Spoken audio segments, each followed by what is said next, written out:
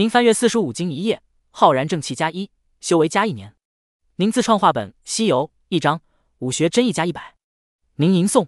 晋国郎州城一处宅院的书房里，端坐着一位正捧着书卷的青衣少年郎，他叫顾兰，于三年前，也就是嘉庆元年，穿越到这里，一个修习万道皆可成仙的世界。作为穿越党的福利，读书人系统也绑定了他，只要读书，便能从中获得儒道修为，甚至武学真意、神器法宝。不过，这些都不足以让顾兰激动起来，因为他知道这里实际上是个小说世界，还是前世顾兰很熟悉的一本太监文。而自己在设定上却只是一个默默无闻的帅笔配角，甚至连反派都不是。作为饱读各种挂笔小说的稳健派，顾兰很有一名配角的自我修养。苟住别浪，实力再强也怕气运反噬。知道主角和大反派都要去皇城闹腾，顾兰就偏迁居廊州，远离朝堂，隔岸观火。算算时间，娘子和小溪也该回来了吧？此时，顾兰放下书卷，看着窗外下了一夜雪景，低声喃喃：“今日小年。”附近的百姓都去大觉寺上香祈福了，穆雨嫣自然也不例外。他一早出门时便说要为顾郎祈求来年平平安安，春为高中。一想到娘子，顾兰眉眼中顿时充满柔情。他们是半年前成亲的，没有父母之命、媒妁之言，纯粹在一场庙会上偶遇相恋。半年来，他们琴瑟和鸣，举案齐眉。穆雨嫣又贤惠持家，顾家的生活是越来越好。前两日开了一家茶楼，生意红火，街坊邻里无不羡慕他们是天作之合。说小两口是上辈子既定的情缘，可以说在异世里，顾兰最珍惜的就是这段平常却又无比幸福的感情。给个主角当他都不换的，老杨，娘子快回来了，把粥煮上，多放红糖和枣子。顾兰朝门口嘱咐一声：“误不了，知道公子您心疼夫人，早煮上了。”书房外传来老杨头乐呵呵的声音：“公子对夫人可真上心，以往伺候的人家可没几个这样的。”书房里，顾兰会心一笑，继续捧书翻看，回顾府的梨花巷。朴素的马车压着雪缓缓驶来，车内穿雪绒素白披肩的女子正在假寐，旁边是正襟危坐的绿衣侍女，脚下放着空空的贡篮。如果忽略女子那张倾国倾城的娇颜和雍容华贵的气度，还有令常人难以感受出的恐怖修为的话，或许会觉得她只是个祈福归家的寻常女子。她正是穆雨嫣，除却顾兰娘子的身份外，还是大晋国当朝女帝。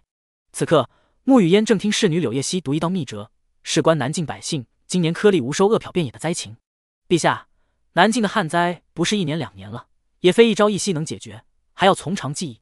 见木烟柳眉越发紧蹙，柳叶溪不由劝慰道：“小溪，南境灾情还只是表象。”穆雨嫣睁开美眸，摇头轻叹道：“自朕继位起，嘉庆元年便有漠北妖国入我大晋边境，烧杀抢掠无数。两年前锦州匪盗闹得凶，听说连屠城的事都发生了。去年黄州涝灾，也是如今的局面。”这些年四方之乱一波未平，一波又起，怕是真的应验了老奸正的预言，国运衰而八方乱。陛下，柳叶溪觉得这话不吉利，欲要开口打断。此时颠簸停止，马车已经到了顾府门口。穆雨嫣摆了摆手，不必多言了，责令司马相国和户部处理此事，照旧赈灾。事到如今，也只能走一步看一步。听女帝言语中的无奈，柳叶溪微微叹气。这世间王朝更替，命数乃大势所趋，实在是玄妙至极。哪怕强如剑仙之境的女皇，也无法左右那看不到摸不着的国运。记得当初老奸正说出预言后，同时给出了唯一的解决办法，只不过这个办法至今还没有让人看到希望。帝王入红尘，老奸正先去时是这么说的，还道出一本世间从未记载的隐匿气息的神诀。自古无情的帝王家消去身份，入这纷乱红尘，便能挽救晋国的命数。穆雨嫣不知道，太过虚无缥缈，但他知道。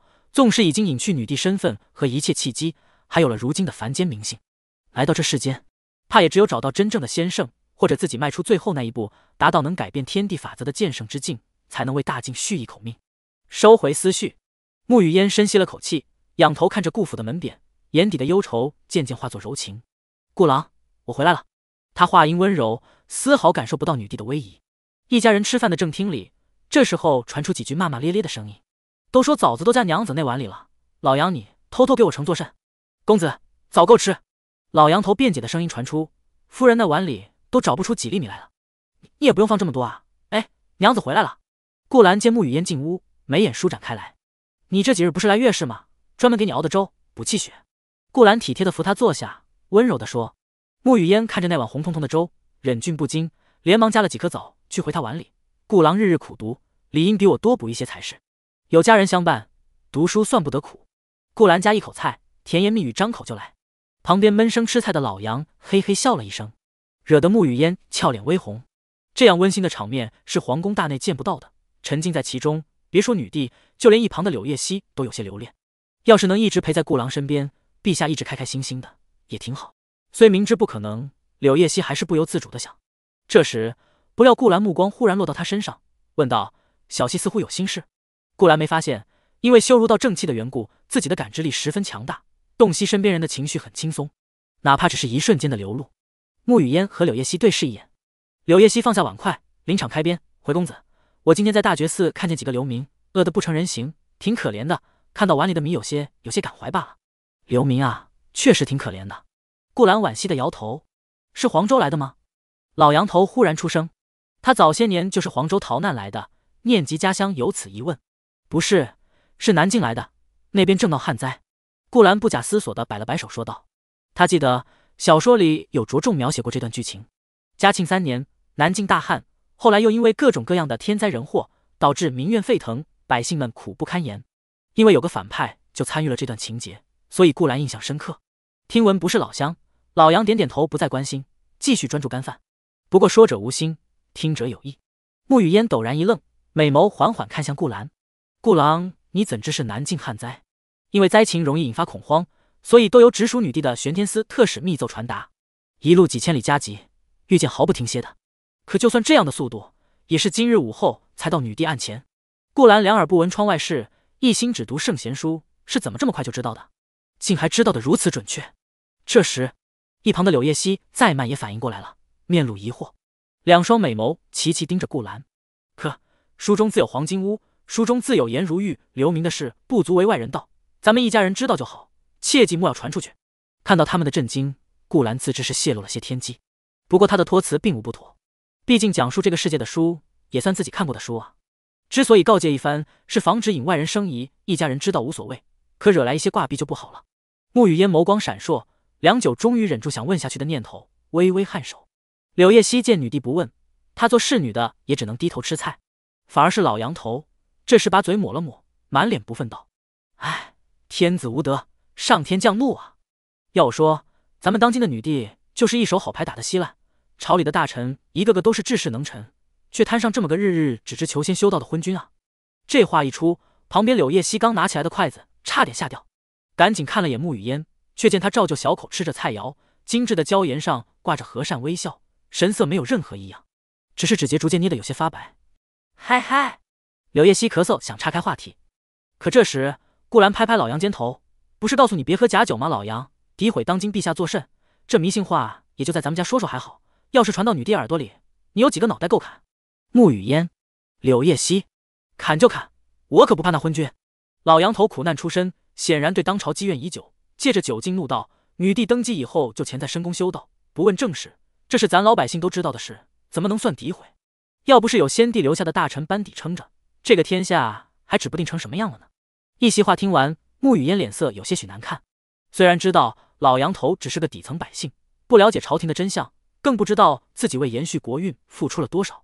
可背负这样的骂名，受千夫所指，任谁心里都难免委屈。柳叶熙心疼的看着女帝，反手狠狠瞪了老杨头一眼。老杨头不明所以。这时，顾兰忽然出声，打破了屋里的沉默：“老杨头，坊间传闻不可信的，其实当今女帝并非你们想象的那样。如果嘉庆都算昏君的话，那恐怕大晋开国到今也没几个明君了。”顾兰说完，慢悠悠喝了口茶。老杨头满脸不解，然而旁边一双美眸。忽然有了神韵，顾郎为何替那女帝辩解？穆雨嫣装着疑惑，其实唇角微微上翘，心里淌过丝丝甜意。都说读书人喜好批判君王，博取名声，可唯独顾郎出淤泥而不染，一身浩然正气，毫无文人酸腐的感觉。幸好，幸好公子与众不同啊！柳叶熙也是松口气，面露笑容。然而，顾兰接下来的解释却让他们的笑容直接凝固了。天灾人祸不是天子无德，而是大晋的国运已经逐渐凋敝。女帝看似不理朝政，其实一切指令都是由她借一些阁老、国公的手发出的，只是大家不知道罢了。女帝在深宫修道也只是假象，她的真身早就不在宫里了，而是在外寻求解救国运之法。顾兰翘起二郎腿，笑吟说完，随手将茶盏往桌上一放，屋里顿时鸦雀无声。穆雨烟从一开始听到国运凋敝，只是略感震惊，可直到最后听顾兰说出女帝早已不在宫中，她彻底懵了。柳叶熙更是目瞪口呆。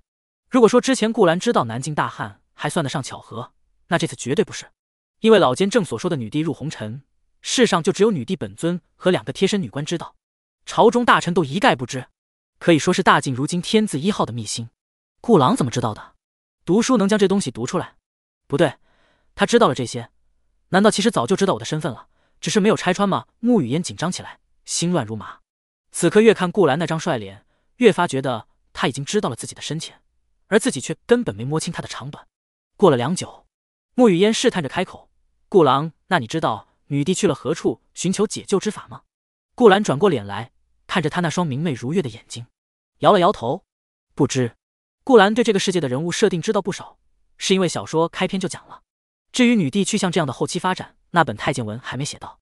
呼，看他一脸认真的回答，沐雨嫣攥着衣袖的玉手逐渐松开。原来他还不知道我的身份。吓死了！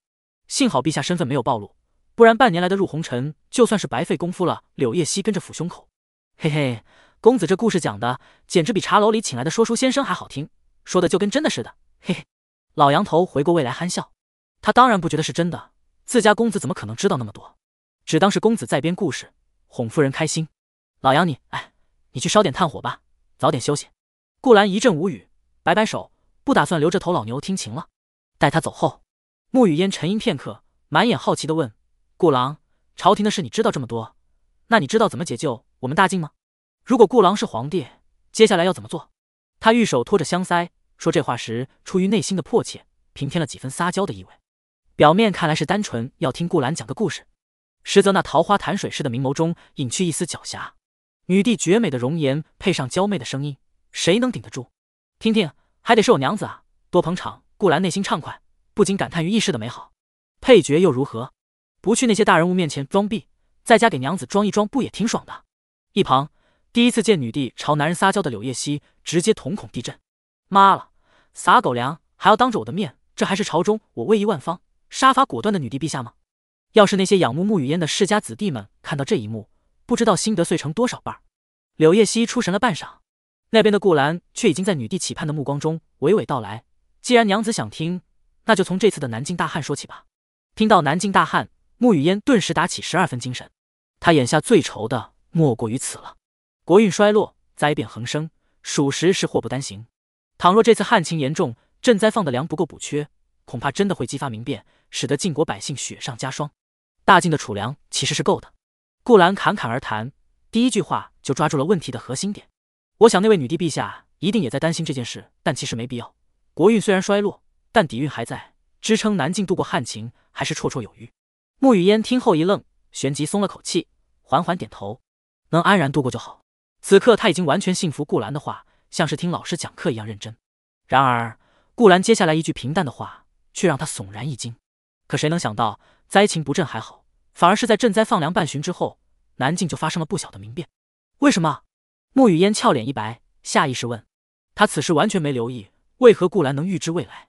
只想知道出现赈灾反效果的问题所在，因为天灾和人祸。顾兰一字一顿吐出，稍作回忆，又道：“朝廷里的能臣是不少，可奸臣也并非没，包括分封的那些王侯。这些朝廷蛀虫里，有些是不满于女帝，有些则是纯粹的贪。他们都是推动国运衰亡的因素。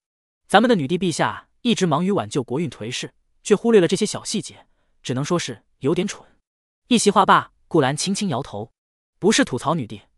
而是觉得前世写这本太监文的作者有毛病，能成为女帝，足以说明嘉庆的冰雪聪明，可居然能犯这样的错误，真是够离谱的。只能说智者千虑，终有一失，或者主角光环太强大，女帝都给强行降智了。其实后来女帝也意识到了这些，想要大肆清理朝臣，一扫陈疴，可那时候已经晚了。老臣反叛，忠臣被屠，再加上发育起来的主角和各路反派的搅局，他那时候已束手无策。最后落了个心灰意冷的下场。穆雨烟听完后，娇躯一颤，心神如遭雷击，因为她此时忽然想到，前几年自己拨出去的赈灾银项，怕百姓们不够，所以总是比计划中多出一倍。可哪怕这样，每次呈上来的折子中却说堪堪够用。原来如此，有乱臣贼子敢在朕眼皮子底下败坏大晋的气运，沐雨烟惊怒交加，恐怖的剑修气息差点就要抑制不住。嗨嗨，幸好柳叶熙回过神，连忙咳嗽提醒小溪啊，嗓子不舒服就多喝点水。顾兰给他倒了杯热茶。柳叶熙有些尴尬，谢谢公子关心，抿了几口朝女帝瞟去，发现他已经收敛气息，恢复原样，很自然的掩饰掉震惊和怒意。好看的桃花眼渐渐泛滥起一个小娘子对相公的崇拜。顾郎不愧是读书人，知道的真多啊！陛下真是演技派。柳叶熙默默点赞，继续闷头喝茶。娘子爱听就好。顾兰满眼宠溺和温柔，指尖轻抚女帝柔顺的青丝，妾身很爱听。沐雨烟似乎找到了正确打开方式，也不急着问朝中有哪些贼人，只循循善诱道：“等顾郎来年春闱高中，就能做大官，我们晋国就有希望了。大官还是免了，京城可不是什么好去处。”全是挂逼在折腾。顾兰稳健的想，片刻，他叹口气，缓缓道：“相公，我读书不是为了做官的，不为做官。”沐雨烟不解，登基后金銮殿里见过多少读书人，哪个不想着金榜题名、衣锦还乡？天下书生挤破了头的往京城赶，可偏偏顾兰却毫不热衷。柳叶熙身为女官，也是疑惑，放下茶盏瞧他。那顾郎公子读书为了什么？喂，顾兰想到前世作文里每次都要引用的话：“为天地立心，为生民立命。”为往圣继绝学，为万世开太平。此情此景，虽是即兴发挥，却也再合适不过了。他说的字正腔圆，铿锵有力。屋子里又静了。为天地立心，为生民立命。沐雨烟咀嚼着这段千古名句，心神大受震撼。登基以来，女帝身边全是阿谀奉承的话，哪里听到过如此良言？不知不觉中，她美眸竟溅起泪花。天下读书人泛泛。可能在与自家娘子吐露心声时，说出这样为国为民肺腑之言的，又能有几个？这才是读书人应有的风骨啊！就单此一句，顾郎可谓帝师。沐雨烟感叹良多，心中同时生出一道从未有过的念头：做官。他要让顾兰做官，而且要平步青云，位极人臣，既是救了黎民百姓，又不埋没治世之才。当然了，也能满足沐雨烟自己的小私心，哪怕以后恢复了帝王身份，也能继续留作他的枕边人。沐雨烟思绪落定。那边的柳叶熙才缓过神来，笑着赞叹道：“不愧是公子，这话真该说与百官听听。他除了是女帝进士，还是执掌玄天司的女官，起监察百官的职责。所以听到这样的佳句，有感而发。身为文超宫的顾兰摆摆手，他们很多人就算听了也无动于衷。对晋国的热爱不同，听了也没意义。确实如此。”沐雨烟颔首。柳叶熙这时抖了个机灵，问道：“那公子觉得朝臣里面谁听了会无动于衷啊？”这话问的就直接是想八卦孰奸孰忠了。顾兰直接敲了敲他脑袋：“小姑娘家家的，知道那么多做甚？”顾郎，我也想知道。沐雨烟凑过来道：“娘子爱听啊，那就简单说说吧。”顾兰清了清嗓子：“柳叶熙，远的不说，南境的那个什么侯，他就喜欢吃肥缺，老百姓们赈灾的钱来着。不过他倒没什么野心，只是单纯的贪而已。”顾兰挠了挠头，想起原著里的那个有些恶心的反派角色。是个搜刮民脂民膏的货，放在平时作恶也没什么，但灾情一来，他还继续作威作福，甚至联合富商们一起把粮食囤起来，奇货可居。这他妈哪个难民不暴乱？顾兰对他的名字有些记不清了，毕竟只是书里前期的小反派，后面被主角轻松拿下的那种。然而，女帝对他提起的人却是了如指掌。安国后蔡玉，沐雨烟深深吸了口气，南境的侯爵就这一位，还是世袭罔替的，他当然有印象。说实话，若不是顾兰今天提到了，沐雨烟还真没有把注意力放到这颗毒瘤身上。人祸说的就是这位蔡侯爷吧？娘子聪慧，正是。顾兰抿了口茶，丝毫没有发觉自己无意间已经给一位侯爷判了死刑。茶盏放下，沐雨烟深吸口气，心中已经有了打算。顾郎，妾身有些乏了，先回去卧房等你可好？应该的。顾兰这才发觉已经夜深，连连笑道：“娘子平日操劳了，理应趁这几日月事。”好好休息一番。沐雨烟闻言，不知想到了什么，瞬间俏脸连带着耳垂都红了。柳叶熙什么都没听懂，就被沐雨烟拉着出了正厅。这时，一道机械音在顾兰脑海响起：“您讲了本世界故事一篇，修为加一千年，获得儒道秘法，言出法随，获得玄天至宝鸿蒙剑，获得还魂灵药 X 实力。”看到这些奖励，顾兰一愣：“卧槽，这次给的也太好了吧！言出法随的秘诀不用多说。”这还魂灵药和玄天至宝可是仅存在于传说中的东西。虽然以前也常常给娘子和小溪他们讲些故事，像前世的《西游》《红楼》等话本，但读书人系统给的奖励大多都是十年修为、一两株灵草，这些在寻常修者眼里自然是重金难求。但在顾兰这里，三年来都不知道拿了多少，帮助已经不大。我貌似发现了新世界的大门啊！原来剧透这个世界的原著小说获得的奖励会更加丰厚。顾兰眼睛一亮，随即就感受到体内修为在蹭蹭的上涨。当前修为两万一千年，如圣境。圣境啊，貌似还行。顾兰看了看自己修长白皙的手，青光流转环绕，似蕴含无穷的伟力。但片刻后，他还是摇了摇头。尽管这个世界的境界中圣境好像已经封顶，但这本太监文最后也没提主角什么境界，还是稳妥一点好，不惹挂逼。跟娘子长相厮守，顾兰可一直都记得自己的人生追求。卧房，陛下，圣旨你好了。柳叶熙毕恭毕敬说，他面前放着一份刚起草的女帝密旨，写着南境赈灾仪式中玄天司和各路官员需要做的额外之事。好，沐雨嫣略微过目，明眸看向柳叶熙，这次还要小心你跑一趟南境，别人去朕不放心。是，从小就跟在女帝身边，柳叶熙自然知道她谨慎的性子，何况此事重大，关乎国祚。沐雨嫣当然要派出心腹，不可出半点差池。那敢问陛下，牵涉到的权贵该如何处置？柳叶熙问道。他虽是监管百官，但这次的蔡玉身上有爵位，还是要请示女帝。一旦确认罪状无误，就地格杀。沐雨烟俏脸寒霜，杀气凛然道：“要治陈珂，就得下猛药。”顾兰的话言犹在耳，他不会不懂这个道理。卑职明白了。果然，陛下的柔情给了公子，就没法恩赐他们了。权贵们这下惨喽！柳叶熙心中暗笑，拿了圣旨，转身离去。良久，沐雨烟似是了却一桩心事，身上杀机消散。他走到窗边，目光穿过顾府不大不小的院子，看向书房那盏朦胧的灯火，唇角逐渐勾勒：为天地立心，为生民立命，为往圣继绝学，为万世开太平。顾郎，老奸正窥测天机算出的解救之法，会是你吗？沐雨烟低意着，内心希望燃起。月光倾洒在绝世的容颜上。无比唯美。翌日，柳叶熙借口回娘家，牵上一匹枣红马，便出了郎州城。当夜，京城玄天司一群穿飞鱼服的特使飞马出城，在一位绿衣女官的带头下，直奔南境而去。往后的几天，廊州城风平浪静。顾兰每日读书提升修为，沐雨嫣为他研墨，操持家务，偶尔会去顾氏茶楼收一收账，日子过得井井有条。而到了第五天，南境玄天司一行特使来到驿站，在女帝的旨意下。并未惊动任何人。一个房间里，一群飞鱼服林立，中间坐着一位绿衣少女。明日便是朝廷的赈灾粮食发放的时候了。经本官查证，安国侯今夜邀了本地知府、知县饮酒，想必是有所谋划。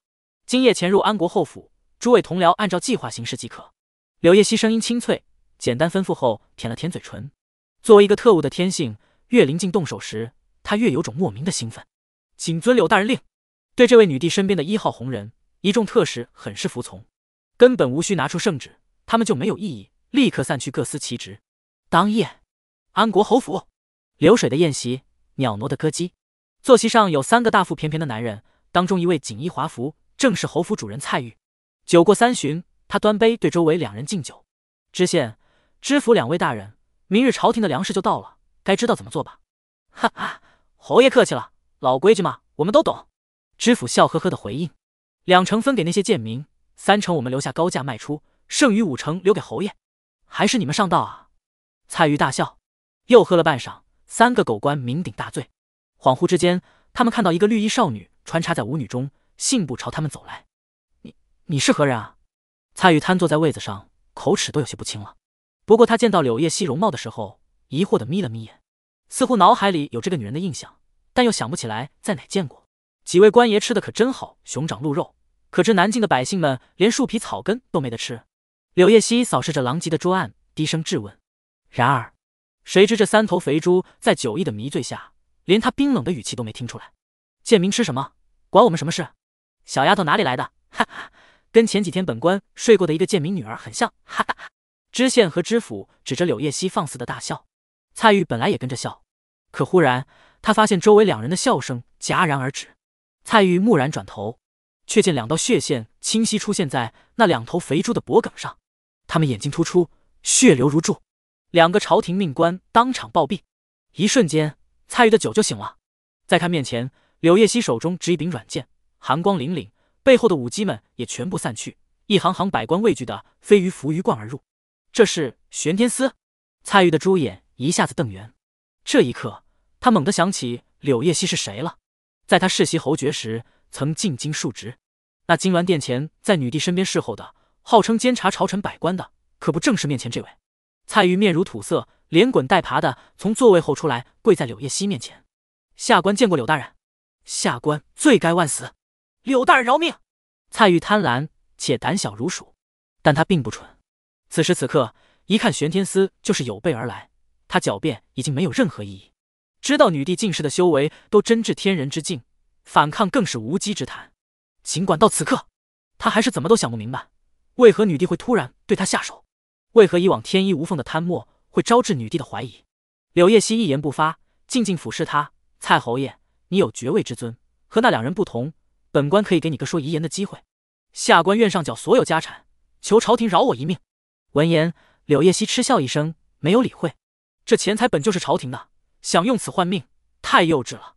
蔡玉见行不通，急得汗如雨下。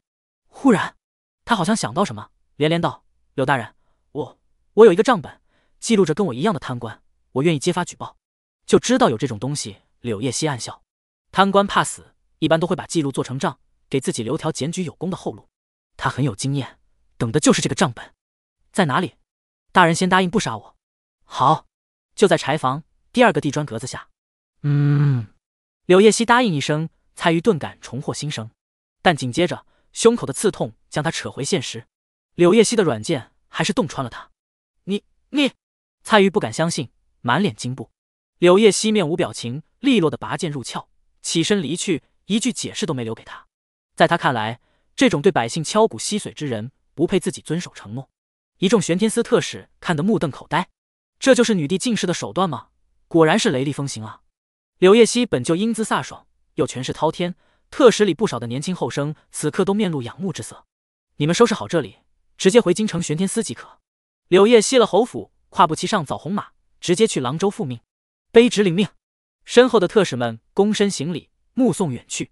三日后，玄天司带蔡玉失守回京，朝野震动。当然，死了个侯爷，并不会让百官这么惊慌。他们真正畏惧的是那个已经落到女帝手中的账本。这年头，就算是能臣。又有几个屁股是干净的？更别说贪官了。一时间，人人自危，京城各大士族动荡起来，连夜整改自家产业，尽量把以前贪墨的肥缺补还朝廷。毕竟，如果自己不主动改，等到女帝找来算账，就不是钱不钱的问题了。郎州城爆竹声中一派祥和安乐，家家张灯结彩的时候，柳叶熙终于赶回，将账本送到女帝案前。陛下，南境情况与顾公子说的一般无二，以往的赈灾粮食不够。终有八成是被当地的权贵克扣了。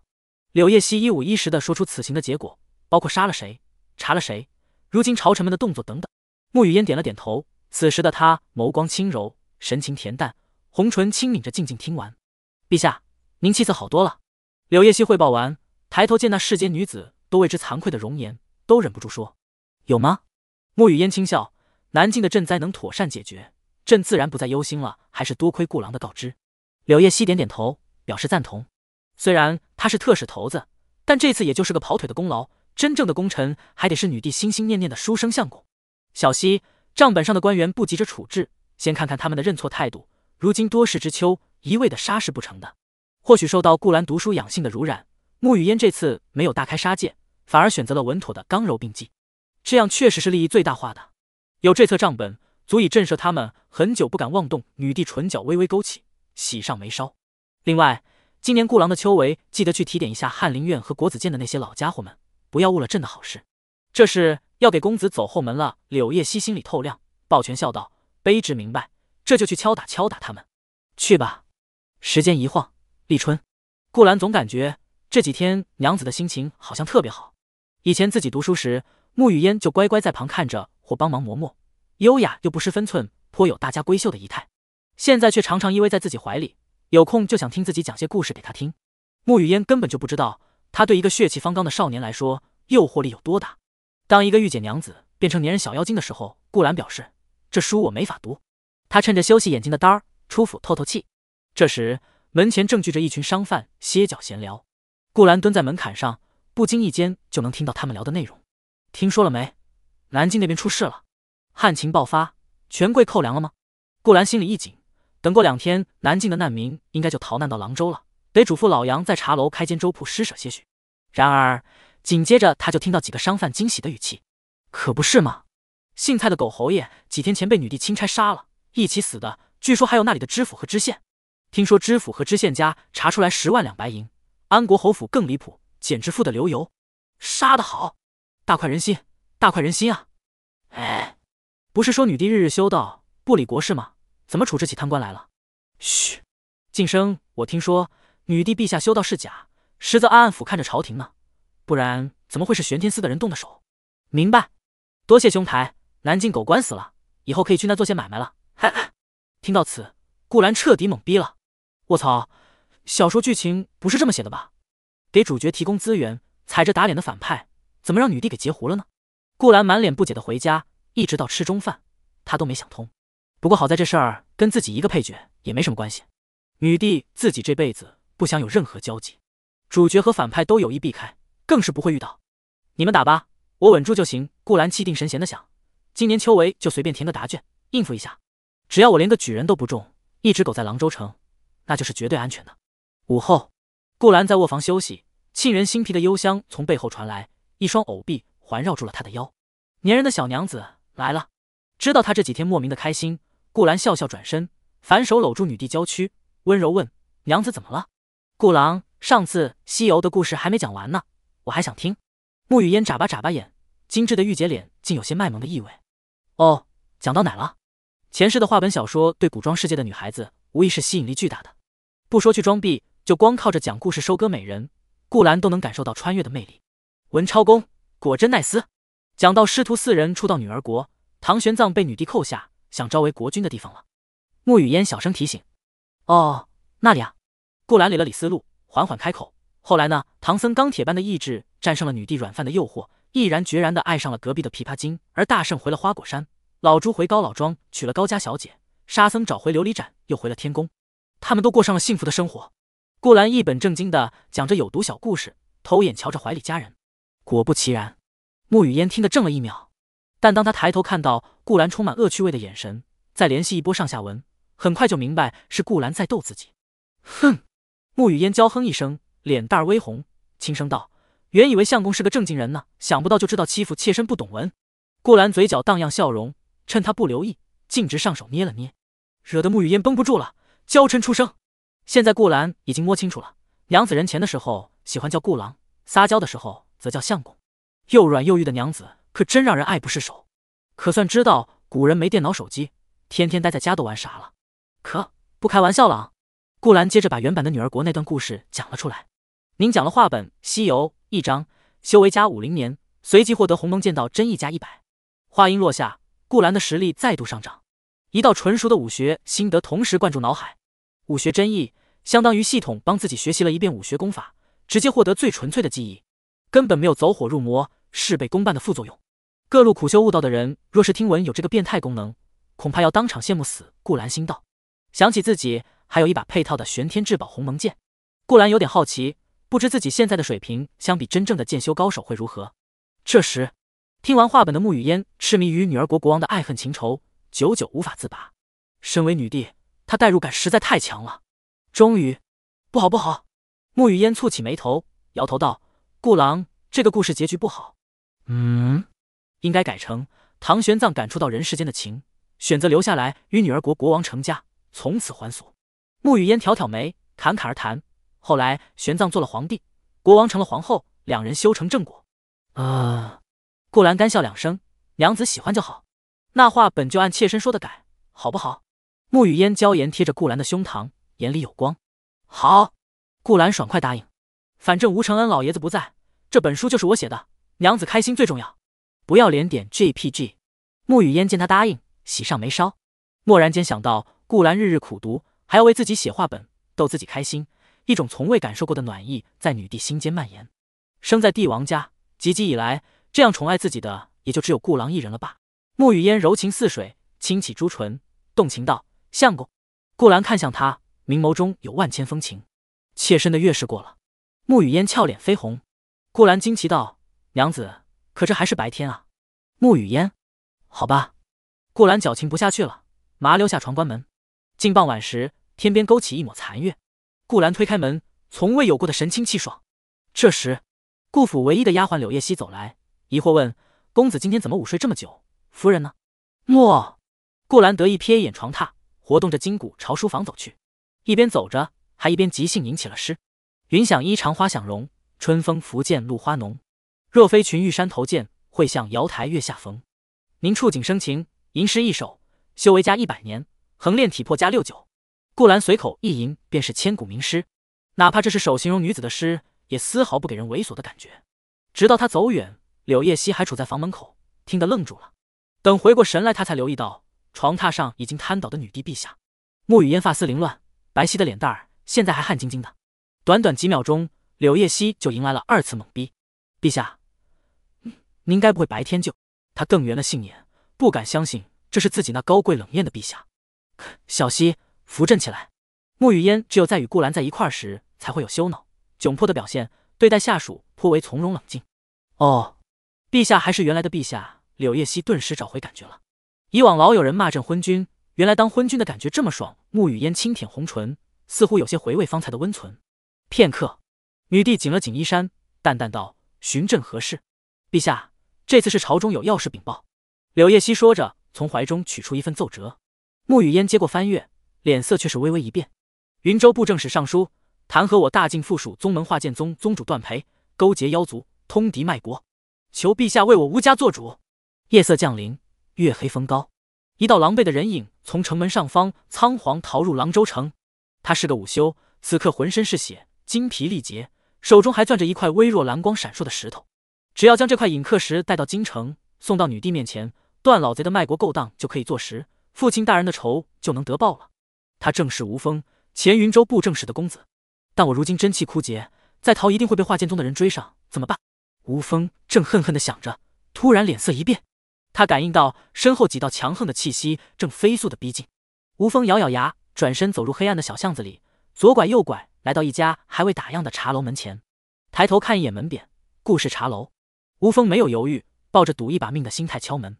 这时，里面一个头发些许花白的老头走出来：“客官住店吗？”二楼便是，老头的话被噎了一下，因为他看到了吴峰身上的血迹。住店，吴峰脸色难看至极，手紧张的握住了刀。如果面前这个老头要大声喊叫，那自己只能杀一个无辜之人了。然而，幸好老头脸色瞬间恢复如常，像什么都没看见一样，笑呵呵的将他迎了进去。片刻之后，老头连忙蹑手蹑脚的出来，头也不回的朝顾府的方向走去。这老头当然就是顾家唯一的门房老杨。平日里就是他和柳叶熙两人轮流管理茶楼。就在老杨安顿好吴风不多时，廊州城头上几个腰间佩剑的黑衣人凭空出现。为首的一人看起来年纪不大，此刻他环视着脚下的廊州城，嘴角微微上扬。嗖，吴峰就藏在这座城里。胡伯抓破了他的丹田，一直没有愈合，顺着血迹，天亮前将他找出来。他身上有块隐刻石，事关宗门生死存亡，就算杀不掉人，石头也要拿到手。话音落下。身后的黑衣死士四散飞去，开始地毯式搜索。另一边，老杨一路小跑回顾府，直接去了顾兰的书房。公子，公子，出事了！怎么了？慌慌张张的。顾兰正读书，抬头看了眼他，碰巧女帝也在。方才因为密折的事，他派柳叶熙回了京城，时时盯着。此刻正剥几颗柑橘，亲手喂给顾兰吃。老杨别急，坐下慢慢说。沐雨烟很有主母风范，谢夫人。老杨一屁股坐下，喘了几口，道：“就在刚才，我正打算回来睡觉，忽然咱们茶楼门被敲响了。”他一五一十说完了吴峰的事，浑身是血的午休，还带着刀。顾兰一听，眉头微皱，这不就是小说里追杀与被追杀的剧情吗？不过应该不是主角。算算日程，这会儿主角还在临近东海的一个小渔村里猥琐发育呢。沐雨烟听完，朝顾兰靠近些许，显得有些紧张，轻声道：“那人叫什么名字？问了吗？”夫人，我哪敢问啊。老杨苦笑，后怕道：“当时我多磨叽一会儿，恐怕此刻就见不到公子和夫人了。那人长得帅不帅？”顾兰忽然问了个无厘头的问题。老杨一愣：“不，帅，平平无奇。”哦，那就好。顾兰点点头，进一步确认这货应该不是个挂逼后，逐渐放松下来。毕竟系统择主都要帅绝人寰的，哪怕是配角也不例外。明天我陪你一同去，就在旁边看着就好，照常营业。若是有旁人对他要打要杀，我们直接跑路。顾兰也好奇这次的来人是谁，不过只要不是主角，自己一身返璞归真的圣境修为，想去一旁看看热闹还是无所谓的。娘子，明天安心在家等我，别出门。保险起见，顾兰拍着穆雨嫣的小手叮嘱道：“毕竟鬼知道这那两伙人会不会一路追杀，波及到廊州城的其他地方。如果真牵连到娘子，自己必然就苟不下去了。在家是不可能的，我堂堂剑仙怎么可能让你冒险呢？”穆雨嫣迟疑片刻，乖巧的撒了一个谎。好，都听相公的。翌日清晨，廊州城的早市逐渐热闹起来。顾氏茶楼二楼睡了一夜的吴峰终于醒来，手边一摸，还好，尹克石还在。忍着浑身的疼痛，他轻手轻脚的打开卧房的窗，探头往外看。街上车水马龙，嘈杂热闹。呼，还没被发现，不过这里不便多留了，得抓紧走。吴峰抓起刀，从怀里摸出一块银子。这时，他忽然发现柜台处换人了。昨夜还是个老头。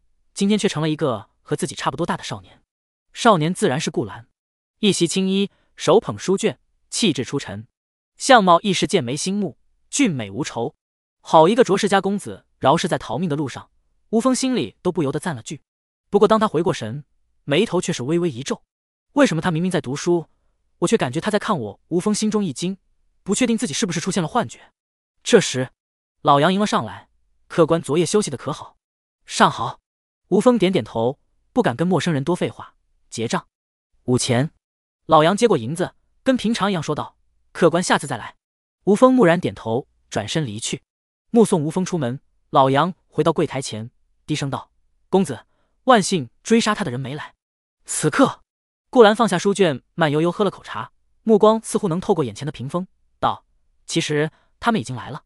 几道午休的气息，半个时辰前就来到附近，只是寻常人感知不到罢了。”话音刚落，茶楼门前原本熙熙攘攘的人群突然惊乱起来，一群死士从天而降，团团围住了刚出茶楼的吴峰。与此同时，一略带阴柔的声音从空中传来：“吴峰，昨晚睡得踏实吗？这么急着赶路去京城，问过我段霄同意没有？”段霄是他顾兰听到这个名字有了几分印象。原著中段霄的戏份不多，但他爹多。身为一个终极的小反派，华剑宗宗主段培。还是蹦跶了不短时间的，借助一位妖王的力量，华剑宗逐渐发育成了云州的大门派。不过，可惜最后惹到了主角那个挂逼，纠缠了几章，还是被灭掉了。对了，主角还因此缴获了华剑宗从妖界得来的一枚凤凰蛋，堪比玄天至宝的存在。而那只凤凰后来成了主角的得力臂主。凤凰啊，好想骑一骑。想到此，顾兰心里下意识的有些异动。而这个时候，无人察觉到角落处一道绝美倩影，隐匿气息到来。混迹在人群中，美眸冷冷的注视着茶楼前的景象。段培的儿子从云州一路追杀无不正氏的儿子到此，若不是朕今日亲眼瞧见，恐怕真会被华剑宗瞒了过去。穆雨嫣本是来暗中保护顾兰的，想不到还有看到这样的意外收获。联系到昨日看过的密折，他神色渐渐沉了下来。无部正史将消息传出，又派儿子紧急前往京城，想来是已经遇害。这样的消息比一个宗门的叛变更让人痛心疾首。华剑宗。勾结妖族杀我大晋国史，以后你们就不必存在了。目光重新落回吴峰身上，看到段霄的出现，他脸色顿时大变，慌忙抽刀与其对峙。段霄，你们华剑宗勾结妖孽，杀害忠良，我必然要将你们的罪证揭露于天下，为我爹报仇！他咬牙切齿的喊道。见他这样激动，段霄不屑的笑了笑，喊得这么大声，是想让周围的人都听见吧？想着就算你死了，他们也能把消息传到京城。闻言。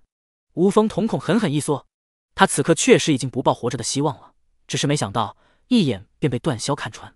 你可以尽情的喊，因为这里的人过会儿都要为你陪葬，谁让他们听到了不该听的东西？段霄说罢，阴翳的目光扫过四周惶恐不安的百姓，眼神无比冷漠，仿佛看到的不是人，而是一群任他宰割的牲畜。茶楼里，顾兰听到他这话，眼神一凛，逐渐陷入沉思。杀人灭口，灭我的口？呵呵，你以为你是谁？主角吗？顾兰淡然抿口茶，脑海中思绪百转。看样子今天这是非应该是躲不过去了。不过如果我不走呢？华剑宗迫害忠良，勾结妖族屠戮百姓，受到原主报国书生的信念影响，顾兰说实话有些愤怒。况且段霄这货嘴脸又如此恶心，一个连小反派都算不上的东西，要不就杀了吧。顾兰心想，上次女帝莫名其妙的把蔡玉抄家冲入国库，截胡了主角好大一波资源。事后。世界故事也没发生什么变化，冒险和装逼的事，顾兰不会干，但这种十拿九稳的捡漏，干嘛要让给主角？何况有一说一，顾兰确实挺馋那枚凤凰蛋。此刻，段霄有恃无恐的说完，目光阴冷的盯着吴峰：“小子，我知道你手里有枚影刻石，现在毁掉，可以让你选个痛快的死法。影刻石算是这个世界很奇特的物品，它具有录像功能，可以存储很久。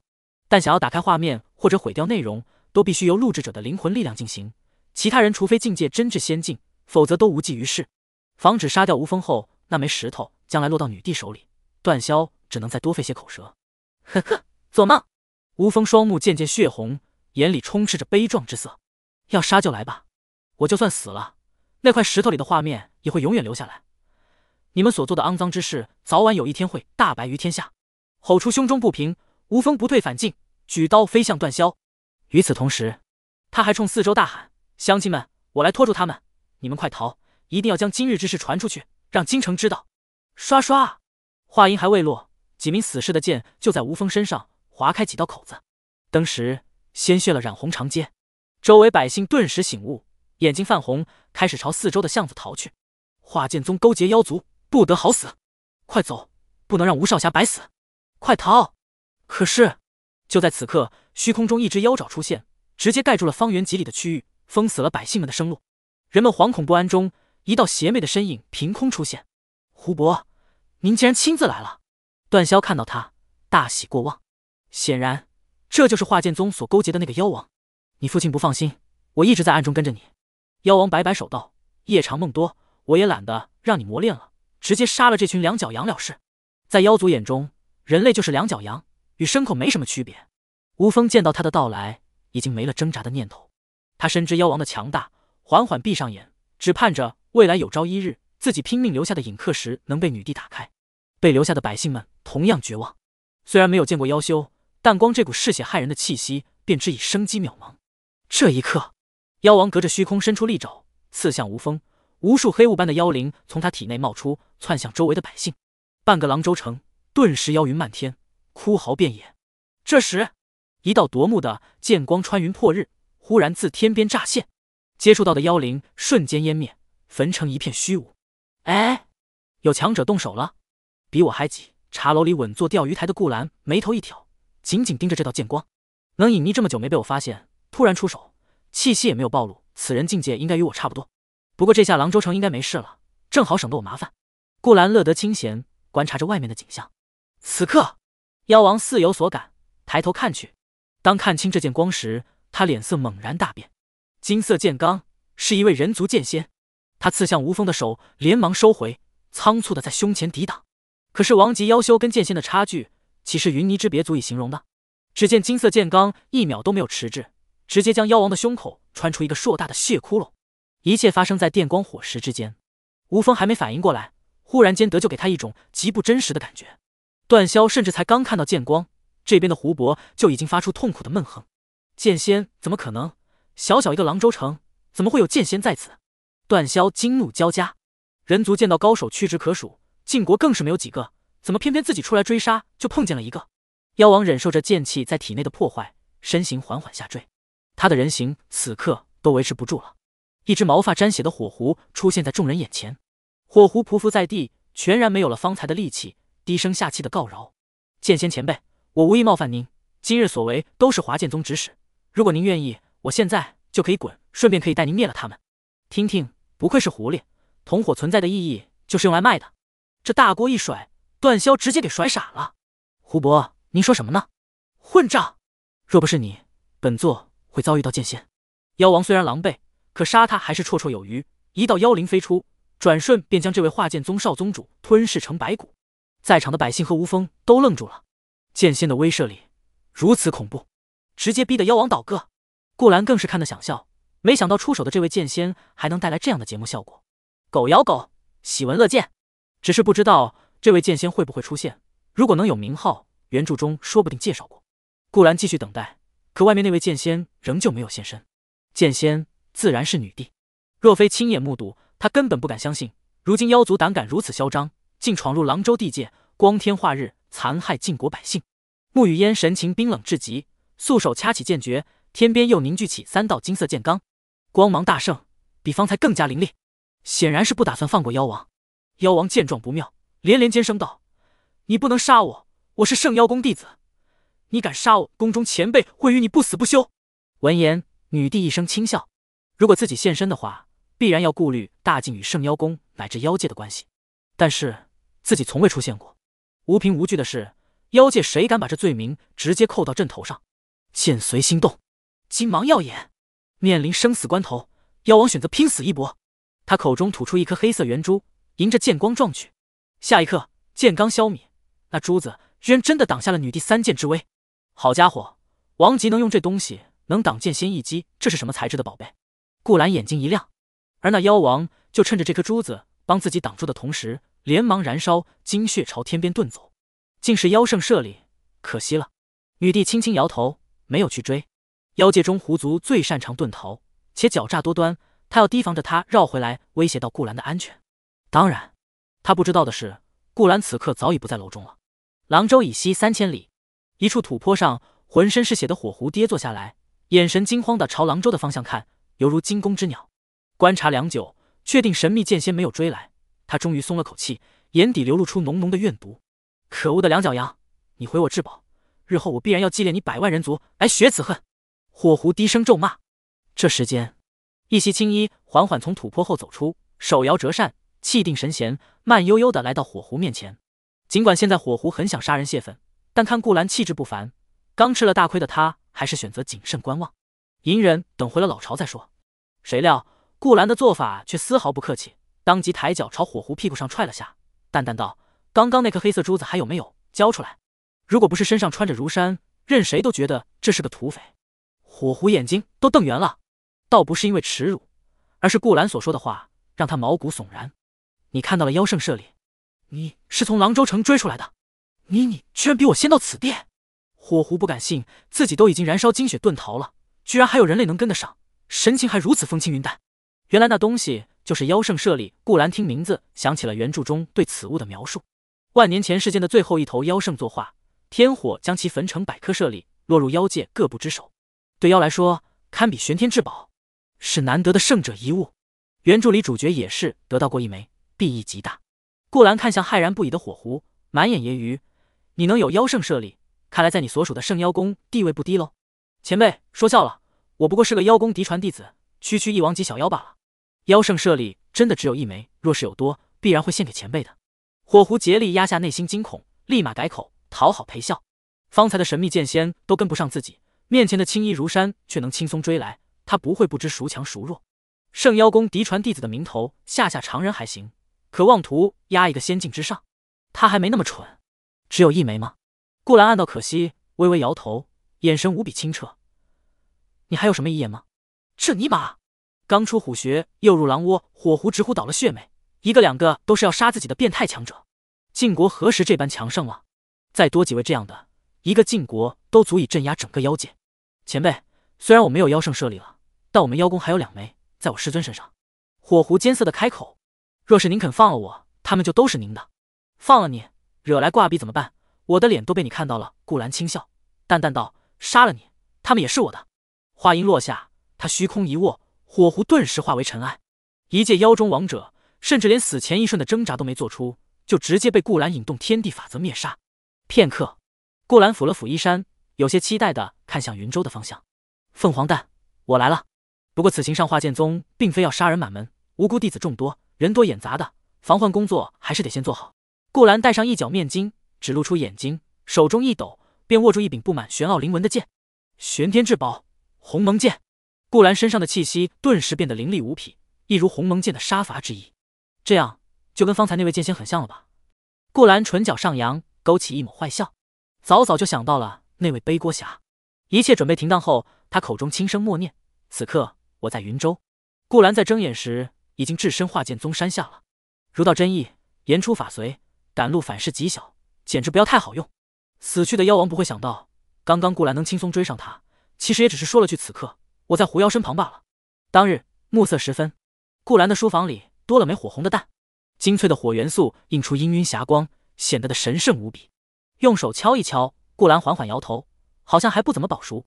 不过他知道，凤凰乃是上古神种，孕育越久，代表天赋越高。所以并不着急，把玩片刻便将其收起。顾兰轻点着这次从化剑宗搜刮来的东西，此刻几乎整个化剑宗的底蕴都在他的系统空间中。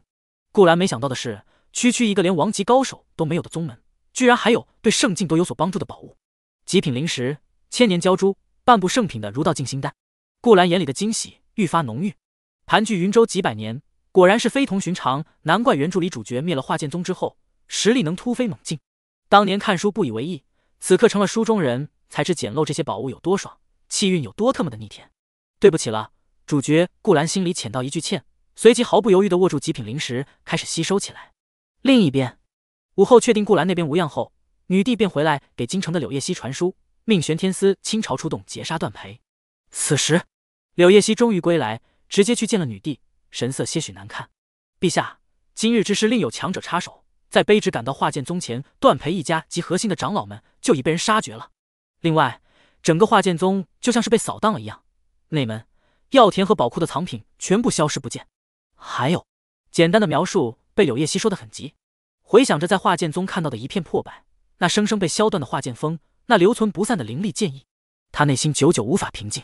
许久没见柳叶熙这般震惊的神态，沐雨烟本在给顾兰刺绣，此时手也停下，凤目中闪过疑惑之色，可见到上山之人了。没来得及，不过。柳叶熙沉了沉气，缓缓道：“据那里的普通弟子说，是一个蒙面剑客于申时出一人提剑上山，直接冲入主殿，杀光了段培他们。自始至终还不到一炷香的功夫。卑职猜测，应该是位皇级甚至仙级强者。有护宗大阵在，不是皇级之上，不可能这么轻易的杀穿。只不过用剑……”沐雨烟眸中疑惑更浓，他不记得大境境内除了自己，还有哪位剑仙亦或剑皇的存在。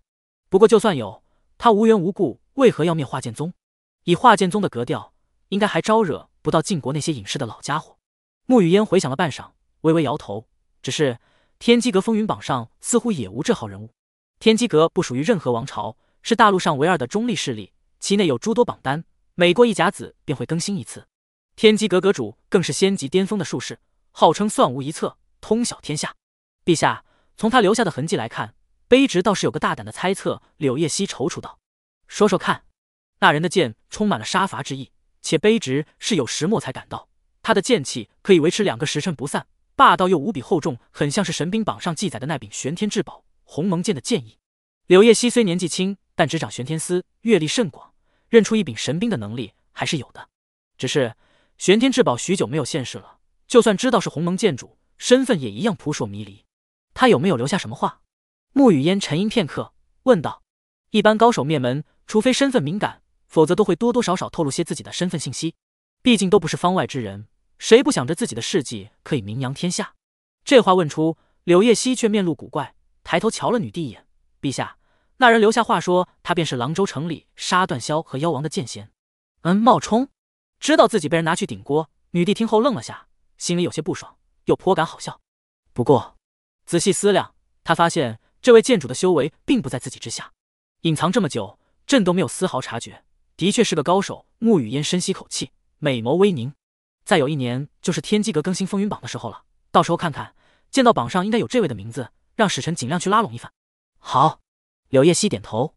剑仙在任何王朝都是供奉级别，地位不言而喻。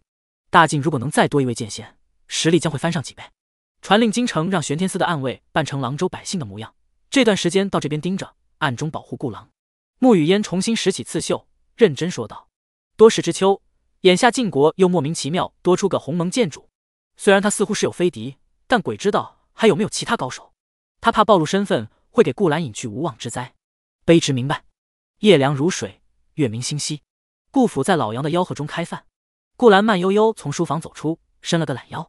此时他已经将那块极品灵石吸收完毕，修为直接增长了一千年，堪比读书一月的成果了。千年浇筑效果应该比灵石还好，晚间吸收了它。应该就可以突破到三万年的修为。顾兰施施然走到桌边坐下，公子读书也别太累。老话说得好，咱要懂得劳逸结合。老杨体谅他说道：“知道。”顾兰从背后摸出一坛酒，递给老杨头：“你爱喝酒，今天回来路上特意给你带了坛。”老杨一看见酒，眼里放光：“哎呀，谢公子，谢公子！”他迫不及待地拍开泥封，酒香顿时沁满整个正厅，好香啊！一时间，不只是嗜酒的老杨头。连旁边的穆雨嫣和柳叶熙都闻到了。相公，这是什么酒？味道如此绝佳。对啊，对啊，公子从哪买的？两女满眼好奇。宫廷玉液，他们都已喝得厌倦，没料到顾兰随手拿出的一坛酒，酒香竟比过往所遇到最好的好酒强出无数倍。顾兰打个哈哈道：“就从晚市的一个小摊上买的桃花酿，可能是年份酒，所以比较好闻。”他当然没说实话，这其实是从华剑宗酒窖里取的。自己还塞了好多灵药和养生丹丸进去的仙酒，光喝一口，像老杨这样的凡人就能脱胎换骨、延年益寿，在人世间绝对是有价无市。此刻老杨头整个人都醉了，呲着牙乐呵呵地说：“公子，老杨我这俩月工钱不要了，这一杯酒就够抵。”顾兰笑而不语，转身给娘子和小溪也倒上满满一杯。搜刮了华剑宗仓库，酒他不缺，钱当然更是不缺。如果把空间里的金银搬出来，恐怕能直接把脚下的廊州城买下来。当然。前提是那位女帝愿卖，一家人有一搭没一塔的聊着，吃着晚饭，与郎州此刻的万家灯火并无二致。吃罢晚饭，老杨头抱着酒坛子底儿哼起了曲儿，醉醺醺回了门房。顾兰正要去书房，忽然一只可爱的香囊递到他面前。沐雨烟似是不胜酒力，脑袋枕在他肩上，醉眼迷离，绝美的脸蛋儿带了些酡红，轻声开口道：“相公，读书辛苦，这是送你的礼物。古代女子送男子香囊，便是情定一生的见证。”顾兰盯着那只香囊，渐渐出神。它的做工并不完美，但上面散发着独属于沐雨烟的体香，是她一针一线亲手缝出来的。两辈子以来，这还是顾兰第一次收到女孩子礼物。柳叶熙在旁边也是看得愣了。今日看女帝刺绣，以为只是闲来无聊，想不到还真为顾兰做起了女工。这可是陛下亲手绣的香囊，真正的天下唯一。若是拿出去卖，好吧，不能卖，顾兰公子会杀了我的。柳叶熙及时打住了如脱缰野狗似的思绪。顾兰收起香囊，挂在腰间，温柔的将沐雨烟揽入怀中，娇躯柔弱无骨，脖颈间呵气如兰，一张完美无瑕的娇颜近在咫尺，妩媚中不失清雅，可爱里又透着些许金贵。顾兰看痴了。柳叶熙见状，识趣的退出正厅，刷碗去了。娘子有你是我的福气。顾兰发自真心道。两世为人，没有任何事物能比面前的家人更让他珍惜，系统爸爸都不行。想想。若是前世能遇他，一定也是一段人人羡慕的金玉良缘。相公，以后别再冒险了。温存半晌，怀中沐雨烟忽然道：“嗯，我都听老杨说了，今天咱们茶楼外面有修仙者打架，还死了人，傍晚时分才被衙门收走的。我们一介凡人，招惹到那些修仙者，多危险啊！”沐雨烟见他发愣，美眸嗔怪：“若是我不提，你是不是打算一直瞒着我？”靠，这老杨头怎么把不住嘴呀？顾兰有点尴尬的笑道。这不是怕娘子担心吗？以后保证不会了。秋闱只剩大半年，我安心在家读书便是。嗯。沐雨烟听后松了口气，柔声道：“不过顾郎也别太累，养好精神。听说举人不难中的。前两日柳叶熙已经去打点了，沐雨烟当然不担心。但顾兰能在府上读书总是好的，不会去招惹到外面的是非，自己也能贴身保护他。哎，这好像前几日相公讲的那本校花的贴身高手，只不过是翻转版。”沐雨烟表面恬静，实则思路活泛。放心，相公，我不会因为科举过多劳累的。顾兰点头微笑，指尖淌过青丝。之前我说过，读书不是为了做官，娘子难道忘了？相公志向不俗，是好事。沐雨烟当然不知他不做官是因为什么，只是念及那句千古真言，心弦触动，满目柔情。吸收娇珠，还是等明天吧。顾兰心中欲动，忍不住低头点了下方唇，深深看着他的眼眸。沐雨烟整个身子都软了，娘子。嗯，今晚的月色好美。转眼过去大半月，吴峰在当天脱险后，便买了匹好马，飞奔去往京城。他身上背负血海深仇，就算得救一次，也不敢过多停留。因为听说朝中女帝不理朝政，吴峰怕他不会因为自己一人而发兵，所以本打算直接去鸡登文谷，在皇城门前将引客十里化剑宗的滔天罪行公布天下，想用这样过激的方式让朝廷为自己父亲伸冤。然而他没想到的是。入住的当晚，当朝相国司马晴就来见了他，手捧女帝圣旨，册封他为云州牧，回去子承父业。吴峰懵逼了。紧接着听到女帝早已处死段培，他父亲追封宁云侯后，他更是当场痛哭流涕，朝着宫城的方向重重行三跪九叩大礼。陛下圣恩，吴家必当结草携环以报。他回云州后，京城百姓听说此事，都在坊间津津乐道。陛下明察秋毫，使得吴家沉冤得雪，大晋又多了一方忠臣世家。往后云州的妖应该会驱逐不少，不用再提心吊胆了。由此传为美谈。而潜移默化中，不管是百姓还是官员，对女帝的印象都在渐渐改观。廊州长街十里春风，今天是秋闱报名的日子。顾兰来到衙门这儿，远远的就看见长龙式的队伍，前面是一个衙役在记录名册。穿越就这点不好，没有网上报名。顾兰小声嘀咕，走到队伍的后面。当然，他肯定是不会傻傻排队的。此时虽日头不晒，但站得久了也难免腰酸背痛。现在正排队的那些秀才们，一个个就有些耐不住，不停捶打腰腿，面露难受。顾兰绕过队伍，径直去找了个小摊坐下。点了一份凉茶，静静等着人变少。这时，顾兰忽然发现，在队伍的末尾有个很神奇的家伙，那是个书生，戴着一方蓝色头巾，一身朴素的如白长衫，模样甚是清秀。之所以说他神奇，是因为他总是在不停的让位置。他本就在最后一个，可只要有其他人过来报名，他就让人站到他前面去。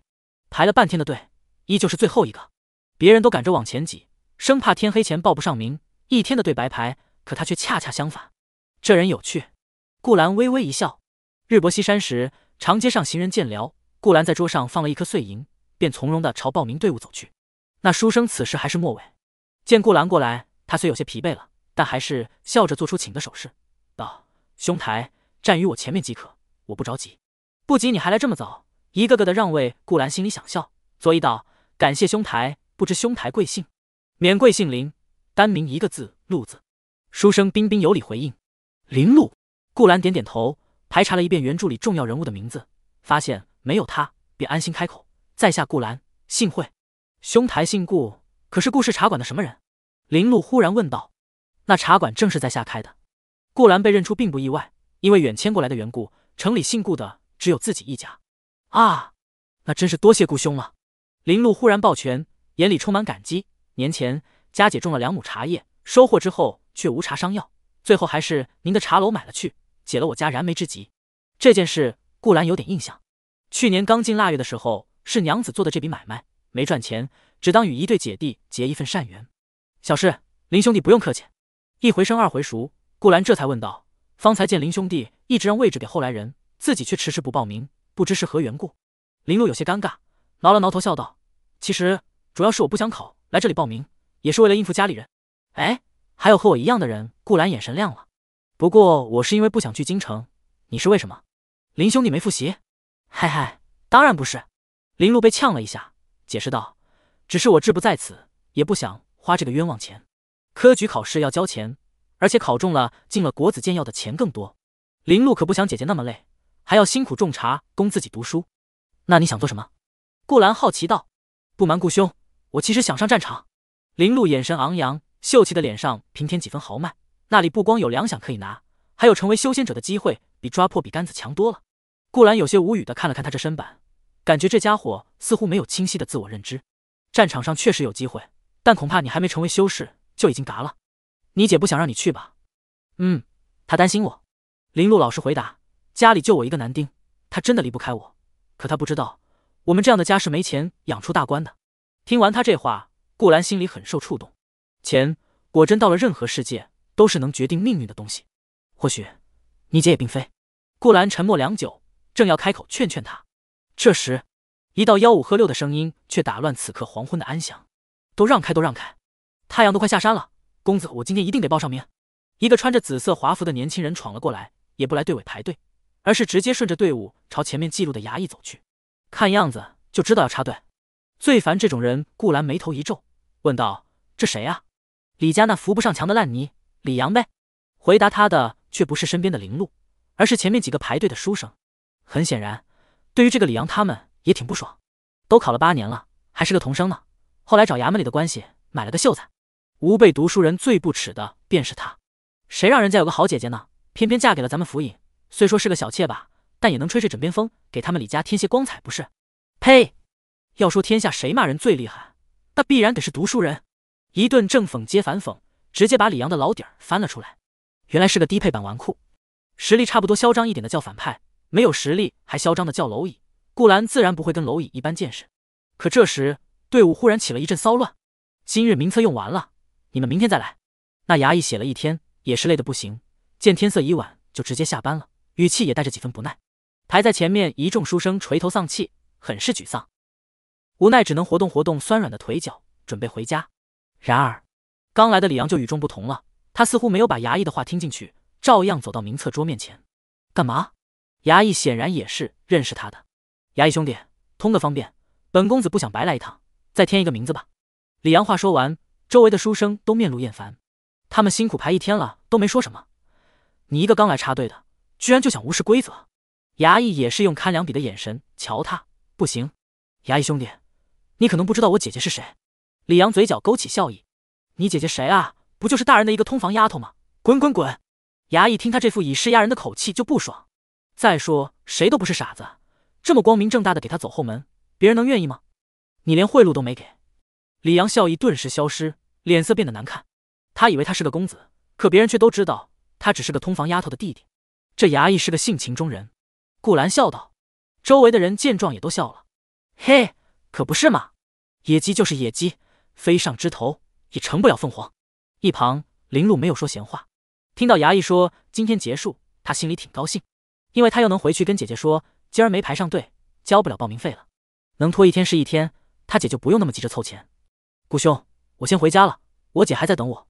嗯，顾兰挥手告别，而这时起身活动腿脚的衙役正走到这边，恰巧听到了两人的对话。衙役上下打量了一番顾兰，眼里有些踌躇不定。这位公子。姓顾，可是顾氏茶楼的顾兰公子。嗯，这衙役本就是全场焦点，他这一问话，还没回家的书生们全都把目光投了过来，包括刚被对的难堪的李阳。是我，你认识我？顾兰挑眉道：“今天还真是奇了，自己的姓氏居然识别度这么高。”我不认识，不过可能是……衙役话说一半，似乎终究还是不敢确信顾兰身份，连忙道：“那个，您先在这儿等我下好吗？我去叫一下府尹大人。”行。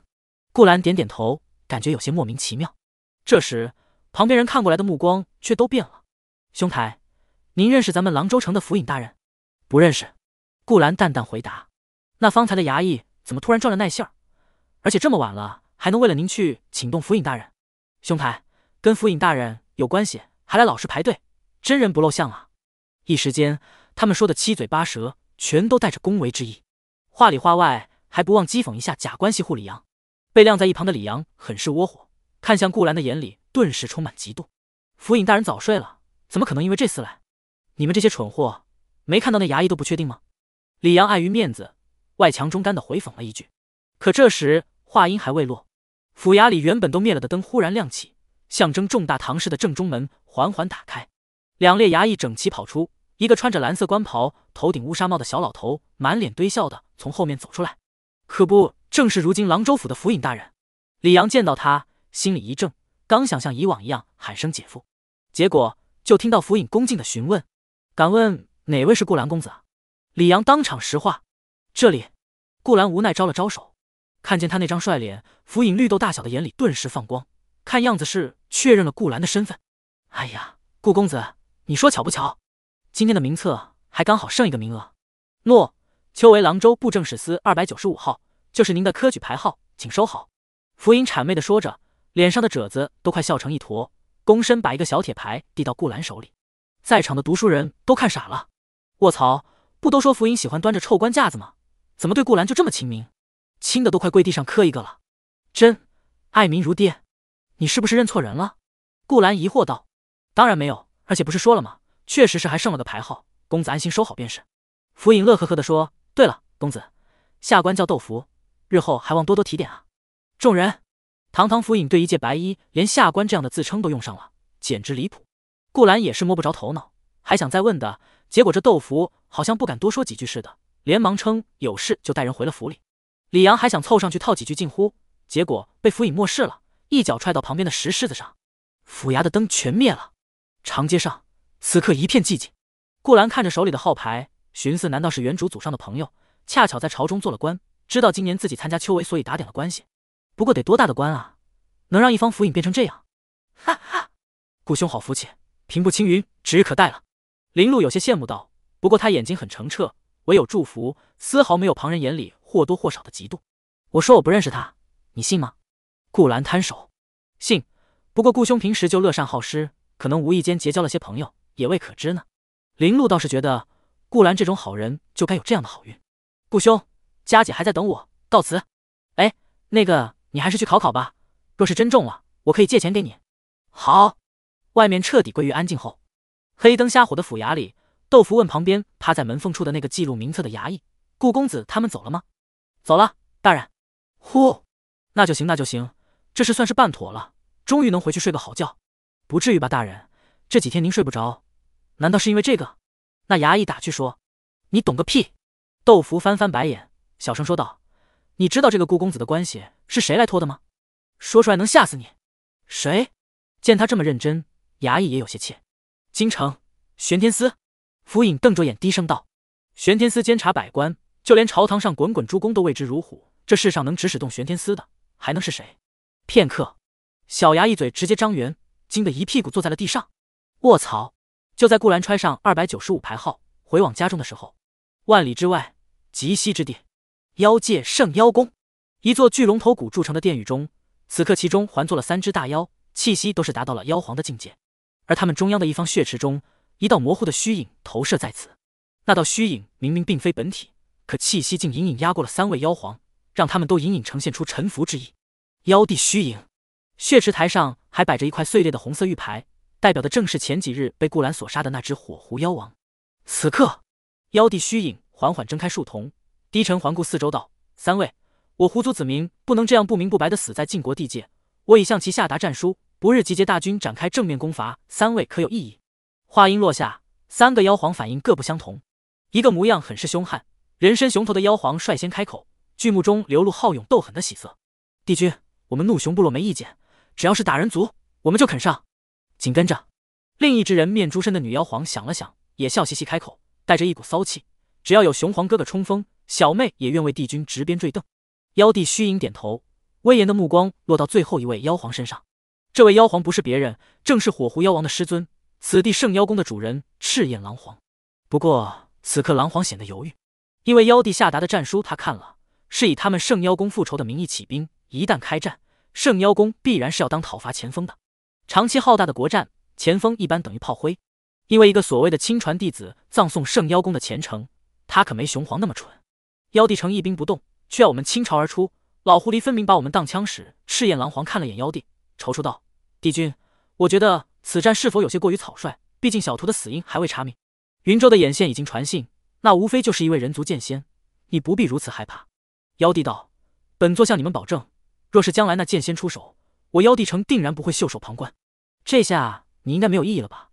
妖帝虚影目光似有千钧，狼皇心中大骂骂卖批，可面上也只能屈服。是帝君，我们圣妖宫即日便会发兵。妖帝微微一笑，眼神深邃。环视三皇道：“这次国战试探为主，如果本座没猜错的话，晋国如今出了些岔子，他们人族一直引以为豪的生产力底蕴，呵呵，如今或许还没我们妖界多。总之，这一战机不可失。”狼州城，顾兰乘着夜色回到府上，娘子，公子啊，夫人不在，午间出去买花了，说是想摆一些在府上和茶楼里。老杨响亮的声音从门房传来：“知道了。”顾兰随即进了书房。娘子不回来，顾府是不会开饭的。所以他还有一段提升修为的时间，西游画本还剩一张，今晚写完算了。顾兰伸个懒腰，拿起狼毫笔，烛火照映下，在书简上认真写着。不过，身为一个穿越党，他除了抄画本轰轰娘子外，还是没忘记一些属于文超公的正事，比如今天刚开始的《您著书伤寒杂病论》首篇，医术加二百，获得回声单 X 十；您著书齐名药术首篇，获得前世良种 X 一百，大生命术心法 X 一。幸亏前世什么都学过一点，顾兰凭着印象便把两部古籍巨著带来了这一世。虽然只是首篇，但读书人系统给的奖励却让他眼前一亮。仙品丹药回生丹，是传说中能活死人肉白骨的神药。单独拿出来可能还只是仙品，但若是配合自己之前获得的还魂丹，药效甚至能达到圣品级别。有了这两味药和医术技艺加持，顾兰感觉就算是只有半口气吊着的人，自己也能从鬼门关给救回来。这可比给几十年修为强得多。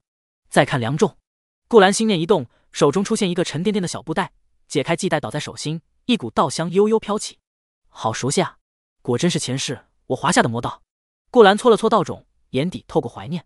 魔道在前世很常见，但在这种路有冻死骨、年年苦旱黄的古代王朝，无疑是能令无数人疯狂的宝贝。要知道，哪怕是土地较为肥沃的晋国，粮食亩产也不过一担，还不到魔道的几十分之一。其他荒级小国就更不用提了。只是不知道异世的水土是不是合适，正好去试验一下我的大生命术。顾兰握住几颗良种，当即离开书房，朝府后面的花田而去。另一边，沐雨烟将茶楼的花草摆好后，便乘马车回了顾府。路上，阴影里一道倩影忽然冒出，马夫甚至都未察觉时，便悄无声息地钻进马车。陛下，公子已经把福音给的二百九十五号牌领回去，秋闱之事再无需挂虑了。柳叶熙已将事情办妥，轻声道。他一整天都在用玄天司秘法暗中跟随衙门门口的那档子事儿，自然也是知悉的。柳叶熙正要与女帝听听，可这时他忽然发觉女帝似乎在出神，美眸中竟流露出淡淡的愠怒。从小就侍奉女帝，他的感觉自然不会出错。自陛下嫁给顾公子后，可是很少有这样的情绪了。柳叶熙关心问道：“陛下，您好像有烦心事？”“嗯，你自己看吧。”沐雨烟回过神，将手中揉皱的密函递给柳叶熙，神情漠然。可眼里很明显正在翻涌着一股无名怒火。柳叶熙接过密函，这才看到里面还夹着一封烫金色战书，上面盘踞着一头九尾天狐的图案。妖界战书，柳叶熙惊了。如今的妖帝便是一头九尾天狐，执掌整个妖界。不过他怎么会突然发疯给晋国下战书？人族和妖界已经数千年没有开战了，难道就因为前段时间的那个妖王？柳叶熙不解。自然不是。沐雨烟轻轻摇头，领声道。圣妖宫的内门弟子只是引火索，妖界想犯我大晋，实则是早有打算。妖界在西方，与晋国接壤。虽然妖族战斗力强悍，但他们生产力十分低下，所以一直以来很垂涎晋国的人口。况且晋国国运衰微，妖界并非没有聪明人，早就有所怀疑，趁此机会正好试探一番。柳叶熙峨眉紧皱，心中有些慌乱，要不要卑职去传令兵部，早做准备？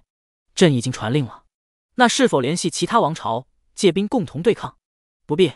那些唯利是图的家伙靠不住的。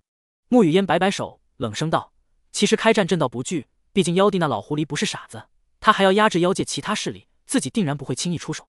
妖界实力能与女帝不分伯仲的，也就只有妖帝本尊。只要他不出手，晋国便不会有太大危险。”听他这般说，柳叶熙轻轻松了口气。那陛下是在担心什么？朕担心大晋消耗不起啊。沐雨烟语气中多了几分怅然与无奈。与妖界的国战必然旷日持久，可国运本就日渐衰弱，前段日子又刚刚赈灾放粮，到时候就算真的撑过了与妖界的国战，大晋的底蕴恐怕也已所剩无几。闻言，柳叶熙刚落下的心又揪紧了。是啊，打仗要钱，也要粮食，大晋如今的国运民生哪能经得起这般消耗？当下又是春季，正是百姓们播种的时候，若是此时征粮，那得来的都是要播下去的粮种啊。可一旦没了粮种，等到明年，百姓们可怎么活？难，民以食为天，自古帝王最愁的民间事莫过于此。马车里气氛沉闷。这时，马夫苍老的声音响起：“夫人，顾府到了，路费一钱。”顾府，顾兰听到他的话，沐雨烟下意识想到相公的名字，一筹莫展的愁绪中，某根心弦好似被拨动，一道灵光忽然乍现。他猛然想到，上次自己这么难，好像是在年前南境旱灾的时候，而那时帮着自己渡过难关的。正是饭桌上无意间道破天机的顾兰，小希，你说顾兰会不会有办法？沐雨烟美眸闪烁，目光定格在顾府的大门上，逐渐有了神采。柳叶熙被这一提醒，也愣了片刻。对啊，公子他通古小今，博览群书，或许这次的事件也了解不少呢。走，回家。沐雨烟迫不及待的要去找顾兰说说话。眼下的处境无比糟糕，顾兰是唯一能给他希望的人。柳叶熙匆忙跳下马车，在马夫错愕的目光中扔下一锭银子。便随沐雨烟进了顾府。老杨，相公回来了吗？沐雨烟轻灵的声音问。是夫人啊，公子早回来了，不过这会儿不在书房，正在后院的花田里呢，也不知道在鼓捣什么。老杨慢吞吞的说着，从门房走出来，准备喊顾兰吃饭。那个，你歇着吧，我和小溪正要去把买来的花栽上的，我们顺便去叫他。沐雨烟笑笑，连步轻移往后院的花田而去。此刻，后院花田，顾兰看着眼前已经长到与胸口齐平的成熟魔道，露出满意的微笑。把前世的高产农作物还原，还是蛮有成就感的。大生命树的心法他已经用的纯熟，顷刻间之前的稻种便生长。百株魔道收获的新稻种不计其数。顾兰正要收割，这时温柔熟悉的话音传入耳畔：“顾郎，哎，娘子回来了。”顾兰看过去，只见沐雨烟手里提着一盆鲜花，似乎是要来这里栽种。不过现在整片花田都已经被高大的魔道占据，根本没有一点空隙可以种花。娘子，你买来的花好像暂时种不下了。顾兰有些歉意的挠挠头，笑道：“没关系，不过顾郎，你这是种的什么？”沐雨烟一进到后院，便被眼前的魔道震惊了。他可从未见过这么大号的作物，只是从外表来看，他感觉这似乎很像是一种粮食。没错，就是粮食。只需稍微闻一下，扑鼻的稻香便从花田飘来。明明是在阳春三月，却给人一种秋收时候的错觉。很久没来过后院了，他都不知道顾兰什么时候种下的。沐雨烟美眸定格在这片魔道上，呼吸渐渐急促起来。此刻，后面的柳叶溪也闯了进来，看见眼前六七尺高的魔道，逐渐张大了嘴巴。公子，你这是种的什么？怎么那么像大号的稻子？顾兰微微一笑，朝他们招招手。没错，这就是稻子，只不过产量比起普通稻子多了一点点而已。来来来。过来给你们介绍一下我家乡的品种。顾兰颇有几分骄傲的将魔道的品质和特点说与二女听。当听到这种超大号魔道产量是普通稻子的几十倍，而且生长周期却只有三分之一时，他们已经惊得说不出话来了。粮食，这就是他们梦寐以求的粮食来源，晋国急切需要的底蕴啊！这一刻，他们似乎看到了对抗妖界的希望。沐雨烟先手摸过满田的良种，美眸逐渐湿润。相公，这种魔道你是怎么种出来的？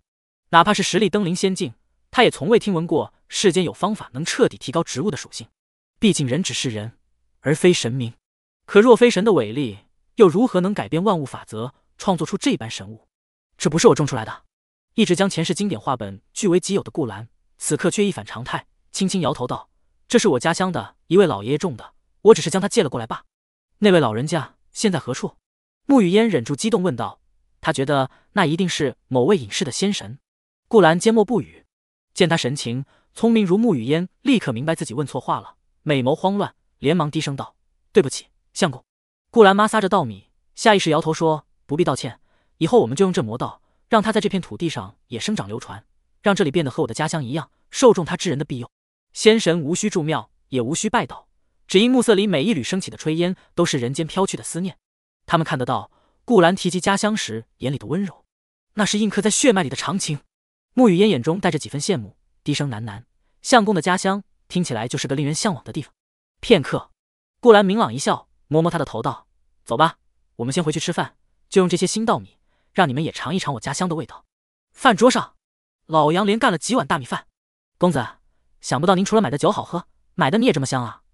古代人过的是真苦，还好我生在阳光下，长在春风里。顾兰淡然笑道：“这可不是买的，喜欢就多吃，这种米以后公子管够。”他说完，给娘子夹了口菜。有大生命树心法的催生，只需现在手里的粮种，想得到一座粮仓都是轻而易举。沐雨烟碍于形象，也忍住了吃第二碗的欲望，轻轻擦拭红润的小嘴。相公，你到底收了多少粮食啊？后院看起来好多，整一百株。顾兰回道：“一百株上面接的都是成熟的粮种吗？”柳叶熙下意识与女帝对视一眼，尽力压下眸中的震惊，紧跟着就问：“当然。”顾兰点头肯定。大生命树所催生，岂会有残次品的道理？公子，咱们手里有这么多两种，接下来打算用它们做什么？听小溪这一问，顾兰发现自己还真没想好做什么。就算种这一百株，也只是一时兴起，想试试能否复原种花魔道的。谁知道一下子就多了这么些宝贵的良种。顾兰看向沐雨烟，柔声道：“娘子觉得适合做什么？我们顾府没有土地，若是只留着吃也吃不完，未免太过浪费。”沐雨烟沉吟片刻，认真道。妾身想，要不我们拿去与老百姓们做生意如何？他自然是渴望晋国的子民们能买到这样的神粮，只需今年的一次播种，日后便再也不用受冻美之苦。而且只要百姓们吃饱了，大晋也就有了与妖界抗衡的底气，不会再受欺负。这是沐雨烟做梦都想的事情。左手倒右手，居然要这么大费周折，这可不是陛下行事的风格啊！柳叶熙看了眼征询顾兰意见的女帝，不过吐槽归吐槽，他其实知道这是因为女帝太在乎顾兰，不然。若是寻常百姓，女帝征粮哪需这么麻烦？天下是陛下的，陛下又是顾家的，所以说成顾家与晋国做生意，倒也没毛病。柳叶熙觉得。这时顾兰还没回话，一旁的老杨听了就连连点头，认真道：“夫人想的周到，我们把好稻米种卖出去，既能发笔财，还能救一救其他饿肚子的老百姓，让我们大晋少饿死些人。这个好，这个好。越是苦难出身、生活不易的人，越是应了那句‘位卑未敢忘忧国’。老杨嘴笨，但他心意明确。”顾兰忍不住看了这老头一眼，心里颇有些触动。老杨，你说的没错，娘子心地如此善良，也正好与种出魔道那位爷爷的心愿相同。也罢，就将这些良种全部卖出，卖给边关军屯和那些穷苦的地方。价格与普通稻米一般即可。前世的魔道便是这样，没有专利，也没有天价，所以自己深受其恩，能吃得饱饭。这一世，顾兰觉得自己也没资格用它来大发横财，为天地立心，为生民立命，为往圣继绝学，为万世开太平。读书人理当如此。顾兰答应完这桩生意，轻松舒心的看向桌边的家人们。此刻的屋子里温暖又安静，两道复杂的目光落到自己身上，沐雨烟秋水般的眸子微微泛红，难藏内心的感动。晋国这次彻底有救了。顾兰说出这番话时，他好像从无边的黑暗中看到了光。当然，更让沐雨烟喜极而泣的是，他自己从未看错人。顾兰虽只是一介书生，但这副心怀，这种风骨，却足以让作为女帝的她都感到折服。娘子怎么还要哭了？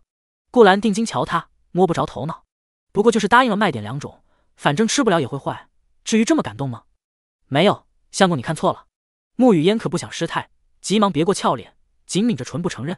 顾兰莫名其妙的摇头，看向另外两人，惊道：“哎，小溪，你怎么眼睛也红了？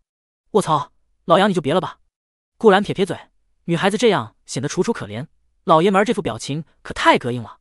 公子，老杨我只是觉得，你刚刚说要用一样的价格。卖给咱老百姓的时候真帅，嘿嘿。老杨摸着头皮憨笑。若是晋国其他富商有这样的宝贝良种，那指不定要卖多贵呢。自家公子一介布衣，却能做出这种决定，他很意外，却也欣慰。可会说话。顾兰笑赞，又道：“那这个买卖就交给你了，忙不过来就让小西帮你。过两天我们在顾氏茶楼旁边再开个顾氏粮庄，第一笔生意就是先把手里这批稻种卖出去。”好嘞，公子放心。老杨拍着胸膛打包票。三日后，顾兰已经将从华剑宗搜刮来的好东西吸收个差不多，修为定格在四万年左右。而其中除了极品灵石和胶珠外，还有一样东西比较有用——圣品赤焰熔炉。初看到时，顾兰还惊了一下，区区一个二流门派华剑宗是怎么有圣品宝物的？但仔细看，顾兰发现这东西居然是个被毁掉的残次品，他的气灵先前被人生生抽离，只剩了一副极为坚固的躯壳，气存灵灭。这种情况能修复的概率微乎其微，难怪会落到华剑宗的仓库里蒙尘。顾兰略叹可惜，不过还是将其好生安放起来。毕竟圣品的材质摆在那儿，说不定哪天就能用得到呢。下午，顾兰正安稳坐于窗前读书，院中碎金般的暖阳洒落在沐雨烟身上，他正倚着竹椅看顾兰给他写的新画本《红楼》，脸蛋红扑扑的，看得津津有味。这时，老远就听到老杨的声音从门外传来：“公子，公子。”咱们大晋出事了，国运这样衰减，大晋出事不是很正常吗？这个老杨头天天大惊小怪的。顾兰声音从书房中淡淡传出：“你说就行，我听得到。”哦，是这样的，我这几天不是按照公子您说的开张粮庄吗？结果就在今早我出城雇人，路过城门口的时候，发现通告栏那里围了老多人，我想凑过去看百分号。星号百分号人民币井号。说重点。哦，通告栏里贴的是京城的讨妖檄文，听说咱们大晋要跟妖界开战了。听到这话，顾兰愣了下。国战？不对吧？他怎么记得原著中好像是在嘉庆五年才开战的来着？难道是因为自己杀了个妖王，导致时间线提前了？你别看错了吧，老杨，绝对没错。京城的檄文都散布十三州了，上面还有女帝的玺印呢。老杨说完，书房里没声了。顾兰手指轻扣木桌，不知在想些什么。庭前，沐雨烟听到这则消息，却是毫不意外，继续悠闲的翻看着《红楼》。没错。那道檄文便是柳叶熙这几日回京城连夜起草的，既是调动晋国十三州的兵力早做准备，又是告诉天下他嘉庆并不惧与妖界一战。先前是没办法才一直忍气吞声，现在百姓们有了相公种出的魔道种，我晋国的底蕴不出三月便会涨上几倍。想战那就战啊！当朕软柿子呢？沐雨烟心里万分解气。这时，老杨见顾兰沉吟不言，犹豫着又问：“那个公子，国战都快打了。”咱们的粮庄还开吗？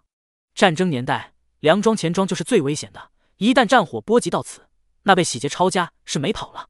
老杨很担心这事儿。然而，顾兰听后却是清朗的笑笑：“啊，别怕，老杨，咱们在可是在廊州，又不是西境，妖界进犯不到这里的。虽然战事提前了，但顾兰并不担心，因为在原著中，哪怕是妖界在晋国底蕴更加衰落的嘉庆五年起兵，也没能攻下接壤的云州、襄州。”只是进一步消磨了些晋国的底蕴，双方白白耗了几年罢。这场国战，妖界与大晋两败俱伤，最后便宜了草根崛起的主角势力，真是太草了。主角这气运怎么都能捡到喽？顾兰想到这，心里默默吐个槽，颇为羡慕。而国战僵持的原因有二：一是妖帝城内卫明显高估了自家部下的齐心程度，后期窝里反；二便是襄州出现了一位修治黄境的帅才，用兵如神，还差点反打回去。粮庄继续开就好，战事一起，晋国的用粮需求肯定更大了，正好能让我们的买卖做大做强。顾兰吩咐老杨道：“既然公子那么说了，那咱就开。”老杨松口气，尽管他也不知道为何顾兰笃定这场国战延续不到 lang 州。哦，对，记得咱们的两种优先供应一下襄州的军屯，顺便打听一下那里有没有一个姓陆的将领。不对，他也可能还是个卒子。顾兰回忆着说，描述了些那人的基本信息。老杨听得愣愣的，不能理解他的为啥突然要找人。不过公子吩咐的话，他就照做，应了声便出门去了。此时，看贤淑的穆雨嫣听到最后这句，穷比好看的皱了皱。好奇问：“顾郎还认识西晋的人？算不上认识吧，只是想结交一番。”顾兰微微一笑，他深知玄幻世界的气运一说十分奥妙，据说与大气运者交好，自己身上的气运也会随之提高。这位他要找的陆姓小卒，便是一个大气运者，也就是那位后来差点反攻妖界的黄境帅才。听他这样说，穆雨嫣更感兴趣了。什么人能让相公素未谋面便想着结交？相公，那人叫什么？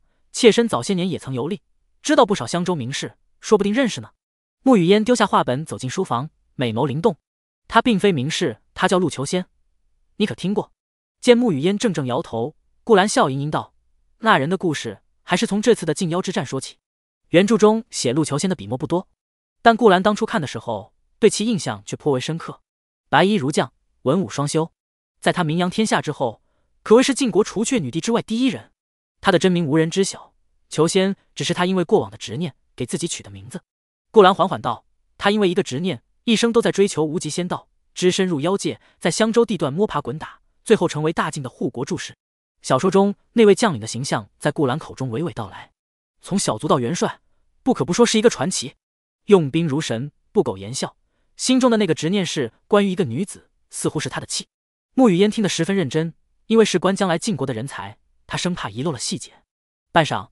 顾兰大致讲完书中对陆求仙的描写，因为太监文没写完，顾兰对陆求仙的背景也不甚清晰，只知道他最后因主角的许下的一个空口承诺，就被主角收编到了麾下，成为了重要的臂主。空口承诺骗人情，真尼玛玄幻小说的老套路了。顾兰揉了揉眉心，感觉当初这小说写的可真降智，主角光环一开，全世界都在围着他转。这时，沐雨烟思索片刻，开口问道：“相公，那他最后成仙了吗？”“不知，不过应该没有。”顾兰摇摇头，解释道：“人力中有时穷，他的执念似乎从未解开过。若是执念解开，想必书里对他后来的描写应该会多些欢笑。可原著一直到太监，他都是面瘫一样的冰块脸。”妾身明白了。穆雨嫣听完，颇感到遗憾：一个将领为一女子而执着成仙，这简直比画本里的爱情都有意思。想不到居然是这样的结局。不过，既然提前知晓了此事，穆雨嫣觉得自己说不定能有机会改变。老杨想在军中找人，无异于大海捞针。可他女帝想找人就简单多了，一道圣旨的功夫吧。找到此人，尽朝廷所能帮他解决困难，早些提拔成大将军，多给予资源，或许大晋的国运会一晚颓势。穆雨嫣眸光闪烁，心里已经安排好了玄天司任务。而就在他出神的时候，一道机械音在顾兰脑海响起：“宿主剧透世界人物一位，获得奖励：仙品法术控灵，圣品药材纯阳龙涎草一万年。”融合上古仙体，奇阳。顾兰看到奖励，喜上眉梢。实话实说，这次讲陆求仙的故事是早有预谋的。满足娘子的好奇欲还是其次，她主要就在等系统的奖励。上次剧透故事已经如此不凡，没想到这次更上一层楼，其中居然还有无比珍贵的上古仙体。要知道，体质这种东西纯粹是天赋所得，是决定你生来气运的关键。为何主角气运逆天？就是因为他们都是一些仙体。圣体亦或魔体有世间大气运加持，本书中主角后来便是同时拥有了十种体质。顾兰靠着读书人系统获得了圣境修为，可天赋仍旧是凡人之体，和气运之子本质上有着差别。但如今顾兰拥有了奇阳仙体，将来的命运轨迹和所有的气运都不可同往日而语。顾兰默默感受体内经脉的变化，按耐住激动，再看向其他的那些奖励。一万年的纯阳龙涎草对我自己的修行有帮助，不过就这样吸收有些浪费。先留着吧。顾兰知道炼丹师的存在，日后有机会将它炼成丹药再吸收，自己会收益更大。相比于这两个圣品，其余奖励就略显逊色。顾兰只是大致扫了眼控灵术的心法，便全部收回系统空间中。这时，穆雨嫣拿定了主意，俯身为顾兰沏了杯茶，柔声道：“相公读书辛苦，喝口水润润嗓子。”谢娘子关心。顾兰捧过，面带笑意：“今天老杨雇人开张粮庄，想必要忙到很晚。妾身来给相公做饭吧。相公想吃什么？”穆雨嫣将竹椅上的画本宝贝似的收好，从屋子里取出一条围裙，系在盈盈一握的纤腰上，明眸瞧着顾兰。翌日，春风和煦，柳叶熙从京城赶回，还未歇一天班，便帮着老杨忙活起梁庄的事宜。顾兰身为老板，开张的第一天还是要到梁庄露个面的。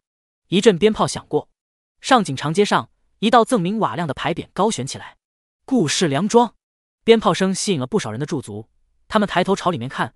脸上露出看热闹的神情，七嘴八舌的说着闲话。咱晋国跟妖界都要开战了，还开梁庄，怕死的慢吗？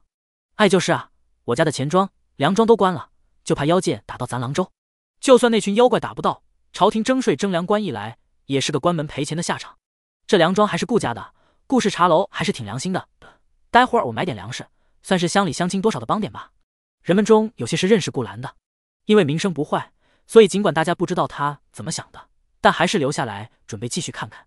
这时，捧一箩稻米的绿衣侍女缓缓步出，后面跟着一袭青衣、摇着折扇的俊美公子，自然便是顾兰与柳叶熙。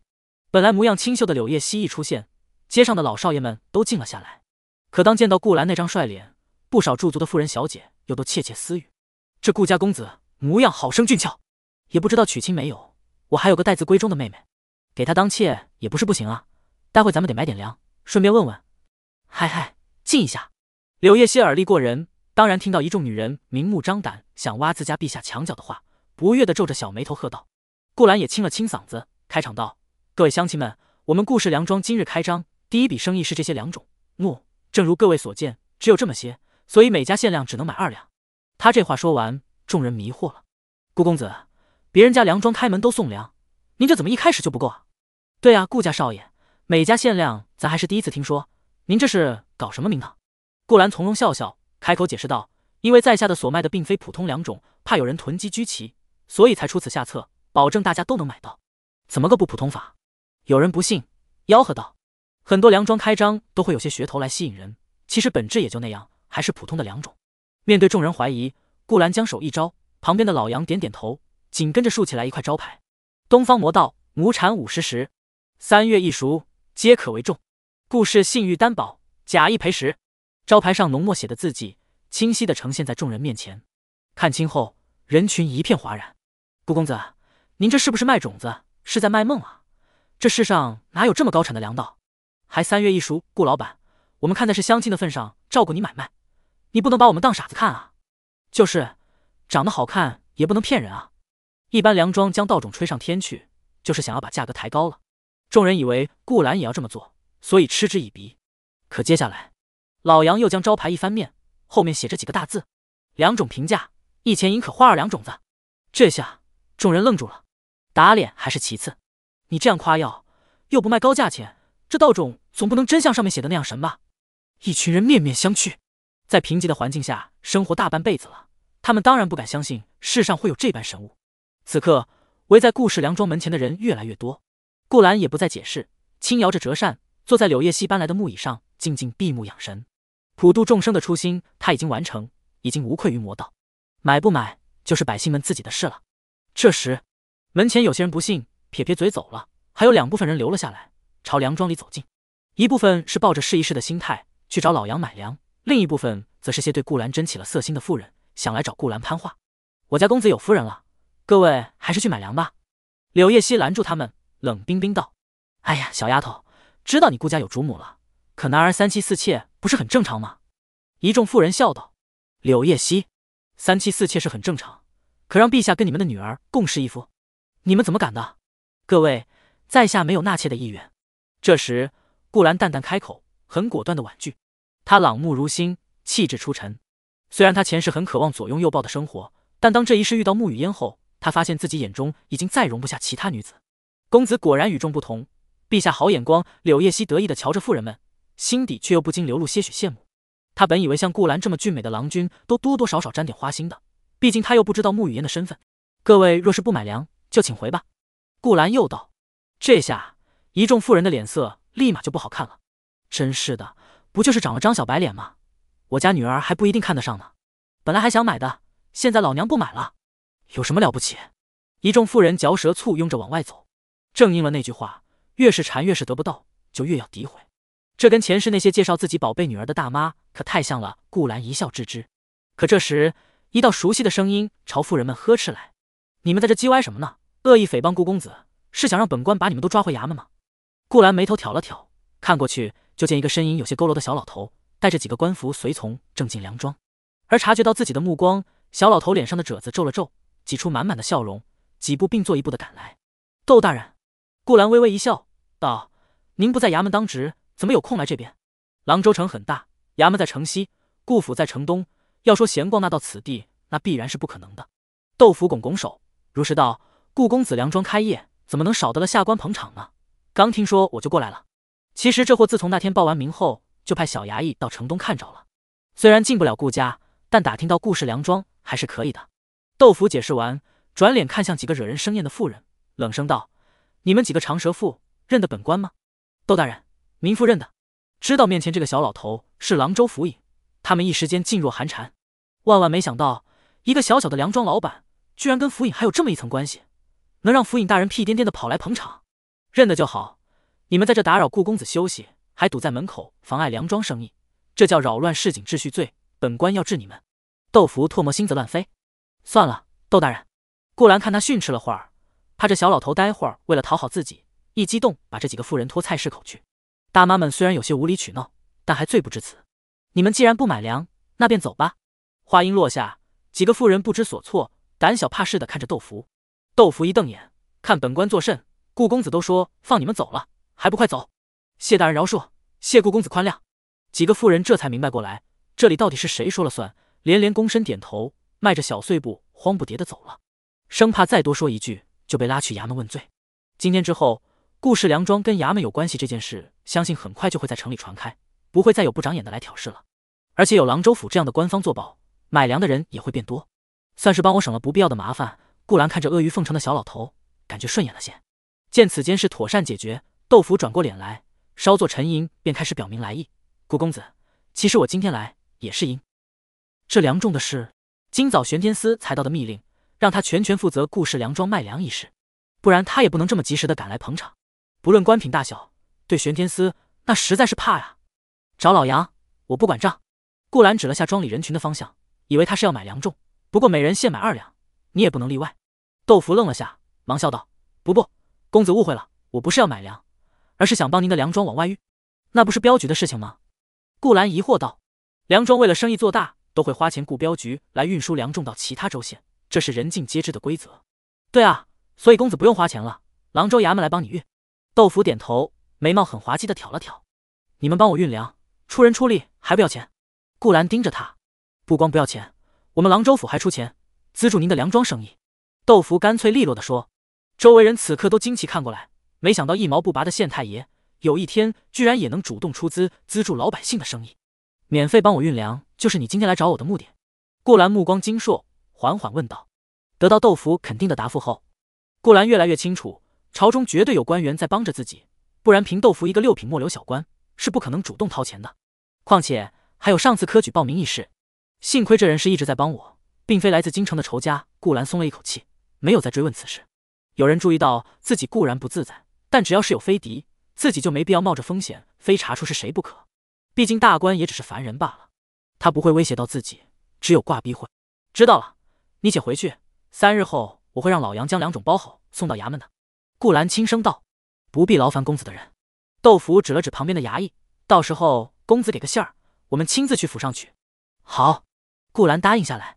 端茶送客，豆腐走到门边，却又转过身来，似乎想起来什么，低声道：“对了，顾公子，还有一件事要提醒您一下。这粮庄既然是生意，那就会有竞争对手，因为您的粮种很好，到时候恐怕会有些其他不开眼的粮商同行嫉妒，暗地里使绊子吗？”顾兰淡然笑笑。直接把维护的责任推给这小老头，这件事就麻烦你县太爷了。廊州这一亩三分地，还有不听你话的商人，还真有。豆腐苦笑，又道：“有些商人不好说的。总之，公子您自己小心，有麻烦就来衙门找我，我尽量帮你解决。”好，顾兰点头答应，笑得灿烂。暮色中，三人坐着马车回府。尽管老杨头和柳叶熙忙了一天，很累，但此刻他们统计着账本，心里还是颇为高兴的。收益不多，也就茶楼一个月的营业额。只是知道这两种会救很多苦难百姓的命，劳累也就变得值得了。下了车，柳叶熙瞧了瞧府里的灯火，见顾兰也在看，口气有些揶揄的笑道：“我和老杨去做饭，公子出门一天了，想必很急着去见夫人呢。不当着女帝的面，不用遵守君臣之仪。”她少女的性子活泼了许多。老杨使劲点头，顾兰洒脱大笑，承认道：“还是你们懂本公子。古人云：有美人兮见之不忘，一日不见思之如狂，想念娘子，岂非人之常情？”顾兰阔步朝书房走去，窗前家人的影子正从烛光洒落的窗棂中透出，窈窕曼妙。啧啧，不愧是公子，矫情的情话都能说得这么脱俗，难怪和夫人日日如胶似漆的。身后，柳叶熙和老杨头驻足仰望，起了一身鸡皮疙瘩。顾兰进了书房，见沐雨烟正捧着一本书，看得无比入神。她玉臂托着香腮，凤眸闪烁如星，青葱玉指时不时翻一下书页，静谧唯美。顾兰悄悄走近。发现他居然并未看平素最喜欢的画本，而是在看自己刚写了几章的农学经典《齐民要术》。娘子，你对这种书还感兴趣？哪怕身为理科生，顾兰都表示自己没兴趣。若非前世因为考试，这一世为了系统奖励，自己绝对不会跟这种农学典籍扯上关系。相公，你回来了。沐雨烟从书中回过神来，仰着精致的小脸回看顾兰，呢喃道：“今日为相公洒扫书房，不小心碰落了这本书，见里面画了些奇奇怪怪的图，便忍不住捡起来看了会儿。”这书妾身可以看吗？他灵动的眼睛眨巴眨巴，抿着红唇问，似乎是怕这书有触及到顾兰隐私。当然可以。顾兰宠溺的揉了揉他乌黑秀发，温柔笑道：“书写了就是给人看的嘛，娘子不明白的还可以来问我。”聊到前世典籍，相公我还是有点东西的，虽然东西不多。谢谢相公。沐雨烟思考片刻，从书中翻到一页图纸，浅声问道：“相公能讲讲这个大轮子是什么吗？”顾兰低头看去。原来图纸上是自己闲来无事画的水车模型，旁边还引用他文做了标注。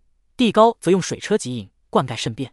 这叫水车，又叫桶车，是一种建在河上的灌溉工具。顾兰描述道：“它可以利用水流，省去人力，直接将河水引到田地中。省去人力是一种仙法吗？”沐雨烟迷惑的问。他不知道利用水流是何意，但这个世界上的确有仙法可以移山填海。不过修士到了这个层次。他们必然是不会将自己的仙法用于农田灌溉这种小事上的，不是仙法，寻常百姓就可以做到的。顾兰摇头笑笑，耐心解释起来：这水车就固定于河流上，河流向前推动，带动水轮转动，而水轮上又固定了一些木桶，可以在低处时将水装满，带到高处留下，顺着木槽流向远处的田地里。顾兰指着图纸上的水车，写写画画，有模有样的讲课。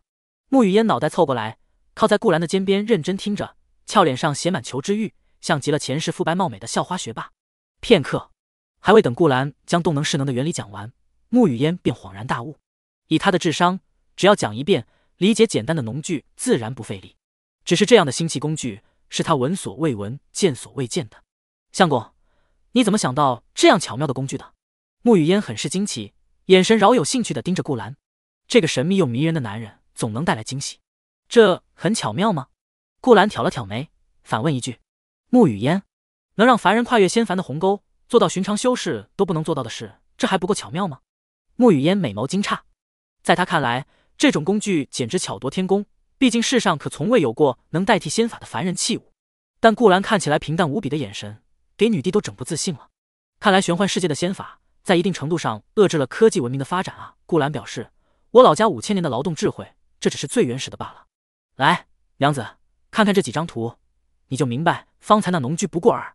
顾兰轻笑，走到桌边，将一沓画纸拿出，上面都是他平时闲来无趣回忆前世有意思的东西。相公，这是画的树、虫子和鱼塘。沐雨烟玉指抵在唇间，如水的眸子透露着不解。他不明白把这三样风马牛不相及的事物放在一起有何用意。这时，顾兰执笔在纸上画了三道箭头，让三者形成了一个闭环。娘子且看，这树叶可以喂虫，虫沙或虫蛹可以喂鱼。淤泥又化为肥料滋养树木，三者相生相依。顾兰细心的讲述，其实这个东西有很简单的名字——桑基鱼塘。只要学过初中生物就知道，用特殊的养殖模式来使得效益最大化，这可比单纯的工具要高级得多。听了讲解，沐雨烟渐渐领悟到其中的奥妙。从顾兰画箭头时，他神色就稍有明悟，而听完几句话后，更是直接美眸瞪大，眼前仿佛就出现了这样一幅妙智豪颠的蓝图。居然想到让三者互相补给，又同时收获，这种模式真的可以。穆雨嫣不自觉的捂住小嘴。然而这还没完，穆雨嫣还没消化完此刻的震撼。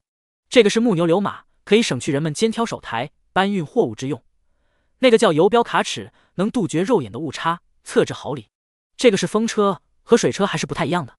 可那个那个叫手机，不过不是机啊，是一种通讯游戏设备。现在的话，想制造出来应该挺难。顾兰侃侃而谈，如数家珍，沐雨烟都听妈了。从未见过的智慧产物，一波未平，一波又起的心神震颤，让他感觉自己二十多年执掌天下的过往，好像都是在坐井观天。这无关修为，只是金傲聪颖的女帝，感觉智商和学识受到双重碾压时候的心悦诚服。半晌，顾兰讲完，穆雨嫣连忙递上杯热茶，绝美的小脸上震惊之余，流露出满满的崇拜。相公，这些你是怎么想到的？于穆雨嫣而言，短短半个时辰里听到的这些太过匪夷所思。他从未想过，顾兰的小小书屋竟囊括了天下智者都不曾触及边角的浩瀚知识。与顾兰相较，说朝廷公布那些人是酒囊饭袋，都是抬举了他们。面对娘子的快要溢出的仰慕，顾兰淡淡挥手，温和笑道：“仰观宇宙之大，俯察品类之盛。娘子若是感兴趣，日后我将他们画出，与你细看。”看着沐雨烟秋波荡漾的桃花眸，顾兰觉得。狗在廊州的生活顿时都没有那么枯燥乏味了。前世跟女孩子说了会被嫌烦的知识，在娘子面前却能装得一手好臂，这谁顶得住？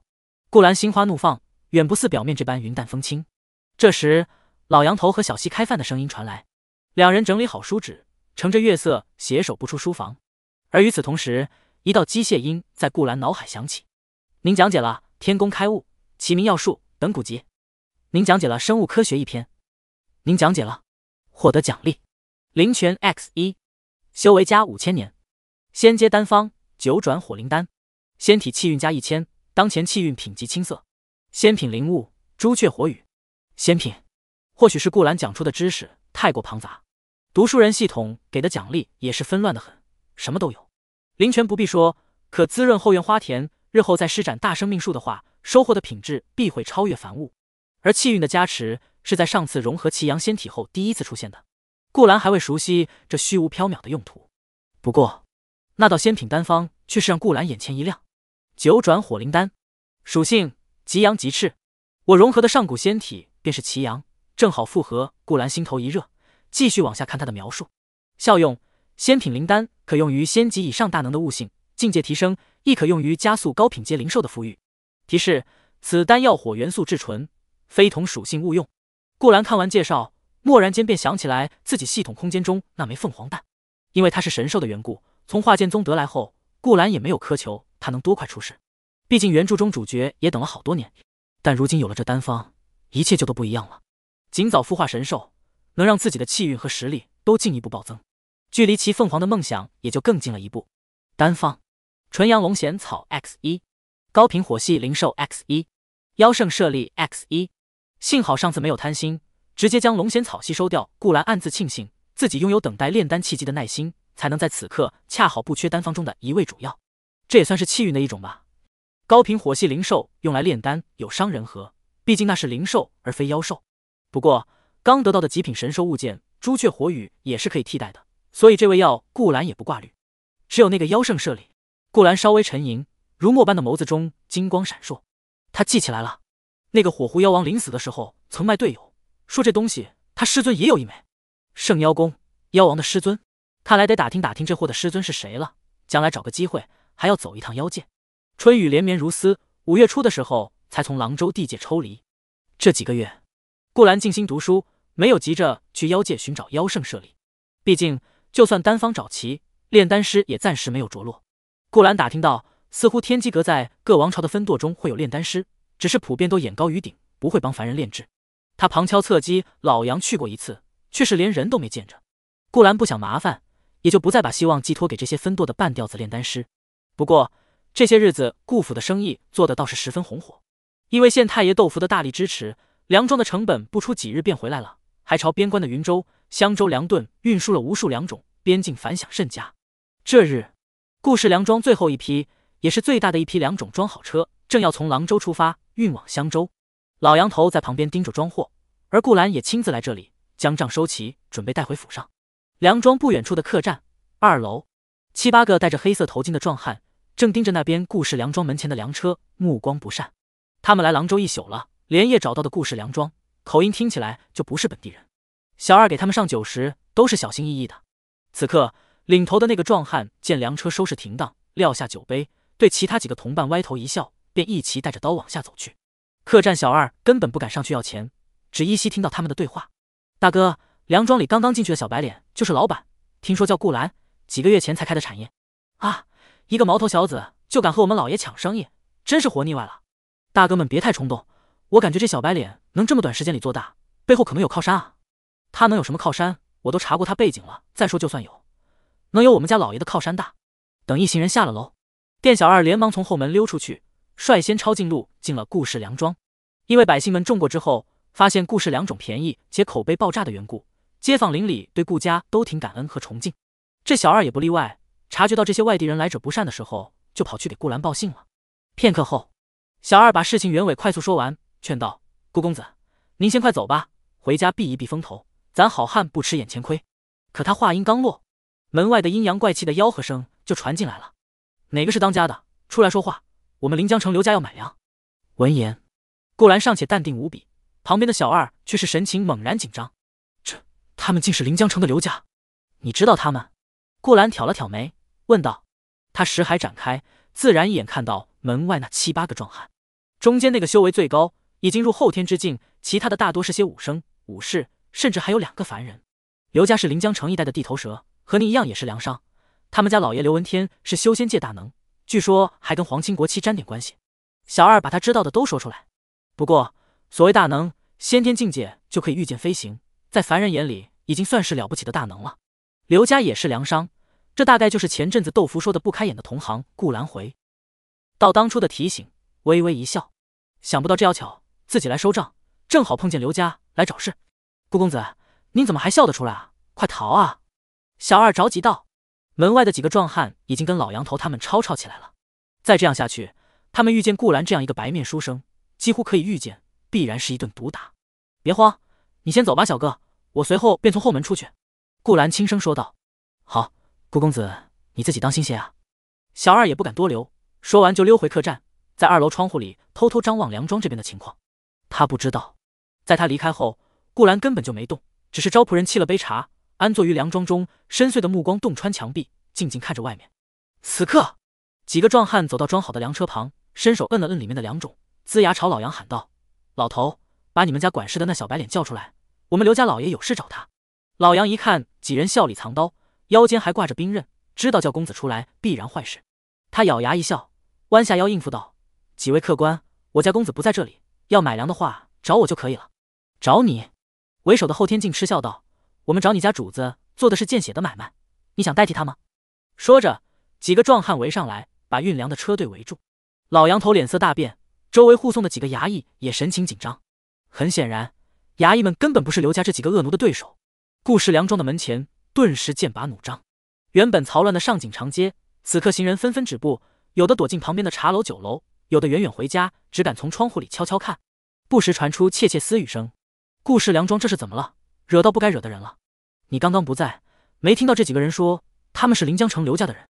我天，刘家听说在临江城那是只手遮天，再过几年在咱们大晋算是一方世家了。不过刘家为何来找顾家的麻烦？你是不是傻？都是粮商，顾氏粮庄抢了他们的买卖呗。哎，顾家公子做买卖还是很良心的，可惜啊，不少人像那店小二一样感念与顾家的好，扼腕叹息，为梁庄祈祷。当然，也有小部分人同样眼红顾家生意，准备看场好戏。这时，那后天竟居高临下的看着老杨，开口道：“老头，实话与你说了吧，对于你们顾家把生意做到云州、襄州去，抢了我刘家生意，我家老爷很不满，打算请你家公子去临江城好好谈谈。识相点，把他叫出来，我们便放过你们这些下人。别想着偷偷报官，最后只能死得更惨。官官相护，老杨当然也明白。当下最要紧的事，是先确定公子。”能安然离开此地，行，几位壮士稍等，我我这就去叫我家公子。老杨做出一副讨好的笑容。老东西，你别是想着跟你家主子从后面跑吧？刘家恶奴里也有聪明人，还不等他走，唰一下抽出刀来，抵在梁庄的其他随从脖子上。只要你不回来，每隔半炷香我就杀一个，直到杀光，你看着办吧。闻言，老杨脸上的笑容陡然凝固，脚下像生根一样定住。躲在暗处的百姓们也是暗自心惊。光天化日之下，刘家的家奴就敢在城中抽刀杀人，还有王法吗？刘家天高皇帝远的，临江城比这更离谱。哎，这下顾家算是摊上大麻烦了。哼，官宦人家仗着权势可以滥杀无辜百姓，如此草菅人命，难怪这晋国国运一落千丈。顾兰看到这一幕，摇头沈笑。原著中女帝想将挽回之事一蹴而就，却不着眼于这种小地方终究会千里之堤毁于蚁穴。说到底还是封建王朝啊，制度太拉。顾兰放下茶盏，心眸幽深，心中默默掐起法诀，仙阶心法控灵。没想到那天随便看了两眼，如今就派上了用场，而且恰到好处。今日就当本公子大发善心，帮那位女帝清理一下门户吧，希望能杀一儆百。梁庄门前。此刻，那几个壮汉看出老杨方才是怎么想的了，脸色顿时变得狰狞。老东西，你还真想耍我们啊？直接宰了他，我们亲自去找。为首的后天镜发话，两个地位最低的凡人恶奴就冲上来，挥起刀锋便要砍死老杨头。可就在这一瞬间，老杨都害怕的闭上眼时，两人的刀居然同时调转了方向，直直的砍向侧面，无比默契的将自己的同伴抹了脖子。刹那，鲜血飙射，两具无头尸体。整齐的倒了下去，足足三秒后，老杨感觉到脸上热乎乎的，才睁开眼，顿时就懵逼了，两个眼睛瞪得滴溜圆。躲在酒楼茶楼里的人也都看傻了，静静望着长街上的两具尸体，脑子一致的宕机。只有刘家的那些恶奴，在惊愕片刻之后，一个个同时抽刀对着老杨头，面露警惕之色。弟兄们小心些，这个老头有古怪。马德，看不出来，你这老东西竟然敢扮猪吃老虎！众人，老杨。卧槽！我什么都没干，你们的人上来就互相砍了对方一刀啊！他这话就算说了，此刻也没人信。毕竟顾兰出手，除非仙境之上的大能，不然不可能看出端倪。众所周知，老杨就是个顾家的梁庄伙计，顶多就是年岁大些，平素里跟街坊邻里都很和蔼。可听刘家这些恶奴一说，吃瓜群众们立马不淡定了，一个个面露震撼。我天，没想到老杨头还是个隐士高手，高手竟在我身边！操，我还欠他二两银子呢。明天得抓紧还了去，这老杨藏的可真深啊，而且还没有架子，果真是高手风范。在他们脑补的时候，当事人老杨还没回过劲儿来，几个恶奴便互相使了使眼色，随后他们一模一样的架势飞步而来，朝老杨挥起刀兵。然而这时一抹刀光乍现，却是从他们背后划出。老杨抬起胳膊虚挡了一下，当他放下时，看到的竟然是一地的半身尸体，几个恶奴都被拦腰斩断，他惊呆了。因为挥出这一刀的正是恶奴里那个领头人，那个刚刚发话要砍死他的唯一达到后天境的修士。滴答滴答，刀刃上滴着血，那个后天境恶奴神情呆滞的站在原地。当然，这一切背对着此处的吃瓜群众是看不到的，他们只知道方才是这个领头人反向倒戈，一招就背刺了所有的刘家恶奴。好家伙，你这是来找茬还是来演无间道？他们刚刚才清晰的思路。此刻又混沌一片，满脸迷惑的看着远处的一切。这时，梁庄里，顾兰唇角勾勒，轻轻吐出两个字：“跪下。”外面，那恶奴眼神顿时僵硬，扑通一声，直挺挺的跪在老杨头的身前。众人，老杨。突兀间，那恶奴忽然开口说话：“回大人，小的名叫王强，是刘家的家生子儿奴才，今天来是为了砸了顾氏梁庄，带顾兰回临江城。”老杨瞪大了眼，嘴角抽搐，惊道：“我。”我没问你话啊！可紧接着，王强就把自己知道的东西透了个遍。在旁人看来，仿佛老杨真的在就地审讯他一般。回大人，刘天文背后的依仗是慕云王刘希，不过两人其实并无干系，只是刘天文送了很多钱之后，在临江城狐假虎威罢。还有顾氏梁庄的梁种，我们之前在半路上劫了一批送往云州的，偷偷转到了临江城。刘天文很眼红，一番话下来，一干人都听傻了。刘天文原来是仗着慕云王啊，难怪能嚣张当土皇帝。刘家竟然敢劫运往前线的粮食，那可是军粮啊！一旦查出来，不是死罪。慕云王这下坏了，指定被牵连。卧槽，这奴才能处！你问他主子的脏事儿，他是真说啊。顾兰听完了他的描述，淡淡点头，修长白皙的手轻轻一划，外面，王强的头颅无声跌落。不用说，这又是隐士高手老杨干的。围观的众人感觉这是算是看明白了，一众恶奴不自量力。结果惹到了藏州的高人老杨，不明不白的就横死当街。扮猪吃老虎，恐怖如斯啊！他们看向老杨的眼神充满了敬畏，老杨的眼神却充满了争冲。而此刻，顾府，柳叶熙从角落的黑暗中看到一道阴影，环顾了下四周，走上前去。发生什么事了？这阴影只有大内进士认识，正是让百官畏惧的玄天司暗卫。如果说飞鱼符是明面上的执行官，那暗卫就是只掌握在女帝手中的利刃，随时可以悄无声息的取诸公性命。一般情况下，暗卫不会主动找来。奉大人命保护顾公子，今日梁庄有变。暗卫声音阴哑，柳叶熙俏脸瞬间变色。顾公子呢？他有没有事？暗卫摇头，随即将事情的始末说了一遍。柳叶熙松口气，摆摆手，知道了，去再盯紧些。顾兰的命就是你的命，记住了。卑职明白。柳叶熙随即去书房见女帝。沐雨烟此刻正专心看着顾兰的大作，那堆他平素画着玩的纸，美眸看得无比入神。陛下，梁庄那边出事了，刘家的几个下人来砸场子，现在已经被杀过。柳叶熙可不敢像那个暗卫说话似的大喘气，怕沐雨烟担心，一口气就将事情的始末道明。是暗卫动的手，没有被顾郎发现吧？沐雨烟听完微微侧身，淡然问道：“他没有先关心临江城刘家的事，哪怕他们已经犯了劫军粮的死罪，甚至牵扯到了当朝亲王。回陛下。”并非暗卫动的手，柳叶熙轻声解释。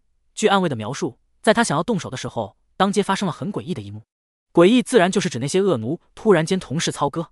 不过柳叶熙有自己的判断，朝夕相处，他知道老杨就是个凡人，绝非隐世高手之流，自然不会像市井中人那样认为。沐雨烟精致的眉头轻皱，那你觉得是有人在暗中出手？嗯，而且从暗卫的描述来看，卑职认为是灵修。灵修是这个世界修炼体系中的一个偏门，又称为鬼修。他们的法术相对诡辩莫测，倒是很符合今日发生的状况。柳叶熙想了想，又补充道：“暗卫都丝毫察觉不到那个灵修，说明此人至少是王境，甚至皇级。任何体系中，只要达到了王、皇之境，在狼州城基本都是翻手为云、覆手为雨的存在。鸿蒙剑主的事还未查明，这才几个月过去，狼州城里如今又多了一位来历不明的灵修。”沐雨烟闻言，柳眉一蹙。虽然知道顾家素来没有招惹什么灵修势力，但一想到顾兰还在梁庄，还是没来由的有些关心则乱。他随即将手中纸放下，眸光清冷，沉声道：“小溪，备车去。”片刻之后，沐雨烟独自乘马车穿过梨花巷，往上锦长街去了。柳叶熙没有跟着，而是回屋换了便服，配上软剑，展开身法，就悄无声息的出了廊州城。与此同时，一道道暗卫从黑暗中冒出，随着他的身影。汇聚着朝某个方向而去，就在那个方向九百里左右的位置，坐落着一座繁华喧闹的城池——临江城。老杨，你没事吧？顾兰从梁庄里走出，招呼下人洒扫干净门前的尸首血迹，过来安抚老杨头。没，我没事。公子，这这些刘家的人真不是我杀的。老杨头到现在还是一头雾水，欲哭无泪的跟顾兰解释。吃瓜群众将他脑补成啥，他不清楚，但他知道自己就是个凡人。根本惹不起这些恶奴背后的刘家，如今这些人不明不白的死在自己手上，他能不慌吗？我知道，你别怕，老杨。顾兰轻轻拍打他肩头，温和道：“你忘了吗？官府跟咱们家有关系的，刘家不敢来这边为难你。况且，况且他们也不会存在多久了。”他心里补充一句：“顾兰的处事秉承不装逼、不惹事的原则，但大家都是书里的龙套配角，谁敢招惹我的人，就算朝廷不解决，我也亲自登门解决。”有鸿蒙剑在手，和之前廊州城出现的神秘剑仙背锅，顾兰很安心。公子，但刚刚那人说刘家背后还有慕云王，老杨担心会因为今天的事让那位王爷迁怒于顾家。王府想为难寻常人家，那可谓是灭顶之灾啊！那人不还说了吗？刘家就是狐假虎威的，慕云王不会为了狗腿子惹得一身腥的。顾兰微笑劝慰，这个慕云王他倒是有印象，在原著中有戏份，一直倾慕嘉庆女帝。但可惜追了一辈子都没被女帝青睐。明明他在一众吃喝玩乐的世袭王爷中还不算最烂的那类，但舔狗的设定无法更改，注定一生只能仰望那倾国绝色而莫能及。这时一阵风吹过，带了些许凉意。收拾一下，咱们回府吧。一直在这里被人家当猴看，算怎么回事？顾兰拢了拢袖袍，淡淡笑道。远处的众人还在张望，不过可能是慑于今日看到的场景太过震撼和血腥，迟迟没敢过来攀话。好。老杨咽了口唾沫，点头，不经意间朝那边瞥了一眼，众人顿时猛缩脖子。老杨，归城中，老杨头回味着一天的怪事儿，郁闷开口：“公子，日后我该怎么解释啊？咱们的那些街坊可不像您这样信我。不必担心，他们不会问你的。顾兰乘着他的迷惑，笑盈盈解释道：“准确的说，只要你不主动开口，他们就不敢问。要知道，隐士高手的脾气可是很古怪的。凡人装高手，这样新奇的脑回路，老杨这种老实巴交的人一辈子都没试过。第一次听，老杨不禁眼前一亮，愣了片刻后，迟疑问道：‘公子，这样能行吗？’你信我的，没问题。”主仆二人正有一搭没一搭的聊着，老杨头沉闷的心情终于疏解开来。不想，这时顾府的马车迎面驶来，顾郎，轻灵又略带几分焦急的声音传出。顾兰身形顿住，看过去，马车侧面的围墙掀起，露出一张绝美的精致娇颜，正是匆匆赶来的沐雨烟。娘子，娘子怎么来了？别是这么快就听说了吧？顾兰眼神躲闪，战略性咳嗽道：“嗨嗨，娘子你怎么来了？今儿粮食都卖完了，账我也已收好。”他说着说着，声音戛然而止，因为仔细观察沐雨烟的眼眸，明显比平素多了几分担忧，盯着自己的眼神都有些不对劲。他果然还是知道了，大妈们消息传的可真快。顾兰不再辩解，抿了抿唇，默默躬身上车。看到沐雨烟这么急着赶过来，顾兰心里还是颇为愧疚的。毕竟几个月前才刚答应他不再置身险地，安心读书，如今就在自家梁庄门口发生了这么惨烈的血案，她一个柔弱女子，怎能不为丈夫担心？娘子，上车后。顾兰嗫嚅一句，刚想朝沐雨烟身边靠过去抱住她，不料沐雨烟却往后侧了下身子，静静瞧着顾兰，问了个无厘头的问题：“顾郎，我们初次见面是在哪里？”呃，顾兰剑眉一挑，缓缓回道：“廊州城东十里坡庙会。”那日天如何？沐雨烟又问。甚好。顾兰想了想，又道：“那日我们曾一同乘舟泛湖，老杨还掉到水里了。那我们成亲的日子是何时？”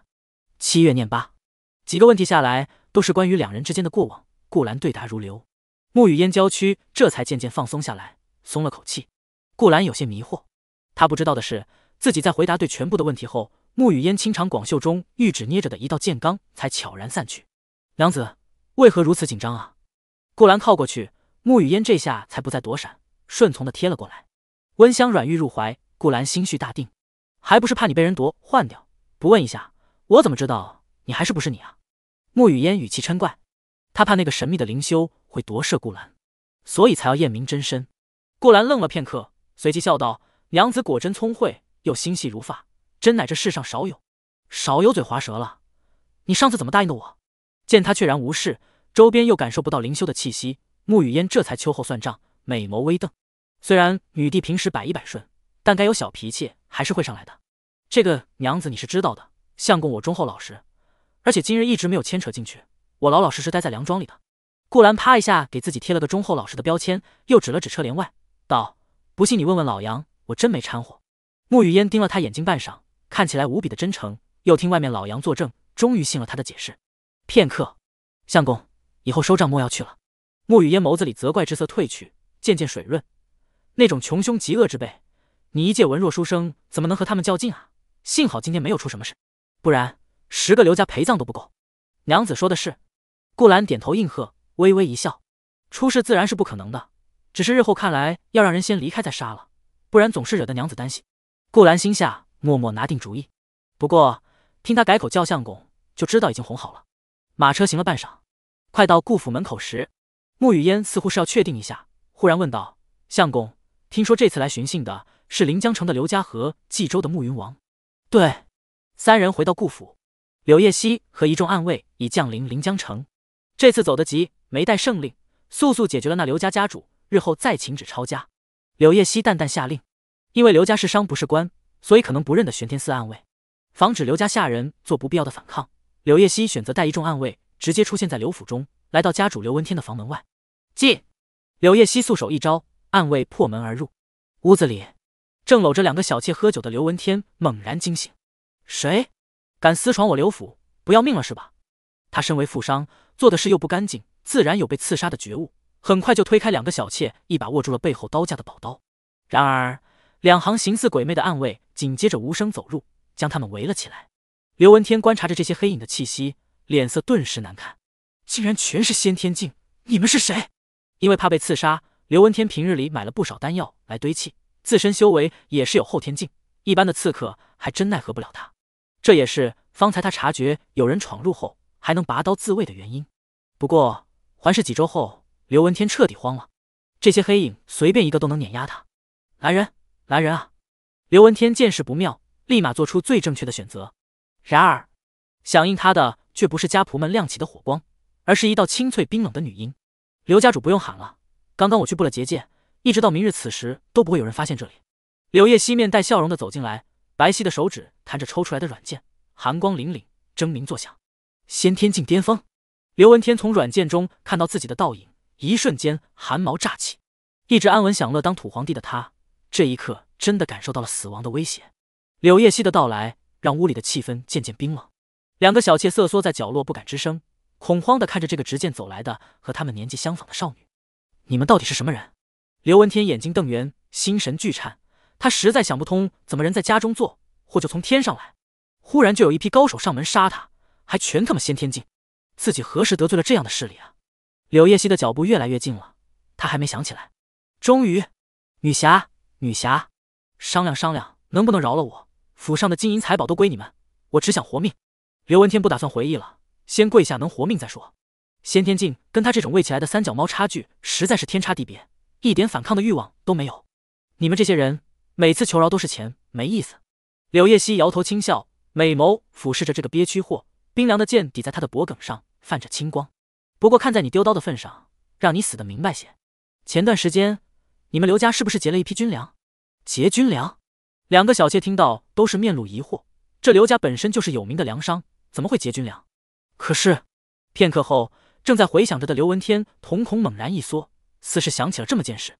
你你怎么知道的？等等，王强知道他们昨天刚去的廊州城，难道你们是那个顾氏粮庄的人？刘文天里好不容易清了思绪，不过他紧接着摇了摇头，满脸的不敢相信。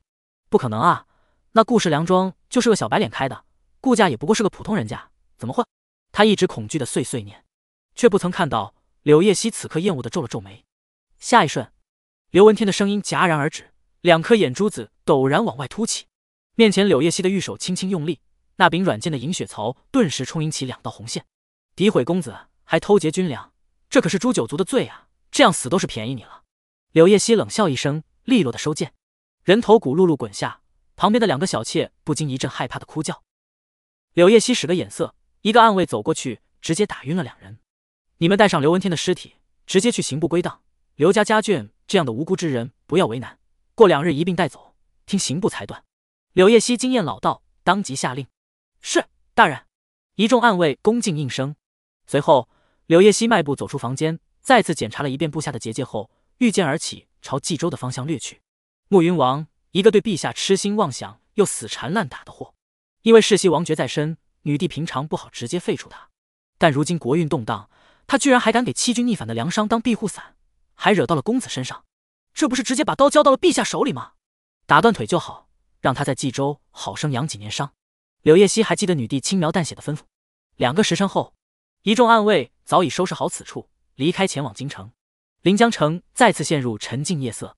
此时，一道挺拔的身影蓦然出现在临江城上方，这一袭夜行衣，面巾遮脸，只露出一双炯炯有神的星目，正是趁娘子睡着后才溜出来的顾兰。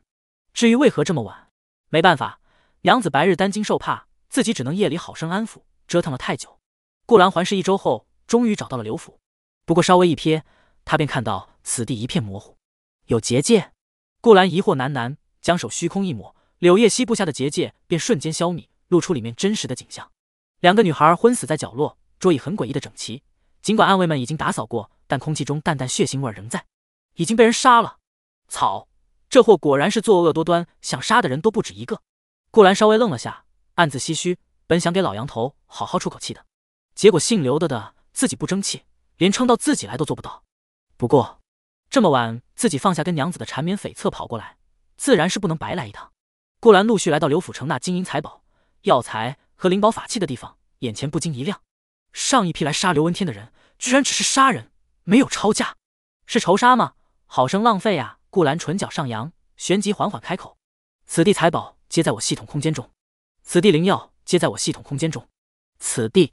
顾兰大肆搜刮刘府财宝时，他所来的路上，一棵参天大槐树旁，两道流光飞至。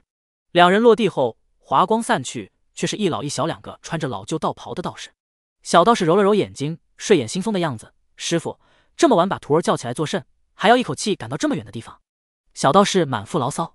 老道士没搭理他，只是负手而立，缓缓看向临江城的方向，面露喜色。小人，你还记得师傅之前说过能改你命数的人吗？过会儿他便会路经这里，我们得把握住机会啊。呃，您老上次测算的天机，那人不是在东海之滨吗？小道士疑惑的挠头问。两者并非同一人。老道士摇摇头，又道：“此人为师也未全然看透，不过为师的旺气数不会错，我们只管顺应天意就好。”好吧。小道士听话点头。这时，顾兰清点着此行的收获，正从临江城离开，往此处御剑飞来。系统空间：凡品灵药加五六六株，凡品兵器加幺零二三件，黄金加幺二零零零两，白银加九八零零零两。商人的宝库自然是这种俗物较多。但顾兰没有嫌弃，毕竟这个世界上所有的资源都是可以用钱来买到的，不存在境界高了黄白之物就犹如粪土一说，谁会嫌自己钱多呢？顾兰眼了，某一刻，他忽然发觉有一道目光落到自己身上，尽管这目光没有敌意，但能在这种时候注意到自己，绝对是一方强者。顾兰心下有了定论，不想徒生事端，装作没注意到，继续赶路。然而这目光却一直随着自己，直到下方的老槐树旁，适时传出一道呼喊。道友，道友，请留步啊！贫道在此等候多时了。顾兰听对方是在等自己，便停下身形，回望过去。一老一小两个道士联袂走来，小道士好奇的瞧着自己，老道士则是一脸的喜悦，眉开眼笑的。顾兰先观察下他们的修为，好家伙，这其貌不扬的老道竟然已经真至仙境巅峰。小道士这般年纪也有王级水准，放眼天下，除却自己，恐怕没几人是这两个道士的对手。如此强者。应该不是晋国人士，顾兰略微沉吟，揣摩着这俩道士的来路。忽然，他看到老道士双瞳中青光淡淡，上下打量着自己。这似乎是原著中介绍过一种很独门的秘法啊！片刻，顾兰心头一动，心眸闪烁出声猜测道：“天机阁旺气术。”这话一出，让一老一小两个道士都是一愣。天下知道这秘法的人可不多，而能认出他们却又静如止水的，绝非寻常之辈。道友一个照面就能看出我们的来历。果然是命定不凡之人，老道士笑呵呵的赞道：“那贫道就不藏着掖着了，先自我介绍一番。贫道道号云龙，是这一代的天机阁阁主。这是小徒众人徒儿，快见过道友。”小道士很听话的走到顾兰面前，原以为他要鞠个躬，没想到直接给顾兰磕了一个“小道众人见过道友”。顾兰嘴角抽动，心说：“你们天机阁交朋友的礼数可真足。”不过听闻这俩道士亲口说出名讳，他内心还是小有惊诧的。天机阁阁主云龙道长。号称算尽天下，计无一策，仙境巅峰的战力不说，单是一手旺气术测算天机气运，就让无数人争相求教，可谓炙手可热。虽是方外之人，但天机阁阁主历来也是个大王朝和势力疯狂想要巴结的对象。原著中主角后来还是机缘巧合下结识了天机阁外门弟子，才搭上了认识阁主的这根线。不过，他们为何在此地等我？顾兰疑惑的看着两人，淡淡道：“久仰道长大名，不知今日等候在下所为何事？”贫道想求道友救我徒儿一命。云龙道长眼神真切的看着顾兰，开门见山。顾兰怔了下，错愕的看向面前的小道士。小道士也抬眼看他，略显稚嫩的脸上带着洒脱的笑容，似乎对这件事早已看开。很难想象，这竟是一个短命早夭的孩子。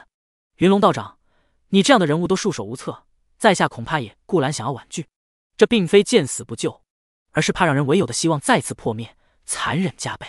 道友。这世上能救小徒的人寥寥无几，你恰好就是其中之一。这与修为无关，而是气运使然。老道士摇了摇头，解释道：“小徒众人体质特殊，是我衣钵的不二人选。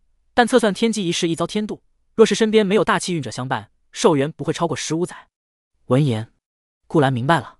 他忽然想到，前段时间自己融合其阳仙体之后，又获得了一次一千点的气运加持，直接从凡人的白色气运变成了青色品级。气运和一身绝世修为，可以守护天谴之人，掩盖过他的命数劫难。原来是这个原因。顾兰点点头，看他回想着，云龙道长以为他在犹豫，连忙又补充道：“其实道友也不必付出什么，只需要在明年春闱，道友进京赶考时带上小徒即可。有道友的气运，加之大进京城的龙气，天谴定可遮蔽。只要道友答应贫道，日后我天机阁就是道友永远的后盾，道友所求无不应允。尽管天机阁的人情。”是世间无数人无比渴求的。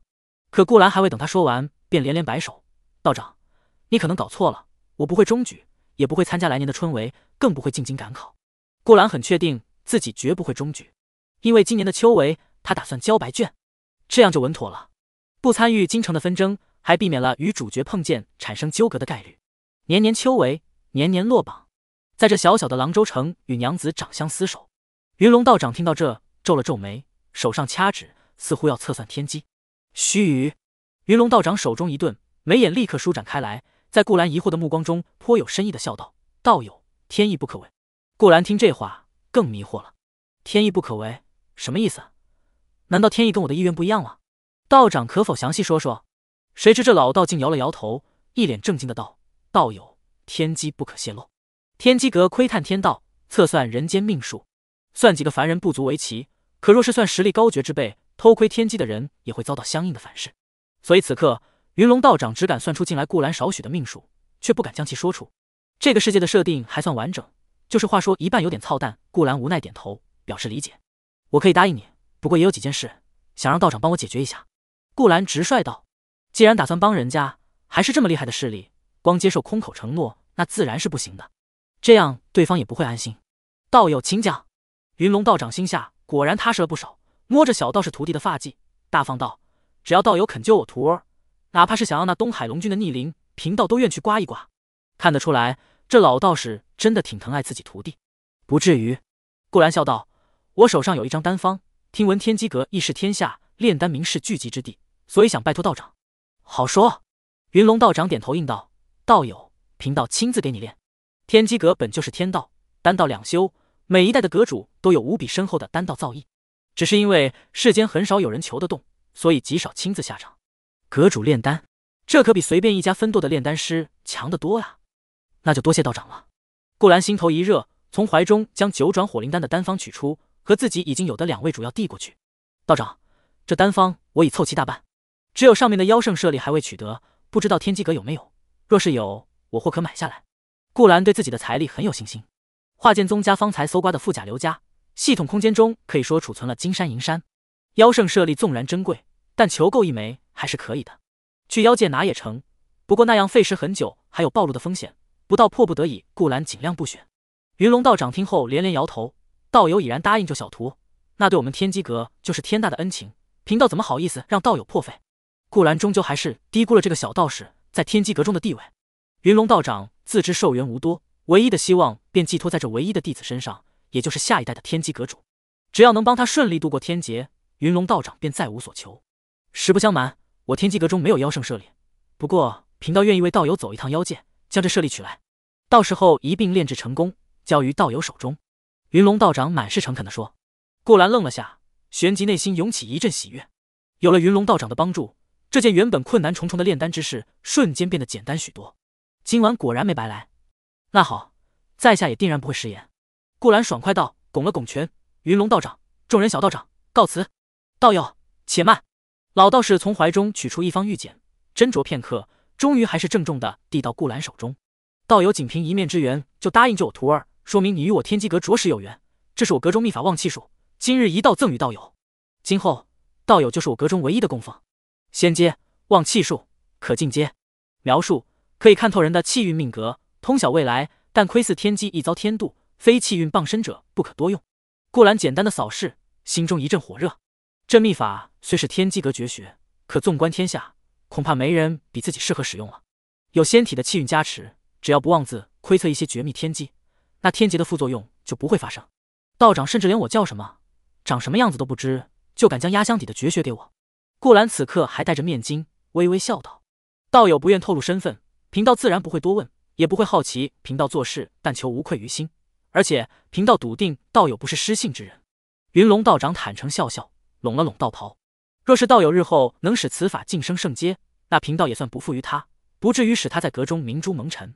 则这老道说话真中听，那便恭敬不如从命了。顾兰抱拳告别，道长随时可以送众人到郎州城，我察觉到自会前去接洽。好，云龙道长笑了笑，拉着小道士一齐挥手告别，道友再会。两人看着顾兰。化作一道流光，消失在天际。这时，云龙道长伫立原地，望着顾兰背影，却久久没有动身回去。他眉眼间缓缓流露一丝不解。众人小道士扬起小脸，问道：“师傅，你在想什么？”云龙道长回过神，落下白髯，轻摇了下头。或许是为师看错了吧？方才那位道友身上竟隐约透着一丝大晋的龙气。大晋，早些年监正师叔不是算过，他们的王朝百年内会国运衰亡吗？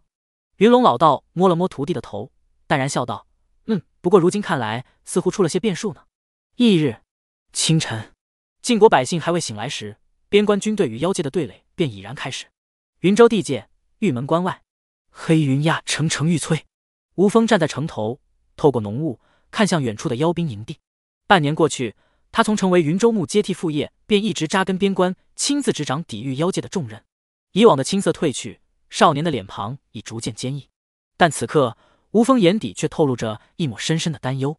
原本凭借着朝廷赐予的魔道粮食，边关军保家卫国还是颇有胜算的。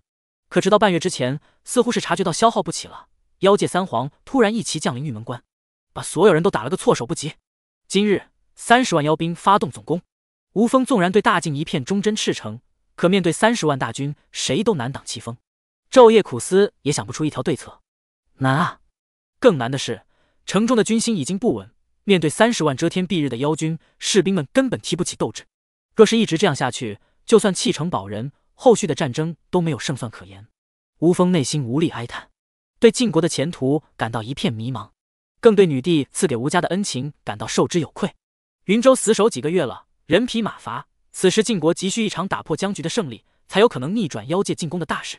可想胜过三十万大军和三位妖皇，无疑是痴人说梦。奏折已经传回京城，不知道陛下的援兵多久能到。吴峰叹口气，披上铠甲，正要走下城楼，忽然，他背后一个仙风道骨的老道士出现，微笑着看向他。吴峰吓了一跳，接着就听老道士自顾自地说：“晋国果然出了些变数，原本已该冤死的忠臣。”如今居然得到了重用，奇了！这老头说话怎么这么不吉利？吴峰眉头下意识的皱了皱，但察觉到对方周身不凡的气息后，他猛然惊醒。这老头绝壁是个修仙者。吴峰连忙欠了欠身：“晚辈见过老神仙，贫道本是要去找那妖皇讨些东西，路过此地，看到你命数尽改，有些好奇吧。”这老道士自然是昨夜刚与顾兰拜别的云龙道长。不得不说，这道长果真能处，答应过人的事，他是一点不拖啊。此刻。吴峰还没回味过来他的意思，云龙道长却伸出拂尘，在他天灵上轻轻一抚：“你与我阁中供奉有缘，贫道赐你一场造化，也算助你守住这天下苍生，积一份善缘。”话音落下，云龙道长的身影渐渐消散。吴峰愣住了：“供奉什么供奉？他都已经父母双亡，兵临城下的命格了，居然还有一场造化。”不过，吴峰很快发现，这老道并没有骗他。就在他的体内，一股热流从丹田涌出。淌过四肢百骸，一刻钟后，他再次睁开双目，金光闪烁，已然是从凡人晋升到了先天之境，足足四个大境界的跨越，让吴峰欣喜若狂。不过，这或许能杀杀普通妖兽，对付妖皇还远远不够。吴峰沉吟间，不经意扫过远处黑压压的妖军大帐，却忽然发现，原本有序聚拢的妖兵突然纷乱起来。玉门关外三里，妖军大帐，三个妖皇喝完酒。赤焰狼皇和朱皇化作人形躺在营帐里，刚忽悠完头脑简单、四肢发达的雄黄出去当总攻前锋。底下的妖兵们打了几个月，他们算是看明白了，妖帝当初就是在放屁。什么底蕴不足、粮草不够？偶然有一次，妖兵截获了一辆晋国的粮车，看到上面的魔道后，他们直接惊傻了眼。就这样高产的粮食，晋国历史上恐怕没有一年比今年更富足。妖帝早不战晚不战，偏偏选这么个五谷丰登的好时机开战。这不是纯纯叫他们送死？两个妖皇合计着，干脆聚集起来打一波总攻。有皮糙肉厚的怒熊部落在前面扛着，好歹剩余两方势力还能保存些力量，不至于这次国战结束，晋国没灭，他们反倒被妖帝城直接吞并了。狼皇，若是今日打不下来，你撤兵吗？朱皇挑了挑尖翘的下巴，颇有深意的问道：“撤？干嘛不撤？”狼皇不忿道：“有实力回去，老狐狸顶多惩罚我们。”可家底儿要是没了，老狐狸指不定就入主我圣妖宫了。哥哥，你就不怕这话被帝君听到？朱皇轻笑，狼皇不屑的扯了扯嘴角，举起酒樽，正要仰头灌下，忽然，整个营帐中仿佛地龙翻身一般，剧烈的震动起来。狼皇的酒洒了一地，他愣了一下，却罕见的没有愤怒。片刻后，反而猛然抬头，与此刻同样反应过来的朱皇对视了一眼。这动静是雄黄的本体技能大地之甲。什么鬼？他才出去多久，怎么连本体技能都用出来了？两妖惊道：“妖兽的本体技能消耗极大，若非保命时刻，根本用不到。可这玉门关里居然有让妖皇受到生命威胁的存在。”狼皇和朱皇连忙走出营帐，抬头望天，就看到让他们不寒而栗的一幕：一个仙风道骨的老道士，随着手里的拂尘摆动，雄黄硕大的本体便在地上摔得来回翻滚。一向以防御力著称的雄黄皮开肉绽，鲜血直流，老道士却丝毫不敢费力，无比的云淡风轻。碾压！狼皇和朱皇心里卧了个大槽，同时有些后悔出来了，就该直接卖掉雄黄溜的。这他妈什么时候来的恐怖道士？哎。贫道只想来要一枚妖圣舍利罢了，何必逼贫道出手呢？云龙道长悠悠叹气，把奄奄一息的雄黄甩出去老远。他本来是挺客气的，可无奈所要的妖圣舍利是妖界至宝，雄黄以为他在侮辱妖界，加之本身看不起人族，就直接动手了。马德，老狐狸不是说剑仙出手，妖帝城不会袖手旁观吗？这倒是比剑仙还恐怖吧？狼皇狠狠咽了口唾沫，踌躇着开口道：“人族前辈，老熊他不识礼数，还请见谅。”若是有何要求，可以去妖帝城找我们帝君谈。朱皇也附和点头。这一招驱虎吞狼，云龙道长自然不会不知道。妖帝城我将来会去，不过今日受人之托，要拿到妖圣舍利，何必舍近求远呢？老道士笑眯眯的目光落到狼皇身上，狼皇猛地打了个哆嗦。他体内就有妖圣舍利，这老道士显然是知道。而这句话的意思，就是要从他体内生生剥离那枚妖圣舍利。前辈，就算您实力强横。如此强盗行径，恐怕会为人所不齿吧？狼皇冷汗直流。呵呵，贫道没几年就要羽化了，还在意名声？云龙道长蓦然一笑，他毕生所愿就是将天机阁传承到徒弟手里，而能救徒弟的只有顾兰，所以满足顾兰的意愿，便是比天还大的事。况且，天天吃人的妖皇跟他一个道士玩道德绑架，不觉得太好笑了吗？手中拂尘轻点，狼皇身体猛然僵住，在他无比愤恨的目光中。一枚通体血红的妖圣舍利破体而出，痛得他一下子现出了原形。好，狼皇痛苦的嘶吼，狼血飞溅。这一幕比方才暴揍雄黄还要可怕。堂堂妖皇何时如此狼狈过？众妖看的那是一个心神俱颤。三十万大军原本要总攻玉门关的气焰，早就被吓得没影了。妖圣舍利飘到云龙道长手中，他轻轻扫了一眼，自顾自点头道：“沾了妖皇精血。”品质似乎更好了些，炼制出的丹药道友应该会满意的。云龙道长转身欲要离去，这时地上匍匐的巨狼双目赤红，口吐人言：“人类，你到底是谁？胆敢如此辱我，妖界不会放过你的！”妖圣舍利被夺，狼皇已经几近疯狂，连死都不怕了，直接质问老道士：“贫道云龙，天机山人士，承蒙阁中供奉所托，来取你舍利。妖界若是想要报复，贫道一并接着。”云龙老道淡淡撇下一句话。在一众妖兽震撼恐惧的目光中，飘然离去。天机阁阁主，怎么可能？狼皇牙眦欲裂，听到这话后，心神萎靡，直接昏死过去。天下万族自然都知道云龙道长的名号，更知道他是当时数一数二的存在。只是为何他会突然降临玉门关，一言不合直接将两位妖皇废掉？天机阁不是中立势力来的吗？而且听云龙老道的话，似乎还是阁中供奉所托而来。什么时候天机阁多了位供奉？还能指使得动他？天机阁主亲自动手。远在城头上的吴峰看到这一幕，差点兴奋的跳起来。早就看那老神仙不一般，想不到竟然是天机阁阁主。妖皇被废两个，妖君军心涣散。此时不捡漏，何时捡漏？趁着他们没缓过劲来，哪怕战斗力差距悬殊，也能占个大便宜。吴峰立马披挂上铠甲，一路跑下城楼，跑到军营里，高声下令：“众将士们，机会来了！现在随我出征！”一众将士们听傻了。万分不解的看着他，今天妖界三皇虎踞，集结了三十万大军总攻，不跑就不错了，还主动出击，疯了不成？可吴峰没那么多时间解释，直接喊道：“一炷香内，众将士必须城门前集结完毕，随本官出城杀妖。一炷香不到，斩兵；两炷香不到，斩将。同样，斩首敌军者，战后可以来本官这里领两倍赏银。”吴峰说完，率先跃身上马，给大家伙做了表率。虽然出城有风险。但他知道，这是国战以来唯一一次能振奋士气的机会，机不可失，时不再来。看他这么严肃，连军法都搬出来，众将士懵了。再看吴大人、三品大员都带头冲了，难道真的能打？片刻后，他们还是服从军令，从军营里爬起来，跑出城门。可当看到沙场远处正溃散撤兵的妖兽时，他们内心的惊喜变得无以复加。卧槽，冲啊！杀了这群畜生！兄弟们，镇棺材本的时候到了。这一战，晋国以弱胜强，逼得妖军大营班师后撤一百里。虽然妖界实力犹在，且众将士也赢得稀里糊涂，但晋国的颓势明显有了极大转折。当夜，吴峰刚解下铠甲，顾不得洗漱，就跑到军营里，将这一切写成奏折，捷报传回京城。郎州城，夏日的酷热疏忽即过，微风中竟，渐渐有了凉意，秋围越来越近了。这几日，顾兰是真的在老实读书，哪里都没有去，不是不想，而是没空。自从玉门关大捷的消息在城中散开，百姓们都很高兴，可顾兰发现娘子好像比常人更加高兴，连带着要的次数都越来越多。金贵雍容的绝美女帝和顾兰单独相处起来没羞没臊的，当然这些并无第三人知晓。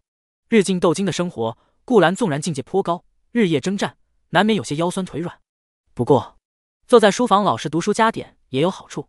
他默默的将老道士给的旺气术修炼至小成，如今已经可以测算出某些先天境界之下修者的气运与命格。就比如，顾兰心血来潮看了眼在门外与人闲聊的老杨头，气运白色，命格前半生孤苦，后半生温情，幸遇一家好主子，得以安享晚年。总结：平平无奇。再看看自己，气运青色，命格本碌碌一生，现其运加身，修为前途犹未可知。总结逆天改命，熟练使用之后，顾兰激动不已。倒不是因为系统爸爸帮自己改了命，而是有了这仙品旺气术后，自己出门遇见人就可以用一用，先看对方命格如何，再决定靠近与否。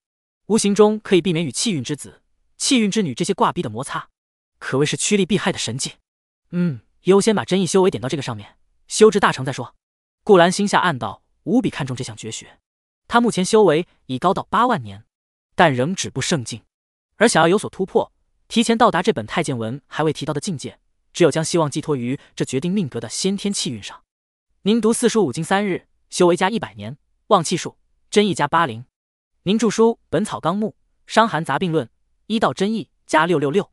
您夜间讲述话本《金瓶》。仙体灵根加一，收获娘子的爱爱加七次。顾兰安心加点，看起来颇为用功。沐雨烟看着他日日苦读，也是有些心疼。这晚端着小药包走去厨房里，打算给他熬碗药粥补补身体。柳叶熙正巧回来，跟坐在老杨树底下纳凉的老杨头打了个招呼，便一溜烟钻进厨房。陛下，玄天司已经调遣人手盯着慕云王，三年内不会有家族和他臭味相投。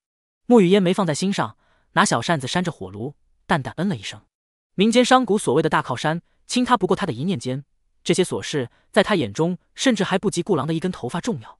小溪，帮我添把火。沐雨烟浅声道，小手在朴素的围裙上一抹，不是很娴熟的掀开药包盖，眯着凤眸看粥滚熟没有。绝美的椒盐上添了几分烟火气，倒是更是显得灵动了。柳叶熙看得怔了一秒，赶忙应声，帮着女帝打下手熬粥。陛下，其实还有一件事，临江城的刘家在暗卫走后。似乎被不明来路的匪盗洗劫了，整个府上空空如也，家产尽无。因为平时刘家大肆搜刮临江城的百姓，现在整个临江城主事之人都清洗了，工部和户部还不知道怎么重新布置，所以想请示一下。临江城鱼米之乡，自来便是晋国中富足的一代，刘家又肥的流油，有几个仇家匪盗去趁火打劫也不奇怪。只是这重新部署产业，要代替之前的刘家，朝廷比较为难。哼，以前这种事户部可不会报上来，这次他们知道怕了。沐雨烟轻皱下眉，微微摇头。按照以往，那些官员们肯定要挤破头的抢这块地皮，在富饶之地安插自己的产业捞钱。可别忘了，之前蔡玉的账本还在女帝手里，那就是把悬在诸公头顶的刀。加之这次雷霆手段杀了富商刘文天，大臣们都掂量着自己的分量，怕哪天做到让女帝不可容忍的地步，账本上一个名字勾掉，引来灭门之祸。罢了，何必让这群偷奸耍滑之辈扰乱心情？沐雨烟叹口气。美眸闪烁，略微沉吟。柳叶熙静静等着。不过他知道这事想办的漂亮不容易。只要是官，那肯定要贪一些。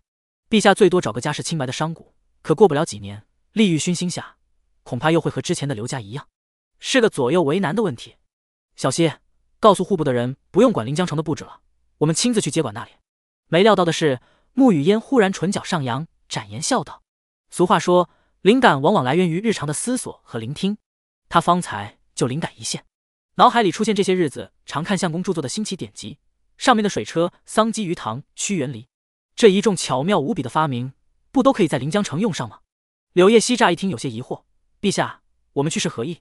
沐雨烟瞧他一眼，带些得意的口吻解释道：“我们顾府啊，我们家反正也是商，没有朝廷的干预下，派些人手接管临江城不就好？”原来陛下已经在用顾家夫人的视角来说话了。柳叶熙愣了足足三秒，才反应过来。最近他发现女帝越来越沉迷红尘中了，准确的说，越来越沉迷于顾兰了。以前的女帝最关心朝廷，现在却更加为顾家设身处地的着想，这到底是不是好事？柳叶熙纠结了。这时，沐雨烟从怀中取出一沓叠的整齐的图纸，这是顾兰专门为他画的，自然是一直贴身放好。这些都是顾郎的点子，你去临摹一份，交给工部，让他们日夜赶制。之后运往临江城即可。顾郎那边，我会去与他商量在临江城做生意的事。沐雨烟交代完，见粥熬得差不多了，掀开包盖，又往里撒了一大把枸杞。陛下，您这是想让公子补身子吗？我都不好意思点破。柳叶西装没看见，继续低头看图纸。可当他翻开扫视一眼后，一双杏眼立马瞪圆。水车可以让百姓们省去人力，自动灌溉的工具，这怎么可能？三种生物一起蓄养，还能一齐收获。收益还是之前的数倍，这陛下属下也去过工部，怎么从来没听过这些？看了足足一刻钟，这些发明已经严重超出认知范围，所以柳叶熙半信半疑。不过他感觉，就算把这些图纸给工部那些自诩技艺高超的皇将，他们瞳孔一样被震碎，见所未见的智慧产物。顾兰在上面写的解释极尽详细，看起来就很靠谱，只是会让看他的人平添一种我好蠢的惭愧感。去临摹吧，多看看。自然就懂了。沐雨烟温柔的笑道，看着侍女懵逼的样子，他心里暗笑，又有种同病相怜的惋惜。当时自己表现的孤陋寡闻，恐怕和小溪差不多吧。相公居然没有一点嫌弃，公子今天伟地之才，果然不是我能看的。我还是去临摹吧。柳叶熙啧啧称奇，彻底放弃了。粥好了，我先去给顾郎喝。沐雨烟脸蛋红润，捋了下发丝，先抿口粥替顾兰尝了尝热度。满意的点了点头后，便端起粥碗，连步轻移走出厨房。小溪，记得尽快完成此事，切不可因此让顾郎分心秋闱的考试。莫要忘了，秋闱那几日，咱们也要去一趟天机山的。天机阁阁主废掉妖界二皇的消息，在云州墓的奏折里便写明了。虽然民间并未传开，但女帝当然是第一个知晓。不过当时她没有着急去拜谢，一来因为自己身在红尘无法离开，派下属去的话显得很没诚意。二来，天机阁素来重视因果善缘，他想亲口问问那位阁主道长为何相助大晋。毕竟，若是没有那位阁主的降临，玉门关和背后尚未防备的大晋就会彻底沦为妖兽的口中食，生灵涂炭，后果不堪设想。既然有了这份善缘，就算日后天机阁无意与晋国交好，去好好谢谢人家道长也是应该的。秋风乍起，长街小巷渐渐热闹起来，尤其城外的城隍庙和文曲阁供奉着神仙的地方。不少今年要考举的秀才们前去祈福。这日已经极为临近秋闱盛世。顾兰吃罢早饭，带上背着行李的老杨头，便出了顾府的门。沐雨烟和柳叶熙跟在后面，一一送别。公子，科举牌号带了没？柳叶熙有些不放心，故意抖机灵提了句：“小溪，公子我是这么粗心的人吗？”顾兰撇撇嘴，笑道，瞧了眼老杨头。老杨头麻利的从怀中取出那枚锃亮的二百九十五号，在小姑娘和女帝面前晃了晃，都准备好了。夫人，小溪丫头，你们放心，公子我会照顾好的。秋闱考试在郎州布政使司举办，连续七八天，所以他们要先去那边租好客栈住下。顾郎，早些回来，妾身在家等你。沐雨烟走上前来，为他整了整衣衫，满眼不舍的低喃道：“自从成亲之后，他们还从未分开这么久。虽说有暗卫偷偷保护着顾兰，等闲不会有什么变故，但他自己要去天机拜山，总是放心不下的。娘子莫担心，我这次不惹事了。”顾兰知道他的挂虑，抬手摸了摸他精致的俏脸，笑道：“听说秋闱结束后，整个城都会有烟火庙会，娘子还记得吗？我们就是去年这时候相识的。今年等我考完，再与你一起游玩这郎州城一遭，可好？怎么会忘呢？”沐雨烟抿了抿唇，露出一抹美帝惊心动魄的笑颜，轻点琴手：“好，我等着相公。”走了。顾兰与娘子告别，招呼下老杨，牵来两匹老马，两人一前一后朝城门处行去。马蹄踏着满地的落叶，两人背影渐行渐远。公子，咱们出了城，离布政使司还有三十里左右，咱直接去吗？不急，先去附近的文曲阁拜一拜神仙，顺便看看咱大晋这一辈的读书人。那咱去买两壶酒。哈哈，就知道你这老杨头嘴馋了，得出了城，本公子请你喝那里最好的黄酒。还是公子懂我。声音越来越小。良久，顾府门前，沐雨烟回过神来，转脸朝柳叶熙轻声吩咐：“都准备好了吗？我们也走吧。”是，陛下。与此同时，城南山，秋风拂过断崖，两道策马而来的身影再次停住，一齐眺望山下远处的廊州城。这就是大晋的州城吗？住的好生雄伟啊！一身白衣如山的年轻人不由自主的赞叹。他生的俊美，读书人打扮，此刻虽身穿布衣，但眉宇间却透露着一股与生俱来的贵气。殿下，将来这都会是您的，不必羡慕他们。旁边一袭黑袍的老者说道，声音沙哑：“国师已经预言，大晋的气运已到穷途末路。”如今妖界又大举进犯，还未等他说完，年轻书生摇了摇头，打住他的话：“龙老不可轻敌呀！所谓百足之虫，死而不僵。大晋这个庞大的国度，生机还未完全熄灭。君不见玉门关大捷，三万大晋军士斩杀妖军近十万，逼退一百里，这样的战绩何其恐怖啊！”殿下说的是。被唤作龙老的黑袍老者显然是很信服他，没有反驳，受教似的点了点头。不过您说的也错。年轻书生重新看向脚下的廊州城，眼神闪过桀骜之色，嘴角缓缓勾起。晋国气运尚存一丝又如何？这里迟早是我大禹的领土。不光此处，晋国十二州，我全都要，包括他们那位高高在上的女帝陛下。哈哈，殿下好志气，老奴听着就高兴。黑袍老者赞道：“走吧，龙老。”年轻书生随意的抽打下马，调转方向朝山下行去。征服大晋，就先从这次的秋闱开始吧。让我看看这大晋的读书人能有几分真才实学，将来配不配为我所用？老杨，你给钱没？公子不是说请咱嗨嗨客吗？老杨头似乎很中意城门口买的黄酒，说句话的时候还不忘喝，不免呛到几口。店家看着他们两人的眼光都逐渐不善了，主要是顾兰一个没留意，老杨就抱了好几坛开始猛干，好像醉死鬼投胎一般。这种酒倒是也不贵，但按理说喝过上好的仙酒后。对这种烈酒应该难以下咽才对，顾兰就是如此。端起酒碗，只陪着老杨头稍稍抿了口。公子，其实早些年我老杨在黄州逃难的时候，最馋的就是这种酒。老杨头抱着酒坛，不好意思的笑笑。当时他要是能有这么碗酒喝，怕是也不会来到廊州。顾兰听后愣了愣，旋即温和拍拍他肩头：“没事，我就问问有没有先给人钱，你尽管喝，公子我管够。”顾兰将自己的那坛也推到对面：“谢谢公子。”老杨边喝边环顾四周，醉意微醺的凑过来，低声笑道：“公子，您这回中个举人是稳了。看看咱廊州城里出来的这些读书人，我老杨还没看到一个比公子气质好的，样貌也没公子好。”他又补充了句，撇撇嘴的看着那些过往书生：“喝你的酒吧。”顾兰眼皮子狠狠一跳：“公子，我是功名利禄为粪土，岂会热衷中举？还别说，这种世界的科举，有的时候真的会看外表。他好怕老杨头一个乌鸦嘴，让自己因为这张绝世帅脸而中举。”毕竟当今是女帝临朝，听说还没娶亲，万一日后惦记上自己怎么办？老杨拍完马屁，嘿嘿一笑，不再吱声。这时，酒家外面走过一个乞丐，脸色蜡黄，两眼略显凹陷，是很久没有吃饱饭的样子。乞丐身上衣衫不净，但依稀可以看出是书生的儒服。他在酒楼外面驻足徘徊，却一直犹豫着没有进来。哪来的叫花子？快起开，别耽误我们做生意！店小二的轰赶，让少许顾客的目光扫过去。大多一眼即过，带着见怪不怪的冷漠。然而，当顾兰看到那乞丐的脸时，却微微一愣。林露，顾兰对这书生还是印象不错的。寒窗苦读的年纪，知道体谅家人，谈吐儒雅，不骄不躁，算很符合这个世界上读书人的气质了。那日自衙门门口一别，一晃几月未见，没想到他居然混到这般田地。不对啊，年前娘子与他姐弟二人做的买卖，应该够生活的，怎会如此落魄？顾兰有些疑惑。缓缓起身，嘱咐老杨继续喝，自己过去看看。此刻，店小二的催促下，林路还没走，反而是有些迟疑的走过来，附耳了几句什么，似乎是很难为情的话。他说的吞吞吐吐的。然而，店小二听完，脸色顿时不好看，直接开口嚷道：“姓林的，我们这里是酒楼，不是寺庙。去去，化缘到别处去，我们这里没钱给你，更没钱给你家那个无底洞。”店小二将抹布往肩上一搭，看也不看林路，冷哼一声，转身回去。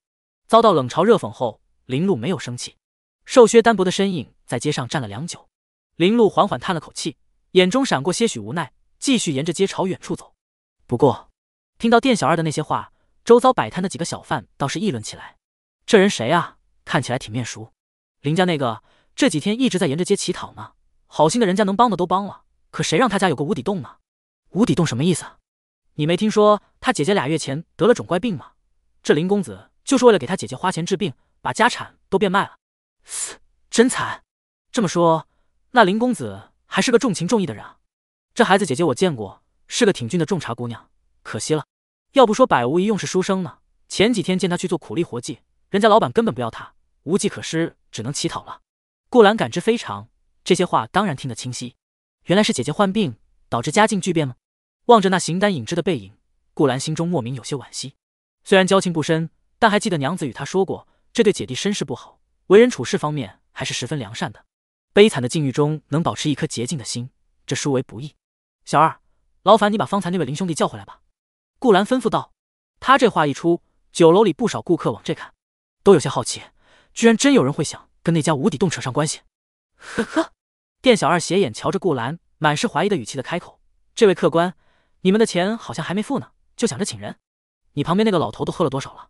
我看你还是先把账结了再说。同为龙套，这个店小二显然就不是很讨喜了。顾兰眉头轻皱，不等他说完，手抄进怀里，直接往桌上放了一块金锭子。咚！店小二的眼直了，足足得有五两的金子放着光，快把周围偷偷瞧这边的人看愣了。好家伙，看着随从也不多，想不到是个富家公子啊！够不够？顾兰淡淡问道。对付这种龙套。没必要用什么特殊手段，拿钱砸脸就是最好的选择。够，太够了也！店小二之前的不善瞬间无影无踪，脸上的笑容跟个泥潭荡开涟漪一样皱在一起。这就去给您请来，爷坐下稍等哈。店小二点头哈腰。他走出去后，顾兰就静静靠在门边。旁边一个吃饭的客人看了看他，好心的提醒道：“这位公子，在下奉劝您一句，最好别帮这个林公子。”顾兰没说话，转眼瞧着他。我不骗您，倒也不是说这林公子人不好，就是这命啊！哎，他姐姐得的是烧钱的怪病，没办法。顾兰听他这么说，倒是来了兴趣。你怎么知道？我就是咱这块的郎中啊，去看过了。他这病要一天吃一株魂灵草吊着，这魂灵草可不便宜啊，就算耗上几千两银子，估计也不一定能医好。那郎中看了看小二，快带着林路过来了，冲顾兰拱拱手，也便不再说话。这么说，还真是个怪病，因为搬运《伤寒杂病论》这些医学典籍。顾兰现在记忆里融合了极高的医道真意，但还真不知道哪种病是需要用魂灵草续命的。毕竟魂灵草可是属于阴寒一类的灵药。正思索间，一阵马蹄急踏声传来，城门口的方向，两匹骏马并驾齐驱，似是要从长街这边穿过。一个是年轻书生，做如装打扮，相貌俊美；旁边是一黑袍老者，看不清面容，像是大家族中的公子来赶考秋闱。这是哪家的少爷，在城中驾马这么快？不怕伤到人吗？不知道，不过应该不是咱们廊州的人，没见过。众人看了一眼后，低头小声议论。顾兰的目光望过去，这时那两匹马已经飞驰过来，经过了这间酒楼门前。顾兰看向黑袍老者，眼神微微一凛，竟然是王静。大晋王静倒是不少，可个个都是有头有脸的人物，怎么不记得郎州城有这号人物？而且现在看来。这黑袍老者隐隐落于那年轻书生的后面一尺，似乎对方的仆人。什么势力的公子，能用王静高手做仆？顾兰好奇的瞧向年轻书生，两指间并抹一下眼睛，一道青光流转上来。仙品小成，旺气术。顾兰的旺气术此刻刚施展开，看到两人的气运竟然都是黑色。好家伙，这意味着他们在原著世界中皆是反派的身份。长副好皮囊，果真就是有些东西的。顾兰心头一动，目中青光持续。然而，还未来得及看二人命格详解，前方他们骑马经过之处突发变故。臭乞丐，别挡路！只听黑袍老者低喝一声，一条黑色的长鞭挥下，直接抽在一道单薄的身影上，正是刚被店小二叫回来的林路。店小二此刻也在旁边，吓得连忙跳开，生怕殃及自己。林路被一鞭子抽翻在地，原本破烂的衣衫上赫然留下一道血红的鞭痕。卧槽，这到底哪家的人？光天化日下如此行凶！不怕别人报官吗？见可怜之人被这样对待，没钱帮林路归没钱，看到的路人心里终归不忍。可是那两人似乎没听到众人的指责，甚至不屑于关注此事，继续马不停蹄的往前方行去。在黄境修仙者面前，凡人的确如蝼蚁一般。这原著真是写了个恶心的世界。顾兰不想去追那两人，从门边弹开，直接几步走到林路身边，将他扶起。林兄弟，你没事吧？顾兰眉头紧锁，观察着他的情况。凡人挨黄境高手的一鞭子，恐怕都要没半条命。何况本就虚弱的林露。可令顾兰没想到的是，林露此时竟缓缓自己站稳了。虽然嘴上嘶嘶哈哈有些痛，但他小命居然没有什么大碍。这怎么回事？难道刚刚那老东西还留手了？顾兰愣了下，想不通。不过这对林露来说也算是不幸中的万幸了。顾兄，想不到真是你找我。林露看清顾兰的模样后，吃惊道：“此刻所有相识的人都唯恐避他们姐弟不及，想不到只有一面之缘的顾兰却愿主动来找他。若不是我寻你。”你也不会遭此疑惑。顾兰歉意的笑笑，目光不经意的看向他。然而，此刻顾兰目中青光未退，一不小心便将林露的命格气运全看了出来。气运蓝色，命格早年与姐姐相依为命，温良恭顺，后因姐姐之死，性格大变，踏入西地战场，成为一生未解的执念。这命格详解，看起来何其眼熟，不正是前段时间与娘子剧透的那位书中人物吗？顾兰笑容凝固了，整个人都有些懵逼。难怪，难怪从一开始就跟他投缘，原来是书里我很喜欢的一个角色。顾兰不敢置信的低喃。因执念而起，踏足妖界战地，一步步成就黄境，成为晋国有名的冷面元帅，甚至反攻妖族。这一后世传颂的神话人物，这位后来成为主角、强大必助的白衣儒将，此刻竟然就站在自己面前。林露，便是后来更名的陆求仙。顾兄，林露擦了擦有些狼狈的脸，见顾兰正盯着自己出神，不由得问。顾兄在想什么？没什么，先进酒楼，这里不是说话的地方。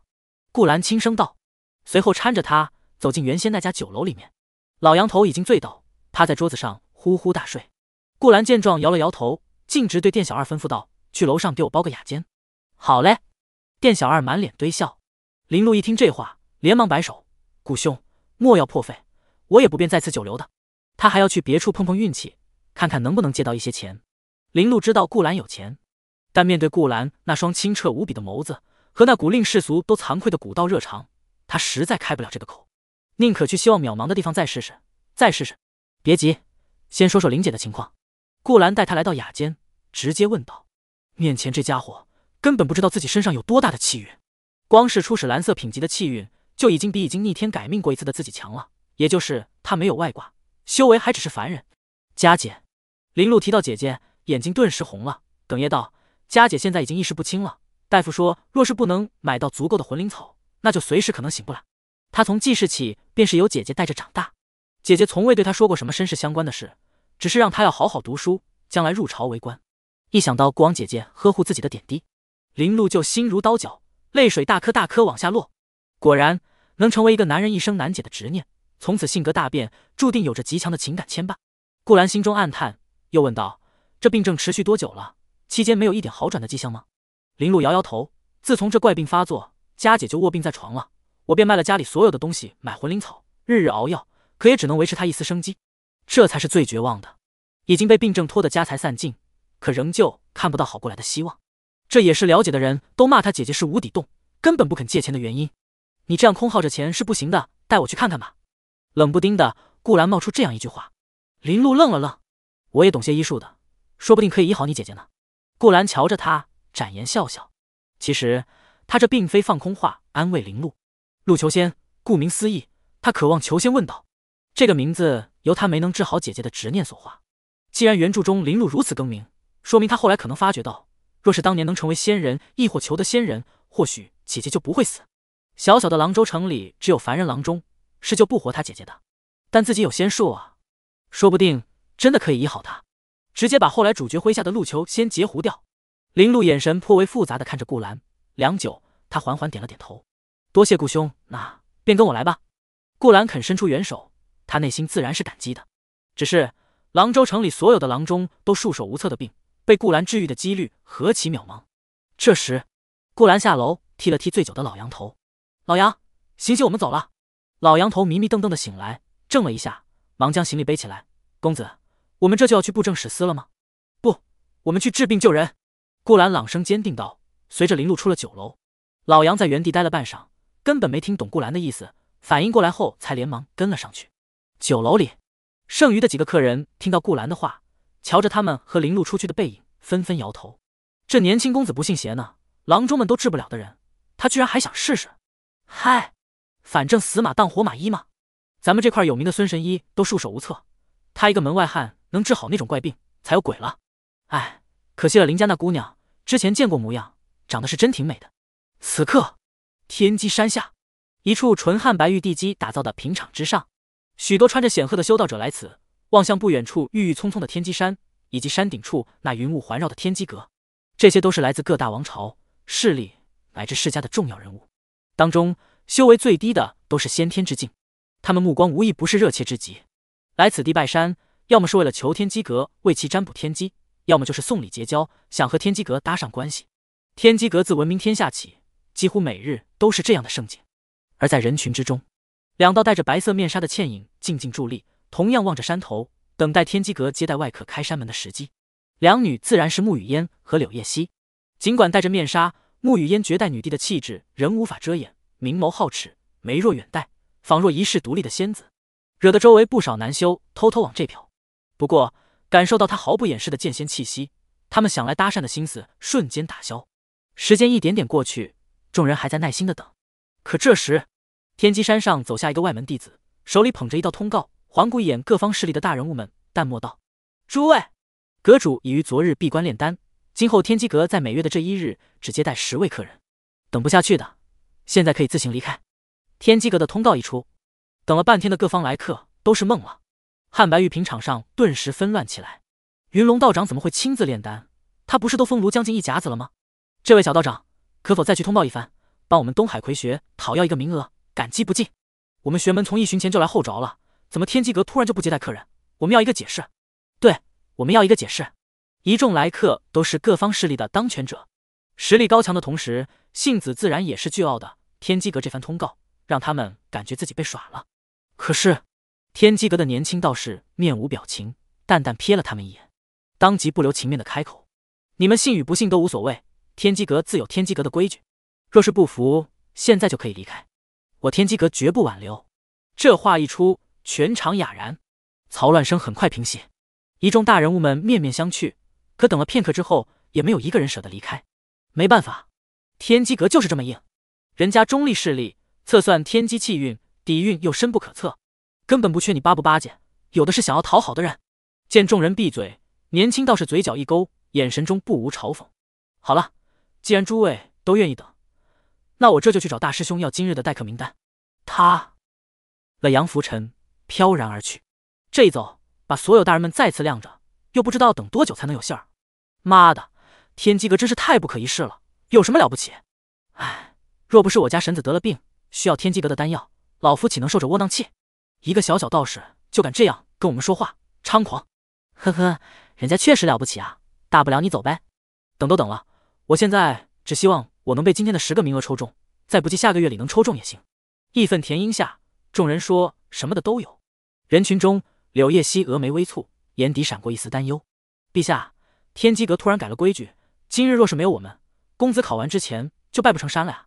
我们尽人事即可，成与不成，且看天意。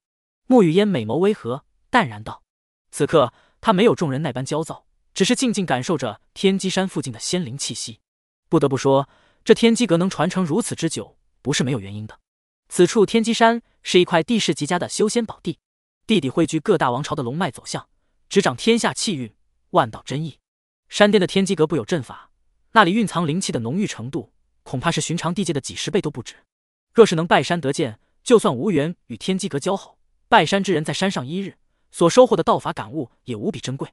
这些拜山之人，应该有不少是冲着这个去的。穆雨嫣暗自思量，内心自然也是有些异动。这时，方才的年轻道士再次御剑下山，手里一样捧着一卷通告。上面写的是今日的剑客名单。见状，原本抱怨不休的众人连忙噤声，一道道紧张的目光投向那卷通告。今日待客名单：龙血山庄少庄主李牧，幽都郡主于色，剑气盟副盟主黄浩。随着他的宣读，几道气息极强的身影面露狂喜，从人群中踏剑而出。众人流露艳羡之色。但很快，年轻道士身后站了八位强者，名单只剩两个名额了。众人紧张不已。晋国女帝嘉庆，晋国剑客柳叶熙，年轻道士在万众瞩目下淡淡念完：“陛下，是我们哎，真的是我们！”柳叶熙兴奋的不行，在场少说还剩几百上千人，被抽中这得多欧皇的运气啊！而且还是两人一同抽中，沐雨烟朝他笑笑，如水的眸子里却闪过一丝疑惑。就当两人联袂朝天机山而去时，背后却有人炸开了锅。这位道长，我们想知道您这名单是看什么选的？对啊，我也想知道。前面的强者都是黄境仙境，最次都是王境，最后这晋国剑客一个先天是怎么回事？不论来的早晚，还是实力地位，好像都轮不到他吧？就是，这剑仙女帝我们忍了，为何一个小小剑客还能上山？知道之前都白等了后，他们心里的不平衡感极度爆炸，一个个不敢对强者施以颜色，倒是抓住柳叶熙不放了起来。看着下方黑压压的人群，柳叶熙小脸微微一白，原本十分喜悦的心情变得沉重。这时，一只纤纤玉手将他拉到身后，抬眼看去，却是沐雨烟挡在他面前，一袭流仙锦绣长裙，俏脸寒霜，孤傲的睥睨下方众人。剑仙犀利的气息陡然升腾，一抹金色剑罡如初起新阳。悬在平场上方，众人慑于他的实力，声音渐小下去，不过眼神还是恨恨不服的样子。下一刻，那位年轻道士往前一步，朝沐雨烟恭恭敬敬行了个礼，随后转向：“你问我们天机阁待客的规矩是什么？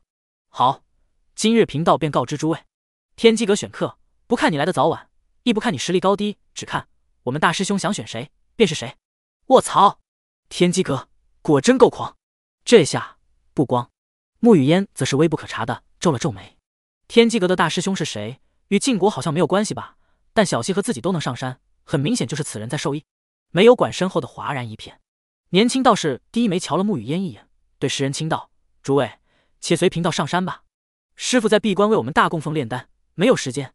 今日接待各位的是我们的大师兄，先是被云龙道长稀里糊涂的帮忙废了妖皇，如今又是素未听闻的大供奉和大师兄。”沐雨烟美眸闪烁。不禁有些好奇了。另一边，廊州城内挨着城墙的一处简陋院子里，林路打开篱笆，将顾兰两人迎进去。看起来林公子家日子确实过得挺苦。老杨头左顾右盼，小声叹惋：“闭嘴！”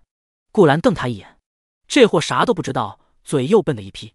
虽然话里的意思是可怜人家，但在此刻听在人姐弟耳中，未免有些刺耳。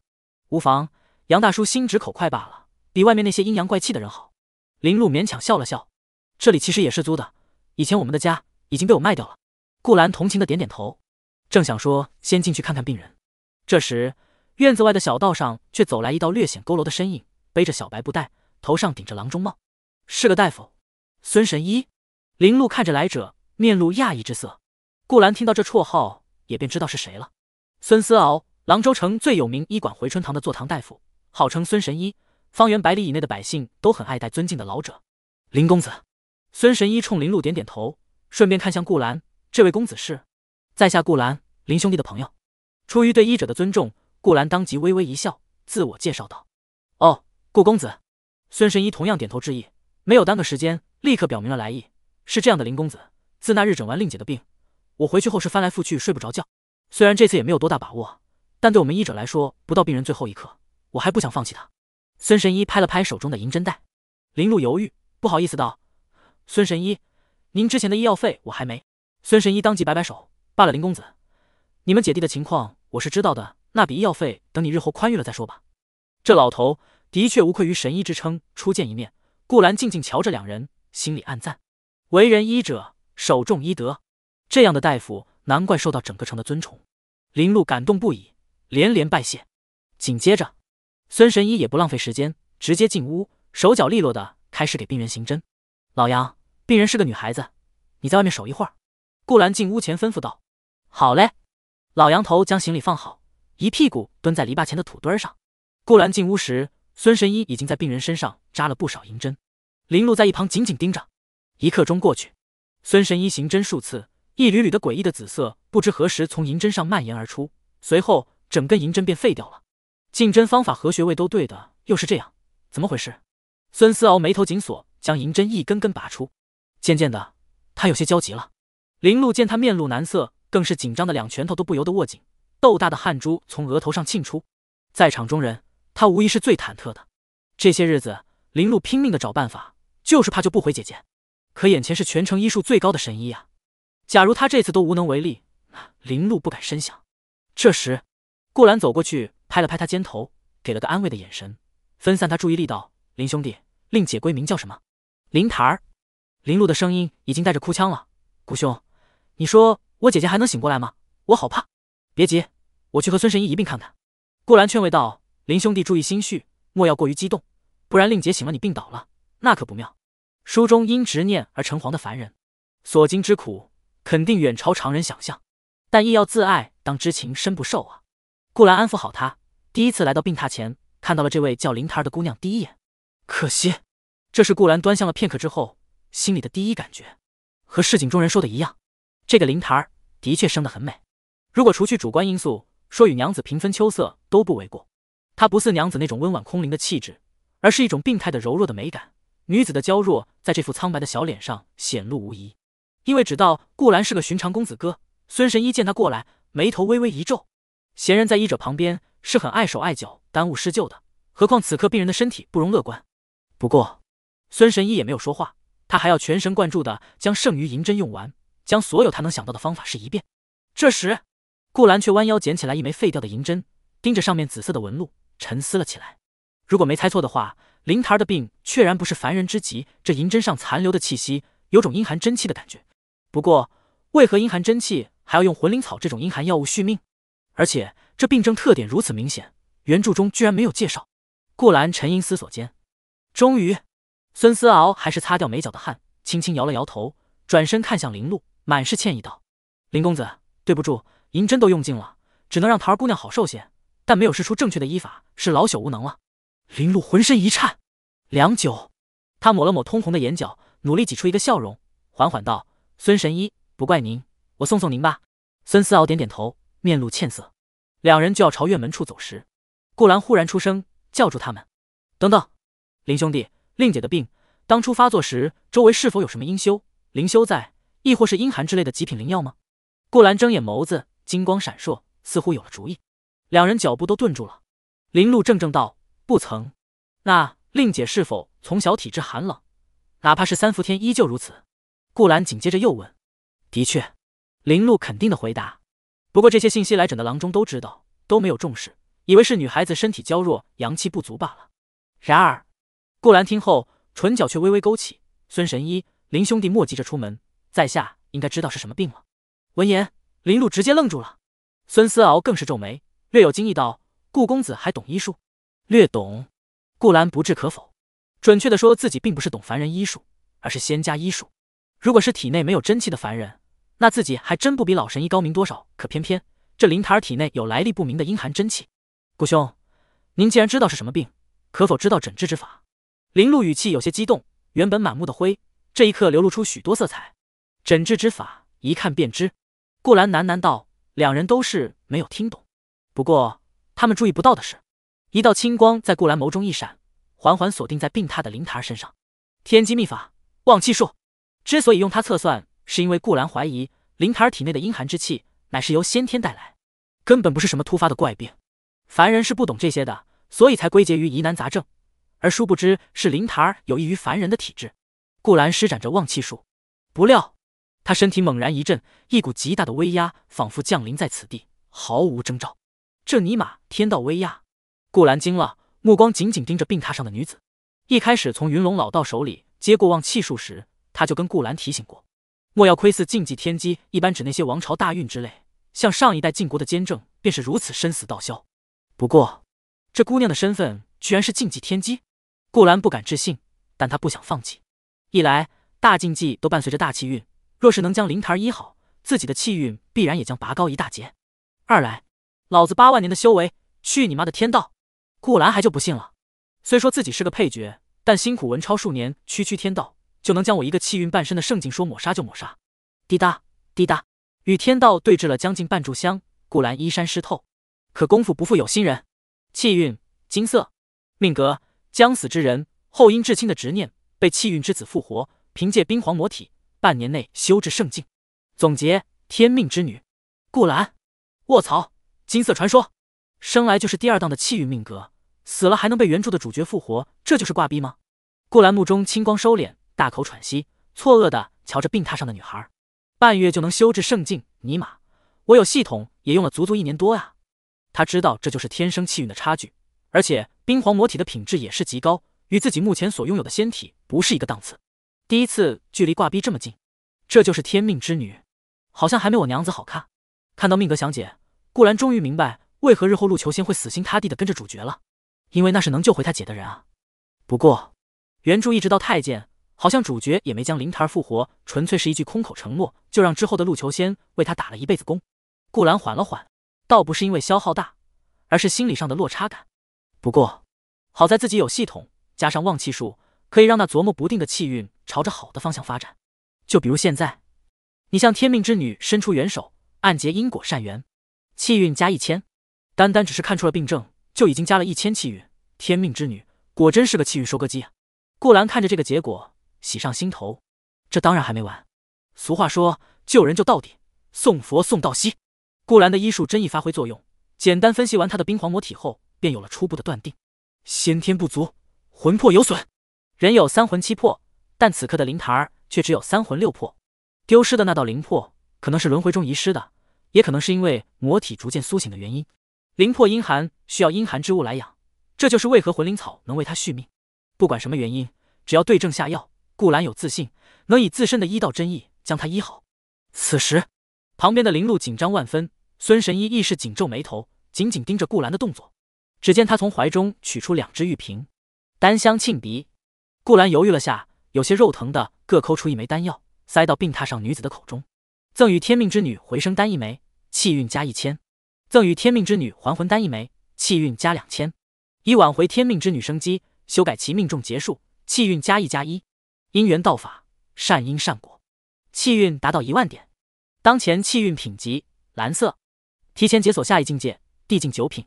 忙活了一阵子，终于将气运提高一个大境界，圣境桎梏彻底松动。厚积薄发的修为，让顾兰直接达到了从未有过的高度，地境九品，也是这个世上目前而言唯一的地境。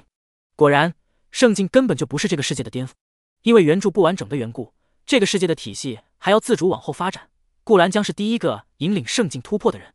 而与此同时，顾兰脑海中望气术展开一方庞大的书，金色的字样缓缓浮现而出：圣阶初级，望气术可进阶。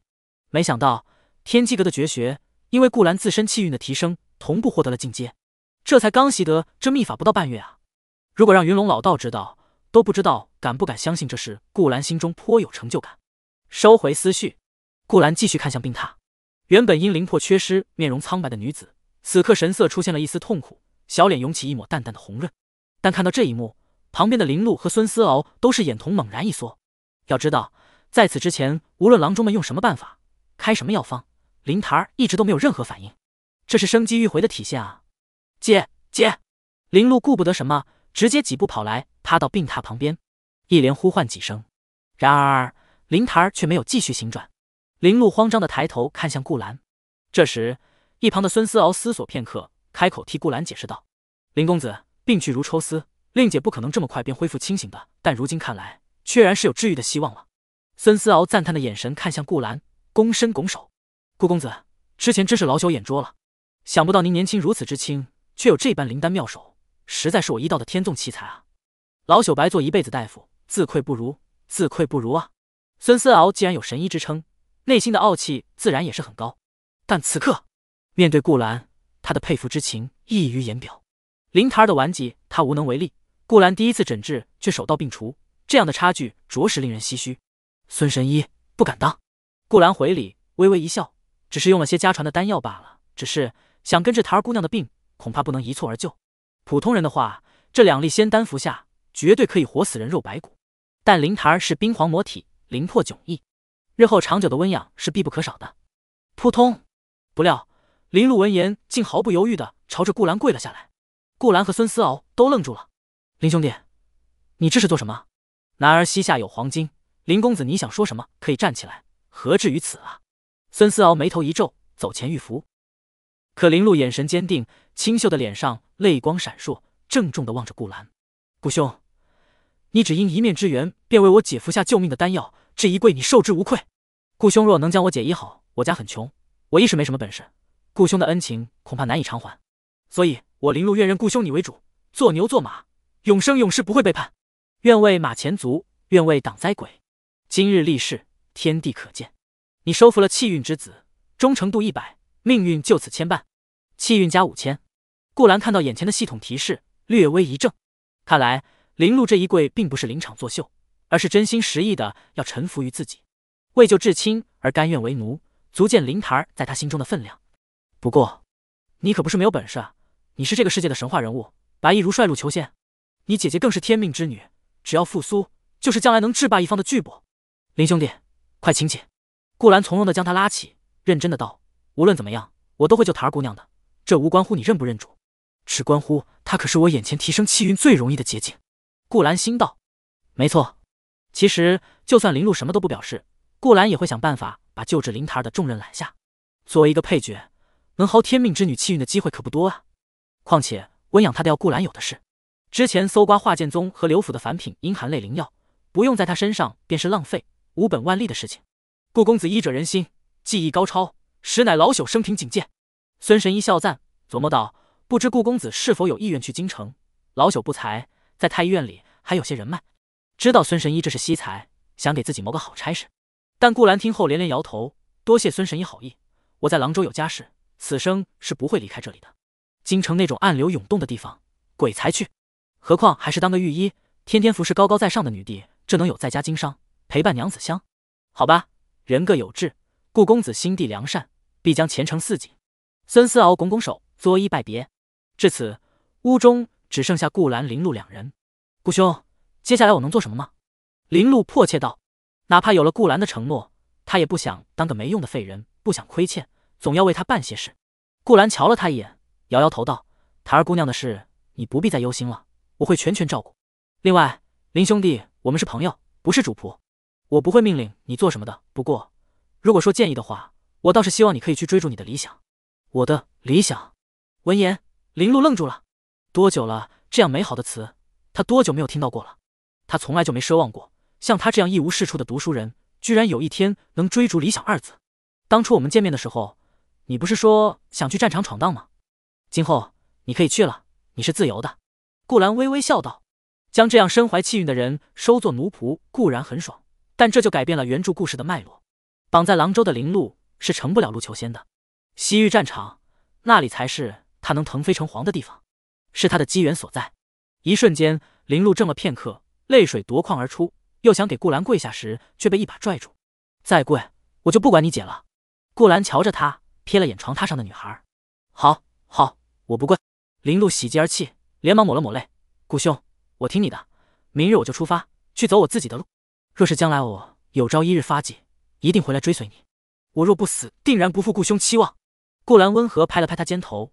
片刻后，展颜一笑：“好，我等你。”天机山巅，天机阁一处山亭中，一道小小的、穿着宽大道袍的身影，面对雾霭山涧，被朝引路而来的年轻道士和沐雨烟两女。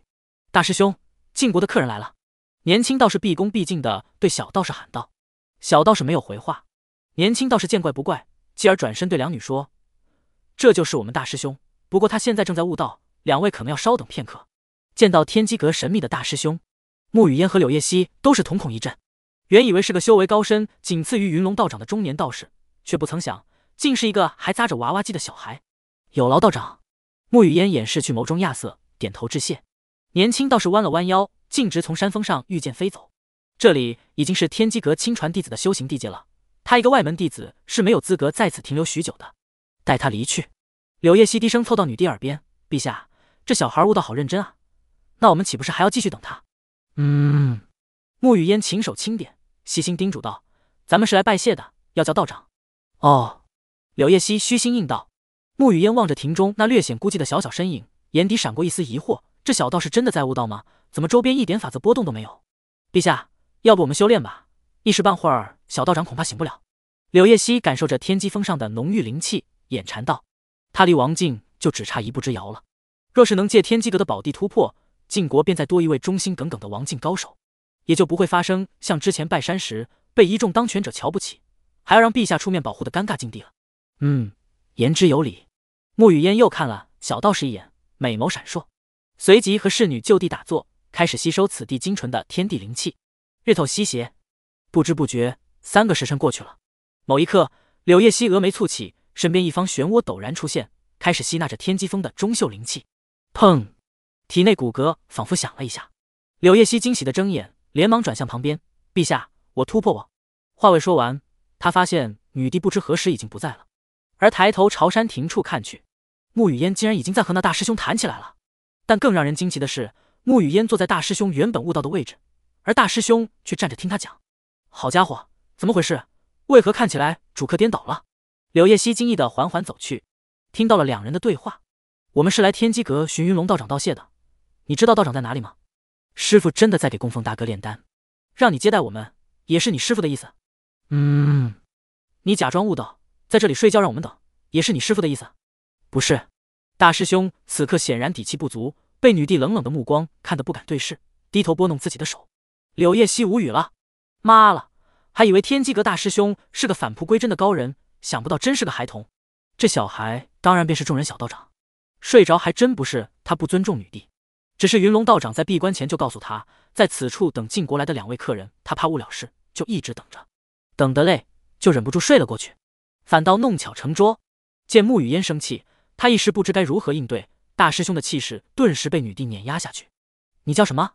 沐雨烟凤眸眯了眯，轻声问道。道号众人，众人老实回答。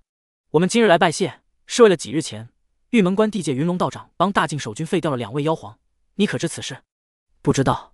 众人摇头。他那日别过顾兰后，便自己回了阁中。师傅具体去做了什么，他一概不知。沐雨烟看他的确不像说谎，沉吟片刻，他唇角微微扬起，浮现一抹绝美的笑颜，用柔和的语气道：“小道长，天机阁不是向来只有内外门弟子的吗？何时多了一位供奉？能否透露一下？”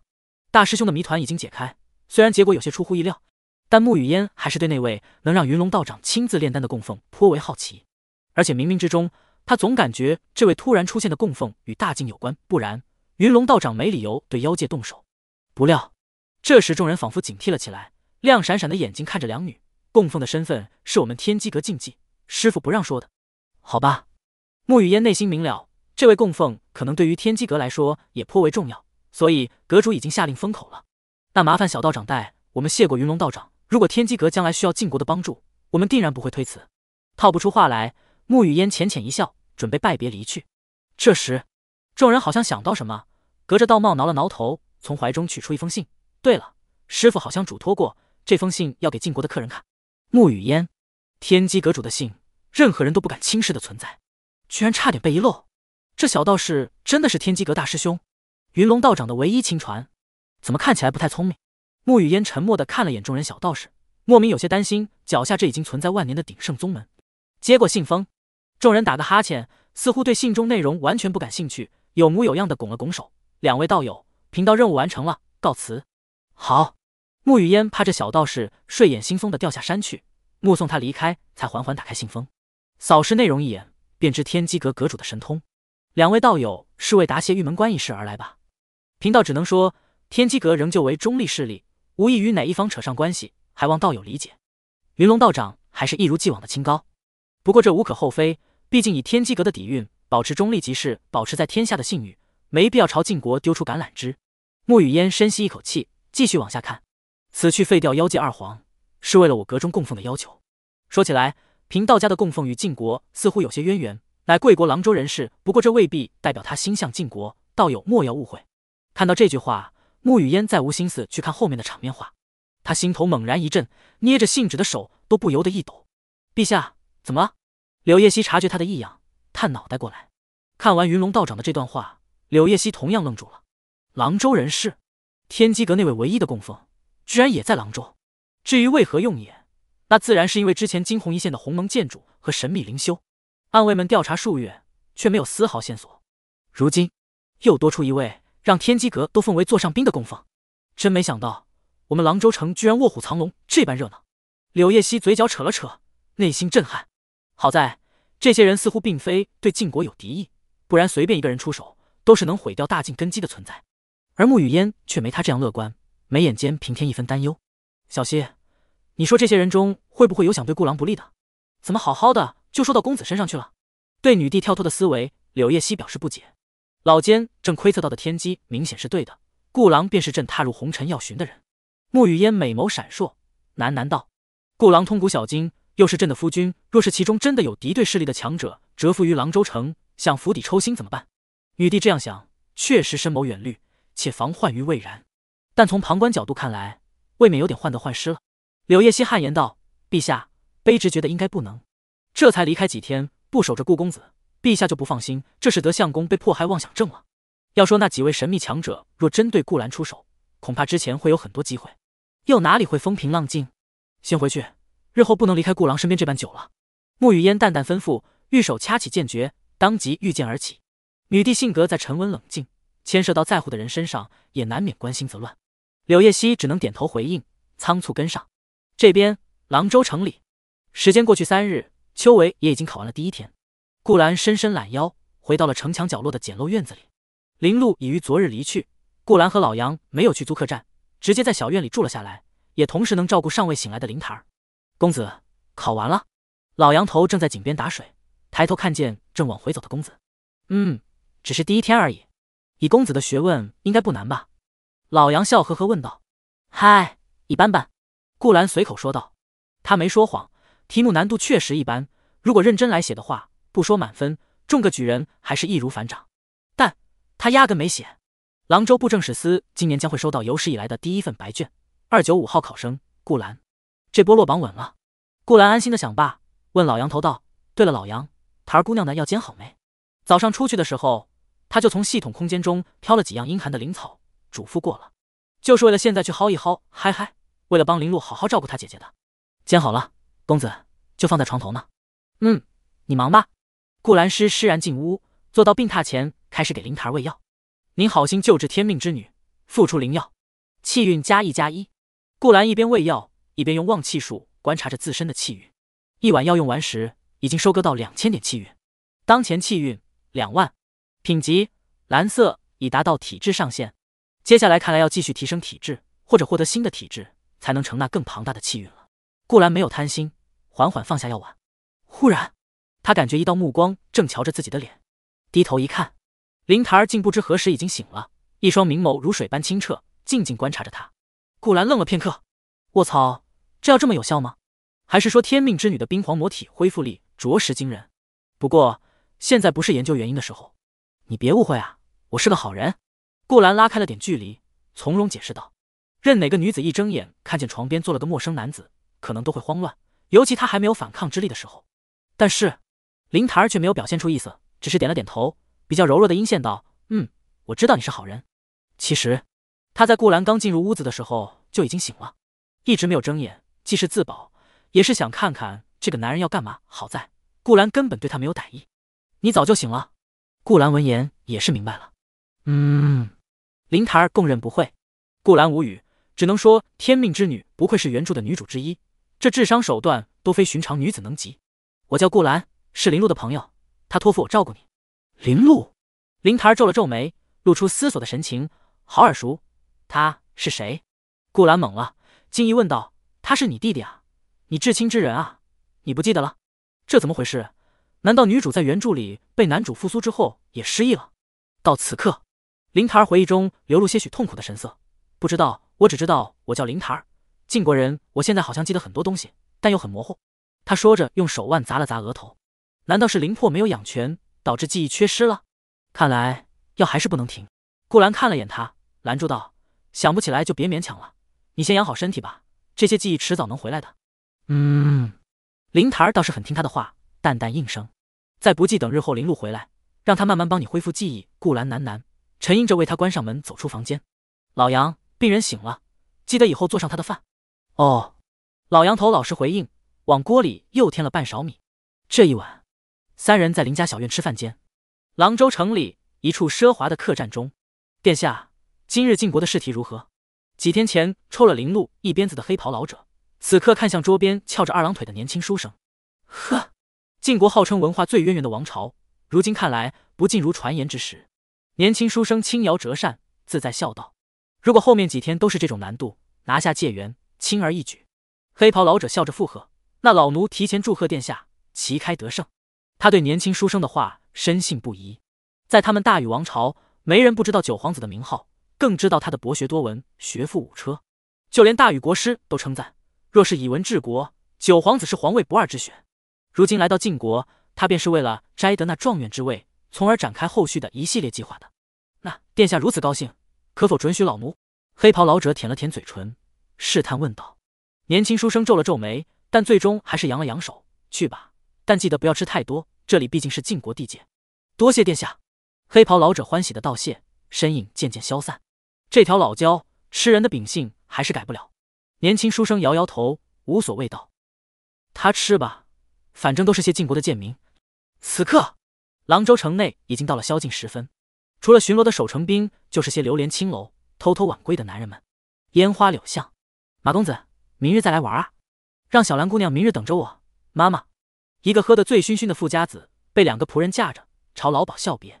好，老鸨答应他一声，扭着腰肢回去。姓马的公子和两个仆人一路搀着，穿过一段没人的小路，朝大街上走。忽然，马公子腹中一急，皱眉吩咐：“你们在这等等，本公子先去小解一番。”好，两个仆人看着他朝漆黑的角落去了，因为他们也喝了些酒，风一刮，索性就迷迷糊糊的坐了下来等。片刻之后，一阵诡异的冷风吹过。哎，醒醒，咱家公子呢？公子。不是小姐去了吗？咦，怎么还没回来？这风阴飕飕的，咱去找找吧。好，两人在附近找了好久，终于在漆黑的角落里找到了马公子破碎的衣衫，零落一地，黑漆漆的地面上还有一滩水渍，怎么好像是公子的衣服？哎，这是什么？咋黏黏糊糊的？让我看看。两人从地上抹了把，来到一片月亮地，刺目的猩红色倒映在两双逐渐惊恐的眼中。卧槽，血！快！快回去叫人！后半夜，廊州城里不少人离奇失踪，街上巡防营的身影陆陆续续来到，跟着为首一个小老头的步伐。仵作查验过衣服碎片后，确认死的是马家公子。操！大半夜行凶，还有王法吗？都给我轮值！现在开始，抓不到凶手，今晚就都别睡了。县太爷窦福骂骂咧咧的声音回荡在城里，他糟心的一批。不光因为马家是这一块小有名气的武道世家，家主马波乃是半步王境的高手。而且秋闱正在举行，如果此时出了岔子，恐怕朝廷要他治大罪，到时候丢乌纱都算轻的。第二日，郎州已然是全城戒严。秋闱期间，街道上还有兵士在挨家挨户的查。顾兰去往布政使司的路上，正巧遇见了窦福，稍微问了一下，他便将昨夜发生的事全部告知。顾公子，您说怪不怪？这平常啥事没有，一到秋围了就出事，死的还是咱郎州的显贵。窦福郁闷不已。死因查清了没？仵作说像是被野兽撕咬的。这好好的城里怎么会有野兽？顾兰想了想，低声提醒道：“如果是普通野兽，恐怕死者是能跑掉的。窦大人，别是妖兽吧？”听到这话，窦福猛然想到那次在西街，吴峰和一群百姓差点被火狐妖王屠杀的事。若不是神秘剑仙的出手，他那次就要遭大殃，死那么多百姓，绝逼满门抄斩的罪。但谁都没法保证，这次还会不会有剑仙出手保百姓了。窦福惊悚的看了顾兰一眼，苦涩道：“公子，若真是妖兽，下官该怎么办？如果是寻常妖兽，去附近的宗门找几位长老来帮忙找一下也就罢了。”顾兰淡淡道：“若窦大人不放心，还可以去请示一下上头，调动狼州铁骑。光你手下这点巡防营，恐怕没有战斗力。不是顾兰瞧不起他们，巡防营都是凡人，连武生都少有几个，对付野兽还凑合，但对上真正的妖兽，那肯定只能撑死对方。好。”多谢公子赐教，豆腐抹了抹脑门子上的汗，连连拜谢。目送着顾兰去考试，他才转身对后面的衙役吩咐：“来人，去附近登云山，请几位仙家长老来帮忙。还有去找郎州指挥使大人，要手令调兵。快！是。”时间一晃过去七天，郎州衙门日日巡逻，可依旧没有抓住凶手。哪怕是请来了仙家长老来，甚至半步王境的马波家主都来坐镇，依旧没有任何线索。更可怕的是。每晚竟然还有人陆续被杀，和之前受害者一模一样的死状，衣衫撕碎，血流满地，十分凄惨。面对百姓们的惶恐和暴跳如雷的马波，豆腐头都大了好几圈，无比的憔悴。这日，秋闱即将落幕，顾兰交完了所有的白卷，在收卷官震惊的目光下，心满意足的走出了布政使司。这几日，他都是在林家的小院里住着的。一开始还是顾兰和老杨头照顾久病初愈的林檀儿，可后来林檀儿觉得不好意思。知道每天给他吃的药很贵，就主动提出要当顾兰的侍女，来还债。收天命之女这样的诱惑虽然极大，但顾兰还是义正言辞的推辞掉了。檀儿姑娘，你现在很多东西想不起来了。我如果现在让你服侍我，那就是趁人之危。更何况我是有家室的。想想娘子，顾兰就觉得这个发育还不咋好的柔弱姑娘，其实也就一般般。最终，在老好人老杨的劝说下，答应让灵台儿住到顾府，暂时在府上做一些平常的活计。秋闱的最后一天，暮色时分，穆雨嫣和柳叶熙终于回到廊州城。一路上，他们已经看见了布置好的烟花炮火，这是今晚廊州城为考完的学子们举办的庙会。当然，因为吃人妖兽还未找到，今年窦福还带着不少的巡防营和军兵在庙会各个地方值守。听说了这件事，本就担心的穆雨嫣更有些惴惴不安。顾府，穆雨嫣吩咐让柳叶熙先准备着晚宴，要亲自出去寻顾兰，顺便看看能不能将这几日那只祸害廊州百姓的吃人妖兽揪出来杀了。可他刚走到门口，三道身影却适时的出现在梨花巷的尽头，缓步朝这边走来。中间一袭青衣，气质出尘，朗目如星，正是顾兰。左右两侧自然是老杨头和收留回府的灵台。穆雨嫣看到顾兰平安，松了口气，旋即由于美女间的相互吸引，目光不由自主的移到灵台身上。娘子，时隔一整个秋闱，顾兰一回家就见到家人相迎，心情大好。顾郎，这位是檀儿姑娘吗？穆雨嫣静等顾兰走到身边。扬起俏脸问：“你怎么？哦，对，你们认识的。”顾兰本还有些奇怪，可忽然想起去年与林家做茶叶的生意时，娘子应该见过他一面，所以有印象。娘子，他正是林檀儿。顾兰笑笑解释说：“今后可能要在我们家做事，他弟弟临行前托付于我的。不过檀儿姑娘久病初愈，大部分记忆忘掉了，所以可能不认得你。”久病初愈，失忆。沐雨嫣怔了一下，看向林台儿。他望着自己的目光，的确带些陌生的迷惑，柔柔弱弱的，还帮顾兰和老杨拎着行李，身影显得很单薄。快叫夫人！老杨头戳了戳他，低声提醒。哦，正端详着沐雨嫣的俏脸，赞叹这姐姐生的好美。林台儿回过神来，乖乖的朝他欠了欠身，柔声道：“见过夫人。”想到这女孩家世清贫，如今还失忆了，穆雨嫣不由得心疼几分，柔声道：“林公子是顾郎的朋友，台儿又本就与我相识，不用这么客气。”叫姐姐就行了。闻言，林台儿水灵灵的眼睛眨了眨，感觉眼前的漂亮姐姐好面善，又如此心地善良，喜上眉梢。谢谢姐姐收留。穆雨嫣点点头，忽然皱眉道：“老杨，台儿是顾府客人，你怎么能让他提行李呢？”老杨头猝不及防，愣了愣，苦涩道：“不是啊，夫人，我冤枉。不不，姐姐别误会杨大叔。”林台儿听穆雨嫣呵责老杨，连忙解释道：“公子给我买了很多药治病，我是自愿的。”以后我会留在顾府做事，尽量偿还公子的钱。穆雨嫣听到这，看了眼身边的顾兰，神色终于柔和。好吧，既然如此，晚间让小溪洒扫出西厢，台儿就在府上住下来。看到这一幕，一旁的顾兰松了口气。虽然他问心无愧，但也着实是担心将林台儿收留到顾府会惹得娘子不开心。但还好，意想中美女相斥的修罗场并没有出现，甚至因为过往相识，林家可怜的缘故，他们相处的还十分和睦。林台儿更是将自己位置摆得很正，她就是来做侍女的，欠债还钱，天经地义。顺便看看能不能在顾兰帮助下找回丢失的记忆。几人走入府中，老杨见厨房炊烟袅袅，就径直去帮柳叶熙准备晚饭。林台儿自觉地跟了上去。去往正厅的回廊处，此刻就只有顾兰和穆雨嫣二人。相公，还记得秋闱前答应妾身的事吗？吃完我们便去逛庙会，如何？穆雨嫣笑靥如花，兴致勃勃。对于看遍世间繁华的女帝来说，周城的庙会并不有趣，吸引她的只是能和顾兰一起这件事。当然，相公，我何时食言过？弯月初悬，顾兰笑了笑，轻轻拥他入怀。今夜月色也定然很美。嗯，老杨，今晚你和小溪带台儿姑娘去外面玩玩，领他见识一下庙会的盛景。顾兰想起什么，冲着厨房道：“啊，公子不和我们一起？”老杨头从灶房里探出脑袋来：“不了。”顾兰轻轻道一句，接着。在穆雨嫣还没反应过来，他低头轻轻吻上了她阴唇。嗯，旁边还有人看着呢。穆雨嫣美眸瞪大，脸蛋瞬间红润。但就这样过了一会儿，娇躯又软了下来。小别重逢，他也很想自己吧，就让他放肆一会儿吧。哼！穆雨嫣不再难为情，逐渐闭眼享受。而那边猝不及防吃了一口狗粮的老杨头撇撇嘴笑道：“哦，公子不想让我们跟着，是怕我们当电灯泡啊？”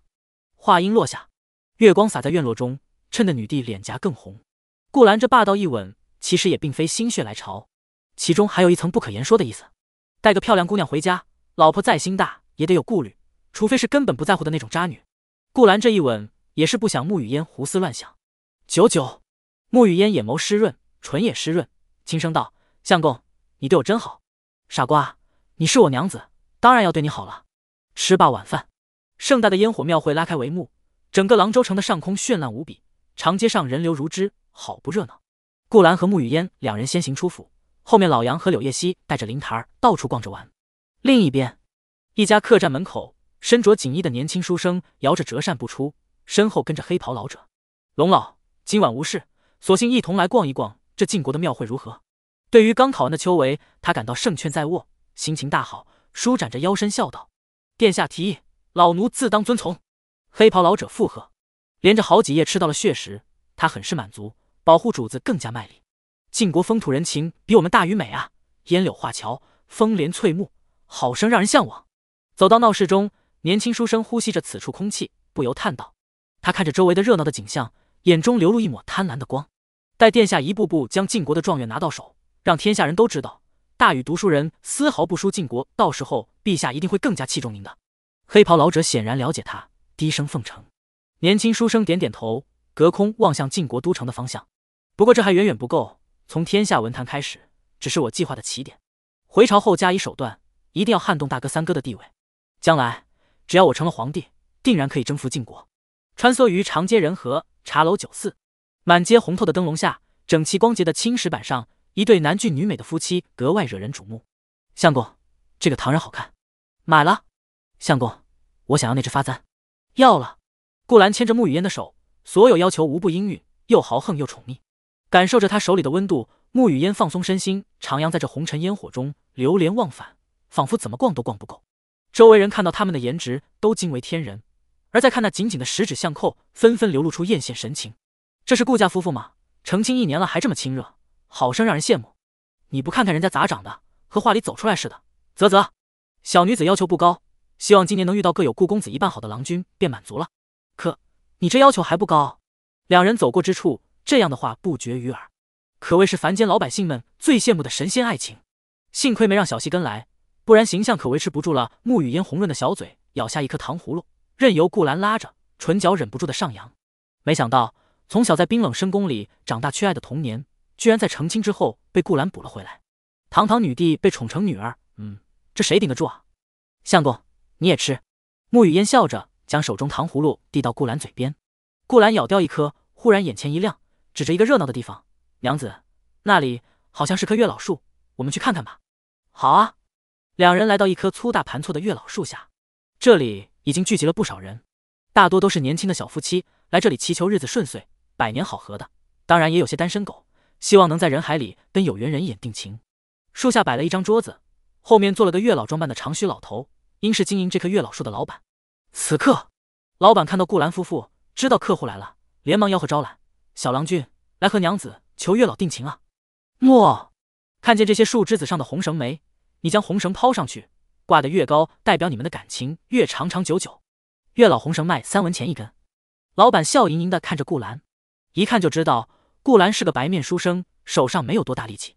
想要把红绳抛上月老树的高枝子，书生显然不容易做到，所以肯定就得多买红绳，多扔几次。这是老板发财的小技巧了，专门就赚些文弱书生的钱。沐雨烟一听就知道他意图，笑道：“你这红绳子这么值钱，最后就只是句空话，真以为自己是月老？”哎，夫人何必与咱较真呢？老板笑呵呵道：“就是图个喜庆的，又不强买强卖。”你沐雨烟还欲反驳，却被顾兰拦住，给他一个温柔的眼神：“娘子，没事的，不过就是三文钱嘛，玩玩而已。”哎，对喽，老板见顾兰开明，附和笑道：“公子要多少？”顾兰道：“一根就好。”老板道：“一根恐怕难成啊，好多像您这样的小郎君都是七八根才挂上去的哦。”不必。顾兰淡淡一笑，掏出三文钱给他。接过一条月老红绳，仰头看了眼枝丫繁盛的月老树，上面已经挂了好多红绳，可唯独最顶上的那根光溜溜的。老板，最顶上那根枝子怎么没红？顾兰瞥了眼老板，笑道：“若是能扔上去，是不是得有个不一样的彩头？” 呵呵，小郎君说笑了。老板看见他指的那根枝子，差点没忍住一口水喷出来。那根枝少说离地两丈高，要是你能扔上去，我这摊子直接送你了。哈哈，听到他这话。周围一对对正努力往上扔红绳的小夫妻好奇的望过来，看到顾兰俊朗的模样，姑娘们都是脸颊一红，而男人们则更关注他与老板的随口赌约：“兄弟，这月老树足足有两丈七，可莫要逞强晃了腰，对吗？”我们都理解兄台在娘子前的表现欲，可也要量力而行啊！哈哈哈！对这些笑闹声，顾兰充耳不闻，只是低头笑笑，掂量了下手里红绳的分量。接着，他很随意的将手一抛，那根红绳好像长了翅膀一样，直接穿过密集的树枝，飞到足足三丈高的地方，最后稳稳落在了月老树最高的枝子上。直到此刻，这棵月老树的头顶终于留下第一抹红，而四周前一秒还在笑着的老板，笑容陡然僵住，连同一旁眼睛瞪圆、已经看愣了的男人们，卧槽，竟然一发命中！假的吧？啪啪啪！旁边的姑娘们却一个个激动的鼓起掌来，私底下窃语：“这个公子强啊，真的一下子就搭上了，指哪打哪，好羡慕他娘子，他这么强的臂力，比我家那口子强多了。”这些话让他们的郎君听得有点不是滋味，他们还是想不通，为何顾兰能轻描淡写的扔上去。不过此时也没人敢说啥了，脸都快被人打肿了。这时，顾兰淡淡笑了笑，回到沐雨烟面前，看来天意决定。我和娘子的情缘能久到海枯石烂呢。沐雨烟绝美的笑颜绽开，清灵的嗓音夸道：“相公好厉害。”接着，他又踮起脚尖，落落大方的在顾兰脸上奖励了一个香吻。这下可把旁边看热闹的兄弟们酸死了。媳妇好看也就算了，还当众秀恩爱，操，成何体统？不过要说此时最难受的，还是半月老的长须老板。见顾兰看过来，他连忙陪笑，就是笑容有点发苦。公子真人不露相，小老认栽了。这摊子是家里祖传的，真不能给啊！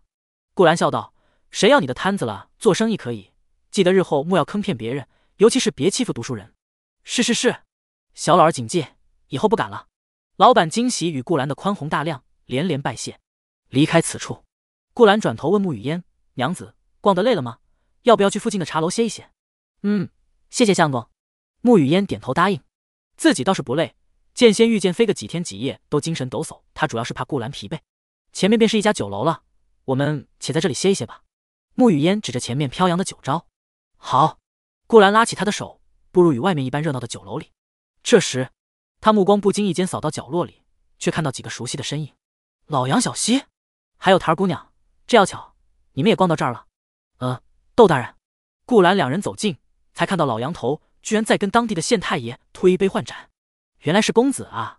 老杨笑呵呵的指着窦福道：“这位窦大人是性情中人，跟咱小老百姓都能谈得来。”顾公子，窦福连忙拱手作揖：“那是他知道你是顾家的人，我上头又有大官照应，才这么亲民的。”顾兰心里腹诽，冲他点头致意。老杨让开位置，顾兰坐了下来。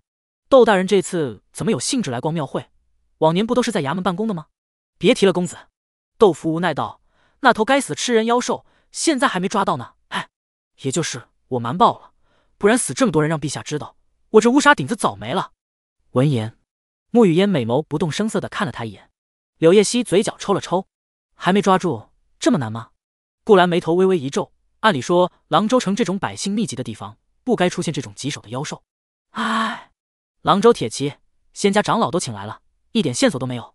豆腐苦笑道：“要是再过半月抓不住，让那妖兽再霍霍下去，估计这就是公子见我的最后一面了。”这，顾兰同情的看他一眼，想了想，沉吟又道：“马家来人没有？”来了。豆腐点点头。马家长子死在这，马伯早坐不住了，现在就住在我衙门上呢。顾兰听后一愣，旋即笑笑。看来这小老头出来陪着巡防营值守，也不光是急切抓到妖兽，还有人逼着呢。可以再申请多一些军兵，抓紧时间抓住妖兽，你还能将功补过。顾兰好心给了个建议。是，听公子的。豆腐沉默点头。对于地位和气度都比他高几十条街的顾兰，豆腐一向是比较幸福的。举杯喝了几盏，沐雨烟听他们聊了半晌，富儿与顾兰说要出去透透气，瞧了眼柳叶熙，便走出酒楼。公子，我也跟夫人去透透气。柳叶熙拍拍屁股跟上。酒楼外，小溪刚刚逛过来的半个城，有没有发觉妖兽的气息？沐雨烟淡淡问道。没有。出门的时候女帝就嘱咐的，柳叶熙也认真检查过大街小巷了，没有蛰伏的妖。那就奇怪了。沐雨烟峨眉微蹙，喃喃不解。柳叶熙掌管玄天司，最擅长侦查探测的手段，如今又已经是王境水准，同等级之下，妖气将无所遁形。可若是王境巅峰，甚至黄境的大妖，又何必来狼州城这种地方做些偷鸡摸狗的事？莫非是因为一些别的原因？这妖必须隐藏身份。沐雨烟青葱玉指抵在下颌，露出沉吟思索之色。这时，一道声音从背后响起，伴随着两道人影的走来。这位姑娘，不知在下可否有幸邀你共饮一杯？摇着折扇的年轻书生翩然不来，后面跟着将面容隐在黑袍之下的佝偻老者。他方才从沐雨烟出来时就注意到了，只是惊鸿一瞥，那不染凡尘的气质和窈窕倩影便挥之不去。年轻书生有些惊叹，而在廊州这种地界，有龙老的庇护，他自然是不需要顾虑什么的，当即就过来搭讪了。沐雨烟疑惑的转身看去，年轻书生这才看到他的正脸，千娇百媚，静态极颜，微红灯笼的掩映下，那张玉颜仿若天仙下凡，神女临尘。这一番回眸，四周竟是失了颜色，哪怕是月美无数的他，连眼神都呆滞了一瞬。回过神来后，眼里更是充斥着炽国火热的光。在下拓跋墨，东周人士，远足到此，感觉与姑娘甚有眼缘，所以想邀约一番，不知可否能赏在下这个面子。去我房中观月品酒，拓跋墨挂着笑意，故意弯了弯腰，显得很儒雅、很有教养的样子。他生得阴柔俊美，气质带着一股子贵气，以往就有无数的女子对他投怀送抱，所以他很有自信，索性就不心急的用实力强迫，而是想用自己的魅力来慢慢征服沐雨烟。在拓跋墨看来，眼前的女子看到自己的样貌后，下一刻就会眼泛桃花，随后佯作腼腆的被自己领回客栈房间，一如之前他玩过的那些女子一般。然而。此刻，沐雨烟却只是冷冷的看了他一眼，俏脸漠然，美眸中甚至带着少许的轻蔑。他红唇轻启，平淡的吐出一个字：“滚。”柳叶熙差点扑哧一声笑出来。瞧着眼前吃瘪的这个货，他心里很是鄙夷，眼神不干不净，还要一副道貌岸然的样子，是个人都能看出来他有多虚伪。要是论相貌，他没有丝毫顾兰那般的浩然正气，反倒是阴柔的让人头皮发麻，根本没有一点可比性。不知道哪里来的勇气搭讪。另一边，吃了一鼻子灰后，拓跋墨足足愣了三秒。生在皇室，从小锦衣玉食，妻妾无数，他还从未被女子拒绝过。拒绝过他的女子，一般都进了龙老肚子里。黑袍老者见沐雨烟面色冰冷，征询的瞧了眼拓跋墨，只要他点头，就可以像以前一样直接掳人了。但是，拓跋墨这次却挥了挥手，让他退下，先等等。面对女帝倾国倾城的姿色，拓跋墨罕见的没有恼羞成怒。而是深吸口气，忍了下来。心急吃不了热豆腐，高冷的美人征服起来才有意思。拓跋墨整理下心绪，依旧笑容满面道：“姑娘何必对在下恶语相向呢？在下家中十分殷实，且尚未婚配。如若姑娘也没有良配……”他话未说完，就被一道中气十足的声音直接打断：“不好意思，他有。”拓跋墨很不爽，皱眉看去，顾兰一袭青衣从客栈中走出，气度不凡，身后跟了老杨几人，皆是眼神不善的看着拓跋墨。让娘子久等了，是我不好。顾兰没有正眼瞧一下两人，径直走到女帝身前，歉疚的说道：“相公，我没事。”沐雨烟俏脸缓和下来，眼神温柔。很奇妙的是，明明顾兰就是一介平平无奇的书生，在这种时候却莫名能给剑仙满满的安全感。没想到林冲的戏码还是被我遇到了，这可能就是娘子太美的烦恼吧。顾兰将他挡在身后，缓缓看向拓跋墨。这一看不要紧，顾兰目光扫过。落到打扮十分有特点的黑袍老者身上时，却是微微一愣。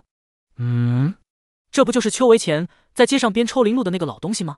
顾兰清楚的记得，当初用望气术试探这两人气运，都是黑色的反派命格。黑色气运比灰色都更晦气啊！这说明他们将来妥妥是要被气运之子装逼打脸的踏脚石。想到这，顾兰看向两人的眼神不由多了几分怜悯。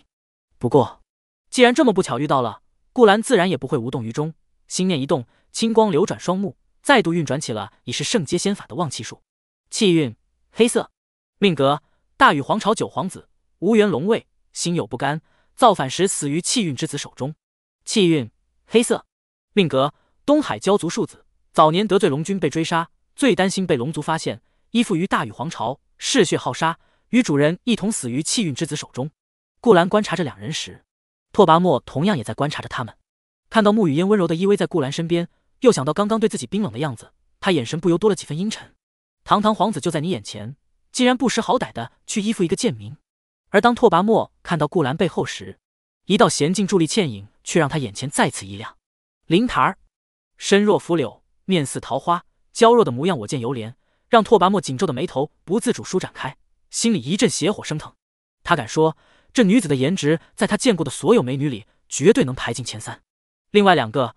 依旧是旁边冷傲不可方物的沐雨烟，二是东海那位失踪的长公主。灵台儿注意到他淫邪的目光，柳眉微皱，身子往顾兰旁边靠了靠。失忆醒来，第一眼看到的便是顾兰。他目前最能依赖的，当然也是他。可恶！拓跋墨看到这一幕，拳头捏紧，盯着顾兰的目光越发狠厉。他贵为皇子，都没有见过这种品质的美人。这个大晋的小子，居然就能同时享用两个奇人之福？凭什么？这时间，窦福穿上官服，从酒楼里走了出来，带着一众衙役们。他们正要去轮值站岗，可看到面前来者不善的两人，窦福忙问旁边的柳叶熙打听了事情的过程，脸色顿时一冷：哪里来的刁民，竟敢光天化日之下行此苟且龌龊之事？还把本官放在眼里吗？窦福不管不顾一嗓子，让周围过往的百姓们都看了过来，纷纷疑惑的模样，瞧着拓跋墨两人指指点点：这俩人谁啊？怎么让县太爷发这么大火？刚刚那个小白脸想跟人家顾夫人搭讪，结果被无情拒绝了，可能是恼羞成怒了吧？啧啧，人不可貌相，长得人模狗样的，想不到内心如此猥琐。拓跋墨又是人生第一次，他被一群人指着鼻子骂猥琐，果然是晋国的贱民啊！拓跋墨眼神冰冷的扫过四周，没来由憋了一肚子火。若放在平时，他早挥挥手杀光这些贱民了。可这个时候，不少官民都已经聚集过来，众目睽睽下。他已经不敢让龙老明着杀人了，毕竟一旦他大禹皇子的身份在此刻暴露，就会惹来数不尽的麻烦。而大禹皇朝不是妖族，不敢在这里肆无忌惮的屠杀。或许杀完这些人，他们今晚能脱身，但狼州铁骑绝对不会让他们活着回去。拓跋墨刚考完秋闱，计划才有了起色，还不想因为几个女人就功亏一篑。我们走。拓跋墨深咽一口气，将顾兰的身影印在心里，弯了眼在场众人，淡淡的吩咐道：“黑袍老者点头，就要带他飞离此处。”忽然，一道无比温和的挽留声响起：“拓跋殿下，窦大人方才叫你留下，何必这么急着走？从大禹赶来此处，可是远客呀。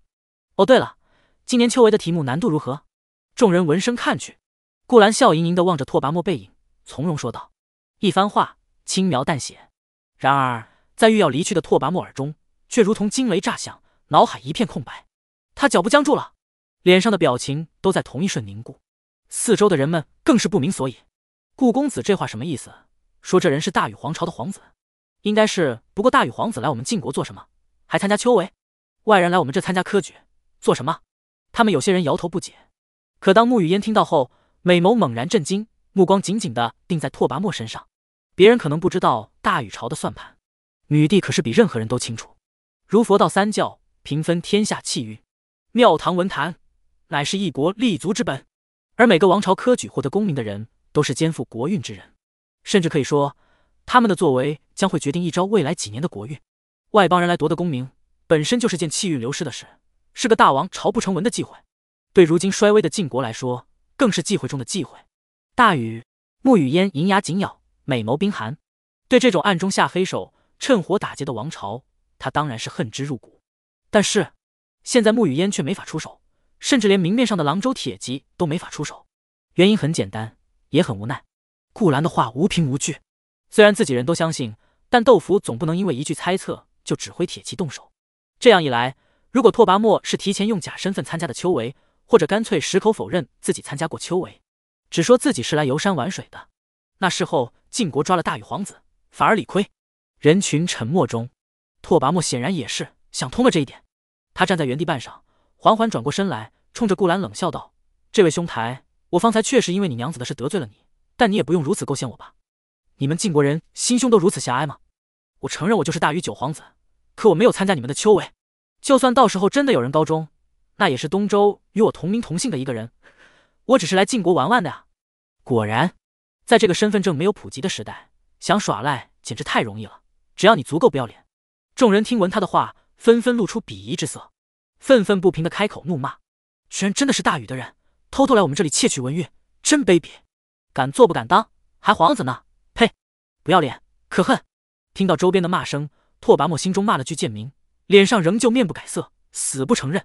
可是顾兰见他不认账，非但没有气恼，反而神情一如既往的从容淡定。知道敌人所有的剧情和设定，叫谁谁都不紧张。看他这般淡然自若，让拓跋墨心中一紧。马德，这小子还知道些什么？不行，身份已经暴露。还是得赶紧离开这个是非之地。拓跋墨佯作镇定，心中已经打起退堂鼓，就要朝后退走。可这时，顾兰又开口了，不过不是朝着他，而是指着他身后的黑袍老者。这位来的地方比大禹更远啊！东海蛟族不知道龙君如今还在不在找你呢？这话一出，众人震惊不已，一道道目光落到黑袍身上。卧槽，这人居然是头蛟龙！东海的蛟族居然也来我们狼州城里了，看起来好像还蛰伏了不短时间。被点到名的黑袍，此刻身体则是明显的一僵，心中掀起惊涛巨浪。他可没有拓跋墨的智商，嘶哑的声音失口反问：“你是谁？你如何得知我的身份？还知道我和龙君的恩怨？”他话说到后面的时候，已经带着些颤音了。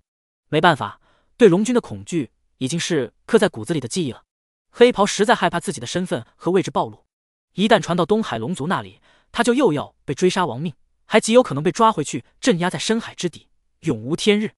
而此时，穆雨嫣美眸闪烁，流露思索之色。以他的聪慧，在顾兰说出“骄族”一词时，便联想到了最近发生的事。忽的，穆雨嫣眼睛瞪大，恍然的看向顾兰，似乎在求证什么。顾兰看着他，淡淡点头道：“你想的没错，此人应该就是这几日为祸狼州，一直夜中吃人的那头妖兽。”哗，话音落地，整条街上的人群都沸腾了。他们看向黑袍的目光，除却畏惧惊恐，此刻又多了一种愤恨。你就是让我们提心吊胆的那头妖。我弟弟就是被你吃了，你还我弟弟命来！有狼州铁骑做底气，百姓们义愤填膺，口诛笔伐，手里的烂菜叶子、臭鸡蛋使劲往两人身上丢。黑袍则是后退一步，可这一退，隐藏的严严实实的面容不小心露出了一角发光的东西，似乎是鳞片。尼玛，真的是蛟族！豆腐当即愣住了，这就是那头吃人的妖兽。这几日他拼了老命的找，带着狼州守军。把整个城翻了底朝天都没找到的妖，居然就在眼前。想明此事，豆腐可不敢犹豫。小老头立马从怀里取出一支穿云箭，嗖一下放到天上。附近的仙家长老看到这支箭，须臾间便会赶到。看到这一幕，拓跋墨彻底慌了。若是大晋的修仙者们赶来，自己又有了这个纵容恶蛟行凶的罪名，就更不可能安然逃掉了。这个蠢货！拓跋墨心里怒骂，眼神怨毒的刮了眼顾兰。黑袍的这番话被顾兰引诱暴露。他们的危险指数简直飙升，别说窃取文运了，连回大雨都是个问题。且不说将来龙军的追杀，现在城外多少铁骑，多少仙家等着，就算留不下黑袍，也绝对留得下他。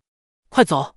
拓跋墨一脚踹醒了还沦陷在龙军惊恐中的黑袍，后者连忙一掐诀，带着他遁逃此地。见他狼狈逃窜，百姓们脸上露出不耻之色。呵，像个过街老鼠似的跑了，还做什么高高在上的皇子？大禹的皇子就这样。大人，我们追啊！现在好不容易有他的把柄了，一定要抓起来！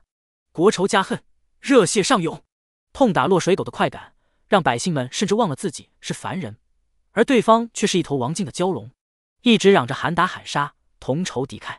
但清醒的人都知道，那头蛟龙之所以没有动手，而是直接逃离，全是因为顾兰那句“不知道龙君还在不在找你”，这得多深藏的恐惧被揭开，直接让他吓得连反抗都忘记了。豆腐连忙平息民众，别瞎起哄。你们去了就是送菜，本官会请仙家长老调动军兵去追的，一定会给大家一个交代。豆腐费了好大劲才把人群疏散走，转头向顾兰连连道谢，才面带兴奋之色匆匆离开。他终于等到戴罪立功的机会了。此间事了，顾兰一家人早已离开，回到了府上。没想到逛个街都出了这么场闹剧。吃罢晚饭，顾兰躺在床上，摇头轻叹：明日要亲自去一趟。把这两人交给豆腐杀，顾兰可不放心。哎，本想以普通人的身份与你们相处，奈何这种恶心反派盯上了娘子，我只得勉为其难的将你收掉了。被贼惦记上，后患更是无穷。而且他们既然知道了自己能预知剧情的秘密，那就有义务让他们带着这个秘密永远的消失。至于今晚过后，城中百姓们会不会回过神来，对自己有所疑问？顾兰揉了揉眉心，有些头疼。不过。就算再来一次，顾兰也还是会选择这么做。身为反派，你为非作歹，我可以理解，但惹我娘子就必须死。顾兰正想着怎么解决这件事，系统提示音突兀出现：您在众人面前剧透了终极反派剧情，获得奖励：玄天至宝朱天龙啸枪，圣阶枪法百鸟朝凤，圣级枪道真意，圣品真灵之血火属性，仙阶。一串金灿灿的奖励出现在系统空间，从真龙之血看到最次的都是仙阶灵草法宝，而悬空的那柄神枪通体如玉，宝光四溢，竟然是堪比鸿蒙剑的玄天至宝。天机阁统计的宝器榜单上，天下的玄天至宝一共就十二件，四大皇朝各有一件，妖界一件，东海一件，自己一人独占两件，还有相应的配套神技和武学真意。顾兰愣住了，身体不由得从床上坐起来。果然，有风险就有收益，只要你肯冒险，肯上进，不像咸鱼一样躺平，系统爸爸的奖励就绝对不会亏待。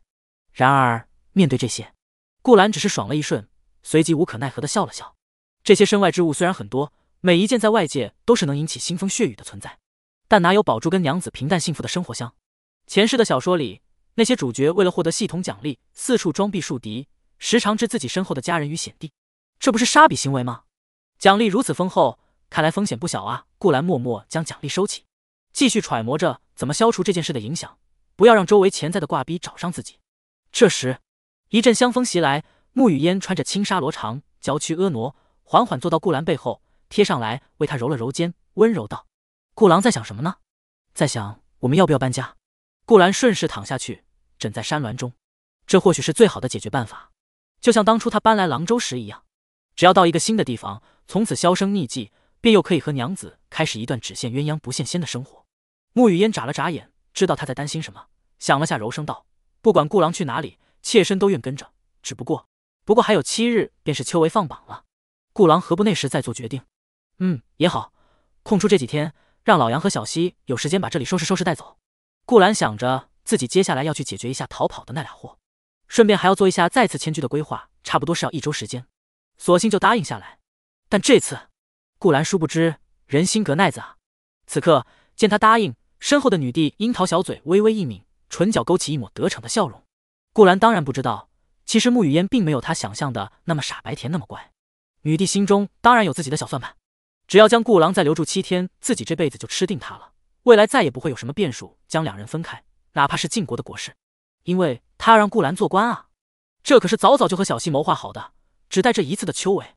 沐雨烟暗自欣喜，却没看到顾兰已经翻身打量起他，面色古怪，在乐什么呢？没，没什么，想到了一件好玩的事罢了。沐雨烟昂了昂雪景，屏住笑意，不承认道：“不料，下一刻，顾兰眉头一挑，大手径直伸向他的罗长扣。娘子，该睡觉了。”啊！沐雨烟猝不及防，脸蛋儿酡红的被压了下去。说什么好玩的事？顾兰手没闲着，沐雨烟满脸绯红，无力招架着，却倔强的别过头去。哼，不说，不说是吧？相公，饶了我。片刻，卧房，烛灭，床摇。而廊州城外一处幽暗的山洞里，却有人彻夜未眠。拓跋墨坐在火堆旁，眼神阴厉，脑海里那道几句话便让他前功尽弃的青衣身影挥之不去。而旁边的黑袍老者却一副惶惶不安的神色。狼狈归狼狈，但不得不说，这位大禹九皇子还是有些聪明的，知道廊州铁骑和那些晋国修仙者要一路追赶他们，索性就不仓皇逃回，而是选择在廊州城附近躲了起来。不过，光躲着可不是办法。当务之急是要想办法从廊州脱身。拓跋墨沉思片刻，看向黑袍，这家伙每每听到龙君这个名讳，已经站立的浑身筛糠了。操！当初我大禹怎么就收留了这么个草包？拓跋墨暗骂着，脸上却带着笑走过去。龙老，你不必如此惊慌的，有我大禹在，东海不敢真的来找你麻烦。日后我若是做了皇帝，你就是异姓王，他东海敢得罪我大禹？我们主仆情深，我发誓一定会保你。拓跋墨耐心说着。给他吃定心丸，黑袍老者终于镇定了些许，犹豫着开口道：“殿下，您说的是真的？龙君如果来杀我，大禹愿意帮我？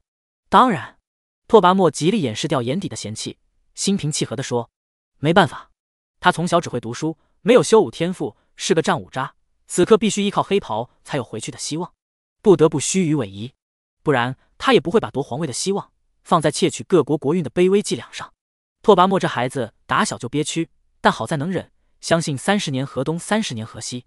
龙老，你要振作起来。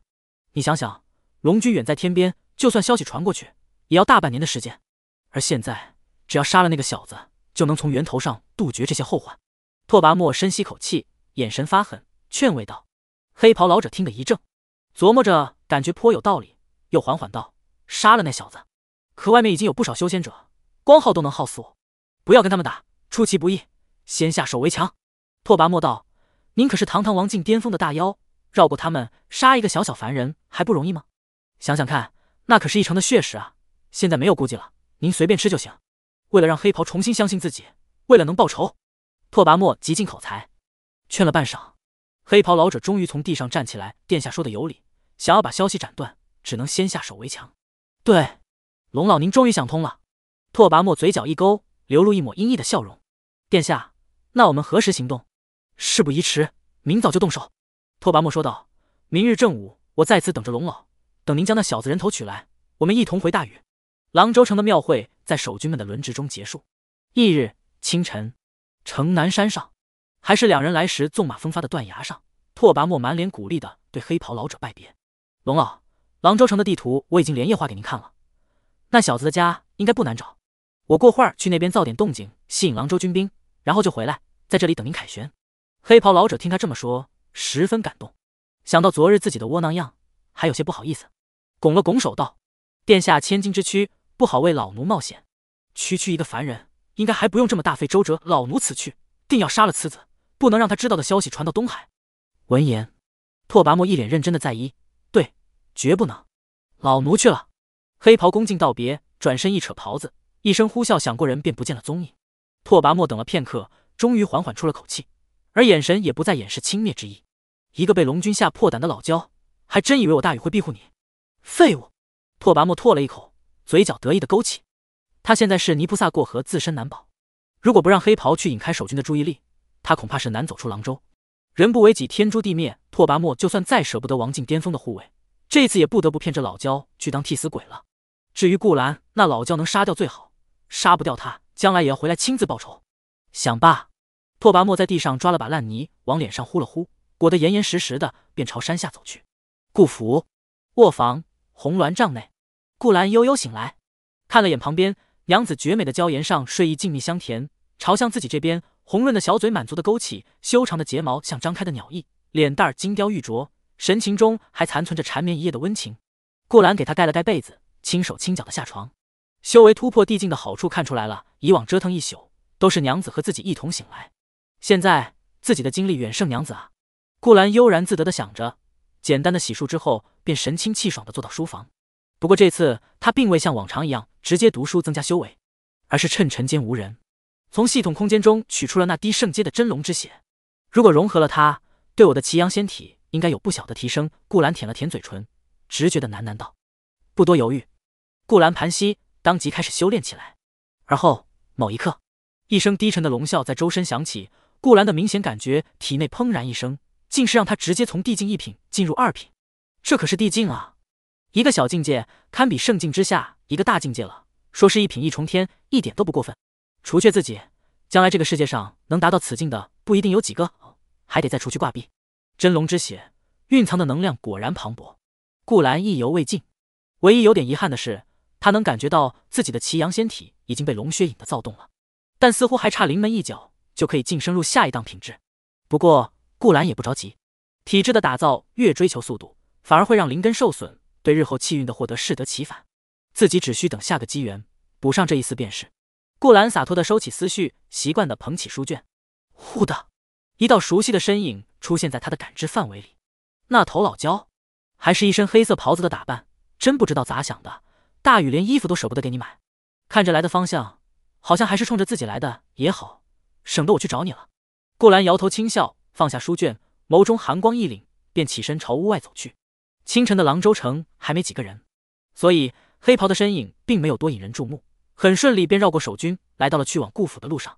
走在秋风萧瑟的长街上，黑袍步伐很稳，似乎是下定决心要杀掉顾兰，永绝后患。走着走着，黑袍忽然感觉前方站了一个人，而盘算着路程，这里还没到顾府。他迷惑的抬头看去，却见一袭长衫的顾兰微笑瞧着他。已经在此地等候多时的样子。你不知怎么，黑袍在看到顾兰，心里有些怯，下意识的转头看身后，以为是有埋伏。谁知这下顾兰淡淡开口：“没有别人，就我们两个。”镇定的语气让黑袍眉头一皱。明明顾兰在他眼中就是个身上没有一点修为波动的凡人，可那股子恐惧就是莫名克服不了。顾兰看着他，挑眉问道：“你笑中的大禹皇子呢？他怎么没来？你管得这么小子，死到临头了还这么多话？”黑袍恨恨的道：“他在心里安慰自己，大概是顾兰昨晚说出龙君的名号，将自己吓到了，才会有现在若有若无的恐惧。这小子不过一介凡人书生，顶多从一些古籍中知道了些禁忌，还能有几分能耐，装神弄鬼罢了。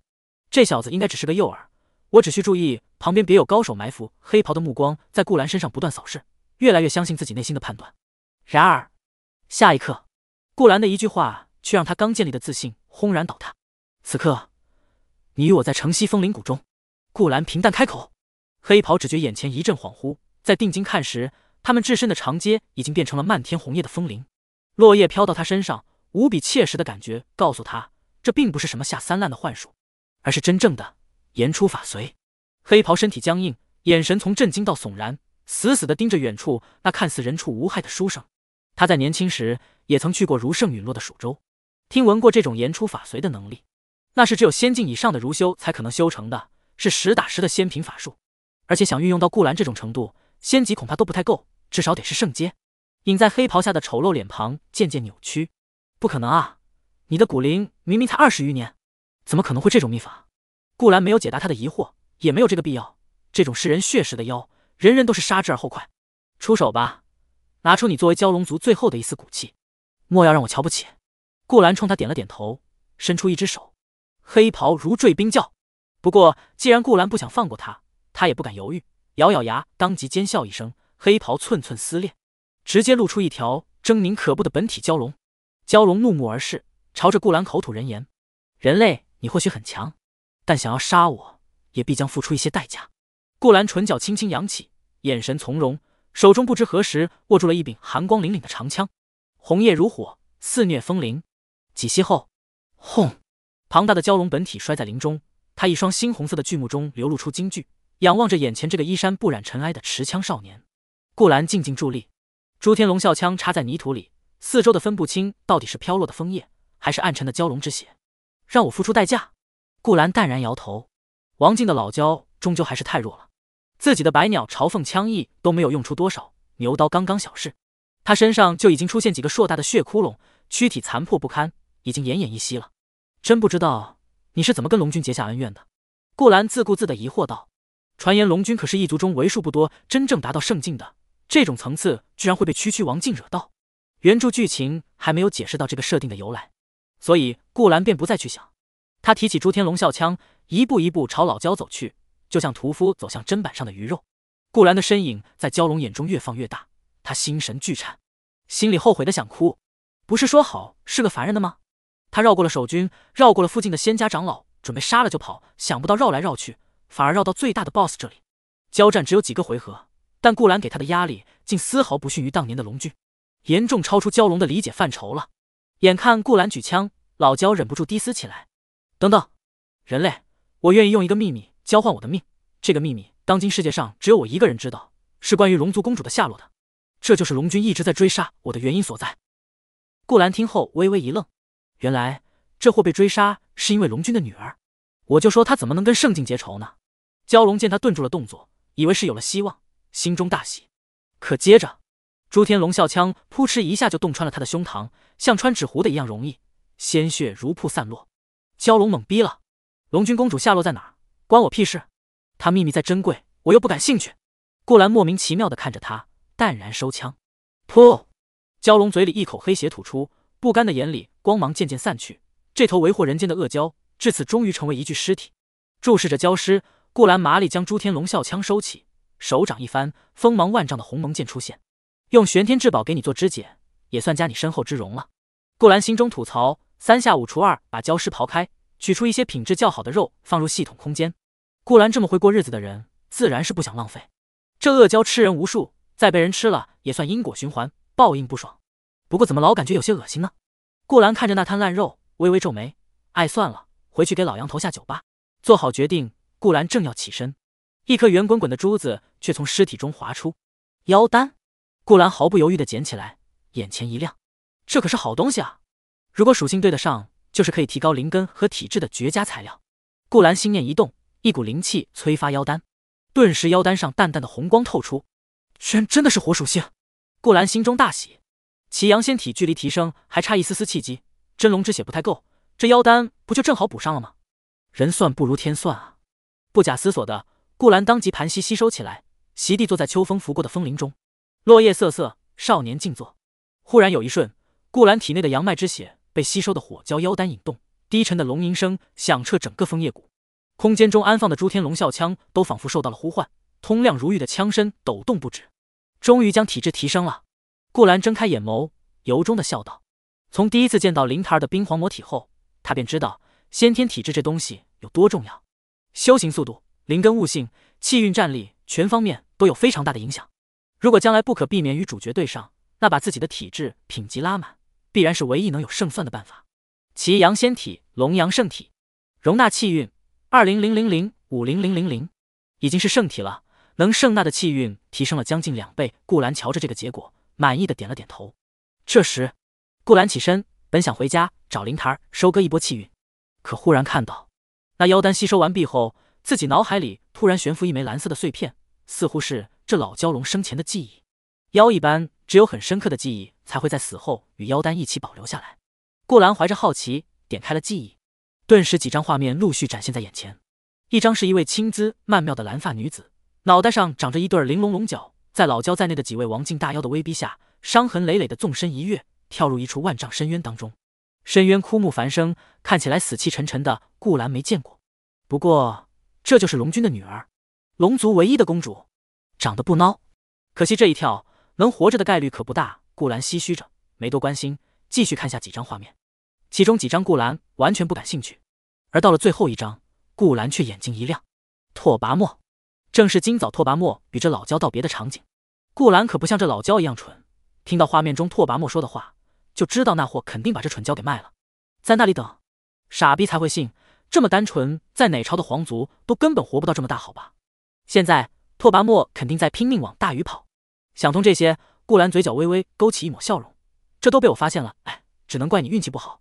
顾兰脚下风云一转，只听火红的风铃中淡淡响起一句话：“此刻我就在拓跋墨面前。”此时，拓跋墨已经走过廊州铁骑排查的关口，半个时辰中没命似的往大禹的方向狂奔。来时脚上穿的锦布登云靴不知道哪去了，衣衫褴褛，看起来别说皇族贵胄，说是叫花子都是抬举了他，着实是狼狈至极。不过。就算如此，拓跋墨回望着已经看不见轮廓的廊州城，满是泥垢的脸上却露出一抹无比快意的笑容。一群蠢货，还想抓住我？等我回去禀告父皇，重整人马，一定回来把你这狼州城屠掉。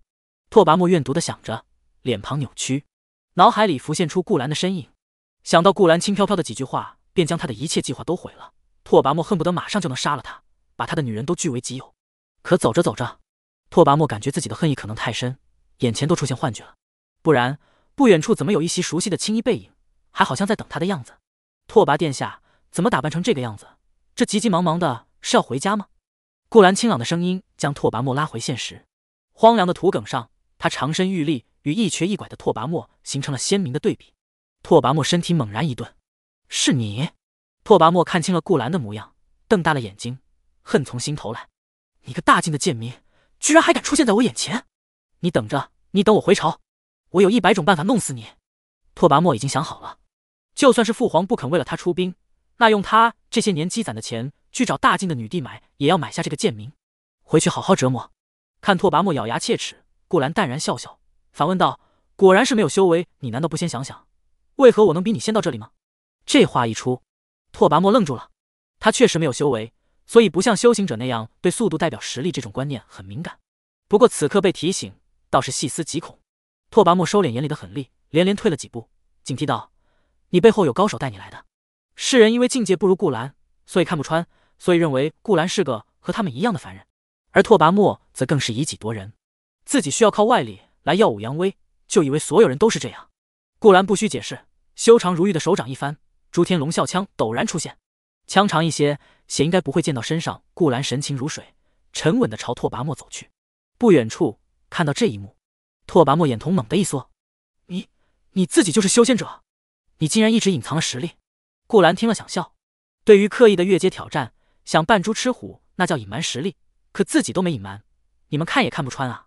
既然被你知道了，那你可以安心去见那头老蛟了。”顾兰冷淡道，面无表情的举枪刺下。“什么？他竟然都被你杀了？”拓跋墨内心绝望，对方能杀王境巅峰的蛟龙，杀他还不是易如反掌？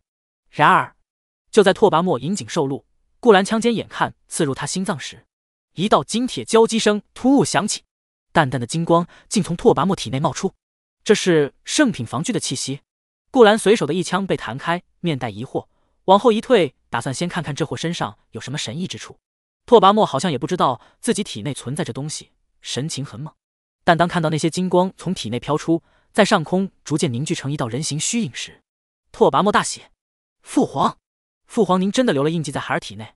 父皇来的太及时了，快救孩儿一命！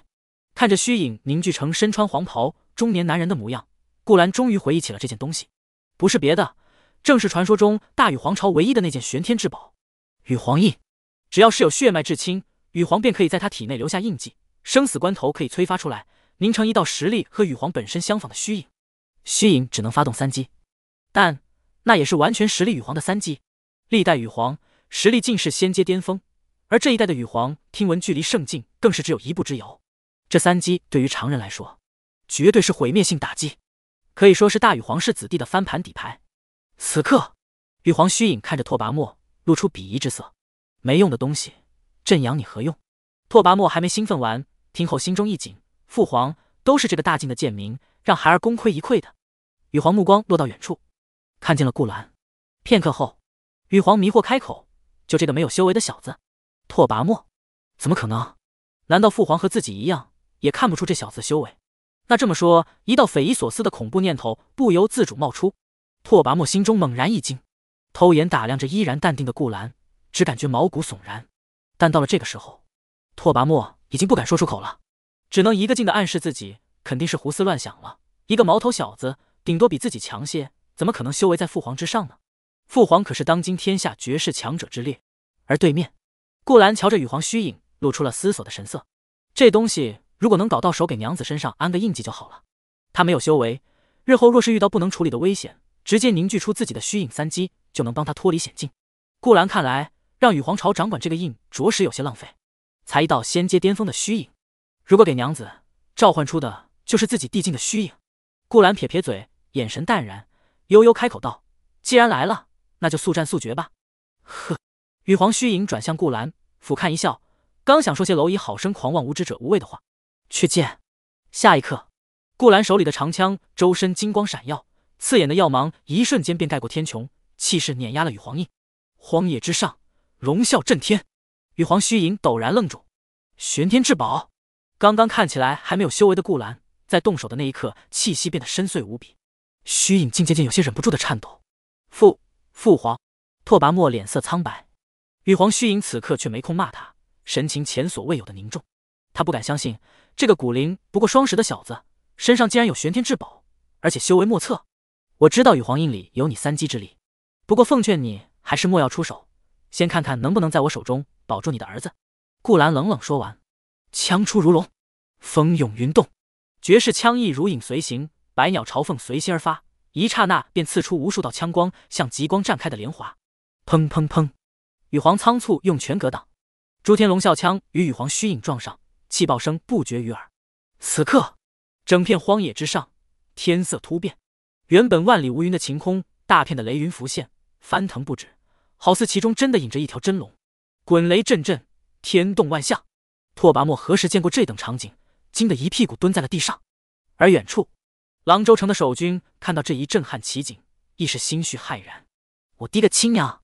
那边突然像末日似的，神仙打架来。豆腐捻着自己的小胡须，眉头皱紧，问旁边的衙役：“以他凡人的知识，根本不了解那代表着什么。”小衙役也是挠了挠头皮，不知道啊，大人，可能要下雨了，咱要不先回去收衣服？收个屁！豆腐回过神，一巴掌拍他脑门上：“都几个时辰了，还没抓住那个大禹孽障，都给我好好守着！”廊州城里。顾府卧房，女帝睡梦中猛然被这两道极强的气息惊醒，缓缓坐起来，揉了揉脑袋，穿衣走出去。府中小院里，柳叶熙已经在远观着那边的异象，小脸上露出感叹震惊之色。陛下，您看啊，那边好像是两位绝世大能在打架。嗯，沐雨烟应了声，望过去，精致的眉头却渐渐蹙起。他能看出，这两人中一人用枪，一人用拳，用枪的强者在猛攻。用拳的一方却稳落下风，实力皆在仙阶之上，都堪称绝世也不过分。只是用拳的那位气息怎么跟大禹皇族的功法那么像？沐雨烟疑惑的轻摇琴手，素手扶额。他是没想到，一觉醒来，竟然就有两个绝世强者在大晋的地盘上，在距离狼州城不远的地方开战了。都怪顾郎，穆雨嫣心里幽怨的道。因为昨日庙会上顾兰的偏袒宠爱，又在解围的时候揭发了大禹皇朝的阴谋，帮着狼州揪出了那只吃人的蛟龙，无形中帮了他很大的忙。所以昨夜穆雨嫣就奖励顾兰可以任意施为，直接折腾到了寅时，他已经精疲力尽了，才被放过睡去。这一觉睡得太沉了。沐雨烟想着想着，绝美的俏脸上浮现一抹嫣红，被旁边的柳叶熙不经意看到，脸色一阵古怪。嗨嗨，沐雨烟收回思绪。眼神回归正题，淡淡问道：“这两位绝世强者何时开打的？大概半炷香前吧。”柳叶熙盘算下时间，回道：“稍有动静时，他就已经在观望了，心里还一直好奇，为何这么大动静，女帝都不关心，只在卧房睡觉。陛下，要不要背着去看一看，到底是何方神圣来我大晋作战？”不必。沐雨嫣立刻打消了柳叶熙的好奇，这种级别的战斗，稍有波及都是重伤，即便是我，恐怕也讨不了好。啊！柳叶熙显然没有女帝更了解高层面战斗的恐怖，喃喃道：“这么严重啊？”“嗯，而且其中一人像是羽皇。”沐雨嫣遥望着天地异象下的气息，凤目微眯。闻言，柳叶熙悚然一惊：“羽皇？那老东西不在家待着，来我们大晋的地界与人交战，他打得赢吗？”“打不赢。”穆雨嫣观察片刻，干脆的摇头。柳叶熙松了口气：“那就好，只要大禹皇朝能吃瘪，管他们的敌人是谁呢？”他都是鼎力支持、呐喊加油的。可接着，又听女帝深吸了口气，看着那边交战的绚烂天光，凝重道：“从气息来看，那位与羽皇交手的绝世强者，恐怕朕和羽皇加起来都不一定打得赢。这么夸张？”柳叶熙目瞪狗呆。陛下是剑仙之境，和羽皇不分伯仲，都属于世间至强之列。何时听闻两位皇者联手都打不过一个？这从哪冒出来的绝世强者啊？小希，你可记得天机阁上一次风云榜上？有没有用枪的妖孽天骄？沐雨烟微微皱眉，扭头问：“哪怕隔着这么远，那股凌厉的枪意好像要刺破苍穹，搅得周围的灵气全都破碎开来。他自然感受得到。只是前后一甲子，好像没听说过世上有这样的一位枪仙。除非……”沐雨嫣美眸灵光一闪，忽然忆起了前段时间自己颇感兴趣的一个人。这时，柳叶熙回忆了一遍天机风云榜，猛然摇头道：“当年上榜的枪仙，唯有北冥王朝的安南王。”算得上赫赫有名，不过他向来镇守北冥南阳关，不可能来我大晋，还跟羽皇打起来。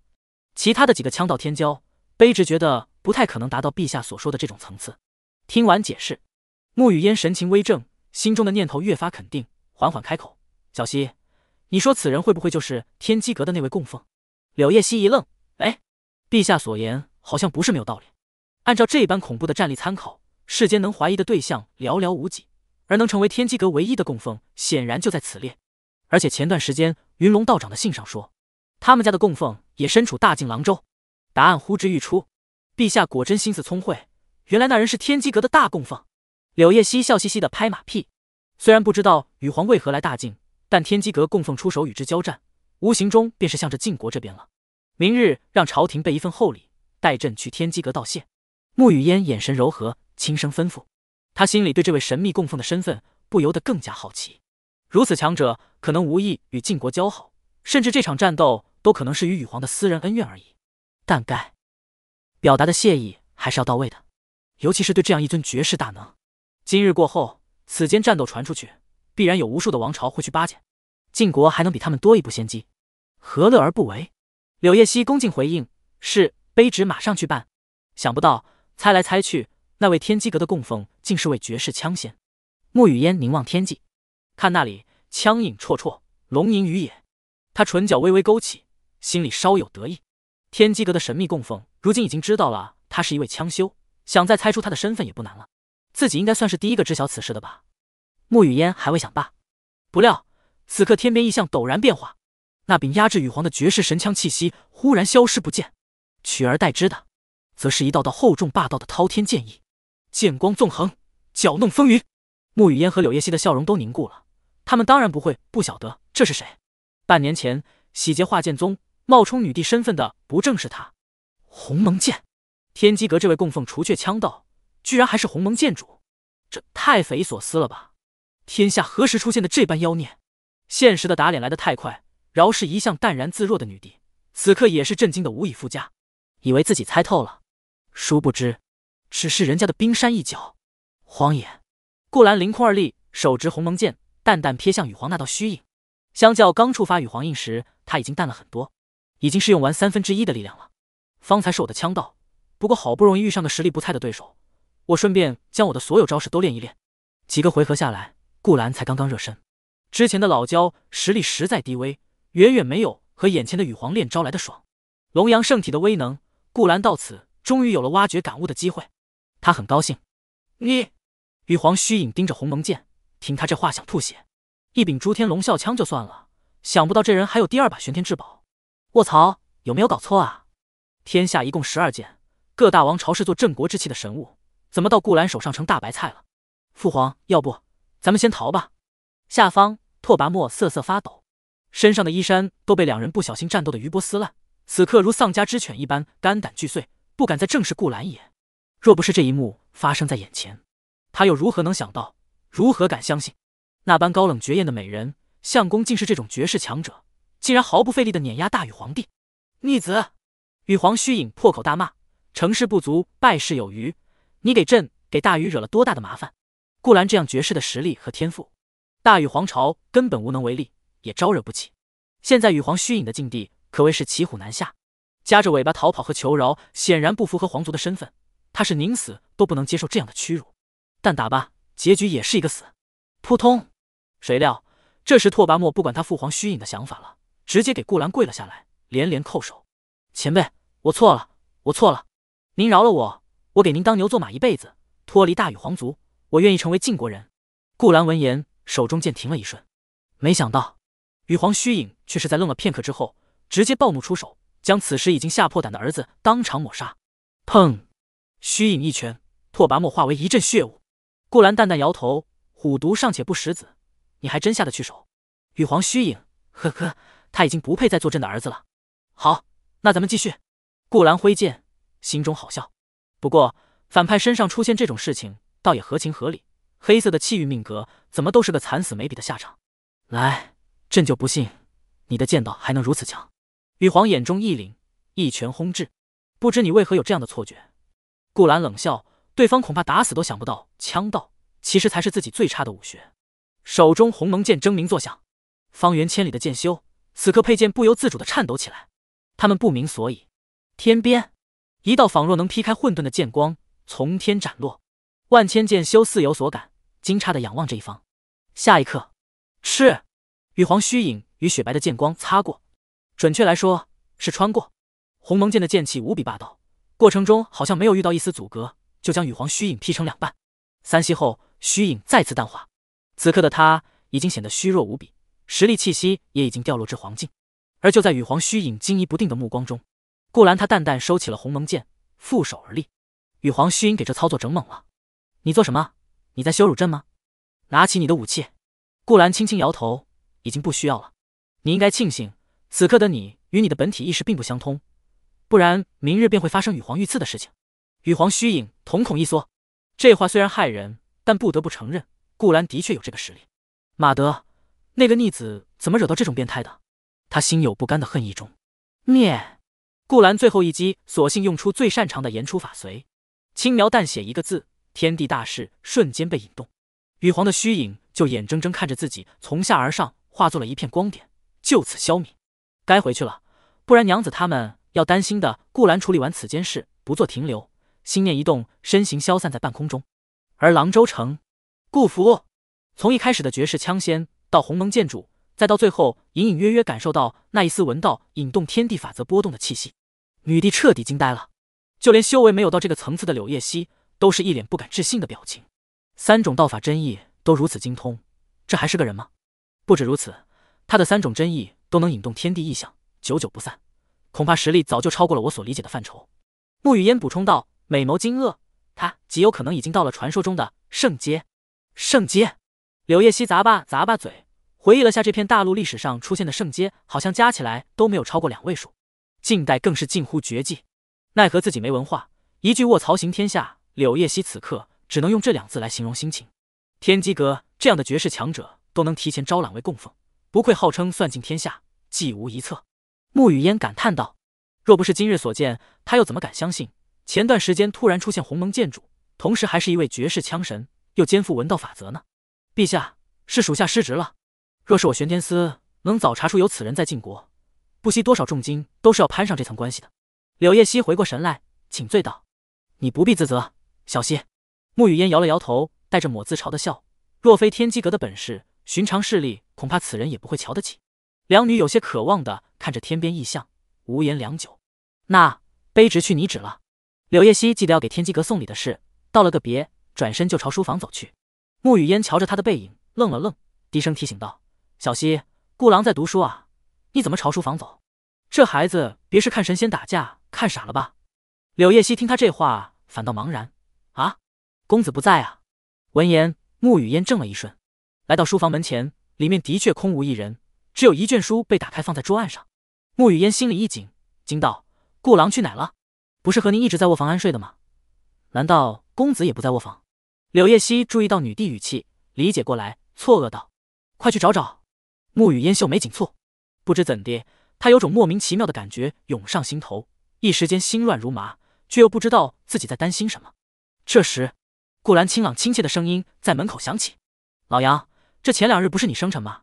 我今早出去给你切了两斤肉，你拿去下酒吧。”哎，难为公子还记得。老杨头连连道谢：“谢谢公子。不过公子，你错过一场好戏了。刚刚远处天边又打雷又刮风的，听街上人说是有神仙打架呢，是吗？那真是可惜了。”顾兰一笑，拍了拍老杨头的肩，就阔步朝院中走去。哎，娘子，怎么和小溪都在这里等我？沐雨烟怔怔看着他微笑走来的样子，恍惚间感觉他手上好像有一把剑的影子，不对，亦或者是枪的影子，正与某道素未见过的身影缓缓重叠。死！我是不是傻了？沐雨烟使劲闭了闭美目，面前的顾兰又逐渐清晰起来，朗目如星，身姿挺拔，满眼的温柔和笑意，气质素雅温良。还好是自己的项目。沐雨嫣松口气，回过神来，才发觉心里一阵极大的担忧，盯了他半晌。女帝美眸不由自主的湿润，嗔道：“顾郎怎么一声不响的出去？我们刚招惹了大禹的人，现在外面的仙家打架。你在刚刚发现顾兰不在书房的时候，他拳头都硬了。恐怕再晚一秒，沐雨嫣就要飞往那位绝世强者与羽皇的交战之地一探究竟。是我不好，娘子，这不是想着给老杨一个惊喜吗？”嘿嘿，顾兰笑嘻嘻的，忙搂过去哄：“惹到大禹的皇子，呵呵，已经不存在了，就连那头恶蛟。”如今也摆在老杨的锅里了。顾兰眼中暗暗泛起笑意。天地异象初散，霞光仿佛雨后彩虹，漫山遍野的洒下来，覆盖在那一片荒丘土埂上。一道道身影飞掠，是后面匆忙赶来的晋国修者。看到此地大战的斑驳痕迹，纷纷面露震撼之色。引发天地异象，剑气枪气皆深嵌大地数丈，这得是何种层次的战斗？单单是看这几道剑痕上流的剑意，就够我领悟数年了。哎，这边还有一片血迹。好像是一个人被硬生生打爆了，别关注那些小事了，老兄，趁此良机先感悟一番再说，对吗？也就是我们晋国人有这个福利，其他王朝的修士恐怕一辈子都无缘观摩这种程度的战斗痕迹。哈哈，确实，晋国修士们面露热切之色，一个个盘膝坐下，好像矩阵一般，很有规矩的默默感悟着顾兰的剑意和枪意，收益良多。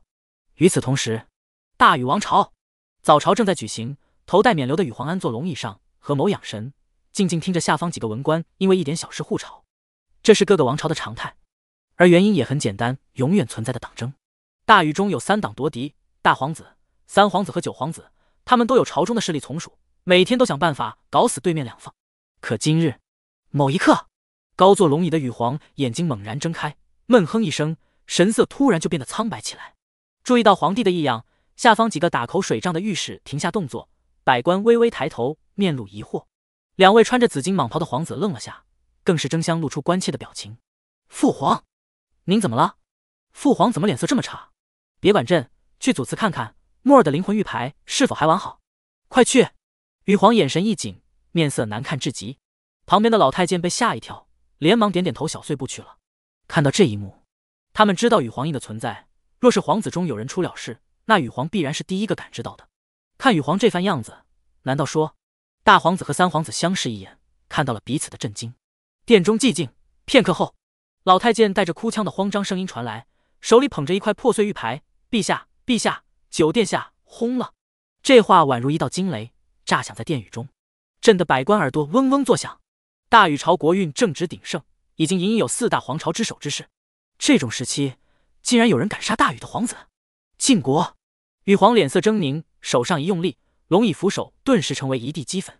拓跋墨临行前告知过他，此番要去晋国做一些隐秘之事，若是成功，能极大提高大禹的国运，将来统一个朝，胜算会翻倍。禹皇都打算带他回来，就立为皇储的。想不到，就连禹皇印都没能保下他。皇子死了，连带着羽皇印这镇国之气都受损不少，大禹气运亦有消耗。偷鸡不成蚀把米，这才是禹皇最愤恨的事。陛下，九殿下既是在晋国遇难，我们理当为九殿下讨个公道，去问一问那大晋女帝，要个说法。不少九皇子党的大臣义愤填膺，激动的谏言。不过，此刻大皇子和三皇子交换了个眼神，两人轮流出列，出言道：“父皇，儿臣以为此事不可冒失问罪。父皇，晋国有人能杀九帝，说不定实力和背后的势力就很强大，我们应该从长计议。”两人一发话，后面两党的从属纷纷附议。拓跋墨死了，少了个竞争对手，他俩当然是高兴还来不及呢。报仇，消耗大禹的底蕴，去找晋国问罪，他们当然要拦着。这时，禹皇眼神阴翳的瞧了两人一眼，他们顿时不寒而栗，一种被看透的毛骨悚然感觉油然而生。两皇子连忙扶手，随之，禹皇咬牙切齿的话音在大殿响起：“这事你们都不要掺和了，墨儿的仇朕一定要报。不过。”还要问问国师才行。禹皇冷色踱步走向金殿后方，不再理会朝中这些大臣。大禹的国师便类似于晋国的青天监监正，和天机阁同出一脉，以前都是天机阁内门弟子。他们学成天机道法，观测一国国运，是各大皇朝的定海神针。禹皇宫的后园，一处竹冠就是大禹国师的住处。禹皇缓缓步来，眉头紧锁。不曾想，这时却有一名侍女迎面过来，行了个礼道：“陛下。”国师在养伤自愈，已经没法见您了。什么？玉皇惊愕不已。自从登基以来，国师向来与他是亦师亦友，每次遇到困难都给出妙法化解，说是大禹护国柱石，一点不为过。可这次，在这个节骨眼上，竟是迎来了第一次回绝。国师怎么受的伤？为何这个时候突然不见朕？回陛下，国师大人知道您要来，刚刚便提前窥天道观测陛下想问之人，可立刻。就遭到了天道反噬，伤重之前交代了奴婢这些话。侍女是宫里老人了，很简单就说完离去。羽皇愣愣的待在原地。天道反噬，他是知道国师修为的，同为仙阶巅峰，平常给他占卜测算一点事都没有。可这次居然刚开始就被天道反噬，而且明说不见他，很显然是不想再测算这件事，想要明哲保身。对方到底是什么人，竟然让国师讳莫如深？羽皇满脸不敢置信，眼底还有一丝不甘。传唤密探。即日起，给朕前往大晋，把朕布在晋国的网收一收，顺便打探九皇子之死的真相。禹皇眼色阴沉，斟酌片刻后下旨道：“大禹在晋国是有案子的。原本禹皇想再等些年收网，觊觎大晋已久，他势必要做到一击奏效。但如今这口气不出不成。皇子都死了，再忍那还算是国君吗？禹皇的性格不允许这样做，也算是最为稳妥的办法了。但羽皇不知道的是，在他离开之后。”竹观中，一位裹着道袍的老者疲惫的睁开眼，遥望金殿的方向，虚弱一叹，苍老的双目中似有惋惜，似有后悔。老者正是大禹的国师，而他的身上生命气息竟已流逝大半。廊州城外神仙打架的消息很快便传开了，枪剑双绝的绝世强者更是名动天下。那一片荒野也因为顾兰留下绝世的剑意枪意，成为了附近修仙者趋之若鹜的感悟之地。又过数日。晋国周围的小国以及势力陆续听闻了此地，不少的修习剑道和枪道的宗门，在宗主来领略一番之后，都没有隔夜便飞马给大晋朝廷进贡，请求成为晋国的附属宗门和附属国，就为了能让弟子们有在此地修行感悟的机会。一时间，晋国风头无两，吸纳修者无数，其他王朝都是暗中有些羡慕嫉妒。不过，寻找那日绝世强者的念头也实扎根在各大势力的当权者心里。甚至从战斗痕迹中发现那位绝世强者有火属性体质之后，南方的赤阳王朝当即放话，只要那位强者愿做赤阳皇朝客卿，地位直接与太上皇平齐。各国纷纷抛出重力，都在想尽办法先一步找到巴结到那位惊鸿一现的绝世强者。而他们不知，那位绝世强者此刻正在廊州城里琢磨着怎么离开这个风口浪尖的地方。顾府书房桌案上罕见的没有摆书。而是放了一堆商行地契。顾兰一个个翻阅这些店家闲置的房子，希望能在里面找到一个适合迁居的。可是，一边回忆着原著中嘉庆四年的事，一边给各个州做排除。顾兰无奈的发现，好像各个州都不适合迁居，要么有挂壁的存在，要么得长途跋涉，环境艰险。哎，还有店家的地契吗？顾兰扶额看向旁边穿蓝衣的美貌侍女，林檀儿已经逐渐熟悉了顾府的生活，此刻正是他在帮顾兰找房子。没了。林檀儿小手一摊，摇头道。哦，不对，还有几家，不过价格很高。价格不是问题，拿来。顾兰点头说。然而，林檀儿递过来的却是些黄色的契书，上面不只有名商的印，还有红彤彤的官印。公子，就剩这几家了，都在京城。店家说是些犯罪的臣子府邸，被抄家以后便废止的。林檀儿耐心解释，这里面最便宜的府邸都要大几千两白银，对常人来说简直就是天价，是廊州房价的十倍都多。算了算了。顾兰听完。想都没想就把几张地契随手一扬，郁闷道：“京城狗都不去。”林檀儿默默捡起来码好，耸了耸肩。他看来，可能公子也觉得贵吧。这时，门外老杨头着急的声音传来：“公子，公子，你人呢？在这呢。”顾兰淡淡回应。看见顾兰稳坐椅子上，不慌不忙看地契，老杨顿时皇帝不急太监急了：“公子，今天可是秋闱放榜的日子，衙门那边都已经快贴完了，您这怎么不当回事儿啊？”担心什么？那金榜挂好几天呢。顾兰撇撇嘴，反正自己是林旦，榜上又不会有自己，无非就是做做样子而已。这么急做甚？上辈子高考自己都没这么急。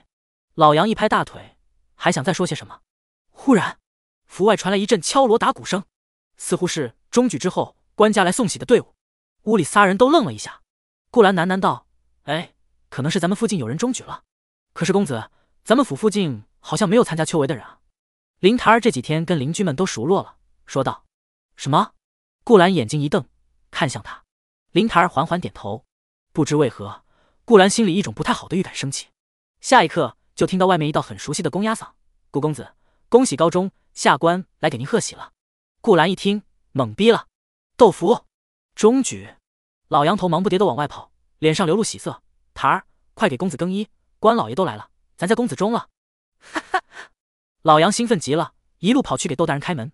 书房里，顾兰还未回过神，林檀儿已经手脚麻利的把一身正服拿来给顾兰换上。天命之女为你更衣，气运加一百加一百。饶是通过享受服饰来薅天命之女气运，此刻都无法填补顾兰那颗懵逼至极的内心。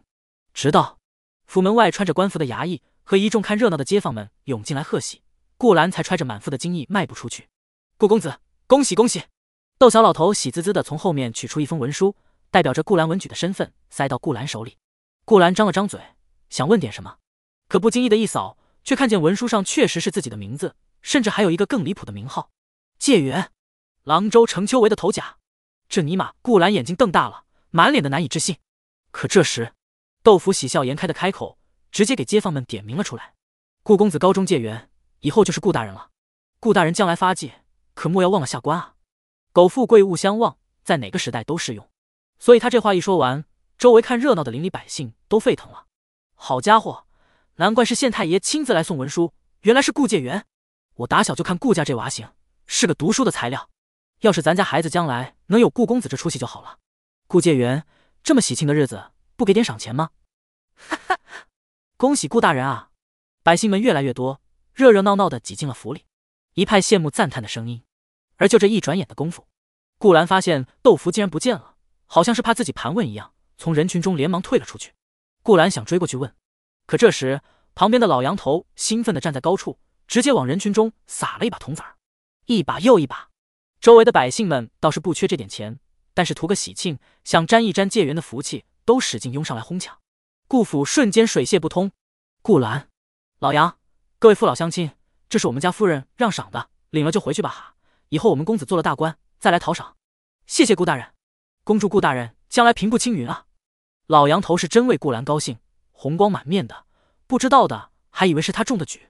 事到如今，顾兰只能将心里的迷惑和那张莫名其妙的文书收起来，挤了挤笑容，做出正常借元郎的样子，跟邻里街坊笑谈起来。顾大人，没记错的话，您就娶了一房吧。我家还有一个妹妹，您看看能收个妾不？丫鬟也成。顾大人，这是一百两银票，咱家一点点意思，您还要去考供，就当路费。送钱送人的都有。顾府锣鼓喧天，热闹无比。而这时，无人关注的廊州城门外，窦福恭恭敬敬来到一个绿衣少女面前，弯腰道：“柳大人，办妥了吗？”柳叶熙回眸，淡淡问道：“妥了，顾公子收了文书，现在是名正言顺的解元郎。”窦福一五一十的说：“好。”柳叶熙丢给他一袋沉甸甸的金子，这是给你的补偿，辞官回乡吧。窦福眼中流露喜色，接过连忙又道了好几声谢，擦擦汗，转身离开，和家人一起上了早早准备好的马车。顾府，快到傍晚时，街坊们回家做饭，热闹声陆续散去。书房，顾兰静静坐着。仔细审视那封写着“借元”珠字的文书，他横竖想了好久，才从字缝里看出来，满满一封都在写的两个字是“黑幕”。虽然不是现代社会，没有互联网统计，但考卷还绝对不至于搞错。一张白的令人发指的考卷，却碾压了满城的寒窗学子。那只有唯一的一个可能：有人帮自己托关系，走了后门。顾兰回想到当时豆腐给自己拿牌号的场景，越想越不对劲。他当时还没看铁牌，怎么就知道那是二百九十五号？现在想想，根本就是预先留好的。可恶啊！我以为你就是照顾我参举，谁让你直接把戒元给我了？顾兰扯了扯嘴角，一头黑线。毫无疑问，这次的乌龙戒元必然还是京城那个神秘的朝廷大员搞的。他确实在照顾自己，这要搁在范进身上，肯定要给那人立长生牌位，天天供着。可顾兰不想啊，这波戒元名头一家，要是不去京城参加共事，那好吗？用不了多久，女帝就会派特使来慰问自己了。堂堂一方界元，居然不想做大晋的官，想玩九族消消乐，到时候必然更是天下闻名。哎，难道真的要应了云龙老道的说法？顾兰想到那天老道士神在在的掐指一算，心里一阵没底。不过同时，顾兰对京城那个神秘大官的身份更加好奇了。什么样的权位才能左右一方州城的界元功名？要知道，在这种科举至上的古时代，作弊可不是取消考试资格，而是抄家发配啊！有这能量的。恐怕至少得三品以上吧。嗯，或许还得是国子监或者翰林院的人。尼玛，若我真得去京城，必然要把你这好心办坏事的家伙给找出来鞭打一番。顾兰心里发誓。这时，沐雨烟端着一碗莲子粥走进来，笑意款款，来到顾兰身边坐下，雪白的玉手拿勺羹轻轻倒着粥，递到他嘴边。恭喜相公，高中解元，以后就是官身了。嗯，顾兰欲哭无泪的点点头，喝着他喂来的粥，粥很甜。娘子也很甜，就是这莫名其妙的中举有点堵。相公不开心吗？沐雨烟挑挑眉，眼眸澄澈如水，忍住笑问道：“哈，安能摧眉折腰事权贵，使我不得开心颜？”顾兰握住他冰凉绵软的手，一脸认真道：“我不想为官，只想和娘子厮守一生。”傻瓜，做了官才能真正和我厮守一生啊！沐雨烟眉眼温柔，心中暗道：若是真的只与顾郎在廊州城里生活，倒是岁月静好，但迟早有分开的一天。帝王入红尘，并非是结局，只是开始罢了。所以，想要把美好的开篇延伸到末尾，只有帮顾兰坐到足够高的位置上，才能破局。女帝对此再清楚不过。相公，天宇不取，反受其咎。沐雨烟凝望顾兰的眼睛，耐心的劝道：“况且前段时间相公不也说了，我们要迁居到其他地方住？如今这借元文书一来，不正是搬去京城的好时候吗？”搬去京城？顾兰愣了，这么大胆的想法。他可没想过，从这几天回忆的原著内容来看，嘉庆五年，也就是明年一整年，京城都不再消停了。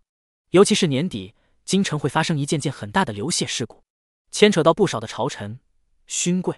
虽然主角那根搅屎棍要在嘉庆六年才会去往京城，但那位女帝可是狠人，对于不忠不义的朝臣，屠刀落的那叫一个爽快，满城腥风血雨。最恐怖的是，这其中因为有些心怀叵测之辈的栽赃，还杀错了不少。这些变故弄得朝中人人自危，大晋风雨飘摇，为将来晋国那些存留的忠臣被草根主角收买，更是埋下了伏笔。思绪收回，尽管心中有些无奈，但顾兰发现娘子说的颇有道理。天娱不取，反受其咎。继续待在廊州，只会让自家惹到的瞩目越来越多。尤其是这几天，到处都是来感悟自己剑意、枪意的修仙者。想不到，果真被那老道给说中了。顾兰失笑摇头。取出那一沓京城的地契，递给沐雨烟。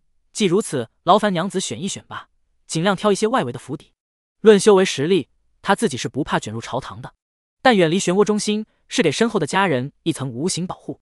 反正共事就在来年开春，等到时候落了榜，廊州这边关于自己的消息也凉的差不多了，正好再迁回来。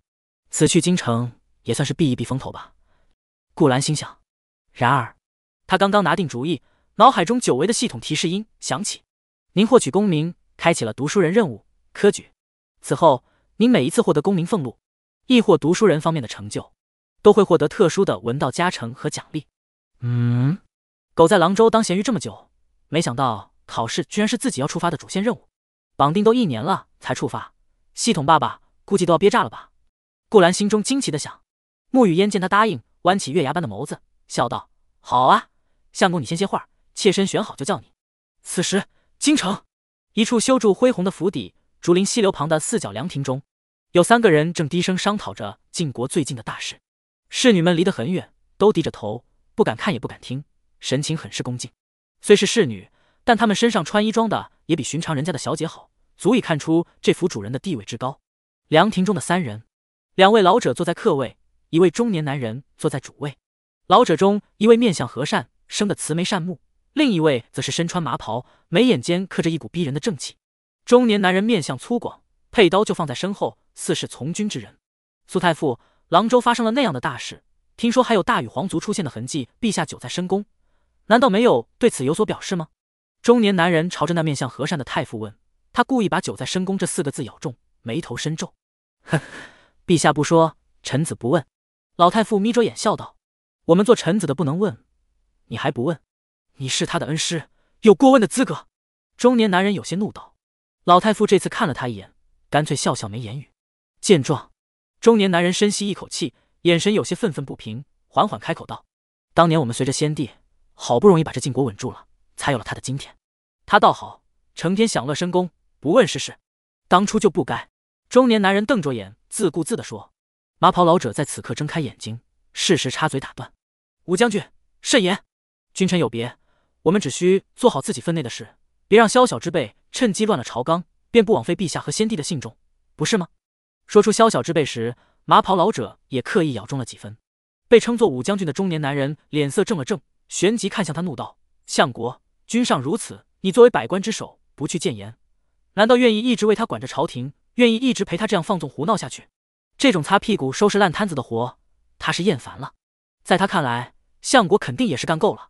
然而，片刻之后，麻袍老者，也就是司马晴，端起茶盏，慢慢抿了一口，冲他淡然一笑：“我愿意。好，你们就一直惯着吧。”武凡喘几口粗气，眼神沉了沉，举起茶杯送客：“今日聊的也不少了，改日我再去相国府上拜会。”嗯。司马晴点了点头，也不多留，和太傅一起起身告辞。武将军，郎州的事，陛下已有圣裁，令我们不可插手，希望您莫要自作主张为好。知道了。武凡有些不耐，摆摆手回了屋。陛下圣裁，哼，肯定是你司马晴在处理吧？他可不信那女娃在宫里也不见大臣，就能做出什么英明的决断。走到内室，武凡扫视一圈，喝问旁边的侍女：“鱼儿呢？一天天不在家，又去哪里鬼混了？”侍女忙道。回老爷，公子昨夜在妙音阁未归，他妈的，让他立刻滚回来见我！武凡怒骂着，发脾气赶走了侍女。这时，屋子里终于只剩他一人。良久，武凡眼神闪烁，从书架上抹撒出一枚令符，喃喃自语：“列祖列宗在上，我接下来要做的事，希望你们别怪罪，这也是当臣子的无奈之举。既然他不能好好的当这个皇帝，那就让我来肃清一遍朝野，哪怕是借助外力。”将军府外。司马晴和苏太傅没有坐马车，两个年过花甲的老人并肩走着，慢悠悠的回府。一路上，两人都保持沉默，直到行人寥寥的地方，司马晴似乎忍不住了，才率先开口：“太傅，武凡说的不无道理啊，您自己的学生就不怕误入歧途？”谁知这话一出，太傅反而眯着眼笑了起来，意味深长的看向他：“相国，你在试探老夫？哪里话？”司马晴尴尬一笑，擦了擦汗：“哼。”正如你言，老夫自己的学生，老夫还能不知道他的秉性？太傅落着长髯，悠悠说道：“你也猜到了。”司马晴沉默了会儿，问道：“他不在这里，我早便知道。”老太傅点点头，缓步往前走去。但老夫不会问他去了哪里，要去做什么，只希望在这有生之年能看到他实现自己的愿望，能看到他完成自己心中所想。老夫这学生啊，自从登基以后，在宫里就很少笑过了。秋风卷落几片黄叶，洒落在太傅的素白袍子上。司马晴看着他的背影，肃然起敬。未曾想身居闲职不问朝政的太傅都能这般坚信陛下。相比之下，一直为官掌权的武凡，还有朝中一些权臣，却心浮气躁，质疑女帝，可差得太远了。十月末，穆雨嫣已经选好了地契，是京城东直门附近的一处四合院。这几日，柳叶熙、灵台儿和老杨忙里忙外的，终于将府上的行头收拾好，只等顾上镖局的人来送到京城即可。廊州城外的风也有几分冷意。这日清晨，顾兰三人牵着马来到城门外，跟家人告别，先行。娘子，我先去采一采点，你们等半个月后再出发，到时候我在东直门那里接应你们。顾兰拉着穆雨嫣绵软小手，温和道：“顾郎，其实咱们可以等等镖局一起去。这么远的路，就算是骑马也要三日的行程。”穆雨嫣有些不放心。不成，娘子听话。顾兰看着那张千娇百媚的精致小脸，指尖淌过柔顺的青丝，低声道。若是接洽不好，还要娘子与我在外奔波受苦，我先去，这样稳妥一些。顾郎，穆雨嫣咬了咬唇，不舍得望着他。顾兰笑了笑，指了指自己脸颊，来一口。我们得走了，不然到晚上住不到客栈。U A，沐雨烟不迟疑的献上香吻，美眸如水，轻声道：“那好，最多半月之后我们就到京城，不能让顾郎一个人忙那么久，毕竟你还要准备来年的春闱。春闱就是共事。”听到这个词。顾兰忙摸了摸鼻子，掩饰心虚。其实这次他去都没带上四书五经那种大部头的备考典籍，老杨背的行李里就几本乱七八糟的杂书，还有自己身上揣了一本没有抄完的诗集三百首，都是为了增加修为用的。至于春闱共事，顾兰打算到时候看看，如果再出现号牌这种离谱的暗箱操作，他干脆直接弃考。若是没有黑幕了，那就再交一波白卷，不信还落不了榜。想罢，顾兰点点头，跃身上马。招呼下老杨头和林台儿，一起朝京城的方向不紧不慢的赶去。待他们的背影消失，沐雨烟不舍之色才渐渐缓和，松了口气，转身对尽力的侍女吩咐道：“小溪，我们也即刻御剑前往京城。举人入京的过程应该都熟悉。落脚之后，你先到那些容易出差错的点儿上为顾郎铺路。”是。柳叶熙答应道，心里还有一丝莫名的兴奋。时隔一年多，陛下终于要回宫了吗？不过比起离开时的苦闷。嫁给公子后，陛下可是开心多了呢。这次进了陛下的皇城，公子怕是想跑都跑不了了。傍晚时分，顾兰三人在一家客栈中住下，和自家的茶楼一样，一楼是打尖吃饭的地儿。三人在各自房间撂下行李，便要了一桌晚饭。菜还没上，邻桌的几个男人好似喝醉了，脸色跟猴子屁股似的红。不经意间瞥见顾兰这桌的灵台，便一个劲儿的盯着看。这妞长得好水灵啊，屁股大好生养，咱这块儿可没见过这么极品的妞。他旁边的小子真有福，马德！几道淫笑声传入耳中，林台儿听得脸色羞红，看了眼顾兰，不想给他惹麻烦，便道：“公子，我不饿，先去休息了。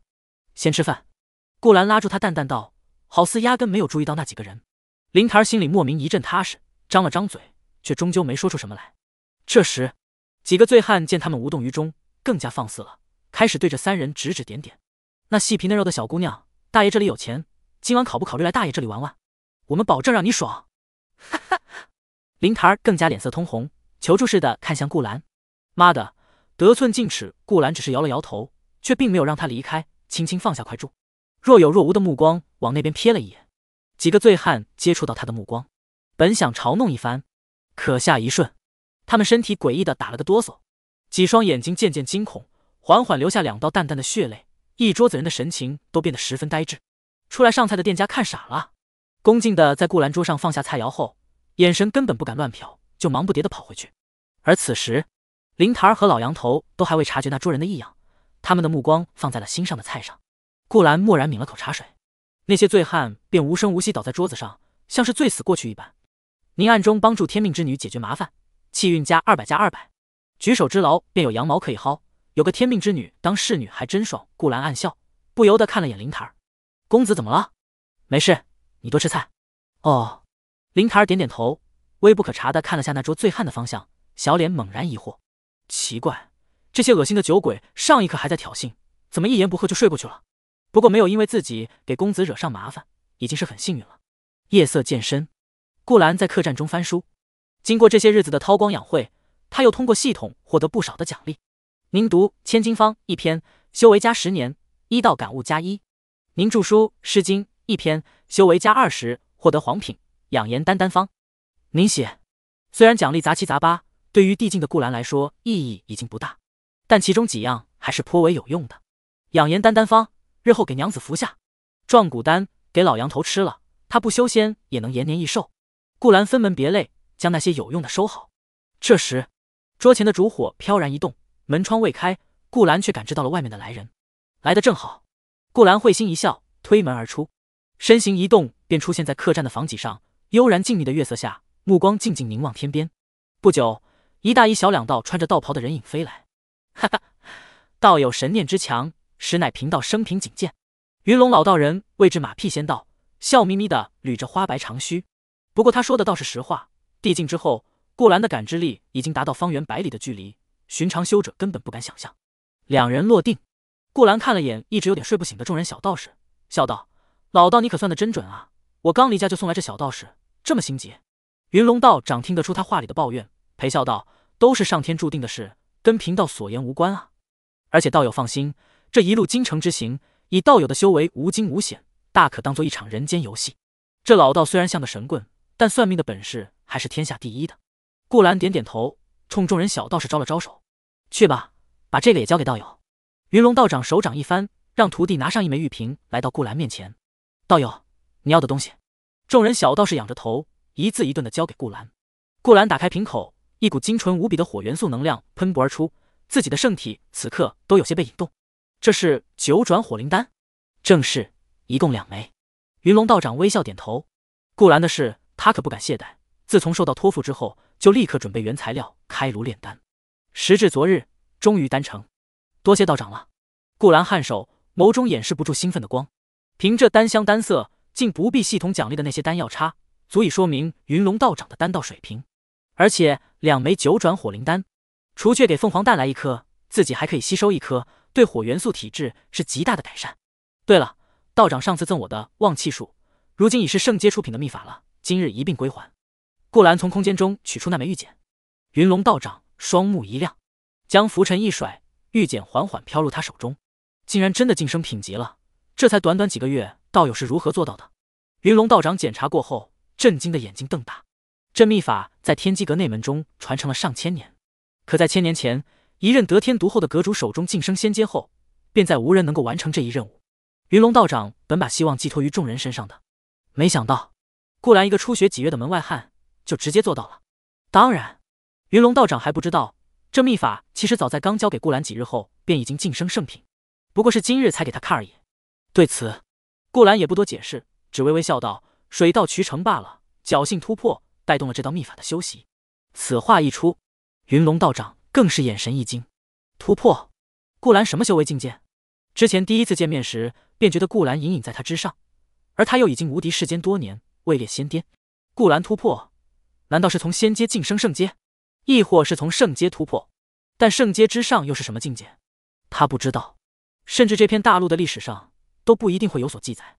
妖孽啊，妖孽！云龙道长心神一震。连忙把思绪收回，忍住了心中想要刨根问底的疑惑。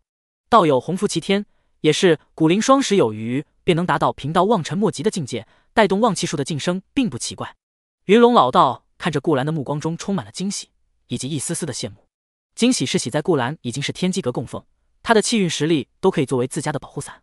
有顾兰在，可以预见天机阁天下至强宗门的威名，将来仍旧可以延续数千年。只是这样一来。我天机阁又欠了道友一笔大人情，云龙道长苦笑说：“天机阁既修天道，最重因果，还不完就要得天道反噬。”顾兰想了想，从怀中取出一沓纸来，洒脱道：“那就再劳烦道长帮我把这些丹药炼了吧，就当还我人情了。”云龙道长接过一看，养颜丹、壮骨丹这些丹药，道友已经不需要了吧？莫非为别人而炼？嗯，我娘子还有我的家人们。顾兰直率道：“哦，原来道友已经娶亲。”云龙道长微笑点点头，道友放心，彼时我便回去炼制这种丹药，用不了多少时日。顾兰此言让他感到十分欣慰，也有些惊诧。一般这样的绝世高手多淡漠寡情，毕竟年纪轻轻就有如此成就，必是俯瞰天下之资。除了自身，一般人不会放在心上。坐镇天机阁几百年，那种孤傲凉薄的高手见多了，想不到却是头一次见顾兰这样的重情重义，竟然用天机阁的人情来给娘子和家人炼丹。这冥冥中不禁让云龙道长感叹：拉拢他作为天机阁供奉，绝对会是一项无比正确的选择。送走云龙老道，顾兰带众人回到房间。道友，我困了。众人小道士仰着小脸，实话实说：“去睡吧，我今晚要吸收你师傅的丹药。”顾兰指着床提醒道：“还有我小道长，别叫我道友道友的了，我们身在凡间要低调行事。以后你叫我大哥，我叫你众人老弟，可好？”“嗯，好，顾大哥。”众人小道长顿感这位绝世高手莫名的亲切，缓缓露出笑容，回应道：“夜色沉寂，月华如纱。”床上小道士合衣睡去。桌前，顾兰先找出一件容器，将一枚九转火灵丹研成药液，把空间中的凤凰蛋泡了进去。一接触到药液，凤凰蛋上精致繁奥的纹路亮起，隐隐能感觉到药液中的火元素能量在被它迅速吸收着。看样子应该还要吸收一会儿。顾兰趁这时间又取出另一枚九转火灵丹。直接服下，下一刻，精纯又暴躁的能量疯狂涌入四肢百骸，砰砰，体内的圣体都在被这股能量改造着、优化着。而顾兰亦是在这种肆虐下突破着桎梏，若非龙阳圣体，恐怕此刻要爆体而亡。顾兰喃喃自语，庆幸自己的体质前段时间获得了极大提升，不然就算是之前的奇阳仙体，这时候怕是也要十分难受，根本没有现在这样从容自在。一炷香后。体内的火热渐渐消弭，取而代之的是一种前所未有的清爽。顾兰缓缓睁开眼，看向那枚凤凰蛋，然而蛋壳并未碎裂，甚至没有一点改变，只是药液空空如也，被吸收干净了。马德，神兽就是坑货呀！一颗圣品丹药都喂不饱你。顾兰无语，摇了摇头，气愤的用手拍他一下。忽然，脑海里多出一道声音：“主人别打，疼！”顾兰愣了一下，但还是不确定，于是缓缓抬起手。又往凤凰蛋上猛拍下去，啪啪啪！呜，主人，你干嘛一直打我？委屈的声音再次传来。这下确定了，真的是里面觉醒些许意识的凤凰。没事，主人高兴，打着玩玩。顾兰轻笑，安抚了下他。你还有多久能出世？七七四十九天。凤凰老实回答。顾兰，假的吧？你他妈连日子都记得这么准，说的这么干脆，确定不是自己现在不想出来？需要什么条件能加快？顾兰皱眉问道：“凤凰作为原著世界的重要角色，又是神兽，就算不考虑实力的帮助，单单是气运就能给自己带来好大一波的加持。没有 A 主人，这是我们凤凰一族的特性。凤凰天火在蛋内酝酿四十九天，才能让小凤凰刚出世就拥有非同寻常的修为。好，那你还是去慢慢孵吧。”顾兰说完，将手一扶，不再跟着小凤凰多废话，就将其丢入系统空间中。四十九天，算算时日，应该要等到今年快要过年的时候。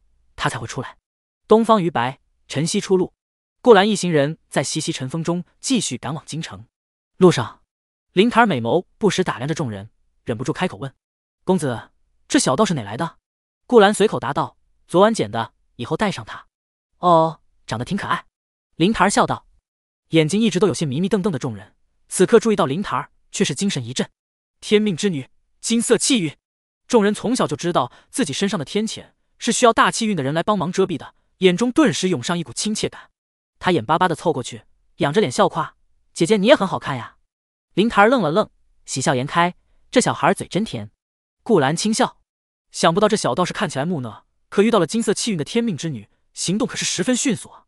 也可能跟他有了大气运庇护后，精神状态不再那么萎靡有关。没骗你哦，像姐姐这么好看的，我就见过两个。不过您比上一个姐姐看起来好多了。小老弟道。这里的好，众人却都没明白是什么意思。众人又解释：有一天我在山上睡觉的时候，被那个姐姐抓包，给我好生训诫了一番，看起来可凶了，所以不如姐姐您好。能上天机山内门的女子，长相和灵台儿一般美，又能训斥天机阁少阁主，会是谁？顾兰在心中默默的揣摩，也没能想起天机阁中有这号人物。这时，众人却又看了看顾兰，问灵台儿道：“姐姐这么漂亮，是顾大哥的妻子吗？”我不是。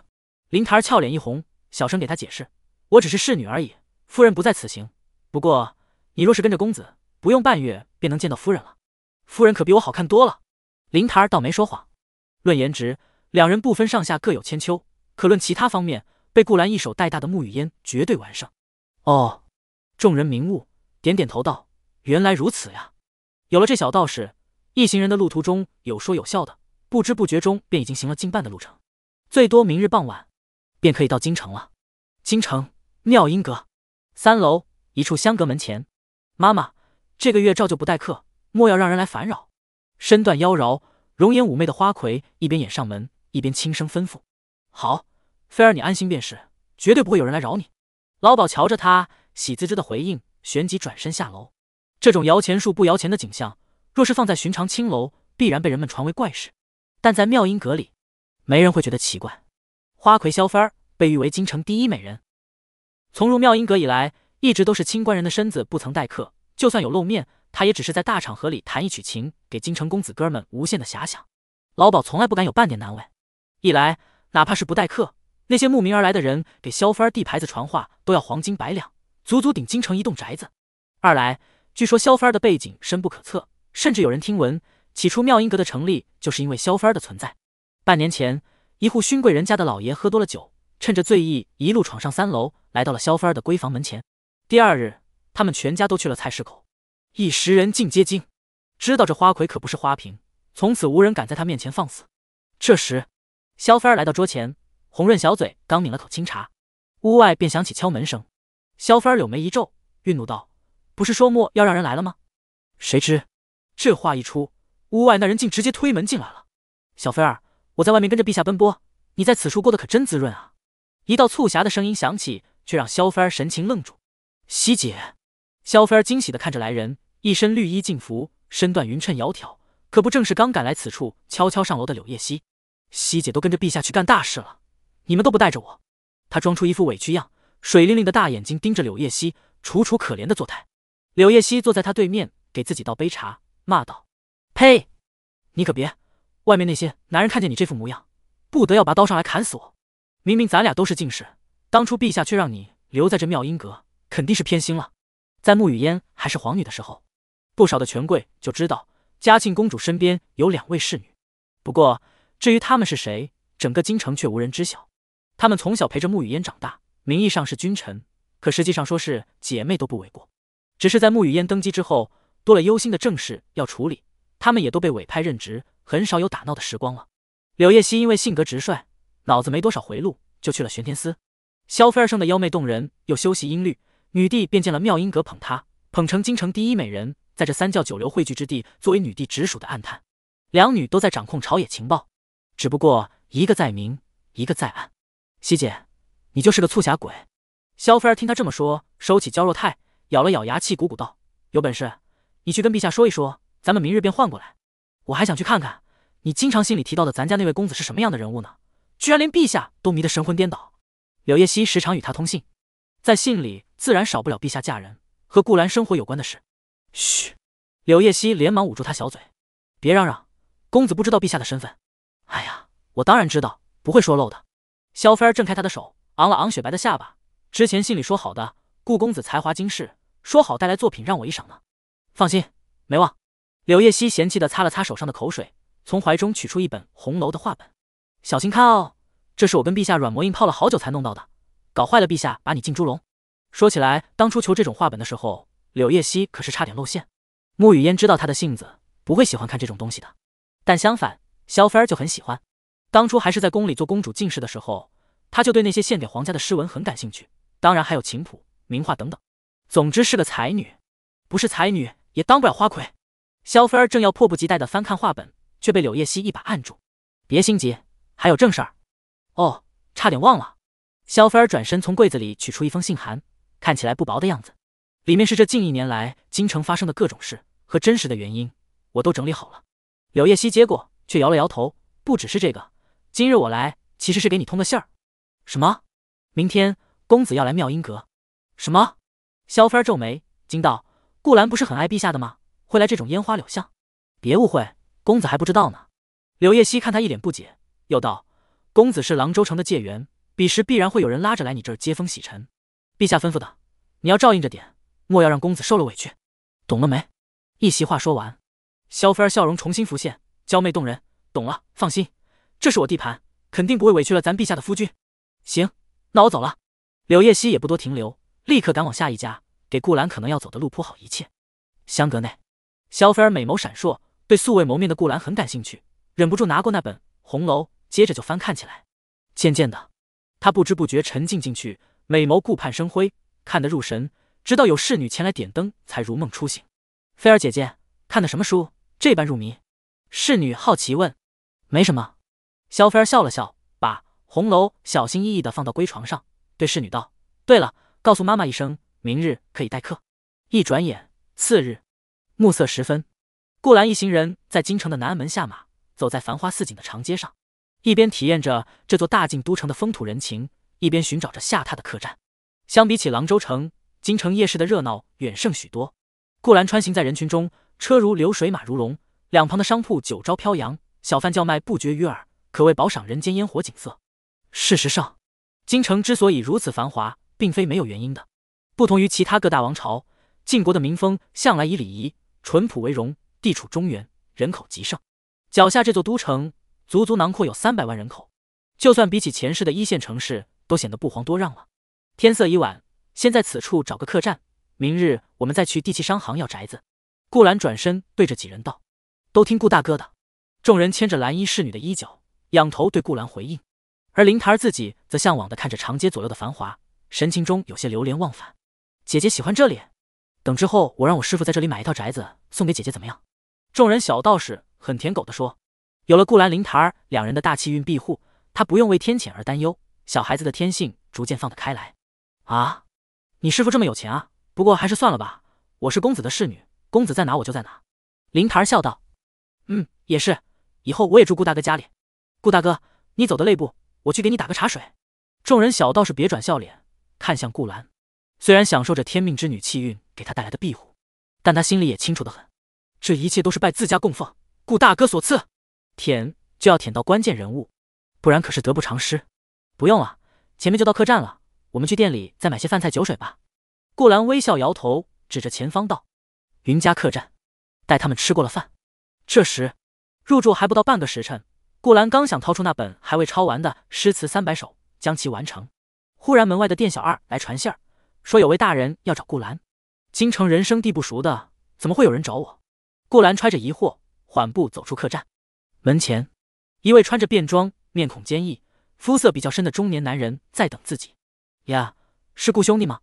男人似乎有些惊讶于顾兰的仪表堂堂，想不到谢元郎居然还生得如此风神俊朗，故有此问。顾兰淡淡点头。是我，您哪位？一句话的交流间，顾兰已经观察出面前这个男人是个习武之人，修为是武士中期，手上虎口处还留有常年握兵刃的茧子。比较奇特的是，他操着一口廊州口音。哈，我叫魏直，是廊州人士，和顾兄弟是老乡，如今也是咱们京城廊州同乡会的主事人。魏直爽朗解释道：“早些天咱廊州的不少举人就到了，就等着今日顾界员来，我们一起摆个接风宴的。顾兄弟可别推辞。”不然，老兄，我跟其他兄弟，跟咱廊州的父老乡亲可没法交代。京城各处都有外地人士在这里举办的同乡会，每年专门照应进京赶考的举人，多由富商或者在京城担任官职的人主事。眼前这个位置就是京城羽林卫的一个接使官，相当于前世城管大队队长的样子。想了想，顾兰感觉自己确实不好推辞。四大喜事之一便有着他相遇故知，而且还是人家很多人等了自己好久，盛情难却。行，魏兄稍等，我去跟家人说一声便来。顾兰回客栈，与老杨头和林台儿交代几句，换了身低调些的玄衣，便跟魏直出门。虽说是游戏人间，但顾兰秉承能不装逼就不装的原则，自己已然是帝境，跟一群凡人装逼也没什么快感。不过，即便如此，顾兰的盛世美颜在灯火通明的夜市上也是格外惹人注目。许多三两结对的小娘子在首饰店、花店前驻足，小扇遮面的笑看这位静静赶考的俊举人。魏直看到这一幕，笑道：“顾兄弟俊逸不凡，来到京城亦是很受人欢迎啊。”哈，这种事经历多了，也就习惯了。顾兰干笑一声，转移话题问道：“魏兄，咱们这是要去哪里的酒楼？京城最有名的酒楼春月楼，咱们去不起。”魏直道：“还是去妙音阁吧。”妙音阁听起来怎么不太正经？顾兰不解问：“妙音阁这种地方，费用不该比寻常酒楼更贵？”哈，顾兄弟有所不知。妙音阁如果只是吃酒菜摆宴席的话，还是要比春月楼便宜很多的。魏直诚恳笑道：“何况郎州来的举人兄弟一路辛苦，第一晚喝点花酒放松一下也是应当的吗？”顾兄弟成亲没有？已有家室。哦，那倒是我考虑不周了。魏直凑过来低声问：“尊夫人不知道咱们去妙音阁吧？”不知。哈，那便无事。偷偷告诉你，其实我夫人也不知道。魏直拍了拍他肩头，一脸自豪。顾兰。两人来到妙音阁，在侍女的带领下来到早就包好的酒席位置。来到议事，第一次逛青楼，顾兰还是颇为好奇的，虽然目不斜视，堂堂正正，可神念不由得打量起这座楼轩。妙音阁主楼分上中下三层，不算外面的画舫游船，房间已经是数不胜数。这其中既然有京城第一美人，那自然也是京城第一乐坊。或许是因为这个第一的缘故，里面的景象并没有前世小说或者电视剧里形容的那般不堪。比如到处都是两撇胡子的中年男人搂着小妞调戏的景象。现在时间还是白天，喝花酒赏舞听曲为主，水榭楼台歌舞升平，极尽繁华的装饰下，一行行身姿曼妙的舞姬在氤氲雾气中翩然起舞。在没有电子游戏的时代，的确算得上人间天堂。魏直引顾兰来到桌前落座，各位兄弟，这就是咱们郎州此次的顾界园了，都见一见礼吧。魏直明显是老大哥，他一说话，在座的举人们无不听从。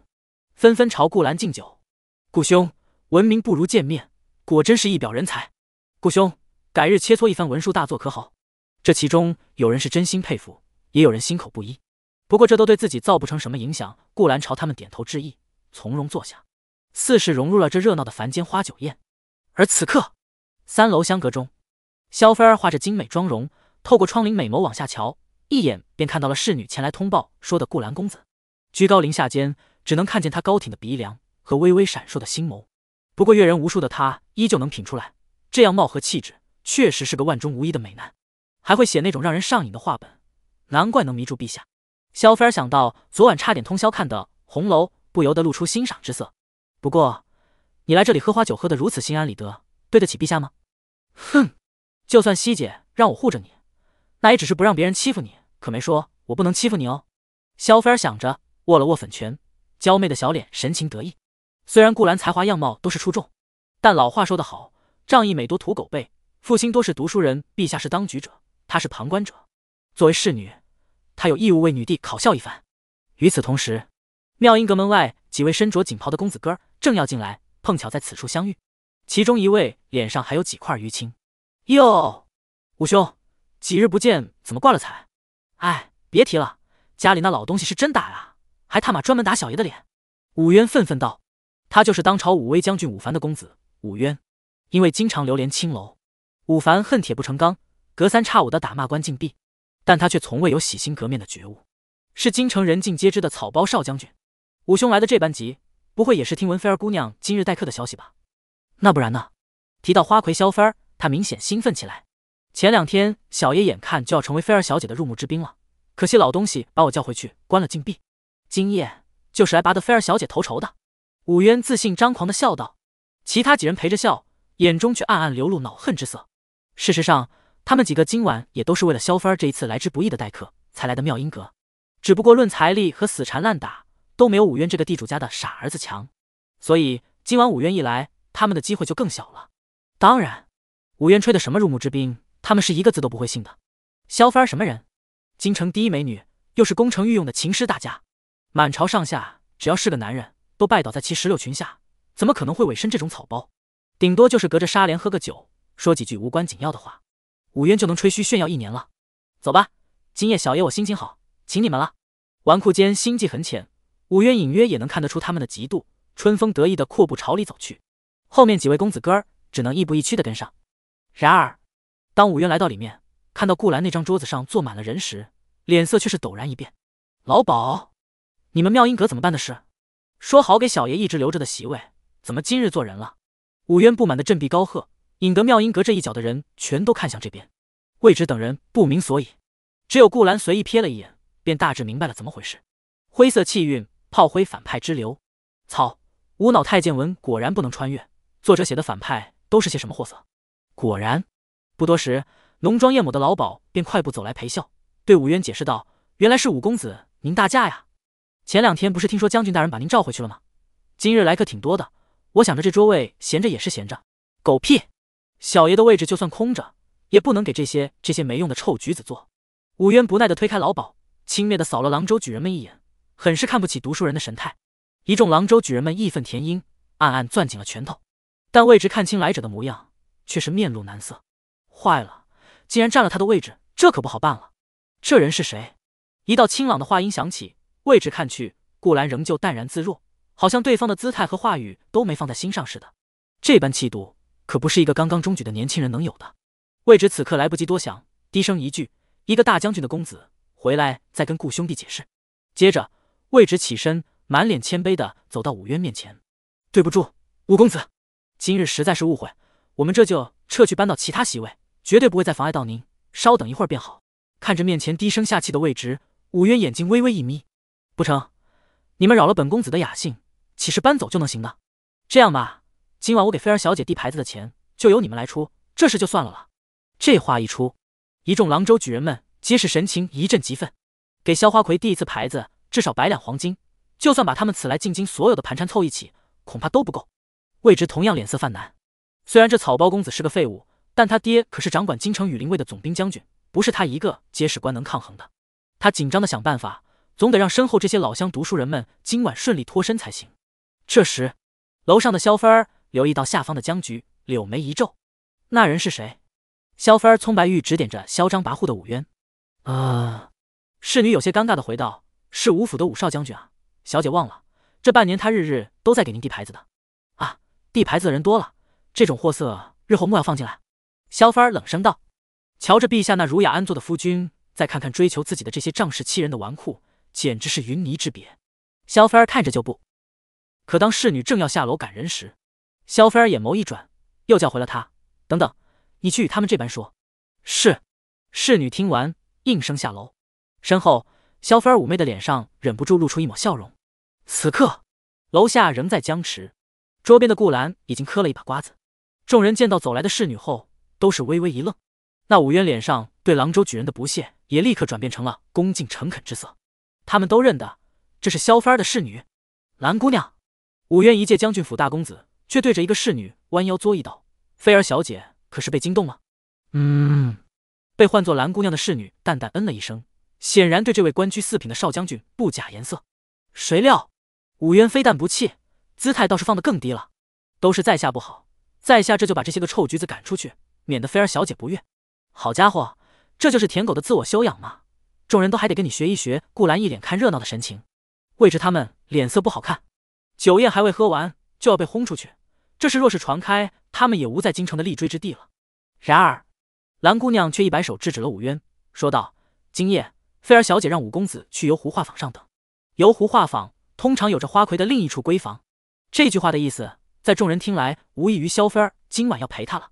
武渊激动的狂喜，他身后的一众公子哥们却是不敢相信，一脸的生无可恋，内心凉凉。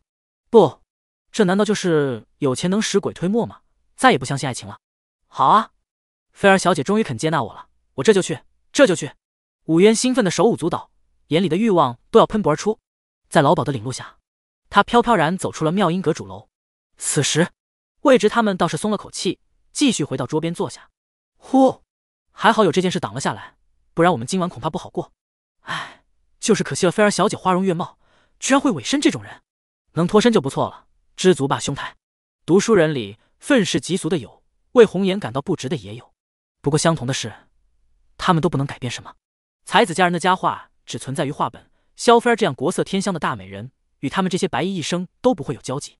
正当妙音阁中回归常态时，蓝姑娘却未走，反而是拍了拍手，浅笑道：“好了，现在小姐讨厌的人已经赶走，可以接待一位客人。”众人片刻之后，懵逼中的京城公子哥们回过味儿来，一个个脸上渐渐流露喜色。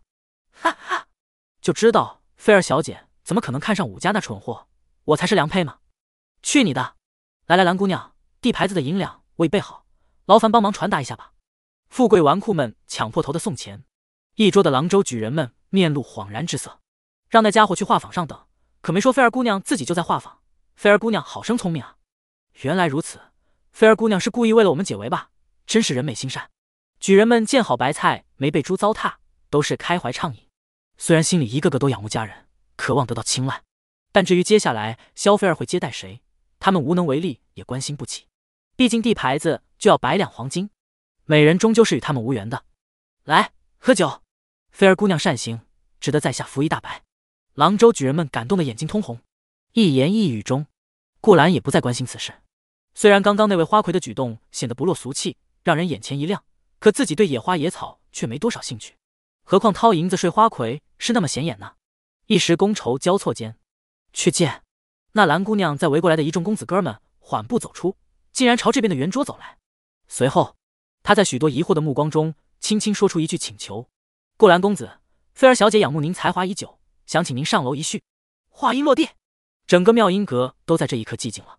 直到顾兰被蓝姑娘带上楼去，进了那万千男人向往的小小香阁，原地捧着银票的京城公子们还未解除石化状态。当然，桌边还有一众目瞪口呆的郎州举人。良久之后，他们很有默契的都坐了下来，酸溜溜的望着三楼花魁闺房，满眼的羡慕嫉妒恨。兄台，你们是郎州的举人吗？刚刚上去的那位顾兰公子是你们那里的界元郎？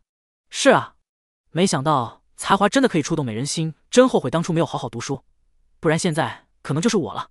也不用太难过，诸位，想想武家那个公子，现在不比咱们惨多了。感觉菲儿小姐可能就是对这位顾兰公子有些好奇罢了。大家都是穷书生。菲儿小姐不可能真的委身于他的。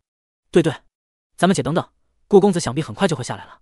一众郎州的白衣，此刻与京城的权贵公子们竟有种同病相怜的感觉，隔三差五的看一眼头顶的玲珑香阁，一边心里默默的酸，一边互相舔舐伤口，互相安慰。遍布花香的闺阁中，顾兰打量着这个邀请自己入内一叙的花魁。萧菲儿体态丰腴，肌肤胜雪，精致小巧的五官，一颦一笑间有种多情的妩媚感，尤其是此刻正饶有兴趣的看着自己。这勾人心魄的眼神，恐怕换做任何一个男人都把持不住。但是此刻，顾兰看他的目光却并不热切，甚至还有点淡漠。因为只要一进花魁的房间，不管做不做什么，吸引仇恨是肯定的了。这花魁好像并未为自己着想过。菲儿小姐，不知传唤在下何事？顾兰望着他，眼眸问：“公子真会说笑，奴是妙音坊的女子，您是来喝花酒的客官，奴邀您入闺阁，还能是什么事呢？”萧菲儿巧笑倩兮。亮晶晶的桃花眼，同时也在审视顾兰。虽然嘴上花花调笑着良家公子，但心里却是颇为惊奇。这家伙对自己冷淡的眼神，还有这种倨傲的神态，怎么好像不是装的？真的不感兴趣和虚伪作态，他还是能一眼分辨的。在下可没有那些公子递牌子的钱啊！顾兰轻笑：“啊，奴清清白白的身子，难道在公子眼中，真的是可以用俗物经营能衡量买卖的吗？”萧芬儿用出平日里对柳叶熙都甚是管用的绝技。楚楚可怜，仿佛下一刻就能委屈的哭出来。换做楼下那帮男人，这时候可不得连连打自己嘴巴，赶忙上来道歉哄啊。可谁知，顾兰愣了一下，下意识的反问道：“不是吗，萧菲儿？”“嗨嗨，菲儿小姐，在下已有家室，恐怕不能应小姐所求。”顾兰重整下语言，解释道：“哎，生的一副绝世神颜，果真苦恼啊，到处都有缠我身子的人。”萧菲儿这时才终于傍住了，做事抹了抹眼角，轻轻哦了一声。不过，听到顾兰这般说，萧菲儿心中倒是多了几分赞许。能拒绝送到床边的花魁，这家伙的定力还不错，算是没有辜负陛下。既然公子不愿，那奴也不敢强求。萧菲儿连步轻移走到一张古琴旁，缓缓坐下，纤纤玉指放在琴弦上。奴想为公子弹奏一曲，公子可愿意听吗？花钱吗？顾兰问道。不花。哦，可以的。顾兰摆摆手，示意你继续。萧菲儿忍住满心的草吐不出来，静静的拨弄起琴弦，为他弹起一首荡气回肠的曲子。楼下，郎州学子们听闻此曲，一个个面露惊叹。这这好似是菲儿小姐的成名曲子《伊人泪》啊！我的天，今夜没有白来，竟然有幸得闻此曲，当服一大白。他们还在称赞此曲只应天上有，听得如痴如醉的时候，旁边的京城公子们却首先醒悟过来：你们感怀个屁啊！咱们只是凑巧听到了而已。菲儿小姐根本不是弹给咱们听的。菲儿小姐这曲子，据说可是只给陛下弹过的。如今他竟为了顾兰公子一人独奏。话音落下，众人面面相觑，脸色泛苦。卧槽，不会吧？咱们京城第一美人难道真的动情了？不是说顾兰公子一会儿就会下来的吗？不，这道题太难了，我不会做。他们听着伊人泪，心碎成伤。殊不知，在香阁中的顾兰却已经听得昏昏欲睡了。良久。萧菲儿一曲弹罢，嘴角荡漾着笑意，抬起美眸看向顾兰。本以为他就算不被皮囊所吸引，也会被这一曲的惊艳才华所打动，可没想到这家伙用手撑着头，眼睛微微闭上，竟快要在桌子上睡过去了。可恶啊！萧菲儿愠怒不已。自从十六岁那年成为京城第一琴师之后，他还从未遭受如此羞辱，哪怕是陛下的夫君也不行。顾公子，奴的曲子弹得很好。顾兰没等他说完，就笑了笑，抢先评价道。行云流水，高山仰止，很动听，嗯，很动听。这语气当然是敷衍。萧菲儿听得拳头都硬了。然而他不知道的是，作为穿越者的顾兰，前世听过的好曲子，好歌谣实在是太多太多了，哪怕是古琴旋律，也不是这个世界能比的。文超一遍《广陵散》，立刻就能碾压他，说不定还能像小说里一样，让花魁对自己刮目相看，然后投怀送抱，最后消息在京城传得沸沸扬扬，名声大噪。但顾兰不想这么做，抄文装逼，我只给自家娘子看。至于你的阴道，我没有兴趣。这时，顾兰拱了拱手，曲子也听完了。菲儿小姐还有什么事吗？言外之意，没什么事，我就走了。公子别急，公子已经赏过奴的阴道，奴久慕公子借缘之名，还想见识一下您的文道大才呢，就是不知有没有这个荣幸。萧菲儿美眸闪过一丝金光，哼，就算你真的对曲子不感兴趣，那聊到你擅长的方面，总不能再藏着掖着了吧？你写的话本，我可都通宵看完了，而且他早就听柳叶熙说了。顾兰可以出口成诗，落笔成词，家中所写的随便拿出一首都是千古名句。这样的才华，哪个女子不渴望见识一番呢？抱歉，菲儿小姐，在下才疏学浅，属实是名不副实，没有什么作品可以拿得出手。顾兰无比认真的推脱。不过看着这个萧花魁，他内心有些疑惑，怎么总感觉这个女人好像知道些什么？他干脆的说辞，让萧菲儿彻底噎得说不出话来。时至今日，他才知道，原来一个对你不感兴趣的男人。拒绝起来是可以这样的无情，你明明写了那么多话本，我都愿意让你玩，你都不愿意拿出来。陛下的眼光果真是没有问题的，是我多虑了。萧菲儿咬着唇，暗暗对自己说：这下就可以放心了。可没来由的，心里还是一阵失落。这时，顾兰见他兴致低了，便施施然起身。既然菲儿小姐没事了，那在下就告辞。啪嗒，最后一个字还未说完，顾兰怀中一本书掉出来，落到地上，赫然便是。他这两日尚未写完的诗词三百首，好尴尬啊！相隔中寂静无比。萧芬儿，他如水的眸子惊奇看向顾兰，有点不敢相信这家伙有好东西是珍藏啊！真的一点和自己装逼的欲望都没有吗？这么些年来，他心里第一次有种沮丧感。不过萧芬儿看着那本装订精致的诗词，想到顾兰能写出那么好看的画本，心里又不争气的有些痒。这里面都是顾兰写的诗，若是真如柳叶熙所言是千古名句，那能看一眼也好啊！嗨。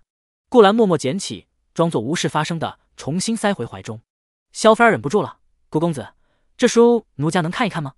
面对他那水汪汪的大眼睛，顾兰直接摇了摇头：“不好意思，菲儿小姐，这些都是在下写给娘子的。”好果断，又是无情拒绝。萧菲儿心里一阵酸溜溜的感觉，却也只得收回手，叹了口气：“是奴冒昧了，公子慢走。”顾兰点了点头，没有让兰姑娘送自己，而是请求从香阁的后门出去，不走进妙音阁来时的一角了。若是被那些人围住，肯定要盘问一下在里面做了什么。如果顾兰说实话，进了萧菲儿的闺房，却只是听了听曲子，必然要被人怀疑不正常的。多一事不如少一事，早点回客栈，明日早些去商行兑地契才是正事。顾兰走后，萧菲儿换上了一身夜行衣，浮凸身材勾勒得淋漓尽致，来到靠近外窗这边。兰儿，待会儿照旧遣散楼下的酒客即可。若是妈妈来问，就说我身子不舒服，已经睡下了。萧菲儿嘱咐道：“是。”蓝姑娘乖巧应声，萧菲儿隐匿身形，望着散落着些许月光的夜空，辗转身法，一个燕子穿云便消失而去。她去往的方向正是宫城。这一幕若是被妙音阁里的其他人看到，必然会大为吃惊。毕竟谁又能想到，平日里娇滴滴的京城第一美人，竟然也是先天境的高手呢？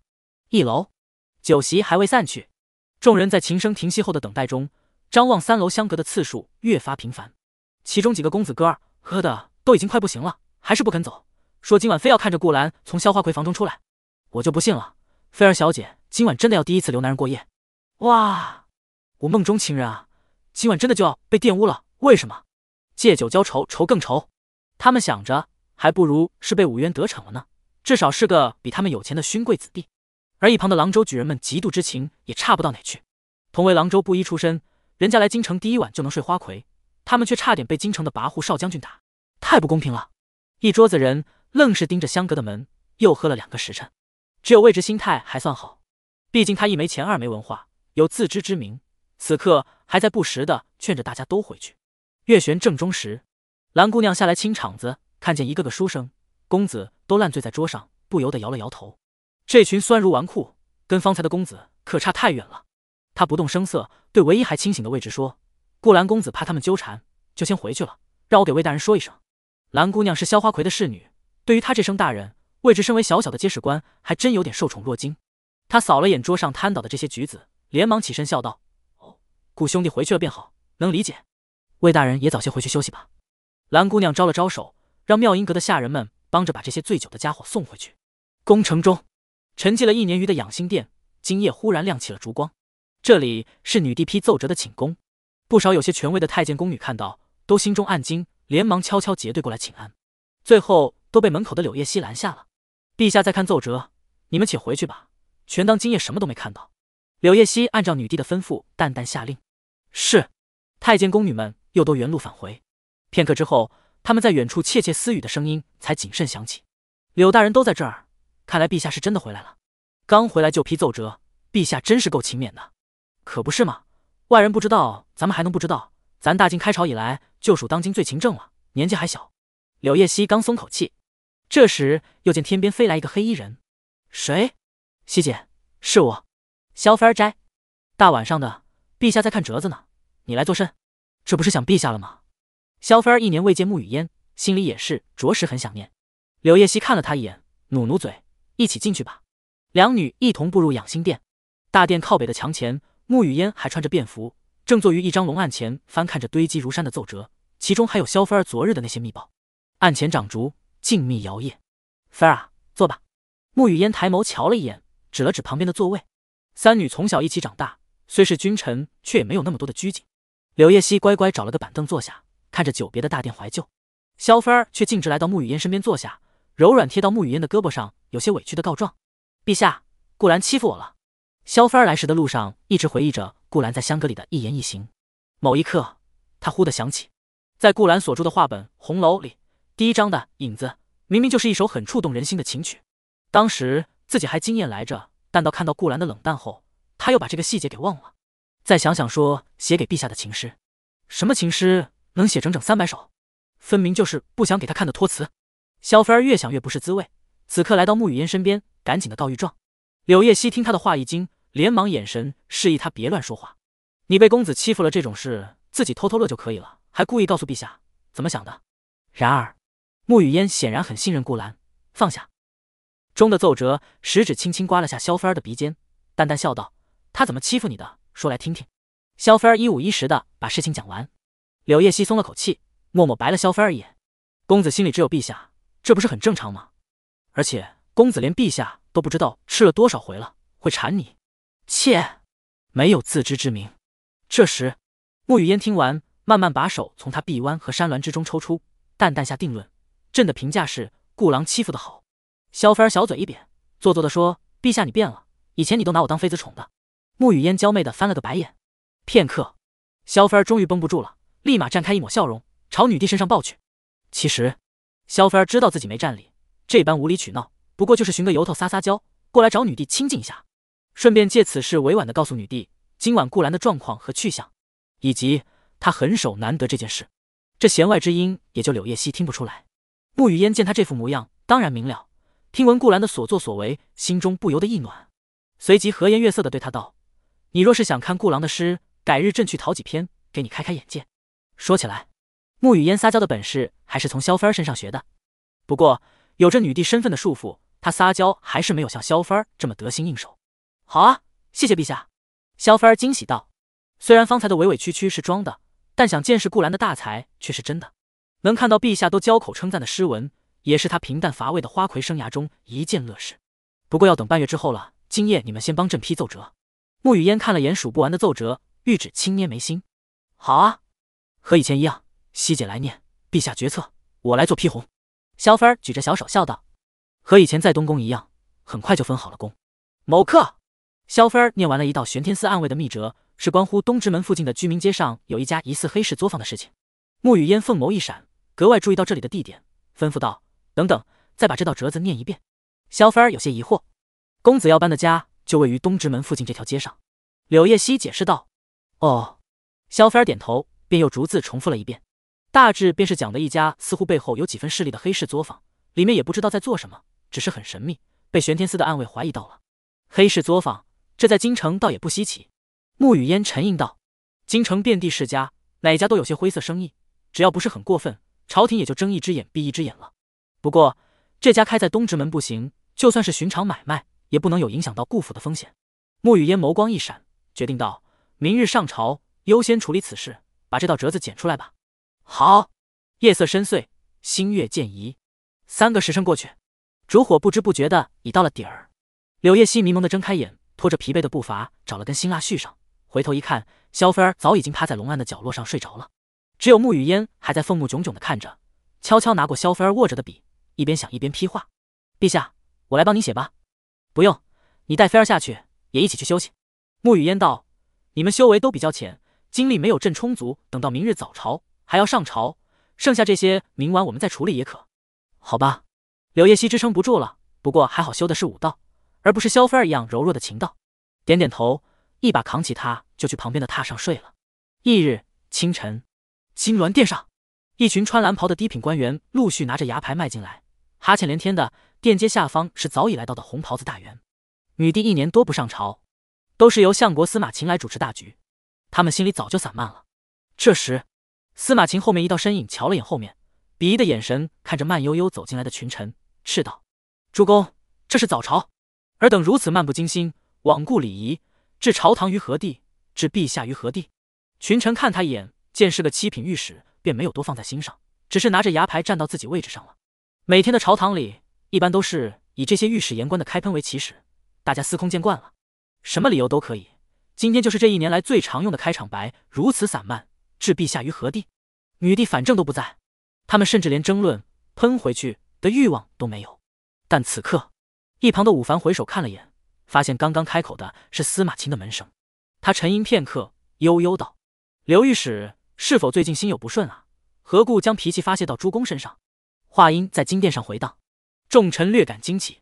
武凡乃是从二品的大将军，在武职里相当于相国的位置了，不应该对一个七品小言官的开场白加以斥驳啊。刘御史显然也没想到，缩了缩脖子，不敢吭声了。司马晴不着痕迹的观察了武凡片刻，笑道：“武将军这话错了，朝臣失仪，百姓都可以说，何况我们这些天子近臣？”武凡看向他，粗犷的笑道：“相国，陛下都不在朝中，这些规矩不还都是你说了算吗？”这话一出，群臣顿时清醒了，纷纷低眉看向文武两派的老大，寻思今天武威将军的这火气有点重啊，怎么以前忍了这么久不发作？今天突然就跟相国杠上了，连僭越这么大的罪名都扣。司马晴意识到武凡的不对劲，眼睛微眯起，缓缓转向他：“陛下不在，这规矩也不是我能定的。只是今天看起来，武将军似乎有更好的提议。”呵呵，武凡嘴角勾起，就等司马晴这句话呢。早就不想让他一人掌着朝野，弄得诸公都对女帝的昏庸视若无睹，一再纵容。今天他武凡就要换一换这朝堂上的日月，不再让相国党胡作非为下去。武凡来到金殿中央，话刚出口，我确实有个提议。然而这时，却听背后一道清冷威严的声音响起：“武将军有何提议？不如直接说与朕听听。”听到穆雨嫣的声音，朝堂众臣身体都是一震，他们缓缓仰起头，满眼不敢相信看向殿阶之上。武凡也转过身来，横肉交错的脸上笑容立刻凝固。只见穆雨嫣穿着文五彩金龙的锦绣长裙，头戴玉簪金步摇，倾国倾城的玉颜上，凤眸不怒自威。眉间一点朱砂，自显雍容华贵。相较于一年前消失时来说，此刻的他无疑更具那种风华绝代的瑰丽气象。他缓缓从殿后步来，坐到空了一年余的龙椅之上。群臣看得呆了，这还是传言中那个不理朝政的女帝吗？怎么看起来一点昏庸颓败的迹象都没有，反倒是上位者的气息快压得人喘不过气来。当司马晴率先反应过来跪下后，金銮殿内才此起彼伏的响起“吾皇万岁”的朝拜声。武凡眼神一紧，也跟着慌忙跪下。平身，沐雨烟俯瞰朝野，轻启朱唇。众臣谢恩，才敢慢慢挺直了腰杆。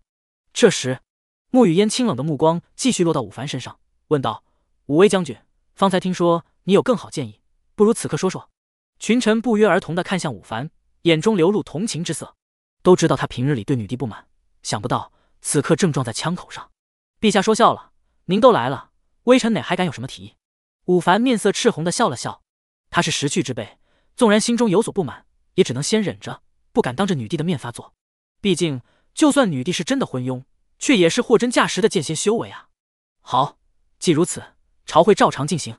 沐雨烟没有为难他，朝柳叶熙使了个眼色。殿阶下的柳叶熙心领神会，出列道：“陛下，玄天司近来有发现，东直街附近有一作坊。”他将女帝说好的那件事道出。沐雨烟让群臣听完，直截了当的说：“主公，这是谁私底下的生意？不如此刻就认了如何？”朕可以从轻发落。这话一出，朝臣紧张的面面相觑，都在回想着自家是不是有这处生意。别女帝回来第一次开刀，就把自家见不得人的生意给抓到了，那可真是倒了血霉。没人看到，武凡和他身后的一个官员低着头，此刻却是眼神同时一震。等了半晌，依旧没人承认。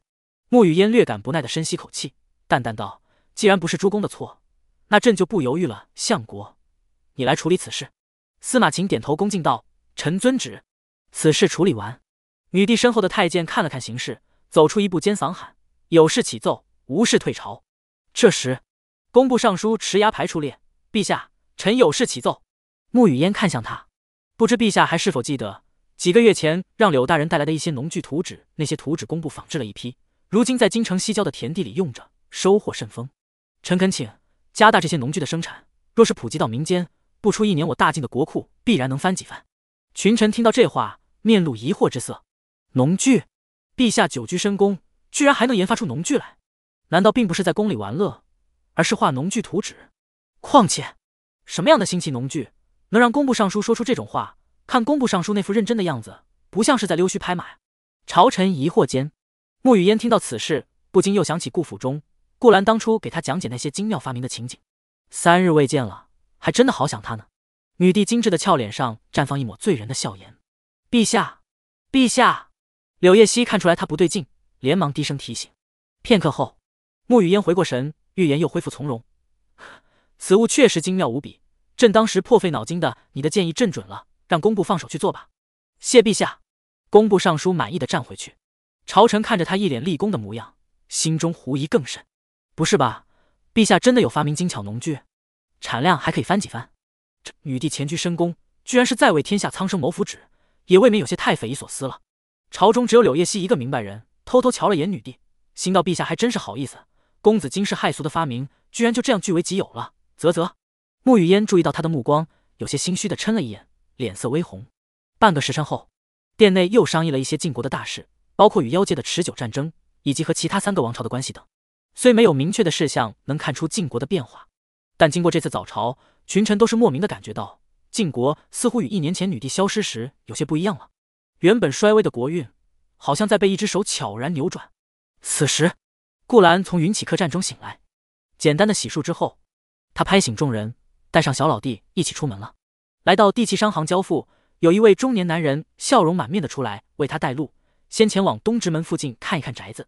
顾兰对宅子倒是没有多少要求，不过是看看房间够不够多，能否容纳下这一大家子人就好。到了地方，宅子还算干净，是一座三进三出的府邸，修缮的外形和附近邻居差不多，并不张扬显眼，还可以。你走吧，我们在这里逛逛。顾兰冲男人点头表示满意，随后和众人在府上逛了起来。小老弟似乎也挺喜欢这里的，感叹如果大家住了进来，那可比天机山上热闹多了。顾兰带他来到东乡的一间客房，告诉他以后就住在这里了。隔壁就是林台儿的房间，以及自己和娘子的主卧，气运足够帮他遮蔽天谴之力。众人使劲点着头。忽然间，他眉头一皱，耸了耸小鼻子，往东边的墙根处闻过去。怎么了？顾兰抿了口茶水，不解问道：“顾大哥，你有没有闻到一股烧焦的味道？你饿了呀？”顾兰轻笑：“不是啊，是另一种烧焦，像过年放鞭炮时候。”空气里弥漫的那种味道，众人皱眉，一脸认真的道。顾兰敛起笑容，也嗅了嗅空气中的气味，在东边靠窗的方向，似乎真的传来一股淡淡的硫磺味。这种时候怎么会有做鞭炮的呢？顾兰喃喃自语，摇了摇头。但出于对家人安全的考虑，他打算接着便去搞清楚这味道的来源，所以当即拉着小老弟出了宅子。不料，宅子的门口却迎面走来三五个带着刀的午休，跟着一个怒气冲冲的锦衣年轻公子。那公子看清顾兰模样，脚步更快了，生怕他跑了似的。三五人连忙过来，将顾兰和小道士围住。就你叫顾兰是吧？还记得小爷我吗？武渊咬牙切齿道：“他昨夜被人在画舫上晾了一宿，直到清晨的时候才哆哆嗦嗦的去往妙音阁。不料门口的下人却直接将他拦住，说昨夜菲儿小姐下令了，日后都不想再见到他。”武渊后来从其他的公子哥儿口中才得知，他已经彻底沦为了笑柄。昨夜。就是眼前这个顾兰进了萧芬儿的闺阁，还他们摆了他一道。傻你的是萧芬儿，又不是我。顾兰淡淡瞥了他一眼，武渊呸了一口，近乎歇斯底里的吼道：“肯定是你在背后唆使的。菲儿小姐明明都快答应我了。”顾兰摇了摇头，灰色气运就是灰色气运，别说脑子有没有了，就连这种莫名其妙的自信都是让人啼笑皆非。交给你了，老弟。顾兰拍了拍小道士的肩头，好嘞，大哥且看着便好。众人有点兴奋，摩拳擦掌。自从成为天机阁少阁主之后，世上就无人敢对他不敬了。就算是打架，也是同门师兄弟陪练，根本没有真动手来的爽。吴府的几个随从看到这一幕，愣了下，向自家公子投去询问的目光。看我干什么？打！武渊红着眼道：“反正这附近又没人，就算欺负小孩，也不会有人知道。俩人都得狠狠的打，不打断几根骨头，难解我心头之恨。”几个武师级别的随从听完，不再犹豫，直接朝两人扑了上来。过堂风拂过青山，顾兰身形不动，神情平静。武渊狞笑：“还敢装呢？你郎州借缘是吧？小爷今天就让你知道，区区一个臭举人跟我少将军的差距。”在他看来，很快几个下人就能把顾兰制服，然后便可以任凭自己羞辱了。然而，就在那三五个随从刚伸出拳脚时，一道幼小的身影在他们中间穿梭而过，甚至都还没有看清对方出手没有，他们就全部倒飞出去，手中的刀剑乒铃乓啷落了一地。三秒钟后，望着视野中一串模糊的残影。武渊瞳孔猛缩，而那道幼小的身影此刻也来到了他的眼前。一身宽大的道袍，有些婴儿肥的脸上带着和顾兰一样人畜无害的笑容。马德，鬼啊！武渊下意识觉得这是个返老还童的妖怪，一个屁都不敢放，撒腿就想跑。然而下一刻被小道士掌心气旋一吸，便摁在了地上。武渊彻底惊呆了，这种手法他好像建军中武王用出过来，不过好像都没有这小道士如此得心应手。顾大哥。要不要好好教训一顿出出气？众人朗声问。武渊心间一颤，顾兰摆摆手道：“不必了，附近没人，打断几根骨头扔远点就好。我们还有正事要做。这种小反派，没有能让顾兰产生情绪波动的资格。”咔嚓！众人深得云龙道长亲传，只要有事绝对不拖，只用肉身力量一拳便将武渊轰得昏死过去，肋骨断了几根，连带方才飞出去的几人被众人一并丢到了远处的野林子里。走吧。去看看那味道的源头是什么。顾兰和众人沿着街朝东走，一直到一家作坊式的门前才停下。不过，这家作坊建得很严实，正对外的铁门很小很厚，高高围墙筑起，似乎里面有什么见不得人的秘密。顾兰给小老弟一个眼神，下一刻，两人一同出现在这作坊主屋的房脊上，掀开一片瓦，刺鼻的硫磺味儿从里面冲出。众人连忙皱眉捏鼻子，低声道：“顾大哥，好像真的是硫磺火药之类的。”嗯。顾兰点点头，望一下四周的环境，都是京城的名舍。按理说，工部的火药铺是绝对不敢在这种人口密集的地方做炸药的。这个世界上虽然没有枪支，但火药的威力还是被开发了一些。火铳、土雷等等武器，哪怕是凡人面对修仙者，也可以在战斗中用出，起到出其不意的杀伤效果。再细看里面戴着面罩忙碌的人，就是在制作一些火药类武器，而不是过年放的鞭炮。走，顾兰沉吟片刻。拉着小老弟，身影一闪，重新回到长街之上，回客栈吧。顾兰带他原路返回。路上，众人小道士有些不解，仰头问道：“顾大哥，那个地方好像不是晋国的朝廷弄的？”“嗯，那是个黑火作坊。”顾兰眸光深沉，点了点头。他在回想原著中到底是谁开了这么一家炸药铺，又想要用它来做什么？黑火炸药总不能是取暖吧？这个黑火作坊就在咱们府的这条街上。大哥刚刚为何不直接端了他？大哥出手动静太大了，会引得满城皆知，得等明日做些伪装，再来拔掉他。顾兰轻笑，摸了摸他脑袋。哦，众人点头。他对顾兰的话深信不疑。自家供奉动手，那必然是惊天地泣鬼神，整个大晋皇城都要匍匐着颤抖。只是顾大哥为何要怕被人发现呢？众人这点想不通了。以顾兰的实力，这个世界完全可以横着走。甚至他可以重新制定一套法则，让众生遵守。这个世界上还有很多隐世的强者，我们要低调行事，懂吗？这叫做韬光养晦。顾兰补充道：“对了，别学你师傅，一出手，天下人都知道是天机阁云龙阁主降临，装逼十足倒是。可现在天机阁不也是被所有门派都盯着，恨不得取而代之吗？”众人似有所悟。哦，大哥虽然行事磊落，但怕被人阴。没错。那些主角可一个个都是老银币来的。顾兰赞赏的看着他，可以这么理解。那我懂了，以后也要和大哥一样韬光养晦。天机阁少阁主好像快被我培养成狗道中人了，不知道云龙老道知道了会怎么想。嗯，不过倒也没什么不好的。顾兰带小道士快回到客栈时，众人忽然想起什么，问道：“顾大哥，夫人姐姐到底是什么样的人？她知不知道你这么厉害啊？我娘子啊！顾兰心中浮现出穆雨嫣温柔的音容笑貌，轻声回道：“我娘子是个很漂亮的良善女子，但也是个普通人，所以日后在家里切不可提及我的修为，更不能暴露你的身份，不然怕是会吓到她的。”这日散了早朝，百官陆续从宫城中出来，司马晴则没有回府，而是先去了京城羽林卫，打算调动京城的巡防兵马来协助自己去查抄那个东直门的作坊。宫城门口，看着司马晴的马车朝兵部而去，一辆漆黑色泽的马车中，武凡的脸色相当难看，而在他对面坐着的正是方才朝上站在他身后的党羽户部给事中张兰。大将军，司马晴已经着手调查了，我们怎么办？张兰目光深沉，低声问道。回府上再说。武凡唯恐隔墙有耳，让马夫赶紧启程回到武威将军府。然而，两人刚刚下车，就看到府门前几个下人正一瘸一拐的抬着一个四脚担子回来，担子上还躺着不省人事的武渊。这是怎么回事？本就烦闷的武凡看到这一幕，眉头拧成了疙瘩。回回老爷，公子今日带上我们去与人打架，未曾想那人身边有一个返老还童的大高手，我们都被打晕过去。一个脸色青肿的仆人过来。站立的说完众人暴揍他们的事，等我们醒来的时候，就看到公子已经这样了，而那人也已经不知去向。武凡听完，怒火中烧，一脚将这个仆人踹飞出去，带鱼儿回房间，然后去请太医。接下来这一个月，没有我的手令，绝对不能再放他出去。将军府门口，武凡咆哮如雷。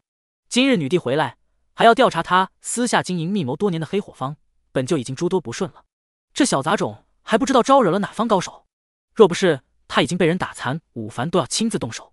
平息了一会儿烦忧暴躁的心绪，武凡终于和张兰来到自家密室当中。大将军，如今陛下发现已经是定局，又是让司马晴亲自去查的，我们接下来该如何应对此事？张兰皱眉问。这其中的厉害，他作为将军党的老人当然知道。其他官员调查的话，给点钱还就罢了，偏偏查这事儿的是司马晴，朝臣中的文派领袖，平日里为了朝廷与武凡还算能合作。表面上能共事的来，可如今女帝回来，一旦被他逮住了武凡的把柄，那肯定是不可能徇私枉法的。黑火方绝对不能被查住。武凡眼中闪过一道金芒，这黑火方中的黑火不算什么，可制作那些武器的人可全都是大禹的工匠。如果其中有人被抓，那就等于落实了我通敌卖国的罪名。嘉庆一定不会放过我的。大禹擅长火器，早在半年前，武凡就与大禹暗中结交，在这里布置下火器兵器的制造点，而且在他的计划中。只要女帝再出三月不现身，那他还可以借用与皇令召集起大禹安插在晋国京城的密探死士，组成一支战斗力颇为可观的私兵。到时候，无论是清洗朝野，还是拥立新皇，他都可以一个人说了算。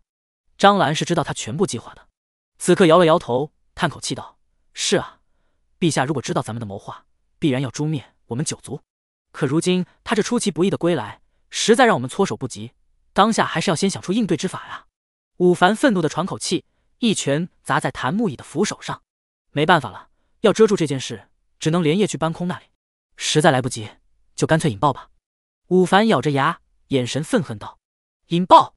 一座黑火作坊，如果真的引爆，恐怕那整条东直街上将生灵涂炭，凡人百姓定然死伤无数。”闻言，张兰眼神一惊。不过他也明白人不狠站不稳的道理，比起无关百姓的生命，还是自己的九族重要一些。况且，如果真的引爆，负责调查此事的司马晴定然会因为办事不力受到牵连，可以说一石二鸟。张兰看着武凡，目光闪烁了几下，点点头道：“好，属下今夜就去办此事，先看看能否安然撤离。若是不能，那就只好依大将军所言。”谁啊？大晚上的就来雨林营？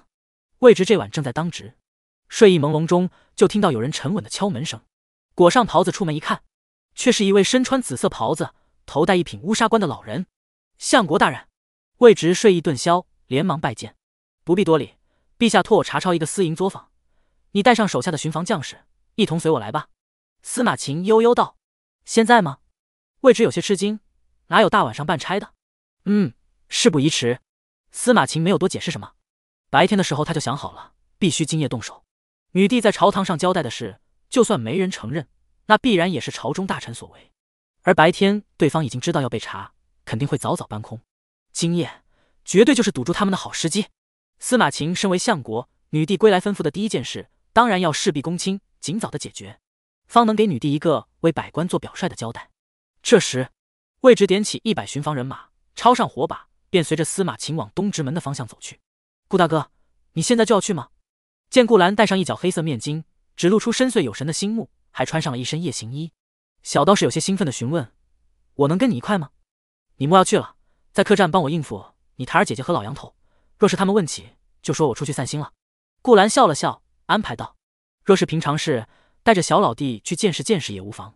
但经他目测那整整一个作坊的黑火，如果出意外爆炸的话，恐怕众人的王境修为也免不了会受到波及。答应了云龙老道照顾他弟子，那就不能让他冒险。”众人若有所思，眼神一亮：“哦，顾大哥这波就叫韬光养晦，对吗？”“啊。”词好像不是这个意思，不过从稳健的角度来讲，也没什么不对。顾兰点点头，拍一拍他扎着娃娃机的脑袋，帮我看顾好他们两人，我去去就回。好。东直街上，黑火作坊内，都搬快点，天亮之前办不完，我们就得舍弃掉这些成果走了。张兰的话低沉回荡，他的估测中，明早如果还没有收拾利索，那就直接引爆黑火方是最为稳妥的办法。那个时候，司马秦应该还没来得及到，就算带着巡防营来了。那留给他的就只有一片废墟。看着硫磺、硝石一车一车的往外面的马车上转运，张兰松了口气，嘴角勾起一抹笑意。然而，张兰还没有安心多久，门外勾魂一样的急促敲门声响起。开门，雨林卫例行查案。魏直吆喝起来。屋子里的张兰眼瞳一缩，拳头猛然攥紧。怎么会这么快？先别动了。张兰瞪大眼睛，叫停了屋子里运黑火的那些大禹的工匠，脑海里思绪百转。疯狂的想着脱身之计。如果他被抓住在这里，人赃俱获，通敌叛国的罪名一下来，那必然是抄家灭族的下场。怎么办？怎么办？饶是平日镇定的张兰，此刻额头上也沁出了豆大的汗珠。而外面的敲门声越发激烈。魏直，里面的人听着，再给你们十个数的时间，要是再不开门，我与林卫就破门办案了。十、九、八，在他数到二的时候，厚重的小门吱呀一声开了。张兰一脸陪笑的模样露出来，魏直一愣：“张大人。”张兰冲他笑了笑，脸上紧张之色已经被极力掩饰下去，而后目光落到了后面拢着袖袍的司马晴身上。相国，想不到您这么早便来了。户部张兰，这里竟是你的私营作坊？司马晴似乎没多少意外，只是眼睛眯了眯，看着张兰的目光有些疑惑。白日里女帝都说，若是提前承认，可以从轻发落，那时候他也在，为何拒不开口呢？嘿。下官也是一时糊涂，没想到陛下这么快就注意到了。本来想着今晚早点搬走就不会有事，没想到相国来的这么早。张兰一副悔不当初的模样，你还想心存侥幸？你呀，真是枉为我大晋官员。司马琴看他这打算坦白的样子，心里松了口气，有些痛心的训诫道，而仅存的那一点点的狐疑也因此打消下去。是是，相国教训的是。张兰低着头，眼里闪过一丝狠辣之色。你这里是暗中经营什么的？司马晴问道。身后的文书已经在做笔录。也没什么，就是找人做些衣服、点心啊。下官其实就是想讨点赋税，没想到这么倒霉。下官认罚。张兰又笑，脸上挂着身不由己的神情。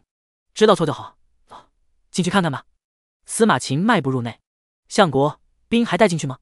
魏直稳妥起见，问道。司马晴犹豫了下。张兰眼里金芒一闪，连忙笑道：“别了吧，魏大人。”我这作坊里面空间小，腾挪不开这么多人。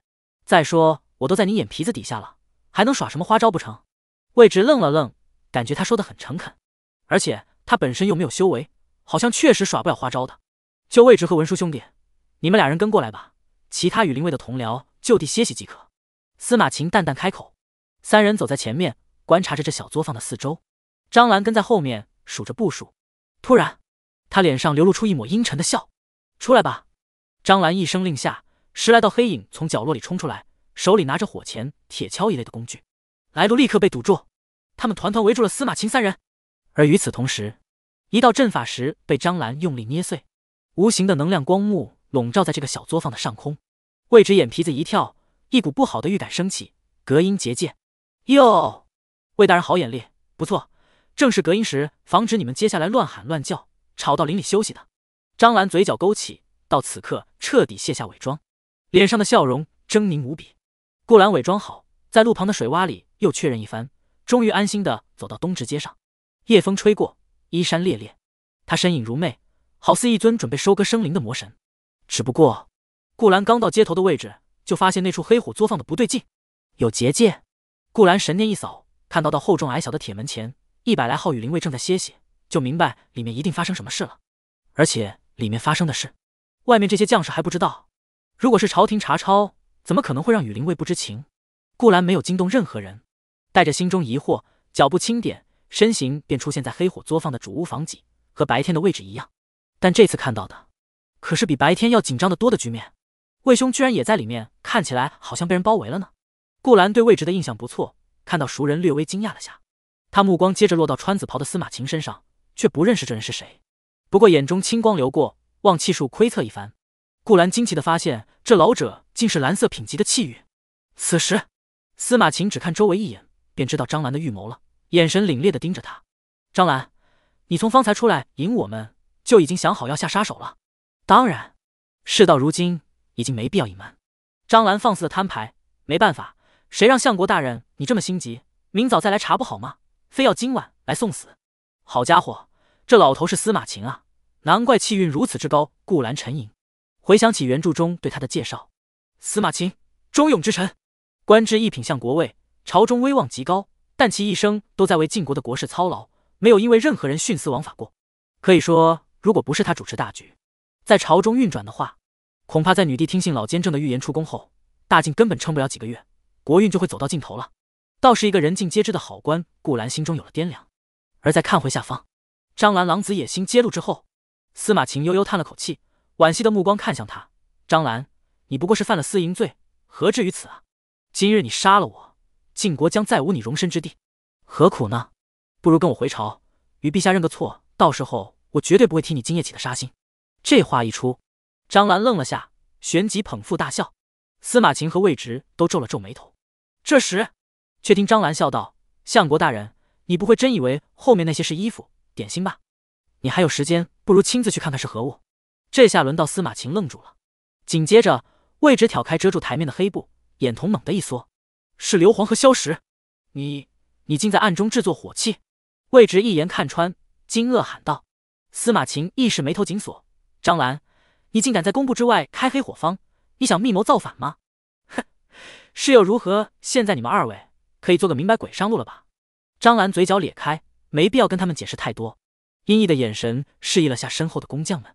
工匠们继续往前逼近几步，魏直拔刀护在司马晴身前，眼神冷厉道：“张兰，你不会以为就你们几个普通人，可以在我面前伤害得了相国大人吧？”啪！话音刚落，一个火折子在黑夜中点亮。让在场的人都是心间一紧。张兰举着火折子，慢慢靠近那堆足以让所有人都炸成灰烬的火药，语气阴冷的道：“哼，我当然不指望他们能杀你，他们只不过为我拖住你即可。魏直、司马晴，如果你们不想让我现在就炸掉这条街，我劝你们就莫要做无谓的抵抗。”话音落地，整个黑火坊里寂静无声。魏直的拳头攥紧，眼神已经将张兰千刀万剐了无数遍。有的人。表面看起来是大劲的户部给事中，实则却是不折不扣的畜生，利用整条东直街无辜百姓的生命来逼他们就范，简直就是猪狗不如。房脊上的顾兰听闻此言，都是皱了皱眉，内心涌起一股恶寒。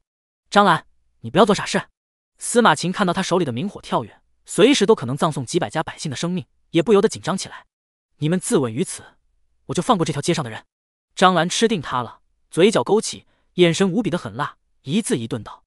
没有转还余地了吗？司马晴叹口气，看着他，没有。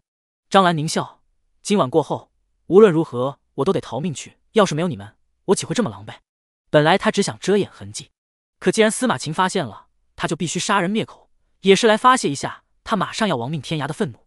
话音落下，司马琴已无计可施，面临必死之局，他苍老的双目中却并没有旁边位置的紧张，也没有身后那个小文书的恐惧。他很平静，哪怕这平静中带了那么些许使命未完的悍然。魏直，把刀给我吧！不可，相国！魏直连忙退后几步，眼睛一瞬间红了。我带您杀出去，我就不信这杂碎真的敢点燃火药！点燃火药，他也得死！闻声，张兰愣了下，被魏直说中了。不到万不得已，他还真不想走同归于尽的招数。不过此刻，张兰仍旧色厉内荏道：“你可以试试。”看看咱们相国大人敢不敢用这一届的百姓来我赌命？我也只给你十个数，数到零，这火药就会炸。十、九、八！听着他的倒计时，魏直快把牙咬碎了。世人都太知道司马相国的软肋了，这句话一说，事情的结局必然不会再有回转。绝望之际，魏直看了眼来时铁门的位置，他多希望此刻外面的将士能冲进来，多希望能有上位强者来搭救他们，多希望这结界能破碎。可惜，并没有。此刻夜深人静，根本不会有人注意到这个小小作坊里发生的阴暗丑事。还有三个数，快些自裁，我的耐心是有限度的。张兰催促道：“哼，既然事已至此，那就让卑职走在相国大人前面吧。”魏直惨笑，憋屈的横刀向颈，正要一勒，然而这时他目光无意间瞟过前方，却忽然发现张兰的背后不知何时出现了一个人影。那人穿一身夜行衣，看不见面容。只能隐约看到那双眼瞳很是澄澈，一如他手中那柄长剑的寒光。呼！下一刻，顾兰探头直接吹灭了张兰手里的火。魏直，张兰，卧槽！灭了！张兰以为是风，慌忙又手忙脚乱的要去打着。可这时，沉重的鸿蒙剑已经搁在他的肩头，眼中的余光能在剑身的倒影中看到他此刻那张毛骨悚然的脸。背后有人！张兰猛然惊醒，心快要从嗓子里跳出来。他不知道顾兰是何时进来的，又是怎么绕过结界，无声无息来到自己身后的。而看对面，司马晴和魏直都是一脸震惊茫然的神情，他们好像也不知道，这怎么可能？张兰极度的惊恐中，脑子已经有些短路了。他颤颤巍巍的低声询问：“阁阁下是何人？我们无冤无仇，何必刀剑相向？这是我与他们二人的事啊！”顾兰冷笑一声，低沉着嗓音道：“哦，你刚刚可是要炸了我家，这还叫无冤无仇？”张兰一愣，旋即冷汗如雨。该死，这东直街什么时候竟有这等强者住下？我我真不知道阁下的家在这条街上。呜，呵呵。顾兰没兴趣听他求饶，淡淡笑道：“这样吧，我也不是不讲理的人。你将这处黑火坊的背后秘密、主人以及你们效忠的势力，通通告诉我，我就考虑放你一马，如何？”来时回想了一路，顾兰也没有想起原著中这个东直街上的黑火坊是谁的手笔。可能是太细节了，没有记住。但如今他就在自己家旁边，了解到这背后的整个阴谋，还是相当有必要的。张兰想了想，眼神黯淡，苦笑道：“阁下，这件事我真的不敢说。我的家人都还在被人控制着，他的一家老小都在将军府手中。如果背叛，那全家都难逃五凡的折磨。”听闻此言，顾兰嗤笑出声。这时候知道怕了。刚刚拿一街几百家无辜百姓要挟司马晴自刎的时候呢，一招忠勇。若非自己在此，就要被逼得当场自尽。顾兰没有听他解释，冷漠道：“你喜欢给人数数是吗？我也只给你十个数的时间考虑。如果不说，就是死。”顾兰的话音无比平淡，就像巨人面对蝼蚁，随时可以摁死，却不会有丝毫放在心上。这股漠视众生的语气，让对面修武的魏直悚然一惊，仔细打量起顾兰的身影。虽然蒙面，而且对方的实力境界绝对与自己是云泥之别，但他总有种莫名其妙的感觉。似乎他在哪里见过这位强者一样，司马晴脸上则是放松了少许，颇为赞赏的看向顾兰。大晋沉寂许久，年轻一代碌碌无为，却不曾想京城还有这样路见不平的少年侠客，实乃大晋之福啊！十、九、八、七，顾兰逐字吐露，就是阎王索命的勾魂声。张兰感受着颈间的寒芒，在绝境的恐惧中，眼神猛然间流露一抹死志。马德，我无论怎么选都是死。那我还不如让我一家老小活着。他脸庞扭曲，已经是明白了顾兰的来意。顾兰就是来杀人的。当鸿蒙剑搁在脖子上的那一刻起，他不管怎么选，结局都是死。唯一的不同就是死在谁的手中罢了。只不过此刻，他话音还未落地，扑哧一下，大好头颅却先咕噜噜滚落了。顾兰的剑芒一瞬即逝，出手之果断，当事人张兰甚至都没有反应过来，位置都没有看清，鲜血就已经飙起三尺高。司马晴一介文官，更是没有见过如此恐怖的场景，忍了好久才没有吐出来。但事情到此还没有结束，顾兰神念一直注意着作坊里那些拿着火钳的工匠们。在张兰死后，他们其中大多都没有逃走，反而是朝着司马晴扑了上去，妄图临死拉个垫背的。竟是死士吗？顾兰扬起鸿蒙剑，一道道剑气激射，靠近司马晴的几人心脏瞬间被洞穿，扑通扑通，一具具尸体倒地，黑火方中血流成坡。片刻后，黑火方中宁静下来，看起来好像一切都尘埃落定了。魏直松了口气，脸上刚露出放松的笑容，正要前去和顾兰打个招呼道个谢，然而，就在此时，一股刺鼻的火药味儿却在这作坊的背后冲天起。这，这是什么味道？魏直脚步顿住，脑海一白。司马晴率先反应过来，眉头紧皱，给顾兰喊道：“不好，少侠，是那些逃走的死士，他们把黑火方内部的火药点燃了。”闻言，顾兰心中同样一惊，转眼看去，暴虐恐怖的火光已经映照在他的眸中，正飞速吞噬着眼前的世界。火药的威力在哪个世界都不容小觑。这个黑火方长年累月不知道埋藏了多少黑火，此刻被点燃，爆炸的能量可谓轰天裂地，远远超乎在场所有人的预料。瓦砾、墙体瞬间爆裂开来，四散飞射，隔音结界也是陡然崩塌。外面正在歇息的羽林卫，此刻听到这一声巨响，纷纷惊慌张望。完了，这是司马琴和魏直脑海中最后的想法。黑火方终究还是被引爆了。他们都会死，但最重要的是，附近这一整条东直街，甚至这座京城，很快就会变成人间炼狱。几块巨大的砖石朝他们这儿飞来，魏直几乎是下意识的将司马晴扑倒在地下。可就在这时间，以他敏感的武者感知发现，周围的时间好像变得有些不一样起来。爆炸中朝天空溅起的土石碎片轨迹变得十分清晰，就连黑火引燃后那滚滚升起的浓烟，都是一缕一缕的变得可见。不仅如此，魏直还注意到。自己的动作都变慢了，原本只需要一瞬间的飞扑，足足在空中飞了数息才完成。整个世界的时间在这一刻好像凝滞沉重了许多。魏直有些懵，直到一道好似闲庭信步的身影在他视野中动了起来，手持三尺清风拔地而起，身影凌空而立。这是方才那位少侠。扑倒前的最后一瞬间，魏直神情有些发愣，因为他听到顾兰好像在低吟着什么。方圆十里之内，时间变慢一倍。顾兰开口。用出了言出法随，他的速度并没有受到丝毫影响。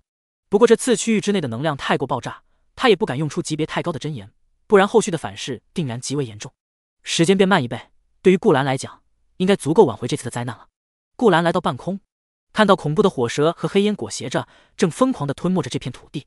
作坊里的房屋瓦舍倾塌化为尘埃乌有，而四面的长街林家院落马上就要受到波及。西边最近，顾兰凝目先看向西方。瞧准了黑火即将蔓延到的地方，一剑斩落。铮，鸿蒙剑厚实的剑身发出辽亢剑鸣声。这一剑凝聚了顾兰地境的修为，因为事态刻不容缓，所以是毫无保留的一次出手。滔天的青色剑光顷刻轰至地表，地表寸寸撕裂，整个京城都在随之剧烈的晃动。凌厉霸道的剑气所过，空间不稳起来，几近快要崩塌成碎片。顾兰心念操控剑诀，青色剑气化为屏障。将如一条巨蛇正在蔓延的黑火一剑斩断。此刻天色已微微亮，外面的羽林卫依稀看到天空中伫立挥剑的挺拔身影，好似天神临凡。一剑下去，地动山摇。这是什么绝世强者？居然也在这四营作坊里面？相国大人和魏大人还在里面呢，怎么办？一众羽林卫表现出面对强者时本能的恐慌，而附近的百姓修士们亦然。他们听到这一声振聋发聩的闷响，赶紧出门看看情况。却看到东直街上这一幕像世界末日似的景象：黑火、浓烟、风云变幻。顾兰每次挥出一剑，方圆百里的天地灵气都要被抽干一般。须臾之后，一共四道鸿蒙剑气，如天堑降临，化为壁障囚笼，将黑火方内散开的所有狂暴能量尽数斩断，四四方方的锁在了此处空间。我的妈呀！睡一觉怎么就成这样了？火和烟里的那个强者是谁？看起来好像不是咱们京城人士啊。这场景倒让我想起来前些日子听说廊州地界有过天地异象，好像是两位世间至强的高手大战引起的。众人惊疑不定的看了片刻，随着顾兰松口气，原本黑火要引起的毁灭性灾难，此刻已经化到近乎为零。这时，天地间一道道异象竟在缓缓凝聚起来，一束束金色晨曦透过漫天的云朵，洒向晋国的都城当中。卧槽！你们快看，那那好像是功德金云，功德金云。真的是没想到，老夫有生之年竟能亲眼看到。修士中不乏有游历天下各州、见识不凡的一众百姓，不知功德金云是什么。紧接着就听到知晓这种异象的人用颇为震撼的语气解释道：“功德金云可不是普通异象，那是必须对人间做出巨大贡献的强者才能拥有，是神仙普度众生的体现。功德加深，气运飞涨。看到那些功德金光了没？据说他洒向的地方，就能获得无形中的天道庇护。这片大陆上一次出现功德金云。”还是四千年前的赤阳圣君一人焚杀十万妖兵，将赤阳的命脉从妖帝手中保下的时候，听着知情者激动的解释，其他人此刻看着无比震撼的功德异象，也是纷纷面露惊喜之色。这么说来，难道方才那位强者无形当中度化了我们一次？那不然呢？你听刚才的爆炸声，如果不是那位强者出手，感觉咱们这时候可能都完了。是啊，那处院落都被炸没了。要是那位神仙不出手，咱们住在这附近的人后果不堪设想。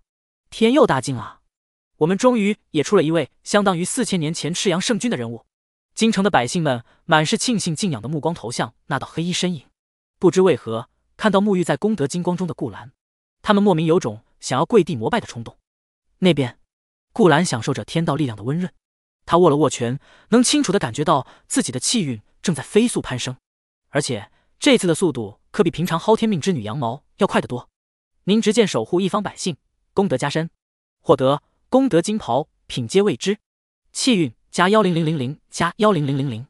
宫城之中，沐雨烟、晨起在侍女的侍候下方洗漱完，正要前去养心殿批阅奏折，忽然地面开始摇晃起来，整个京城都在跟着颤抖。这是怎么了？快保护陛下！几个太监惊慌失措的喊：“不用，你们顾好自己。”沐雨烟柳眉微蹙，凤眸微凝，看向顾兰所在的方向，隐隐看到了几丝升起的黑烟。稍微用真力扶住旁边东倒西歪的侍女太监，女帝一袭凤裙的倩影出现在宫城最高的楼阁上，凭栏观望。紧跟着，柳叶熙也被惊动，赶紧来到女帝身边。陛下，那是功德金云。柳叶熙眯着眼，惊愕道：“一朵朵功德金云飘至，漫天的气运连华洒向京城，看起来美轮美奂，无比的神圣。”的确是。沐雨烟微微颔首，皱眉道：“功德金云现身大境，本是颇为高兴的事情。”但此刻的沐雨烟心中更多的是疑惑，能有这般能耐，又是一个实力不在朕之下的，我大晋到底盘踞了多少妖孽强者？他有些无奈的揉了揉眉心，随即美眸聚拢灵光，慧神看向那边。此刻空中已无人影，或许引出天地异象的那位强者已经离去，但在那里的地上有四道青色剑罡铸成的围墙，隔断了其中无比狂暴的能量。沐雨烟凝神看着那四道霸道厚重的剑罡，良久，他瞳孔微微一缩，这是。鸿蒙剑的剑气，当初在廊州时，沐雨烟曾去过城外，到那位天机阁供奉与羽皇交手的地方一探究竟。身为剑修，对鸿蒙剑的剑气记得当然熟悉。如今却不曾想，鸿蒙剑主再现京城之中。他天机阁的堂堂大供奉，在廊州安居不就好了？又千里迢迢的来京城做什么？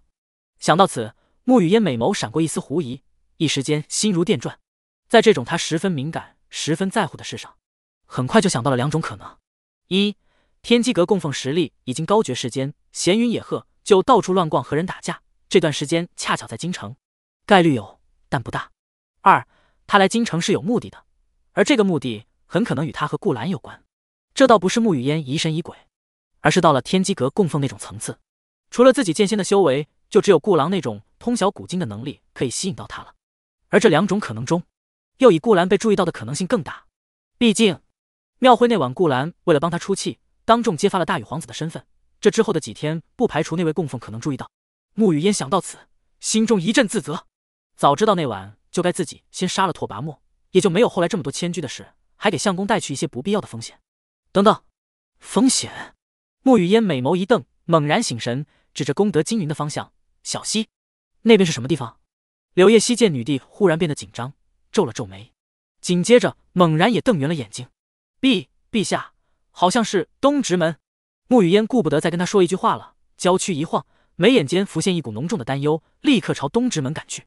功德金云已经渐渐散开，淡淡的紫气自东方而来，笼罩在晋国的京城上空，金光映衬，如梦如幻。而一家客栈里，小道士趴在窗边看着天地异象，喃喃道：“顾大哥果然是世间至强，比我师傅可厉害多了，而且还懂得韬光养晦这种学问，实在是够我学很久呢。”众人今早有没有看见公子？林檀儿来到窗边问他。看到这异样的美景，他也不禁怔了一下。没有啊，大哥，他应该是出去买早餐了吧？众人这话说的有些磕巴，顿时他就感觉跟顾兰的差距更明显了。顾大哥平常就与通书生别无二致，一点破绽都不会让别人瞧出来。唉，终究是我韬光养晦的本事不够深厚。好在这次林檀儿被天边云霞所吸引，并没有对他的语气产生怀疑。好美的朝霞啊！想不到京城还有这样的一番风景，那姐姐还是抓紧机会看看吧。这种呃朝霞可不是说有就有的。北方，距离京城已经不到一百里的地方，一位容貌颇为柔媚的少女将马停下，饶有兴致的目光看向大晋都城。怎么了，小姐？她身后头发花白、身形略显佝偻的老妪问道。没什么，我的见鬼灵好像感受到了什么，正在颤抖。我们这次要去的地方有一位剑道造诣极深的高手呢，是晋国那位女爹。太远了，不确定。少女伸了个懒腰，拍了拍小腰间挂着的玉鬼带，笑道：“别抖了，我们北冥人可不能这么怂。反正是要去挑战晋国第一高手的，是谁都无所谓。以本小姐的天赋，根本不在怕的。一个月后，天机风云榜，我定然要进前十。”听闻此言，身后黄境修为的老妪点了点头。若是寻常少女说这番话，她定然会觉得自大张狂。可她侍奉的这位小姐，早在还是先天境界的时候，就已经能越阶与她战成平手了。更不要提现在已经真至黄境，从小便受得太上皇的真传，哪怕对战剑仙，想来也不会差多少。魏直，魏兄弟，你别睡，我带你去太医院，我让太医帮你疗伤啊。此刻已经是一片废墟的黑火方中，衣衫已经破烂的司马晴正唤着魏直的名字，脸上神情无比焦急。他强撑着背起魏直，一边不住的让他保持清醒，一边往攻城的方向走。方才，魏直因为护着他。背后还是受到了黑火爆炸的波及，哪怕是练武之躯，整张背也是皮开肉绽。等顾兰消弭爆炸的能量后，已经是奄奄一息。你为何要救我？还是我害得你来到此地啊？魏兄弟，司马晴苍老的双目中满是悔恨，怅然问道：“你还这么年轻，我们又不曾相识，何苦这么用命护着我？就算是在被张兰逼着自尽时，司马晴都不曾后悔过。为国家捐躯，为陛下办事，他感觉值得。但此刻……”看到魏直这样的年轻人以命换他的命，着实心如刀割，悔不当初。相国莫要自责，你是大晋的顶梁柱，朝朝廷还需要你。魏直满脸伤痕，却笑了出来。他这样平凡的小人物，能为国家保住这样的忠勇骨干之臣，也算不枉食朝廷俸禄，不算对不起当初为官时那一腔热血了。你糊涂啊，魏兄弟！向来不曾对朝中官员有任何结交关系的司马晴，这时却是一口一个兄弟的喊着他。快来人，备车进宫！司马晴在一片烟尘中大声喊，嗓音低沉嘶哑，可距离外面的羽林卫还有很远距离。魏直的状态怕是难以支撑到。魏兄弟，别睡，等你醒了，我和你结拜异姓兄弟，将来你前程一片光明。司马晴老目噙着泪，不断叫他，可挡不住魏直的眼皮子越来越重，已经快要合上了。这时，茫茫一片黑色的灰尘中，一道身着黑色衣衫的身影朝他们走来，脚步沉稳。手上的剑已经消失，但周身若有若无的强横的气息，仍让人从心底里感觉畏惧。少侠看到顾兰没走，司马晴愣住了。起初他以为顾兰可能就是一辈年轻俊杰、路见不平拔刀相助的侠客，可从方才展现的能量来看，他更像是位隐士的大能。四道剑气便可护住京城安危，此等手段，恐怕唯有绝世强者可以形容。魏兄怎么会受这么重的伤？顾兰下意识问。司马晴闻言更是愣住。少侠。认识魏直兄弟？呃，我之前听到你们说话了。顾兰看了这个心思缜密的老臣一眼，淡淡道：“把他放下来吧，有我在，他死不了。有我在，他死不了。”这句话简直直击司马晴的心神。好多谢少侠，多谢。司马晴连忙将魏直放下。顾兰手指往他的天灵处一探，一道真意运转，他的情况已是片刻了然。翻手摸出一枚玉瓶，倒出一颗司马晴从未见过这等品质的丹药。丹香缭绕，十分不凡。一颗回生丹，纵然是白骨也能活。顾兰将回生丹给魏直喂下，这次倒没有多心疼。毕竟相比起此行的整整十万点气运的收获来，一枚仙品丹药的付出属实微不足道。何况魏直这个人骨子里真颇有几分让人救他的愿想。丹药服下后，魏直的气色瞬间好了许多，一股淡淡的生命真气萦绕在他躯体上，为他肉眼可见的修复着满身的创伤。司马晴一阵惊喜。这时，顾兰抬头看了眼天，功德金云，紫气东来，这般浮夸至极的异象，恐怕会引得不少强者前来。他还不确定晋国的那位女帝会不会来。不过这次顾兰留了个心眼，就在刚刚，他待黑火的余威散尽后，自己便将四道剑气破掉了。毕竟这一次他可不想再引得无数修者在这里观摩，不然又要迁居新地方，娘子都还没来见识一下京城的繁华呢。少侠，可否告知明慧？司马晴转过身来，郑重其事的向顾兰行礼。哈哈，相逢即是缘，明慧何须在意？顾兰轻笑，紧了紧衣衫，朝天边随手一指：“雨来。”言出法随。下一刻，天穹间开始淅淅沥沥落起了细雨，洒扫着天地间纷乱的烟尘。司马晴瞠目结舌，这是何等神仙手段？在他的印象里，好像陛下都做不到吧？顾兰走过废墟，去到那边旧石板铺成的长街上，氤氲雾气中，头也不回的挥了挥手：“相国早些回去歇息吧，待会儿就要下雨了。明早又是个好天。”顾兰有些迫不及待的回客栈，看一看今天这一行的收获，包括那件品阶未知的功德金袍。他脚步轻快。心情愉悦，而身后，司马晴凝望着他的背影，是如此的洒脱不羁，少年侠气。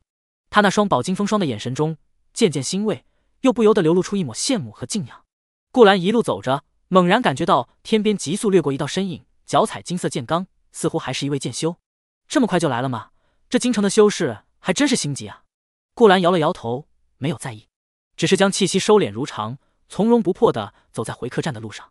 沐雨烟留意到下方一道裹着黑色衣衫的身影经过，心中有些疑惑。他来的方向好像就是东直门事发的地方。不过，留意到前方司马晴的官袍样色，沐雨烟显然更关切那里发生了何事。那位天机阁供奉到底是不是真的盯上了顾兰？顾兰的安危要比其他琐事都重要。沐雨烟收回目光，来到司马晴面前，一袭华贵的长裙不染尘埃，周身自带的真气将雨幕撑起一方穹顶。相国，发生了什么？陛下，司马晴见到女帝，心神逐渐落定，再也没有之前那么慌张了。在一众羽林卫发现来到这里时，刚好把这一晚的事讲述了一遍。张兰，黑火方朕知道了。沐雨烟美眸冰寒，冷声颔首。想不到这处作坊私营的竟然是黑火这种买卖，他不是要逃过赋税，而是要造反啊！卓玄天司立刻去张家，满门抄斩。沐雨嫣淡淡吩咐，预言不带一丝怜悯。司马晴拱了拱手。陛下，据微臣今夜所知，那张兰应该不是主谋。他说他的家人都在别人手中，就算抄家，恐怕也是一无所获。相国所言有理。沐雨嫣点了点头。的确，张兰顶破天就是个户部的给事中，穿蓝袍的小官，就算再大的野心，也不会敢想一步登天的事。他背后定然有大人物指使。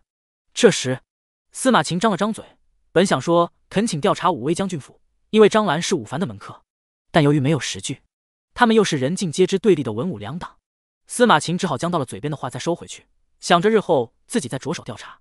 对了，相国，穆雨嫣听完前因后果，还是有些不放心，蹙眉问道：“你可有在这里见过一个书生，长得十分俊朗，大概有这么高？”他抬手放到比自己高半个头的位置。书生，司马晴摇了摇头。陌生人中，微臣只见到了引动天地异象的那位绝世大能，可他也是黑金掩面，不曾记得面容。那人朕知道。沐雨烟确定了顾兰没有掺和进来，悬着的心终于落地。那人便是廊州现世的绝世强者，曾击败羽皇，还有一层身份是天机阁的大供奉。天机阁供奉，司马晴虽然不修仙，但也知道大陆势力的变动，不由惊道：“是天机阁数月前招揽的那唯一的一个供奉，也是如今各大皇朝都疯狂拉拢的对象。”穆雨烟淡淡点头：“没错。”司马晴脸上顿时露出懊恼之色，真没想到那位供奉竟会如此年轻啊！早知如此。臣下跪也得求他做我大晋客卿啊！穆雨烟闻言哭笑不得。相国不必如此，这种强者已经是世间超然，不是寻常利诱可以招揽的。穆雨烟无奈道：“不瞒您说，他就在我晋国地界，朕也是愁着怎么见他一面，渴望交个朋友呢。先不说此事了，相国无恙也是我大晋之幸。回去好生歇歇。”这日午间，顾兰回到客栈，来到房间里一面铜镜前，展开望气术来查看自己的气运。气运。黄色品级六零零零零幺零零零零零，遏制了炸掉半个京城的灾难，让顾兰直接晋升了一个大品级。黄色品级在原著里的设定上已经算是半个气运之子了，而且距离晋升紫色品阶也已经完成了一大半，果真没有白去哈！顾兰内心有些激动，紧接着他心念一动，从系统空间中取出那件功德金袍，金色明黄，云纹帆布，看起来比任何帝王的龙袍都要辉煌锦绣。顾兰刚想将其穿在身上，试探一下这件金袍的效果，木门吱呀一声，小道士的身影闪了进来。而当他看到顾兰手里的功德金袍时，眼里更是直接放出光来。这，这是功德金袍！我天，顾大哥，你从哪里搞到的这宝贝？你先擦擦口水。顾兰看他这副样子，有些好笑。你们天机阁不是算尽天下万物吗？怎么不记得上一届防御灵气榜上有这个？品阶未知。顾兰起初还以为是系统爸爸自创。这个世界上没人听过的宝贝，不过从小老弟的反应看来，天机阁应该是知道些底细的。宝器榜上当然不会有功德金袍这种东西，因为它可是超越了玄天至宝的存在。众人惊叹着，开口解释：“当初我也是被师傅逼着，把藏经阁里的古籍都看了一遍，才知道了这件神物的。其实除却当世能找到的十二件玄天至宝，还有十件古神遗物，算世间宝器至强之列。而其中一件便是这功德金袍，据说还是那时西域佛陀古地的东西。只不过那些古神遗物都不现世很久了，所以……”渐渐的，我们历代阁主也就不把他们统计在内了。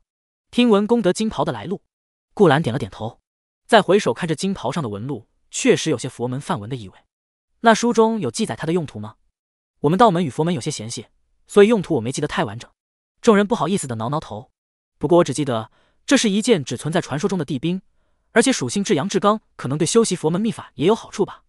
嗯，顾兰认可天机阁中的记载，单单是拿着这件金袍。就能感觉到它散发的气息与体内那滴真龙之血有些引动。若是穿上修炼，那对自己气运的温养好处不言而喻。宫城东宫，一处朴素无华的书斋，坐落在群殿环宇当中，红砖黛瓦，与周围金碧辉煌的宫殿大不一样。但就是这样的一处平平无奇的书斋，过往的宫女太监们看到了，目光皆是垂在地上，不敢露出丝毫不敬的神情，因为这书斋的主人是三代帝师。当朝威望最高的太傅苏华，此刻，两排宫装侍女和太监们来到书斋前的小路上，轻轻放下龙辇，闭目养神的沐雨烟睁开凤眸，看向这座书斋的时候，素来冷傲的眼神带了几分柔软和怀念。陛下要传太傅见驾吗？旁边一个小宫女问道。话音刚落，女帝身后的一个太监脸色一变，斥道：“混账东西！陛下来见恩师，传什么传？来提醒一句，显得你能耐是吧？”那宫女慌忙跪下。沐雨烟摆摆手，罢了，他是新来的，不知道朕的规矩，你们都下去吧，别惊扰老师进修。说完，他从龙辇上步下，轻缓地走入书斋中。说是书斋，其实更像是一片书院，毕竟是皇家的地方，修缮再朴素，规格还是要的。刚推开正门，没走几步，就听到苏华跟侍候的太监道：“小镇子，陛下来了，把我柜子里最里面的那包茶拿出来沏上。”叫小镇子的太监还没反应过来。沐雨烟便已经走进屋中，看着正捧书做笔注的苏华，展颜笑道：“老师，学生就是来看看您，不爱喝茶。柜子最里面的茶肯定是太傅最好的，他平时舍不得喝，就等女帝来的时候给他喝一喝。拜见陛下。”小太监惊得一身冷汗，连忙跪下。他是想不到，苏太傅光听脚步的旋律就能知道来的人是不是女帝。平身吧。沐雨烟在这里很随意，也没有让下人们去大张旗鼓的侍候。而是就近坐张凳子，跟太傅像聊家常一样说着话。陛下不爱喝，拿回去给小西和菲儿那俩丫头吧。苏华笑了笑，顺手递给他一只橘子。陛下爱吃这个，前几天南州布政使进贡到我这里的，整整一筐呢。接过橘子，沐雨烟微微有些动容。想当初，柳叶熙和萧菲儿都是自己的伴读，在这里一起读书，都是苏华的学生。时光一晃，已经过去这么些年了，老师对他们几个的喜好都还记得很清楚，很好吃。沐雨烟掰开橘子，往红润的小嘴里塞了一半，微微一笑：“你们都先下去吧。”苏华遣散了书屋的下人们。这时，沐雨烟本以为太傅要说一些什么要紧的话，抬眼认真看过去，结果却见苏华反复的打量了自己一番，笑问：“听说陛下成亲了，可惜老臣没赶上。那孩子人不错吧？对陛下好不好？”沐雨烟愣了愣，俏脸一红：“老师怎么知道的？菲儿那丫头来过。”沐雨烟就知道是他。小溪在玄天司中经受过严格的训练，嘴巴很严实的。不过，苏华对他们三个本就是老师，一日为师，终身为父，告诉了也无妨。沐雨烟早晚都是要告知的。他对我很好。提到顾兰，沐雨烟就有些羞涩了，有点像偷偷谈恋爱却被家长发现一样。葱白玉指一点一点拆着菊落，她绝美的脸蛋上浮现一抹嫣红。那孩子是哪派的人？苏华下意识以为是官场或者修仙者，都不是，是个普通人。沐雨烟摇了摇头，和老师一样是个书生，如今就在京城呢。不过老师短时间内没法见他，因为，因为他还不知道你的身份。苏华眼睛一亮，历代太傅最擅长的就是猜作为学生的皇帝心思。沐雨烟愣了下，缓缓点头。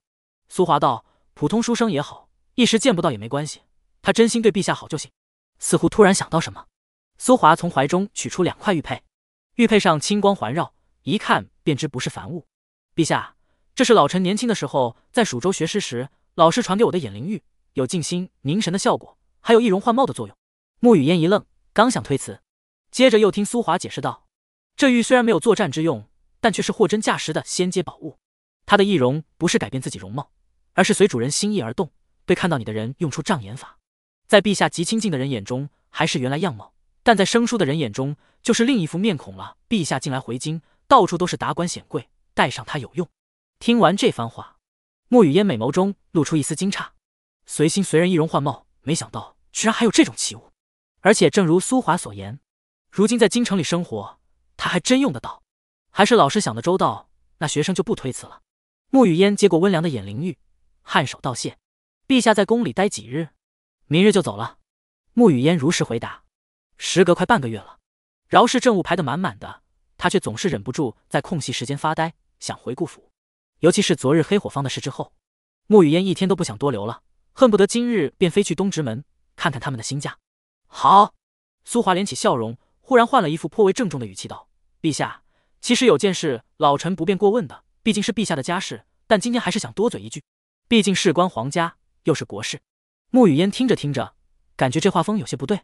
果然，紧接着就听苏华语重心长的说：“就是咱们大晋还没有皇储啊，这件事陛下可不能不急。一日无储，国体便一日不稳啊。自从穆雨嫣即位后，这东宫就空下来了。”苏华住在这里，平日里也没什么事干，顶多就是出宫找司马琴下下棋，谈谈天，各中苦闷，只有老人能懂，远没有当年教小皇子皇女读书快乐啊。所以趁着女帝一来，就赶紧催一催，好似等着抱孙子的老人家。闻言，沐雨嫣绝美的玉颜红的厉害，美眸微垂，低声道：“应该快了，学生到时候再努努力。”他想着，以顾兰那百战不殆的能力，加之小别胜新婚的喜悦，给大晋添个皇储。这次回家应该就差不多了吧。晌午过后，京城的秋日比廊州还要干爽一些。乘着习习凉风，趁夜市还没堵起来，顾兰让老杨头花钱召来几个脚夫，将行李搬进了东直街的新宅子里。先腾出了书房，林台儿将顾兰那些书整理到架子上，杂七杂八，除了准备供事的，其他的都有。顾兰安坐下，忙完这几天来，这还是第一次读书。您阅读《地狱人物志》一篇，科举任务进度加一，奖励。圣阶御鬼术，嗯，顾兰眉头一挑，想起之前自己打算入京参加共事时，系统给自己的提示了：只要做与科举这条主线任务有关的，便可以获得特殊奖励。这难道就是特殊奖励？顾兰将系统空间中记载有御鬼术的玉简取出，一刻钟后记住了所有的法门。虽然看起来有些用不上，但确实挺新奇的。顾兰啧啧称叹，又翻开一本经常和娘子研究的图谱。然而这次就没有系统提示了。只有平平无奇的十年修为，看来的确是要看与科举知识相关的，就算偏差也不能差得太离谱。顾兰思忖一番，继续取出一本《风情杂事记》，您阅览《风情杂事记》一篇，科举进度加一，奖励仙阶天明皇诀。好家伙，仙阶的法诀！顾兰微微一惊，不是惊奇于这法诀多么高深，到了地境之后，世间已经少有东西对自己有帮助了。主要惊叹的是，只是读了几页书。系统便随意奖励了出来。毕竟，仙阶的法诀若是放到外界，都可以作为一方大势力的镇宗之宝，是能让无数江湖宗门抢破头的。顾兰心里一热，开启主线任务后，果然好处多多。就算不拿功名，借着这个名头来拿奖励，也是拿到手软啊，真的爽！顾兰继续翻其他书，探索着五花八门的奖励。顾兰把书架翻乱了，灵台儿便又回头不厌其烦的再整理一遍。只是偷偷看他的时候，心里犯嘀咕。公子真的在温习吗？为何看得这么快？晚饭时，顾兰神采奕奕的来到饭桌前，几枚玉简摆开来。公子啊，这些是什么？老杨头一边盛着饭，一边好奇问。给你们的一些修炼功法，在京城这种地方，到处都是变态，没有修为是不成的。顾兰将玉简分发下去，你们按照上面练就好了，不管成与不成，总归强身健体还是可以的。老杨头看着手里的八段锦，龇牙一乐。公子，你对我们真好。还拿钱给我们买神仙用的书，得花不少钱吧？没多少。顾兰摆摆手，看向旁边两人。众人看了眼玉简的内容，是有关提升气运的小法术，虽然不是很厉害，但绝对是最适合他的。谢谢大哥。小老弟喜滋滋的喊，心想顾大哥不愧是师傅都看不透的人，随手送的宝贝比天机阁的藏宝都不遑多让。紧接着，众人在好奇心的驱使下，凑到林台儿身边看。姐姐，顾大哥送你的是什么啊？诺。林台儿将玉简递过去，小老弟扫了一眼，陡然张大了嘴巴。天明明皇诀，天明皇诀，这是什么？是不是很贵重？林台儿一下子有点紧张，他本来就欠着债，可不想欠的更多了。再这样下去，怕是几辈子都还不清。我不知道，出家人不打妄语，众人终究是不能昧着良心说不贵重的。仙阶法诀，而且还是极为适合林台儿的冰皇魔体的炼体法诀，这样的手笔，也就自家供奉大哥能拿得出来吧。而且看起来，这东西对于顾兰来讲，确实是小菜一碟。小道士看看林台儿手中玉简，又看看自己的，顿时感觉别人的好像更香啊。不是很贵的，京城里几乎所有人家的下人们都有练。你们练好了，才能更好的帮忙打理顾府啊。顾兰端起碗来，会心一笑。大哥不愧是装糊涂的高手。小道士看着他，想起韬光养晦的学问，一脸敬佩。公子，那您给夫人和小西丫头买了吗？老杨头道：“放心，小溪的已经准备好了。”顾兰摸出一枚玉简，里面同样是一篇仙阶法诀。娘子的话，到时候和我共用一套就好了。盘算下时间，想到娘子应该不出几日便回来了，顾兰心里便是一阵激动。当然了。他是不会说自己准备的要和娘子一同修炼的功法是啥的。哎啊！翌日，沐雨烟将政务处理的差不多，便和柳叶熙换上一年来常穿的布衣，来到城外租了辆马车。车内，沐雨烟绝美的脸蛋上荡漾起抹不去的笑颜。柳叶熙瞧他一眼，打趣笑道：“陛下亏的是换上了寻常衣装，若是公子看到您穿龙袍的模样，不知道会被迷成什么样呢？女帝龙袍，那征服欲可比寻常职业装强太多了。”何况配上这倾世容颜，怎一个风华绝代、瑰丽万千可以形容？啧啧，柳叶熙都有些恨自己不是男人，些许嫉妒顾兰了。朕也想知道呢，不过这一天不会太远了。沐雨烟掀起围帘，微微侧眸看着京城的热闹喧嚣，满眼都是希冀与感怀。老奸正先去之际所留真言是对的，顾兰真的给了大晋希望，给了他希望。只是这样平淡且幸福的日子，还真的让人留恋，不想打乱呢。也不晓得顾郎日后。得知我是女帝，会是什么反应？沐雨烟玉手托着香腮，望着过往瓦檐上的滴水，怔怔出神。这时，车夫忽然道：“夫人，东直门到了。”好，沐雨烟和柳叶熙下车，四处张望了下，却没有发现顾兰的身影。公子怎么搞的哦？不是说这里接洽的吗？柳叶熙撅着小嘴，可能是我们太心急了。顾郎尚未把这一天算进去吧？沐雨烟笑了笑，安抚道：“走吧，我们先去找，不麻烦的。对了，太傅给的玉佩你带上没？”沐雨烟忽然提醒道：“京城人多眼杂，一下马车就能感觉到，而且显贵世家多，难保不会认出他们。有了那块玉佩，就能无形中省去无数的麻烦，不给顾府引去麻烦和注目。”带了。柳叶熙拍了拍腰间一枚晶亮的玉悬着，这一举动倒是惹来了旁边不少流浪汉垂涎的目光。柳叶熙浑然不怕，恶狠狠地瞪了他们一眼。凡人虽看不出他修为，但王静的气息一显露，压迫感还是会让那些流浪汉望而止步。小溪莫要节外生枝，沐雨烟嗔道：“今日好不容易可以掐着日子回顾府了，他可不想再因为什么事耽误一天。”然而，沐雨烟和柳叶熙还未走出几步远，就听到身后传来某男子颇为轻佻的话音：“美人，这是要去哪里啊？我家不远，跟我回去如何？”柳叶熙听得一阵恼火：“这些流浪汉蹬鼻子上脸是吧？”不料他还没发作出来，沐雨烟闻声愣了愣，旋即眸光湿润，展颜一笑。回头直接扑到那人怀中，柳叶熙人傻了，连忙回头看去，却见顾兰一脸笑意，嘴上衔了根草叶，张开双臂抱住了乳燕头怀般的女帝。好家伙，倒是我路走窄了，公子声音都听不出来。柳叶熙愤怒神情顿时消弭，有点尴尬。相公在这里等了好几天了吧？沐雨烟低喃问着，俏脸埋进顾兰胸膛，小别重逢，先贪恋的细嗅了几口他身上的气息，还是和以前一样好闻，如山上淡淡的阳光，清爽的味道。也没有啊，就今日才来。顾兰轻笑，只等他抱够了，才道：“走吧，家里老杨和台儿准备好饭菜了，还有个来做客的小老弟。”小老弟，柳叶熙一愣，笑道：“公子从哪里结交的？”顾兰解释道：“哈哈，算不得结交，来的路上捡的。”三人有说有笑的走远，墙角处三两流浪汉看着他们的背影，有些奇怪的鄙夷声音响起：“奇了，这家公子长得不赖啊，为何那夫人这么丑？不知道。”可能那家伙穷吧，白长了一副好模样，娶的妻子不咋地，而且看他还当个宝似的，怕是没见过大户人家水灵灵的小姐吧，真可怜。这时，五位将军府黑火方被张兰引爆，女帝震怒，将其满门抄斩的消息，已经在昨日便传遍了京城。武凡此刻在书房里，如坐针毡。门外，一瘸一拐的武渊走了进来。不得不说，修武世家从小为他炼体还是颇有好处的，伤筋断骨，不出几天便能下床行走了。你来做什么？武凡看见这个不争气的儿子，顿时气不打一处来。我看爹苦闷，来找您说说话。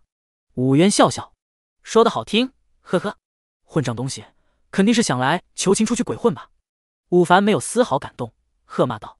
武渊低了低头，眼神满是抱怨，显然是知子莫若父了。爹，我都追菲儿小姐一年了，还没追到手呢，你不急我还急呢。武凡一把将桌上的书简哗啦啦推到地上，瞪眼道：“一天到晚就知道女人，听说前几天还被人因为一个书生赶了回来，我怎么生了你这么个没用的东西？你知道现在我们吴府现在到了什么境况吗？告诉你个混账玩意，就在昨天，张兰死了。”武凡咆哮如雷。武渊听到这话，不耐的神情一顿，愣了愣道：“张大哥死了？怎么死的？咱家的黑火方被查住了。”什么？武渊虽然不中用，但他也知道父亲在干的事，私下勾结大禹，试图瓦解朝廷，这绝比是千刀万剐的罪啊！如今黑火方被查住，那岂不是？武渊顿时站立起来。武凡看到他这软蛋样，又是一阵皱眉。别怕，好在你张大哥最后把黑火方炸了，一点痕迹也没留下。女帝纵然有所怀疑，也不会无缘无故的就对咱家出手。说完，他又补了两字：暂时。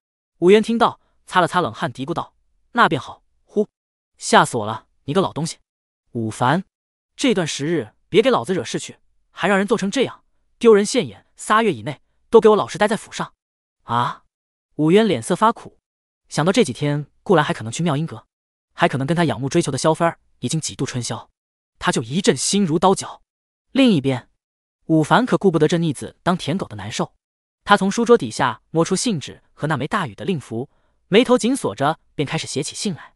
玉皇参上，晋国都城黑火方事发，张兰身死，大禹死事亦有伤亡，实乃意料之外。贵国在晋国的暗网受到不小的波及，虽可以运转，但打探一些紧要消息已经困难。希望能再派几位得力之士前来助我，最好是黄阶高手。另外，郎州酒殿下轰逝之事。我深表悲痛，但据传闻乃是天机阁大供奉所为。抱歉，已经超出我能力范围，此事到此为止。武渊凑过来看了眼父亲的信，嘴角忍不住撇了撇。果然是随了这老东西，办事如此不利，还天天骂小爷我不成器。呸！顾福还未进门，就看到熟悉的小老头在门前的石狮子旁闭目，左一下右一下的打着拳法。顾兰三人来到，他都未察觉。好家伙，半月不见，老杨怎么还练起武来了？柳叶熙一脸惊奇的表情，小碎步凑过去看，穆雨嫣也是一愣，美眸看向顾兰。顾兰笑着解释：“哦，这是几天前给他搞到的一本强身健体的法门，让他随意练着玩的。”法门？穆雨嫣眉眼间流露疑惑：“从哪里搞的？花了不少钱吧？就京城南安门那块的早市上买包子，顺道淘的，就几文钱的样子。”顾兰打个哈哈道。这时，那边的老杨头也被柳叶熙戳了戳，惊醒回神，回头看了眼。笑呵呵的朝穆雨嫣拜了拜，夫人回来了。公子这几日都是一大早便去东直门等了，哈哈，您都不知道他多心急。闻言，穆雨嫣似笑非笑的瞧了顾兰一眼，美眸含情如水。顾兰被揭穿，脸色一红。柳叶熙这时插话笑道：“哎，老杨，公子给你的法门叫什么？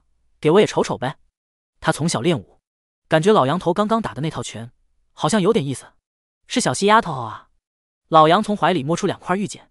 讪讪笑道：“这块八段锦是我的，诺，公子也还给你准备了。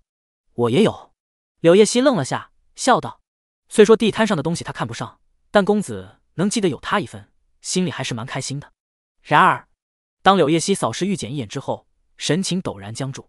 这这是仙阶法门？八段锦他不太了解，但自己那份踏云诀可是货真价实的仙阶功法，而且还是以灵巧著称的身法。哪怕是在大晋的稷下武学宫中，也只有一卷残篇收录，还被当成了武学宫三大镇宫之宝之一。柳叶熙使劲揉了揉眼睛，目光火热，生怕自己看错。沐雨烟察觉到他的异样，疑惑道：“小溪，怎么了？眼睛不舒服吗？”“呃，确实。”柳叶熙抿了抿唇，努力咽下口水，看了眼顾兰和老杨，他们却都是一副感觉这玉简不过大白菜的神情，平淡如水。柳叶熙脑壳一阵发懵，递给女帝：“毕夫人，还是您来看看吧。”沐雨烟接过来，往玉简中瞥了眼，瞬间美眸一震，她娇躯略显僵硬，俏脸缓缓转向顾兰，满腹狐疑：“顾郎，这真的是从地摊上买的？嗯。顾兰早就想好说辞，语气如常：“一个黑衣人摆的摊，卖完给我就收摊走了。”听到这话，穆雨嫣和柳叶熙相视一眼，呼吸都有些急促起来。仙阶功法卖几文钱，这根本就是送人啊！这种行为已经不是败家足以形容了，简直是豪到了令人发指。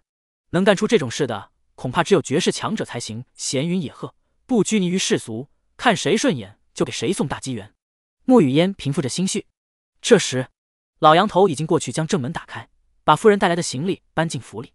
灵台儿穿着布裙，笑盈盈的迎出来：“夫人姐姐终于回来了，饭菜都已经快做好了，都是按照公子的吩咐做的，您爱吃的。”话音落下，沐雨烟的目光被吸引过去，而紧接着他又是一愣：“后天境界，这个来时失忆，还是看起来颇为柔弱的檀儿姑娘，半个月未见，竟然就成了后天境的修仙者。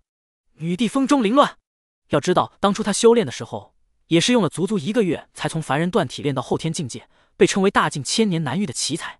事实当然也证明了，嘉庆公主三年入黄境，五年入剑仙，被朝臣推举为女帝的不二之选。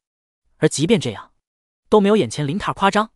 唯一的解释就是她用了比大境皇族仙阶剑诀耀日更为强大的法门。顾郎，檀儿妹妹，也有你地地摊上买来的法门吗？沐雨烟微微抬眼，美眸满是疑惑。大家都有啊。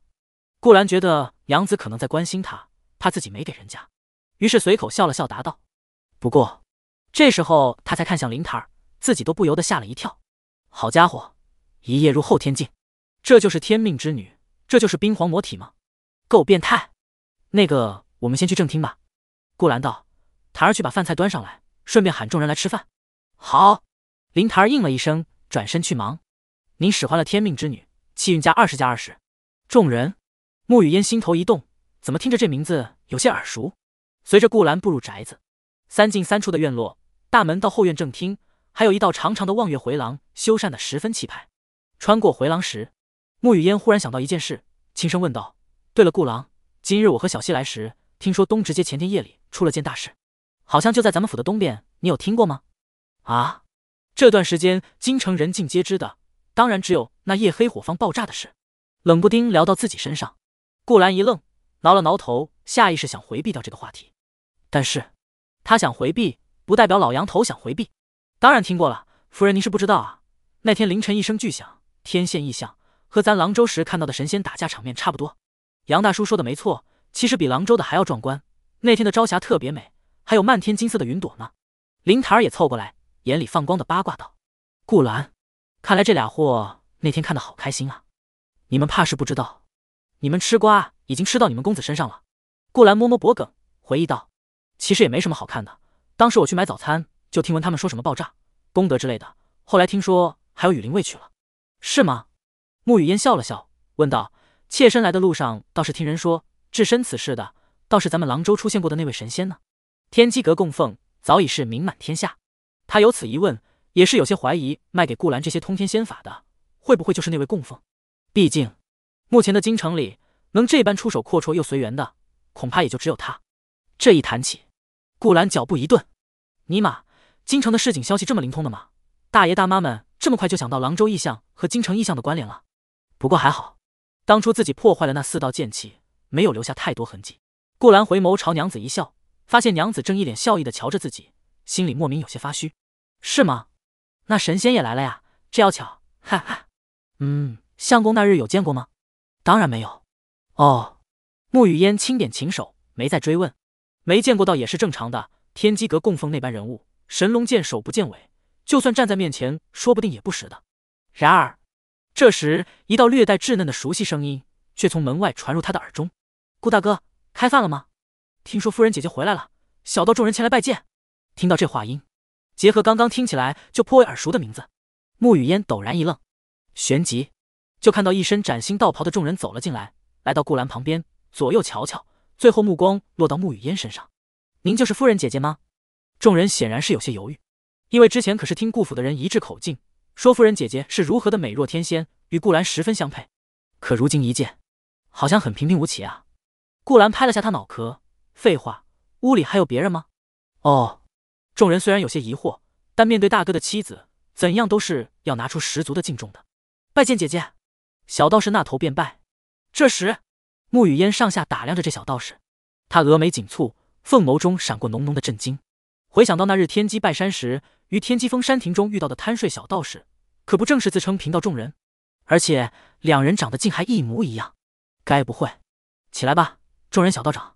沐雨烟强忍惊疑，上前将小道士扶起，而玉指之上已经悄然试探了下这小家伙的体内气机，可能是觉得自己乃是凡人，所以他并未有所隐藏。王静的气息一探便知。沐雨烟深吸口气，美眸闪烁，此刻他终于确定了，这小家伙就是那日山上所见的小道士，如假包换，亦是天机阁道士们的大师兄。云龙道长的唯一亲传，身份天机少阁主顾郎，这小道长真的是从路上捡来的。沐雨烟咬了咬唇，凤目一眨不眨的盯着他。啊！顾兰点了点头，解释道：“他是天机山人士，虽然穿着道袍，不过却不是仙家。我看他饿得可怜，就带回来了。不是仙家，饿得可怜。”沐雨烟望着顾兰，无比认真的眼神。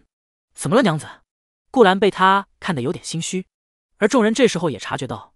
觉得自己这时候得为大哥帮一下腔了。是啊，姐姐，我从小无父无母，常流连于市井街头，很可怜的。幸好顾大哥给我一口饭吃，还收留了我。您不会赶我走吧？看着他天真无邪的眼神，沐雨烟差点就信了。天机少阁主在市井街头讨生活，那凡间的皇子皇女是不是都要去跟狗抢食吃了？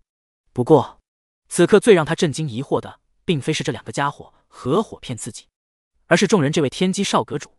竟然在叫顾兰大哥，还是一副心悦诚服的样子。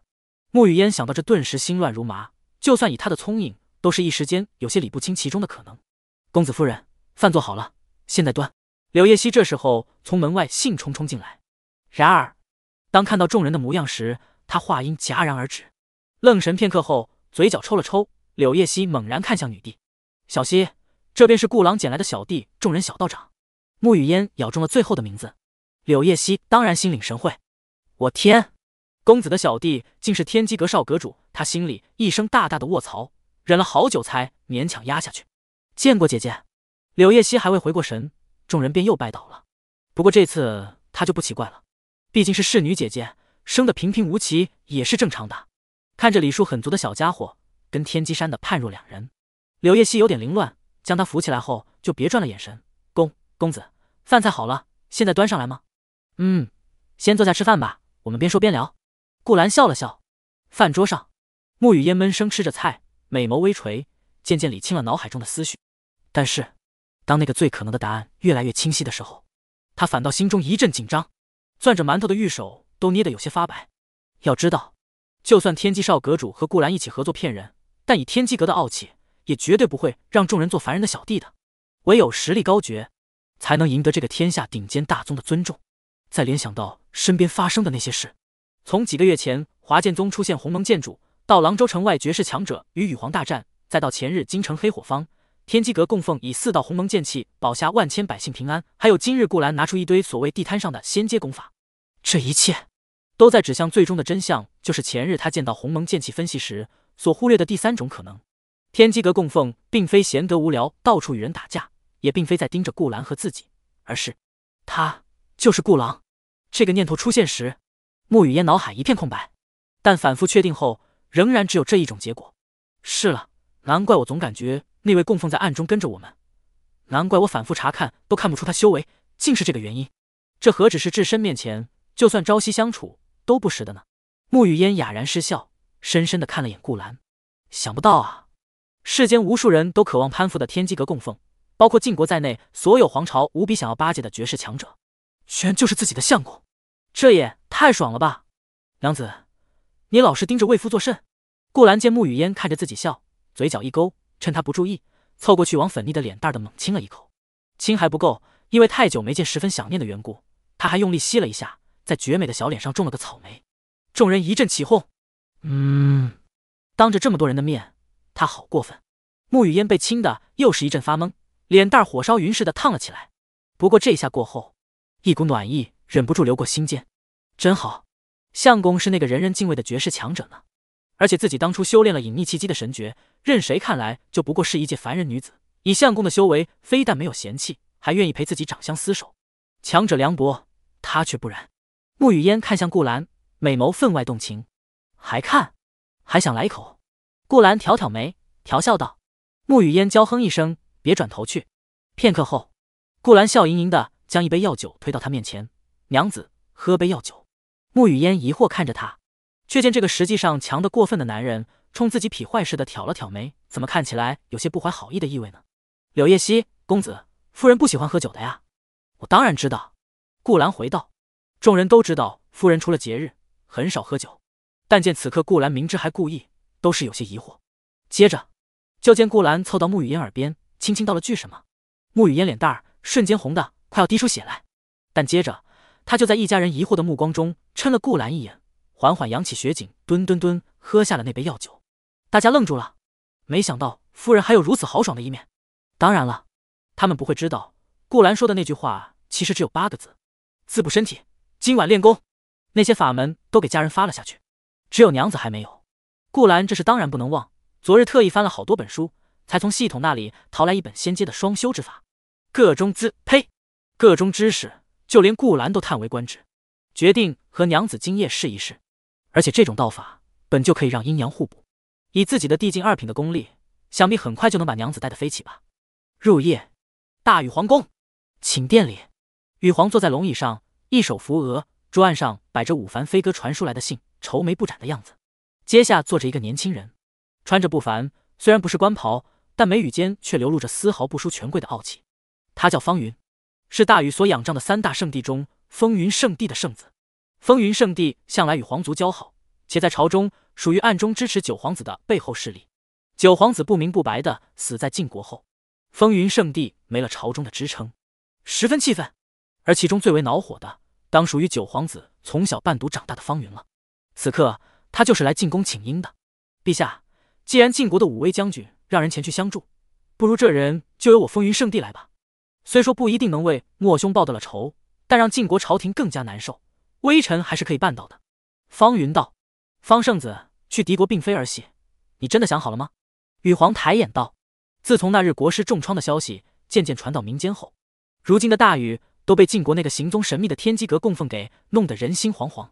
别说去给九皇子报仇，就连问晋国讨个说法这件理所当然的事，都没人敢再提了，全当大禹白死了个皇子。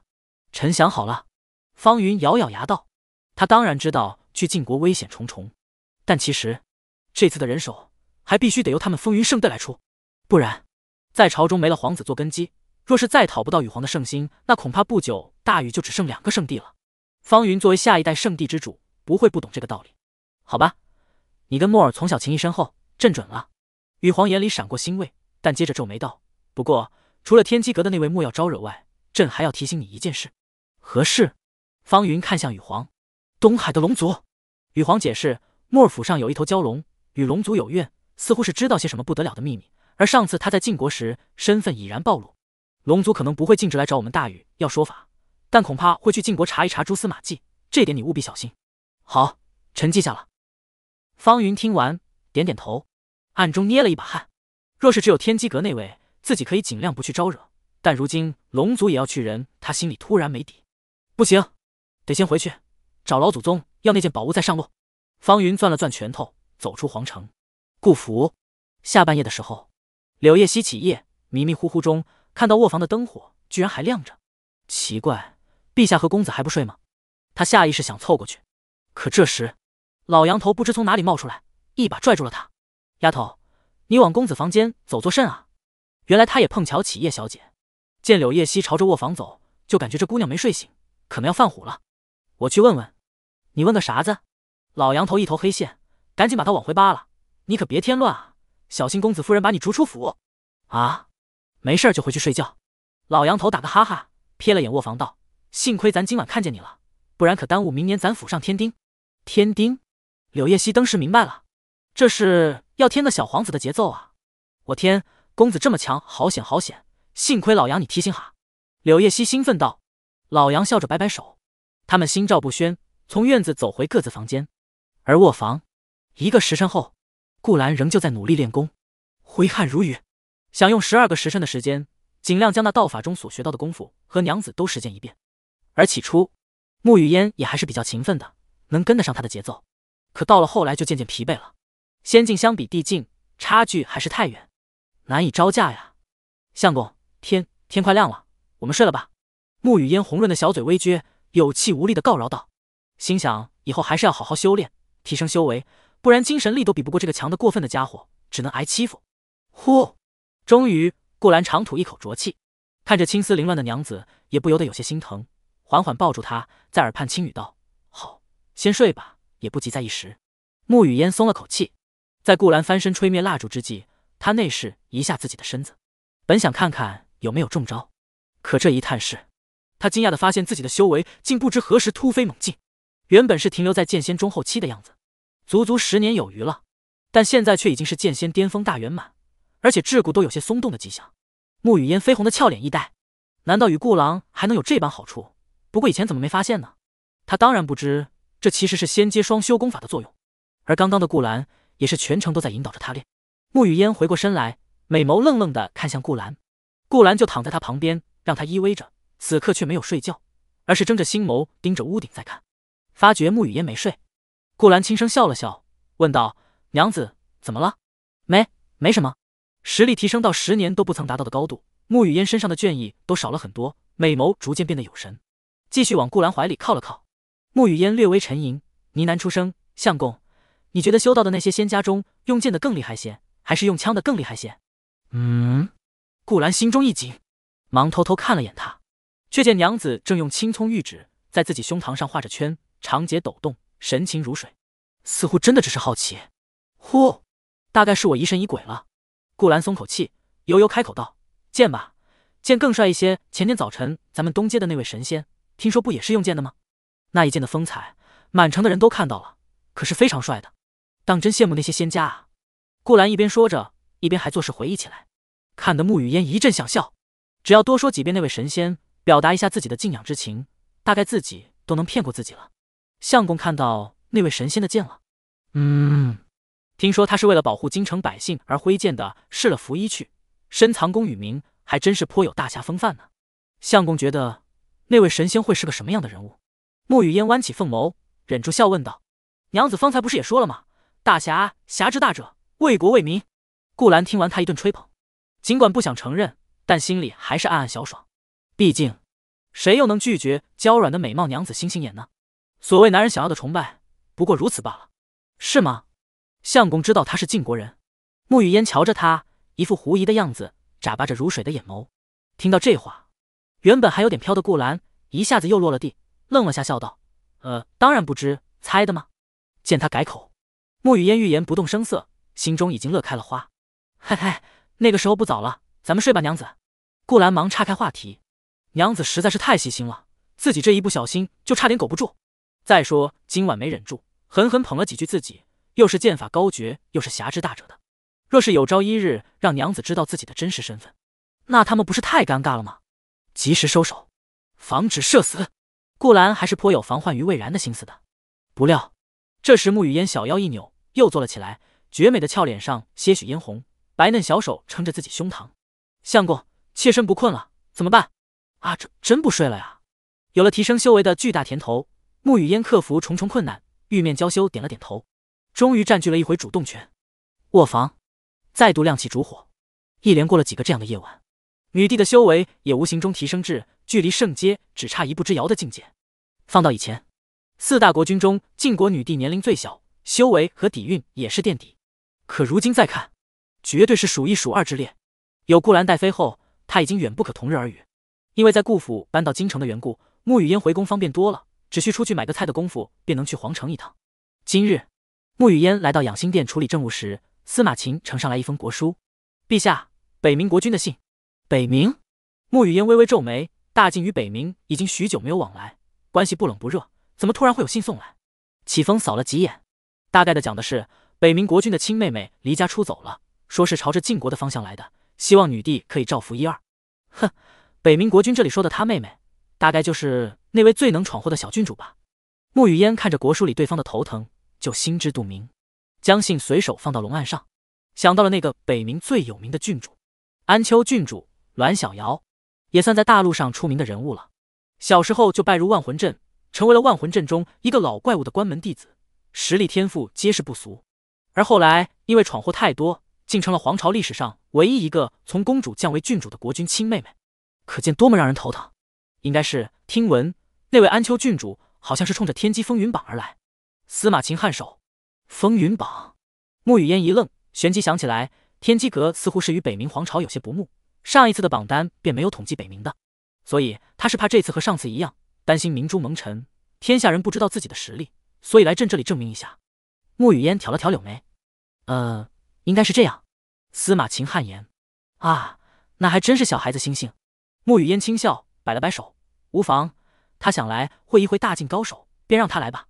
天机风云榜本就是有能者居之，若是他真的够强，让京城武学宫的那些子弟们知道天外有天，人外有人，也并非是一件坏事。陛下雅量。司马晴拱手告辞，那老臣就去安排了，也派人尽量看着点这位郡主。嗯，去吧。顾福，今天下午书房是空的。因为快到晌午的时候，有人来给顾兰送了一封信，是稷下文学宫给应试子弟发来的名次。日后，举人们可以凭借这道名次自由出入文学宫，听受里面的老师讲学。对于这些，顾兰本是没有丝毫兴趣的，毕竟前世上课他都有一半是睡过去，这次还是为了落榜。只是听说今天是第一天，还有一个文会，如果就自己缺席了，那未免太过于显眼。午后，顾兰便让众人换下道袍，给自己当个书童，带上他往稷下文学宫去了。刘叶熙在府门口与他道别，听说他要去的地方后，也不担心，毕竟早就算在顾兰的行程里了。他有去踩过点。穿过午后略显寂寥的长街，来到都城北区后，过往的行人就逐渐多了起来，几乎都是身穿儒衫，是在此处就读的学子。嗯，就像前世的大学城。顾兰看着周围的茶肆和少有的几家酒楼，有些感怀的想：前世也是这样的，大学城里奶茶店居多，酒吧就少些，需得远点的地方才能见到。说是为了营造学习气氛。可每到夜里，顾兰在里面看到摇头晃脑的校花们，感觉这氛围也没多大用。视野中出现三幢高阁时，顾兰收回了脱缰野狗似的思绪。三幢高阁依次立于左中右三个建筑群中，是各自的地标性建筑。左边的修缮恢宏，是以有钱著称的国子监；右边看起来有些破败，是没落了不少年月的青天监。而最中间的，就是顾兰今日要来的地方——稷下学宫。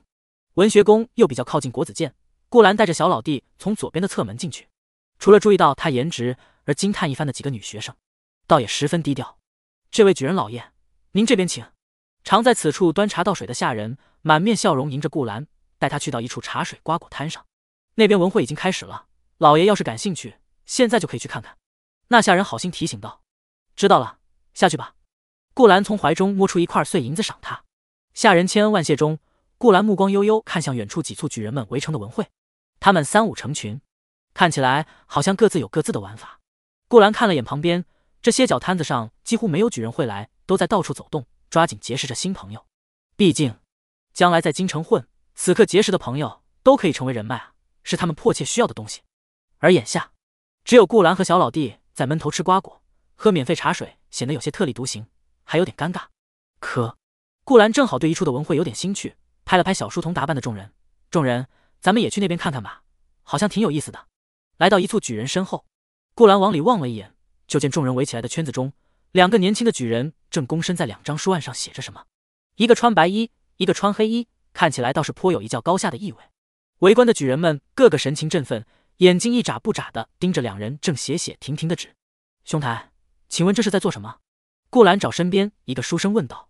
斗诗啊，这可是文会里最标志性的活动，以诗会友。且众人评判决高下，兄台今日第一次来吗？竟连这个都不知？嗯，在下确实第一次来。靠，刚开口就被人当成乡巴佬了。顾兰小有汗颜，索性默不作声的朝里面看去。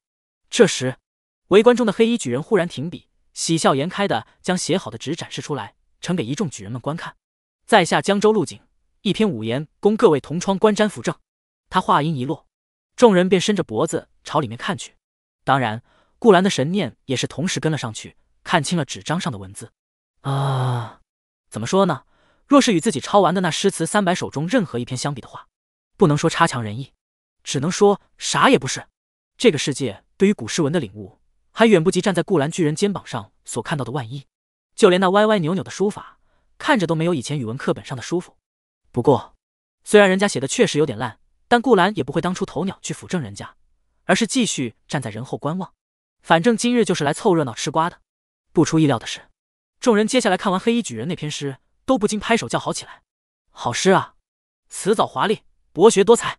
好诗好诗，不愧是江州界元陆景兄。看来接下来天机文人榜有陆景兄的一席之地了。那不一定，旁边那位白衣可是我们黄州这年的界元狼人海兄，他的诗文功底应当与陆景兄不分伯仲。一堆人在吹嘘着自家老乡。这时，一个有点眼熟的家伙凑到了顾兰身边，戳了戳他衣襟，笑道：“顾兰公子，您可是咱们狼州界元？待会儿不去与这两位较量一番？”顾兰瞥一眼过去，原来是当初来京城时与魏直一同去妙音阁饭桌上的一个同乡举人，长得瘦弱矮小，尖嘴猴腮的样子。你是谁啊？顾兰淡淡问，态度并不热情，因为他能很清楚的捕捉到这个家伙眼里那丝一闪即逝的嫉妒神情。当晚，顾兰进了花魁的香阁，不排除被这些酸儒惦记上了。现在怂恿自己上前，可能就是想看自己输了出丑。在下郎州同窗张元，秋闱暂居您之下一名。那晚没有见识过谢元郎的风采，所以想今日一并见识一番。张元嘴角勾起，其实早在当初秋闱放榜时，他就很妒忌顾兰了。来到京城后。更是无比想知道这家伙到底有什么真才实学，抢了他的界元之位，还明目张胆睡了京城第一美人。如今文会上遇到，当然要捧杀一番，巴不得想看顾兰输的一败涂地。谁料他自我介绍完，顾兰丝毫不为所动，只是淡淡笑道：“原来是张兄啊！既然张兄是郎州秋闱二甲，那不如就先上吧。若是不敌，我再上。如果张兄都可以击败他们，我上去还有何意义？”张元听完一愣。脸色顿时有些难看。顾兰这般说辞，谁都能听出来话里话外的讥讽之意。是啊，二甲就应当为界元头甲做马前卒。如果他张元这个二甲都能赢，那顾兰堂堂界元岂不是更赢得毫无压力？而且一番话下来，顾兰就将他的捧杀原封不动返还。张元心里憋屈的慌，不服更甚，但却也找不出一一句话来反驳。没意思。顾兰摇了摇头，不再管这个原地发愣的小丑，心里也确实觉得这斗诗没意思。一个个各地的谢元郎所著的都是打油诗，看起来词藻堆砌，其实毫无逻辑可言，在唐诗宋词面前根本难登大雅之堂。顾兰带着众人离开此处，这时隔壁的一个擂台旁叫好声一片。顾兰抬眼扫去，擂台上有两个武生正你来我往的切磋拳脚。听台下的举人们说，似乎是隔壁武学宫的地方不够用了，所以来文学宫打，也让文举们开开眼。顾大哥，他们这是什么杂耍？众人扯了扯顾兰衣角，低声认真问道。顾兰还未回答，这话便让周围的几个武举人听到了，满脸不悦的朝这边看来。见是个孩子，他们面面相觑了一会儿，最后没有好意思为难。只不过他们不知道的是，哪怕是他们这些武举人中最厉害的武师，都撑不过这个看起来童言无忌的小孩一拳之威。被王静说是杂耍，其实都已经是抬举了。不是杂耍，不过也差不多。我们还是去看看别的，给你增长一下见识。顾兰耐心解释道。两人又来到一处文人扎堆的地方，这次不是分开笔墨的斗诗了，而是你一言我一语的对答。人群中还摆着一张桌子，桌上放着酒和几两碎银。听他们说的规矩是，人群中的举人皆可出一道谜题，其他人来抢答。如果对了，可以拿走银子做彩头；错了，就得干一碗酒。大哥，这里比刚刚那些地方热闹。众人看一些举人为了几两碎银争得面红耳赤，最后无奈罚酒，不由得对顾兰说道：“那就在这里看。”你们天机阁上有没有这种猜字游戏？顾兰轻声问。猜字？众人认真想了想，摇头道：“我们如果想知道，是可以直接算出来的。”顾兰一阵无言。好吧，猜这个字确实有些侮辱天机阁了，还是你们简单粗暴啊？这时，人群中有人高声出题，让在场举子们的目光都投了过去。各位兄台，我有一题：年终岁尾不缺鱼米，是个胖举人说的。随即他笑了笑。放一粒碎银子到前面的桌案上，众人听着他的谜面，目光却落在银子上，一个个都皱起眉头，沉吟思索起来。紧跟着下一刻，沉默的人群中，众人稚嫩的声音分外清晰：“大哥，是灵吗？”这句话让周围的举人们都是眼神一亮，目光纷纷投过来，惊讶的看着这个书童打扮的孩子。那胖举人显然也是有些吃惊。虽然这道题不难，但一个十岁孩童反应比那么多大人还快，已经是殊为不易。你这娃娃倒是聪明，哎，这钱给你了。胖举人把银子拿过来，见众人跟在顾兰身后，索性就把银子放到顾兰手里。周围的举人们都是面露艳羡之色。兄台这书童是个神童啊，好生培养，日后成就定然不低。一个个举人们虽然眼红银子，但也不能在这种时候妒忌一个孩子，只能做出一副长辈的态势来赞扬。当然，只有顾兰知道，小老弟根本没猜，而是用天机阁的法术，直接把这凡人胖子的想法看了出来。大哥，我是不是闯祸了？看着这么多人的目光，众人觉得严重有违大哥传授的韬光养晦之道，于是低声对顾兰道：“没事。”顾兰笑了笑，蹲下来安抚道：“只是这种游戏用法术就没意思了，还是要猜才好玩。”嗯，好。众人乖乖点头，和顾兰一起再度关注起场中人提的字谜。不过，接下来的两道字谜却是有些难度，让周围所有的举人都闷不作声，想破眉头都没有答案。高台对应月分明，层云隐去月当头。两个问题的提出者，顾兰并不陌生，正是方才在斗诗会那边穿着一黑一白的两个年轻举人，陆景和任海。两人一来，旁边认识他们的都不禁窃窃私语：“嘿，看到没？这两位是黄州、江州的两位界元郎，方才斗诗平分秋色，如今又来联袂出题了，强强联手啊！这两人成了朋友，日后若是中了进士，在朝中就可以互为臂膀，羡慕啊！哎。”人家确实有真才实学的，你看他出的这题水平就不是咱们能比。一众举人干瞪眼的时候，这两位界元郎倒也阔气，各自满怀信心的在桌上放了一块银元宝，价值十两，足够举人来京城赶考一次的盘缠了。众人顿时眼热，开始绞尽脑汁的想谜底。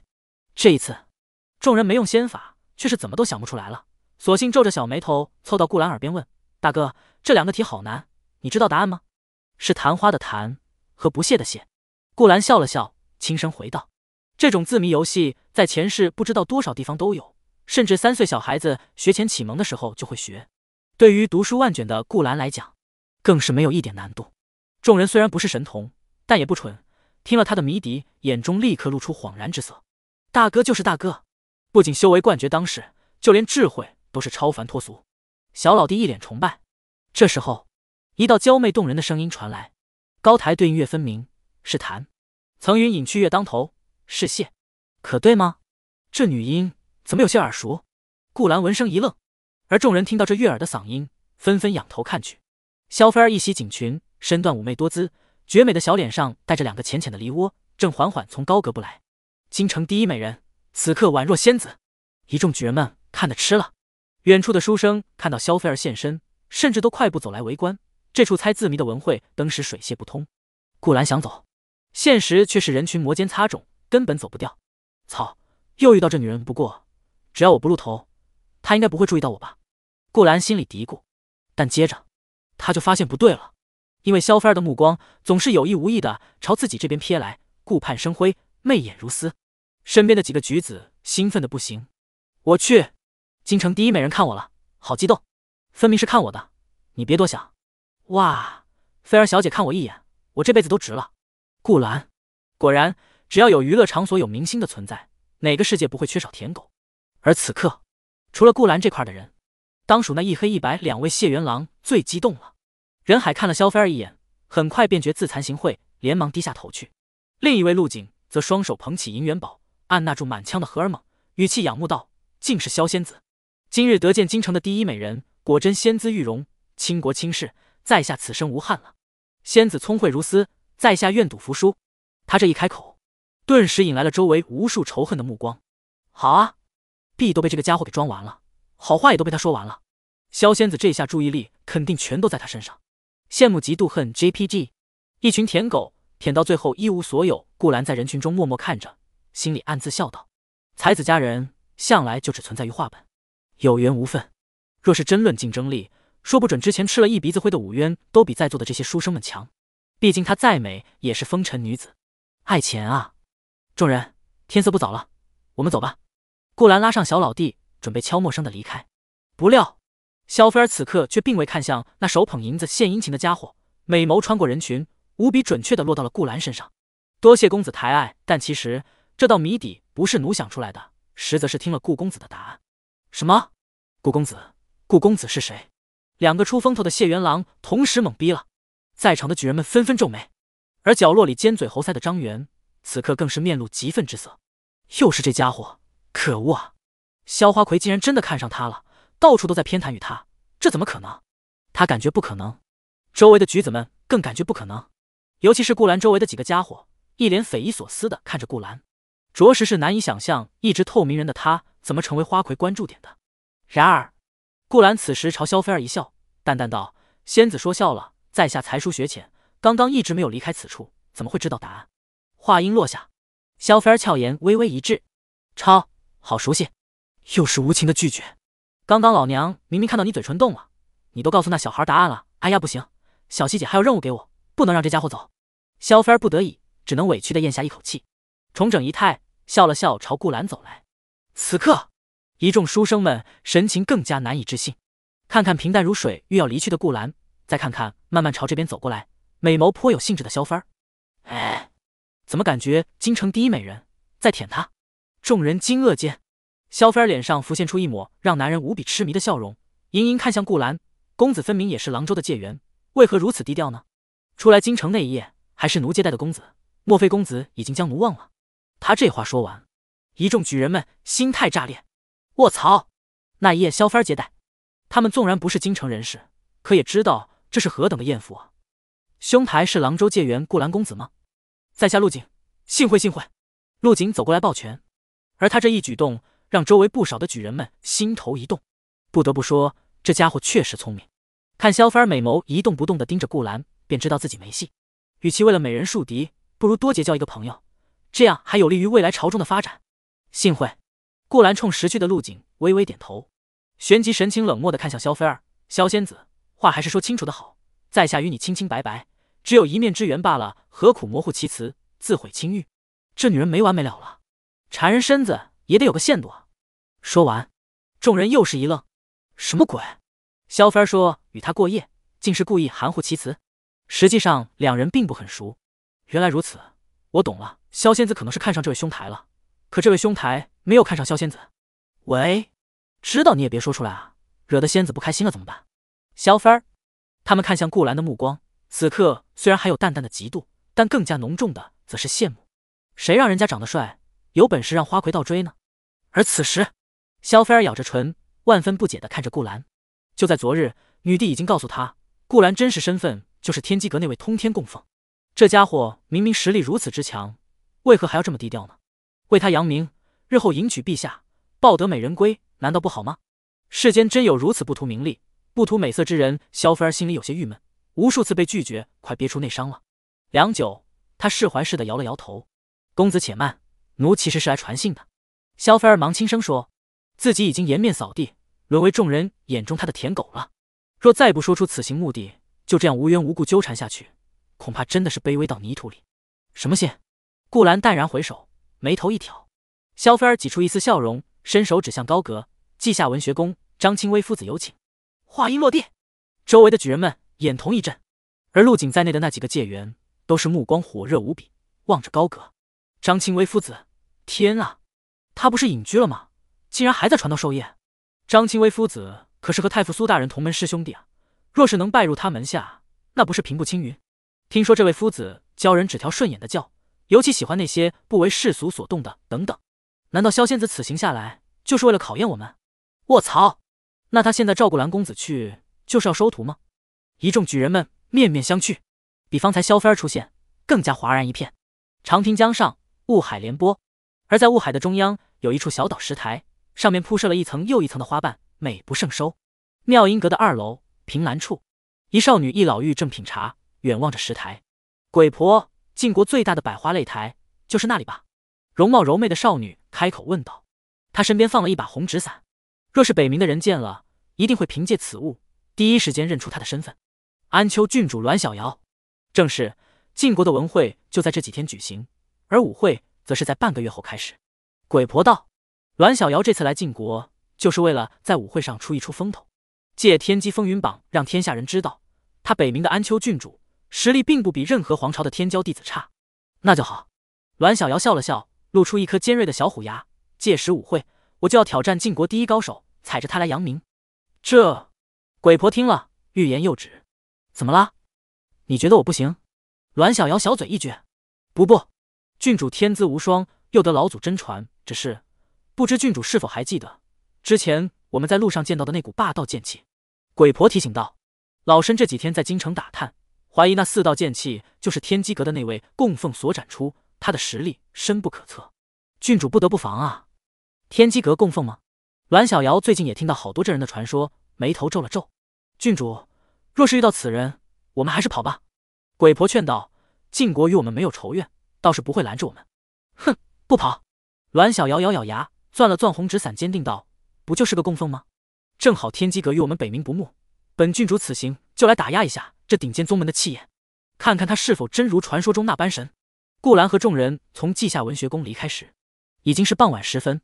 见过了张清微夫子后，顾兰不由得感叹：晋国文道方面还是有人的。与自己有系统不同，这位老夫子可是真的凭借读书读出了仙境道法，是当时为数不多的文道成仙者。虽然已经暮年，但实力不容小觑。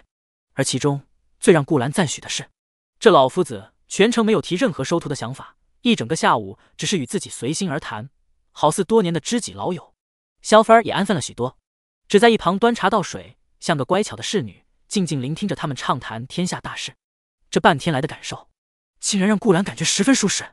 嗯，或许可以摒弃之前的偏见，日后常来找老爷子玩玩。这老爷子可比外面那些满眼功名利禄、好为人师的举人们强的太多太多。这才叫读书人。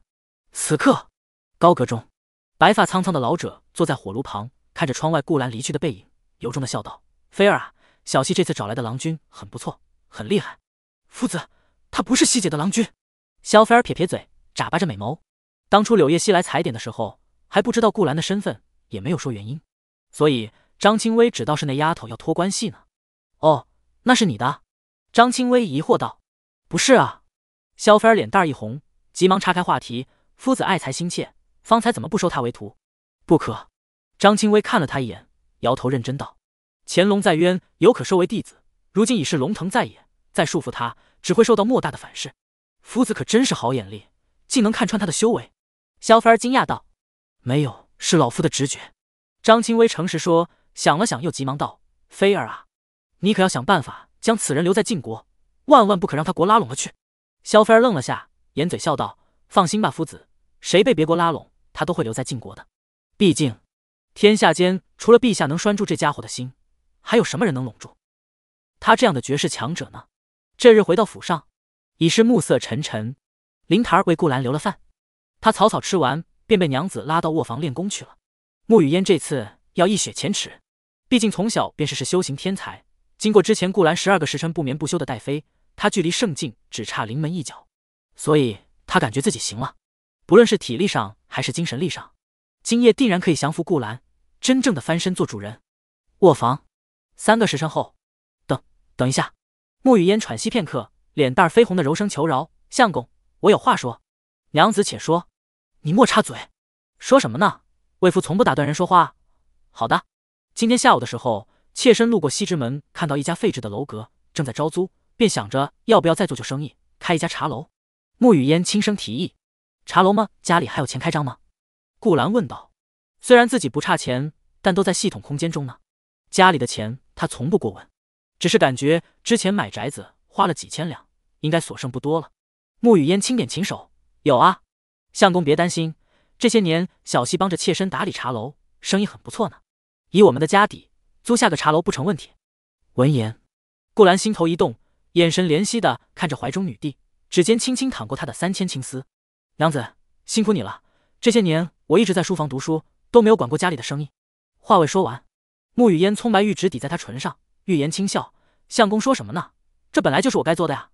学成文武艺卖给帝王家，出人头地才是相公的任务。出人头地就算了吧。顾兰摇摇头，望着他美眸认真道：“那是其他人的想法，我的文武艺只卖于娘子。诺，这不是正在卖武艺吗？傻瓜，卖于帝王家，可不正是卖于我？”沐雨烟心中暗想，唇角荡漾开狡黠的笑容。娘子，若是经营的累，就别做生意了。相公，我有钱养你。”顾兰安抚道。“嗯。”沐雨烟眨巴着眸子，饶有兴致的看着他，就知道这家伙当时洗劫了华剑宗，肯定有不少私房钱的。女帝不缺钱，但她能主动说出来，还是让人心中很暖。今日认识了稷下文学宫的张清微老夫子，我看他格子里放了很多古玩器件，改日拿一个出来，肯定能卖不少钱。顾兰嘿嘿一笑。沐雨烟，怎么感觉将他介绍到文学宫，有些愧对于张清微老夫子呢？相公。妾身休息够了。沐雨烟在说话间不断调息，体力到此刻终于恢复的七七八八。哦，又来挑战？小娘子不见棺材不落泪是吧？顾兰露出一抹纣王式的笑容。哼，穆雨嫣撅了撅红润的小嘴，出师未捷，他心里已经有些怯了，不过嘴上还是很硬的。毕竟白天好歹是一朝女帝，对朝臣高冷霸道的很，气势当然不能输。卧房内，练功声再次响起。时光匆匆，走过了十月份后，京城的天气不断转凉，很多人家已经布置好了炭盆取暖，稷下文学宫中当然也不例外。而有些学子，或许是为了苦读励志，又或许是为了博人眼球。总喜欢在冷风中发着抖读书。顾兰一进到文学宫，就感觉一股学霸的气息扑面而来，让他这个交白卷的学渣平添一种羞愧感。张清微的高阁中，受惊炭烤得暖烘烘的。顾兰对旁边的小书童道：“众人，以后你可不能学这群傻子，用功不是这么用的。”嗯，好。小老弟点头表示记下了。坐在顾兰对面的老夫子此刻一阵无奈的笑，缓缓道：“小友这样说，他们不太好吧？”这其中将来或许就有大晋的栋梁之才，大晋栋梁之才。顾兰有些想笑，不过碍于老爷子的爱国情怀，忍了下去，摆摆手道：“大晋的事我不不关心。还有啊，这棋该你了。”两人中间放了一张棋盘，正在对弈。顾兰执黑子，张清微执白子。而此刻棋盘上乌泱泱的一片黑，旁边的白子尸积如山。唉，张清微叹生气，想不到小友棋术如此高超，是老朽输了。屋里。你看上哪样，随便拿吧。夫子棋术已经很好了。顾兰挑了一件天青色瓷器，让众人收好，顺便给老爷子个鼓励的眼神。张清微有些郁闷，他年轻时是文道棋道双修，就算称不上晋国棋术第一人，也差不多了。不料在顾兰手中，连下好几天，一局都不曾赢过。他当然不知道，顾兰之前听说他爱下棋，所以就抄录了一篇棋谱，系统直接将棋道真一家九九九。还有众人这位天机少阁主在旁边帮忙算。老爷子实在是没有一点赢面，这瓷器应该能卖不少钱吧？顾兰打量一番，略显开心的问道。这时，熟悉且柔媚的声音传来：“公子好眼光，这件天青瓷可是从前朝大晋的官窑产出，是那时晋国皇帝的最爱。现在若是流入世间，少说也能值几千两黄金。”顾兰看去，萧菲儿扭动腰肢款款走来，眉眼盈盈，朝棋盘旁的两人各施了一礼。萧姑娘，顾兰微微颔首。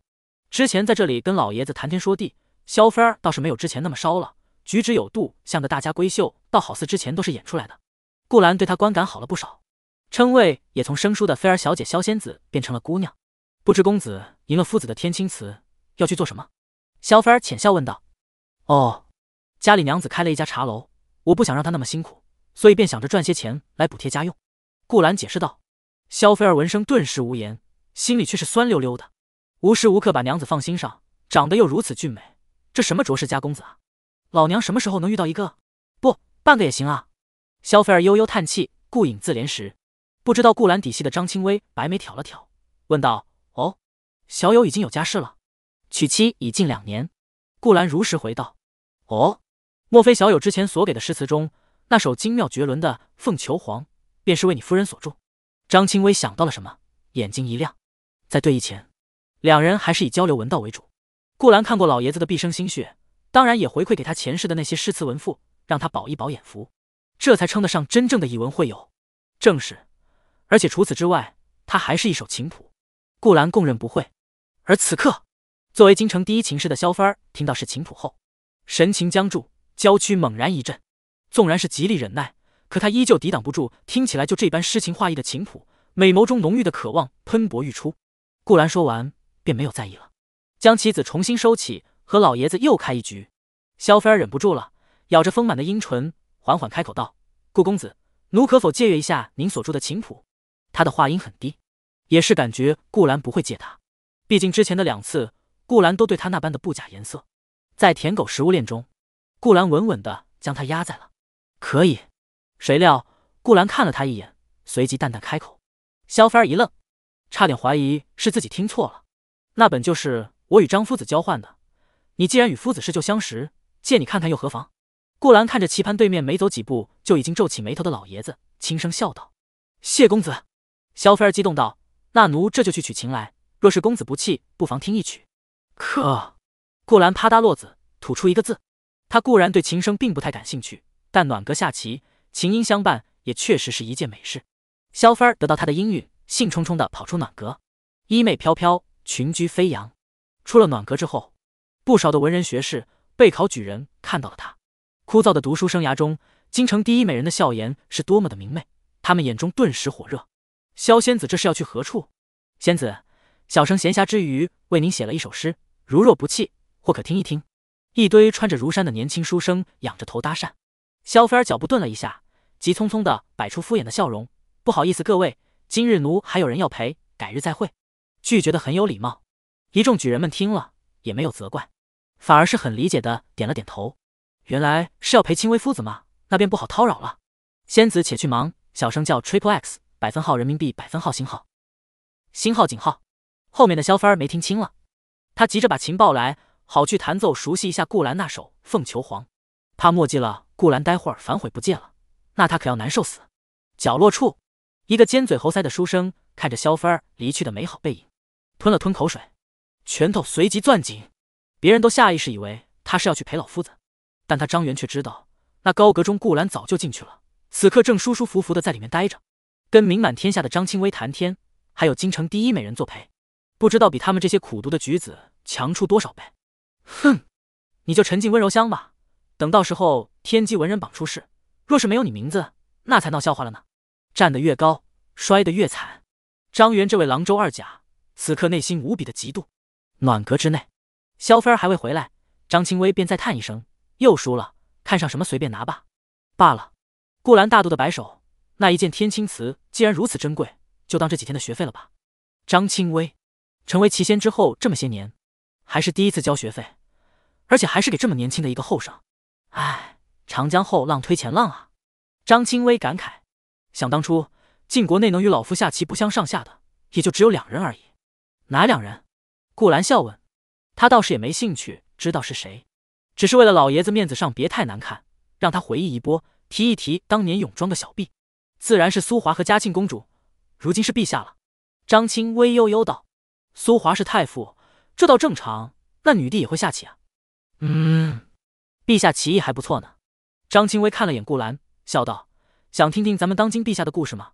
这种事除了在老夫这里，可是很少有地方敢讲了。”“好啊。”顾兰点点头，反正又不收钱，现在身在京城。多了解一些女帝的消息，肯定要更有底气。而且张清微是太傅的好友，所知道的女帝信息必然要比原著中自己记得的详实。张清微抿了口茶水，说起现在的陛下，那可是个行事果决的君主。这跟先帝在他十五岁那年便驾崩了也有关。那时他才刚入见王境。话没讲到一半，萧菲儿抱着一张古琴，终于回到暖阁门外。他刚想推门进来，就听到里面张清微神秘兮兮的说道：“哦，对了，顾公子。”你知道当今陛下最喜欢什么动物吗？萧菲儿推门的手立刻顿住了。好家伙，一会儿没守着，这老爷子怎么给顾兰八卦起陛下来了？顾兰这时摇了摇头，笑道：“不知，是八个儿。”张清微回忆道：“还记得陛下八岁那年，我还在宫里讲学，陛下最爱的蓝尾赤羽八个儿被先帝一个妃子的猫吃了。他知道后，直接直接提剑宰了那猫，吓得先帝妃子在宫里晕了过去。先帝后来罚陛下在雪中跪了三个时辰，你是不知道啊。”那个时候的陛下还会哭鼻子呢，在皇后宫里哭了很久，直到先帝又买了只八个送他，不过他就没要了。啊，那我还真没想到。顾兰听着不由得没心没肺的笑出声来，想不到啊，原著里最以冷厉无情闻名的女帝，竟然在小的时候还有这么一段往事，这有点倔的性子，怎么听起来还挺可爱？还有吗？顾兰冲张青微笑道：“老爷子再多说点民间不知道的好玩的话，我给一篇棋谱。”学成之后，你的棋道将天下无敌。试问，哪个棋仙能拒绝“天下无敌”这四个字？当然有。张清微来了兴致，捋了捋花白长须。你且听着，老夫当年在宫里时间可不短，能给你讲个一天一夜不成问题。门外抱着琴的萧菲儿脸色黑如锅底，心说：“您这老爷子，想不到人后还有这一幕，拿陛下的黑历史来换棋谱，真行啊！可您要是给寻常人讲讲也没啥，毕竟接触不到陛下。可您不知道。”眼前这个家伙，他就是陛下的枕边人。萧菲儿心里有些着急，因为顾兰迟早有一天会知道嘉庆女帝就是沐雨嫣。到那个时候，他说出自己知道的这么多黑历史，陛下岂不是要被嘲笑欺负死？萧菲儿稍微代入一下，就已经感觉到那扑面而来的社死气息，但他又不敢进去，怕老爷子见到自己说：“哎，菲儿丫头，你知道的详细，你来讲讲吧，那不全玩完了？”萧菲儿纠结了半天，站得玉腿发麻，直到。听到里面老爷子讲的起兴，说道：“其实陛下的事有些遥远了。老夫还能说点近处的，比如菲儿丫头。夫子，顾公子，我回来了。眼看自己黑历史要被曝光，萧菲儿受不了了，索性推门而入。夫子，刚刚您是不是陛下坏话了？这可是要治罪的哦。萧菲儿一瞪眼，没，哪有？张清微见他一脸不开心的样子，连忙心虚的住了口。自己讲学生的糗事，好像确实有愧读书人的身份，但没办法，顾兰给的实在太多了，那可是能学成之后能和顾兰一样水平，天下无敌的棋谱啊！下不为例。萧菲儿怕他以后把自己小时候那些羞人的事抖落给顾兰听，连忙再次凶巴巴警告：“好好。”张清微眉眼一低，老实接受。顾兰见状笑了笑，没有多想，全当听了一会儿女帝小故事，算是多了解这位原著人物的过往和性格。翻手从系统空间中取出一本棋谱，递给两眼发亮的张清微：“诺，你的，谢谢小友。诺，你的。”顾兰又将一本琴谱递给萧菲儿：“谢谢顾公子。”萧菲儿也顾不得生气了。连忙双手捧过，施礼道谢，忙不迭的翻开看。不出一刻，他便被里面无比唯美的诗词所震惊了。有一美人兮，见之不忘；一日不见兮，思之如狂。凤飞翱翔兮，四海求凰；凤兮凤兮，归故乡。遨游四海求其凰。时未遇兮无所将。萧芬儿红唇低喃，眼神迷离，如痴如醉，看着两个外界想争相拜访的名人，将自己随手瞎几把写的东西视若珍宝。恨不得跪下来看。顾兰觉得文超公的日子总是这么朴实而又无华。大哥，过来看啊，那是什么人？窗边的小老弟好像发现了什么不得了的人物，朝顾兰招呼着。顾兰来到窗边，居高临下的望去，却见到后面的巷子里不少头戴斗笠、身穿玄色风衣的人，看起来颇像过往的江湖客。他们腰间都有佩刀，其中实力最低的是后天境，而最高的足足有王境修为。这统一的服饰。又带斗笠，这样一股势力，好像是原著中记载的那个杀手组织啊。不过他们来大晋京城做什么呢？顾兰眯了眯眼，低喃沉吟：“谁做什么？”一转眼，张清微花白的面孔出现在眼前。这老爷子功力深厚，听到他自言自语也是正常。就那些人啊，顾兰指给他看，轻声道：“似乎像是那个杀手组织夜行人。”夜行人，听到这个词，萧菲儿也神情一愣，皱了皱小眉头，连忙走来。这可是江湖上最有名的杀手组织，势力盘根错节，分布在四大王朝。据说他们的天字号杀手已经登临仙境。萧菲儿美眸凝重，这样的一群人，怎么会在这个时候来大晋，拿人钱财，替人消灾？顾兰回忆着原著中夜行人组织的宗旨，淡淡道：“他们是一群认钱不认人的家伙，白天就行走在这种阴暗巷子里，夜晚才出来杀人拿悬赏。他们要杀谁？”萧菲儿急切地看着他，鬼知道。顾兰翻了翻白眼，说道。来京城肯定是要杀大官喽，难不成杀你这个花魁啊？萧芬儿说的有理。张清微老爷子今天难得正经一回，认真道：“夜行人的幕后之人与老夫多年前打过交道，很难缠。而且这个组织动手没有征兆，还是要先提防为好。”随即，他看向顾兰小友：“今日失陪了，我先去禀告上头，让宫里多注意注意。想不到你关键时刻还挺靠谱。”顾兰微微笑道：“夫子请便，吾此刻在宫城之中。”儒道绝学，言出法随。张清微的身影缓缓消散，屋子里只剩顾兰和萧芬儿两人。哦，还有一个小老弟，公子还听曲吗？萧菲儿见老爷子去传话了，心里放松了些，缓缓问道。顾兰伸了个懒腰，率性笑道：“不了，娘子做好饭，还在家等我呢。”众人走了。话音落下，萧菲儿张了张嘴，欲言又止，可两道身影仍毫无留恋的一前一后出了暖阁，渐渐消失在萧菲儿的视野中。顾兰没带走那本《凤求凰》，但萧菲儿将琴谱捧在胸口，心里却莫名的有些高兴不起来。娘子，小溪，最近不要单独外出，京城不太平。晚饭间，顾兰忽然道。沐雨嫣和柳叶熙都是一愣：“怎么了，相公？今天在稷下学宫时，看到后面的巷子里有杀手模样的人，听张老夫子说，似乎就是江湖上颇具凶名的夜行人。”顾兰喝着娘子亲手熬的大补粥，悠悠说道：“夜行人。”穆雨烟今日回来的早。没有等到张清微，此刻听闻这个赫赫有名的组织，微微一惊。娘子，你身居府中有所不知，这夜行人向来行事阴毒，专挑出其不意的时候偷袭。顾兰回忆着原著剧情，渐渐理清出来其中一个关键的人物。夜行人的幕后组织者叫魔羽神剑力雄，据说此人能在十里之外杀人，剑法诡异。如今来京城，可能就是要刺杀某个朝臣的。来京城杀朝臣，好大的胆子！穆雨嫣心中惊怒，不过。夜行人这个组织向来横行无忌，各大皇朝都对其束手无策。他了解的信息也不是很多。夜行人天字号杀手三十六位，地字号杀手七十二位，其余下属不计其数，个个都是身手不凡且穷凶极恶之辈。顾兰清了清嗓子，补充道：“当然了，嗨嗨，这些都是张清威老夫子说的昂，让我们最近当心些。”沐雨烟愣了下，动容一笑：“这才几日，相公就与张老夫子关系这般好了？读书人间的投缘吗？”顾兰点了点头，沉吟说道：“对了，娘子尤其不要去那些达官显贵的人家附近，尤其是相国党这样人家的府邸。”他猜想着，如果有人真的收买夜行人杀官员，那大抵是朝着司马相国那个层次去的。毕竟，朝中真有实权的也就那么几号人物，而其中又属相国党地位最高，得罪的人也是最多。至于杀女帝，顾兰觉得夜行人组织应该还不敢接那样的大单子。一番话说完，穆雨嫣谨慎的朝柳叶熙使了个眼色。两人心意相通，京城突然出现杀手组织，柳叶熙自然知道该怎么办，不着痕迹的点了点头。而此时，顾兰脑海中一道久违的机械音响起：“您剧透了真实的原著情节，剧透原著人物立雄，获得奖励：仙品煞药杀生丹，圣品宝骨太古金乌族，仙阶心法御魂诀，自由属性点 X 一注，可以加持在任何一件宝器上，无论何境界都提升该宝器一个品阶。”这一夜，京城中暗流涌动，靠近玄天司的人家能隐约听到人马调动的声音，房瓦上窸窸窣窣的脚步声，是柳叶熙在悄悄布防。晋国的几大朝臣都在暗中调配守卫，从寻常的府兵换上了训练有素的特使。想来，只要不是黄静来闯，有心算无心的情况下，就算留下来袭的杀手，也并不是没有可能。顾府，某绝世强者扶着女帝，照旧抢坤银道瓮，而与此处相隔甚远的武威将军府。密室中亦是灯火通明，其中有三人。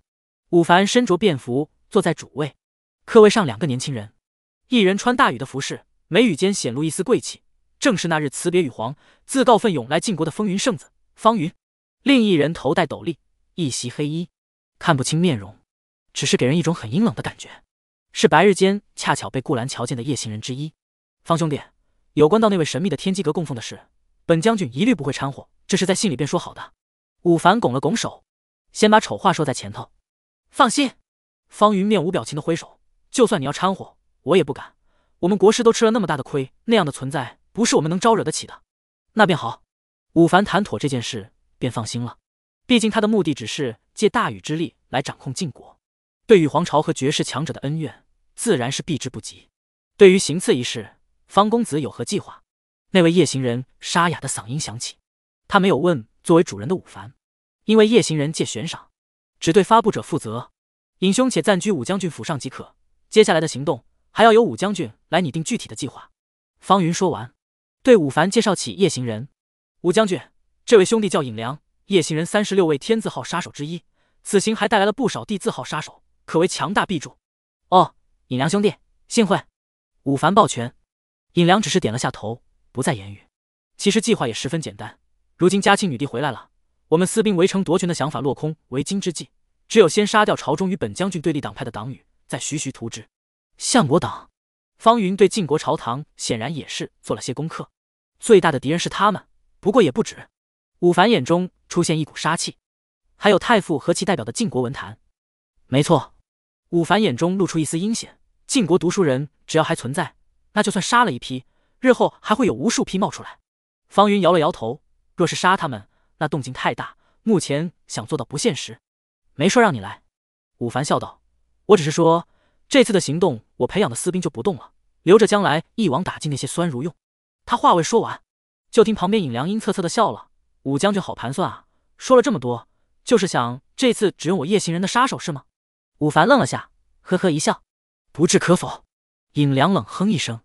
这时，方云出来圆场道：“尹兄。”就听武将军所言，事成之后，我风云圣地再多给你一倍酬金。一倍酬金，他们这些人本就是为了银子刀口舔血的杀手，诱惑力可是相当大。况且还有方圣子一起杀几个官员，任务应该并不难。尹良犹豫了下，低沉问道：“先杀谁？”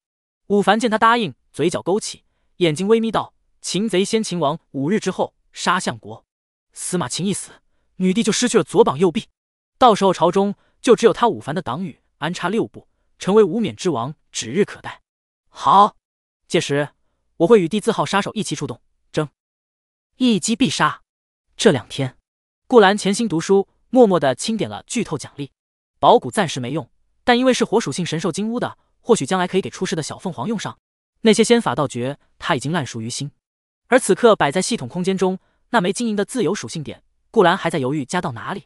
毕竟这玩意儿外界根本听都没听过，能让任何宝器上升任何一个大品阶，效果堪称逆天。若是加持鸿蒙剑和诸天龙啸枪，那必然会让他们突破原有的品阶，达到玄天至宝之上。那样的话，小半个月后的天机宝器榜上，自己的神兵便能力压各大皇朝的镇国之气，震惊天下。想到此，顾兰眼神一阵火热，最后终于选择把自由属性点加在了那件金光灿灿的功德金袍上。操！出风头有什么用？增加保命手段才是必要的。顾兰看自由属性点与功德金袍顺利融合，长舒了一口气。现在的主角大概已经从东海的小渔村走出来了吧？说不定就有啥宝贝了。自己这边也不能落后啊！顾兰感受到金袍上的梵文亮起，一阵佛光普照，它上面蕴藏的能量和本身的品阶已然暴涨。隐隐间，顾兰感觉这东西似乎不太属于这个世界的强度了。正盯着金袍出神间。一道倩影无声无息的出现在房门口，沐雨烟炖了一碗鸽子汤，此刻瞧着顾兰手中的功德金袍，美眸微微一震。虽然晋国的藏书阁没有天机阁那么全，尚未记载此物，但他能感觉到这宝器的不凡，甚至要比玄天至宝还强。沐雨烟心中讶异万分。不过，等他回过眸来时，顾兰已经将金袍收起，继续捧起书卷，恢复了平平无奇、俊美书生的样子。算了，相公若是想说。定然会告诉我的。沐雨烟摇了摇头，他自知是没有资格去询问顾兰什么的，毕竟从一开始成婚，他就在隐瞒女帝的身份。顾郎，妾身熬了汤，趁热喝一碗吧。沐雨烟眉眼温柔，款步走入书房，将汤放到桌子上。他则走到顾兰身后，玉手为她轻轻揉肩。嗯，好喝。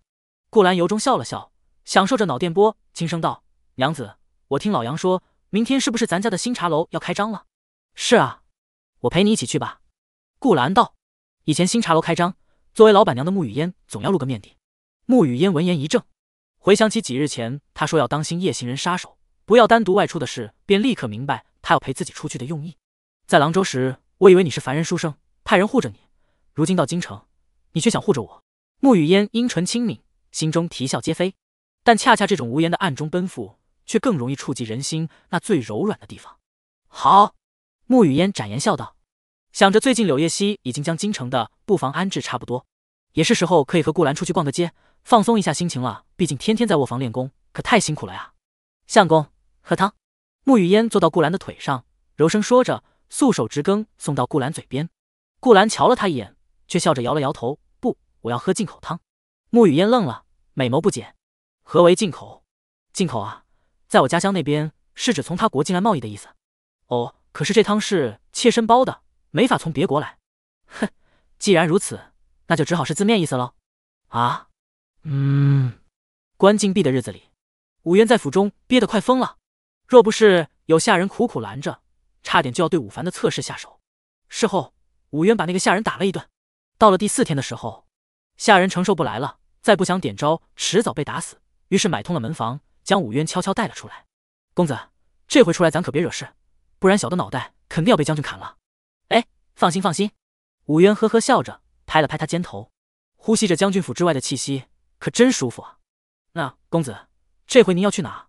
武渊想了想，眼神火热，当然要去妙音阁。这么久没见到菲儿小姐了，想念的紧啊。公子，您不怕将军知道您还去妙音阁，把您腿打断吗？哼，老东西，他这次肯定不会知道的。武渊自信道。下人一脸不解。前几天。我听到一个穿着黑衣服、戴着斗笠的家伙跟老东西密谋，他们今晚要去做些大事，没工夫管小爷的。做些大事，下人心里咯噔一声。哦哦，那便好。愣着干什么？快走啊！现在才刚上日头，早点去了能玩整整一个下午。武渊朝妙音阁的方向一路小跑去。而与此同时，这日午间，顾兰和沐雨烟到了新建的茶楼中，开业大吉。老杨头和灵台儿在楼下忙着招呼客人，还请了一位说书先生。坐在台上，拿着醒目侃侃而谈，好不热闹。一身得体打扮的沐雨烟陪顾兰走上二楼，两人依偎着观望四周的景色。这里是闹市，与西直街比邻，平安相望，便能瞧见那边妙音阁上的彩色绸缎，以及飘来的淡淡脂粉味儿。无论是茶楼还是妙音阁，亦或对岸的春月楼，都能瞧见奔流的长汀江和其上小岛一般浮着的百花擂台。擂台上此刻已经有人在打斗切磋，他们身上穿着各式的装扮，有江湖上的散修，也有大晋王朝内宗门的弟子，还有稷下武学宫的学生。这些人好像是已经开始争夺天机风云榜上的位置了。顾兰轻声呢喃：“嗯，没错呀。”沐雨烟回之一笑，柔声解释道：“江湖中人嘛，混一世就是为了这些名声。若真登了天机阁的风云榜，那便算得上百世流芳，人人敬仰，连朝廷都会重用了。”娘子这么了解？顾兰眸中闪过一丝亚色，轻笑道：“娘子待在府里，竟也知道这么多江湖庙堂之事啊！在遇到相公之前，妾身也曾游历四方，所以知道一些。”沐雨烟咬了咬唇，随口解释道。顾兰听后点点头，夫妻二人继续落座喝茶。这时，听闻楼下的说书先生醒目，啪的一拍桌子，开始讲述起了一篇京城当下的故事。诸位且听好，今日咱们就来说一说那位名满天下的绝世强者。如今隐居京城的天机阁供奉，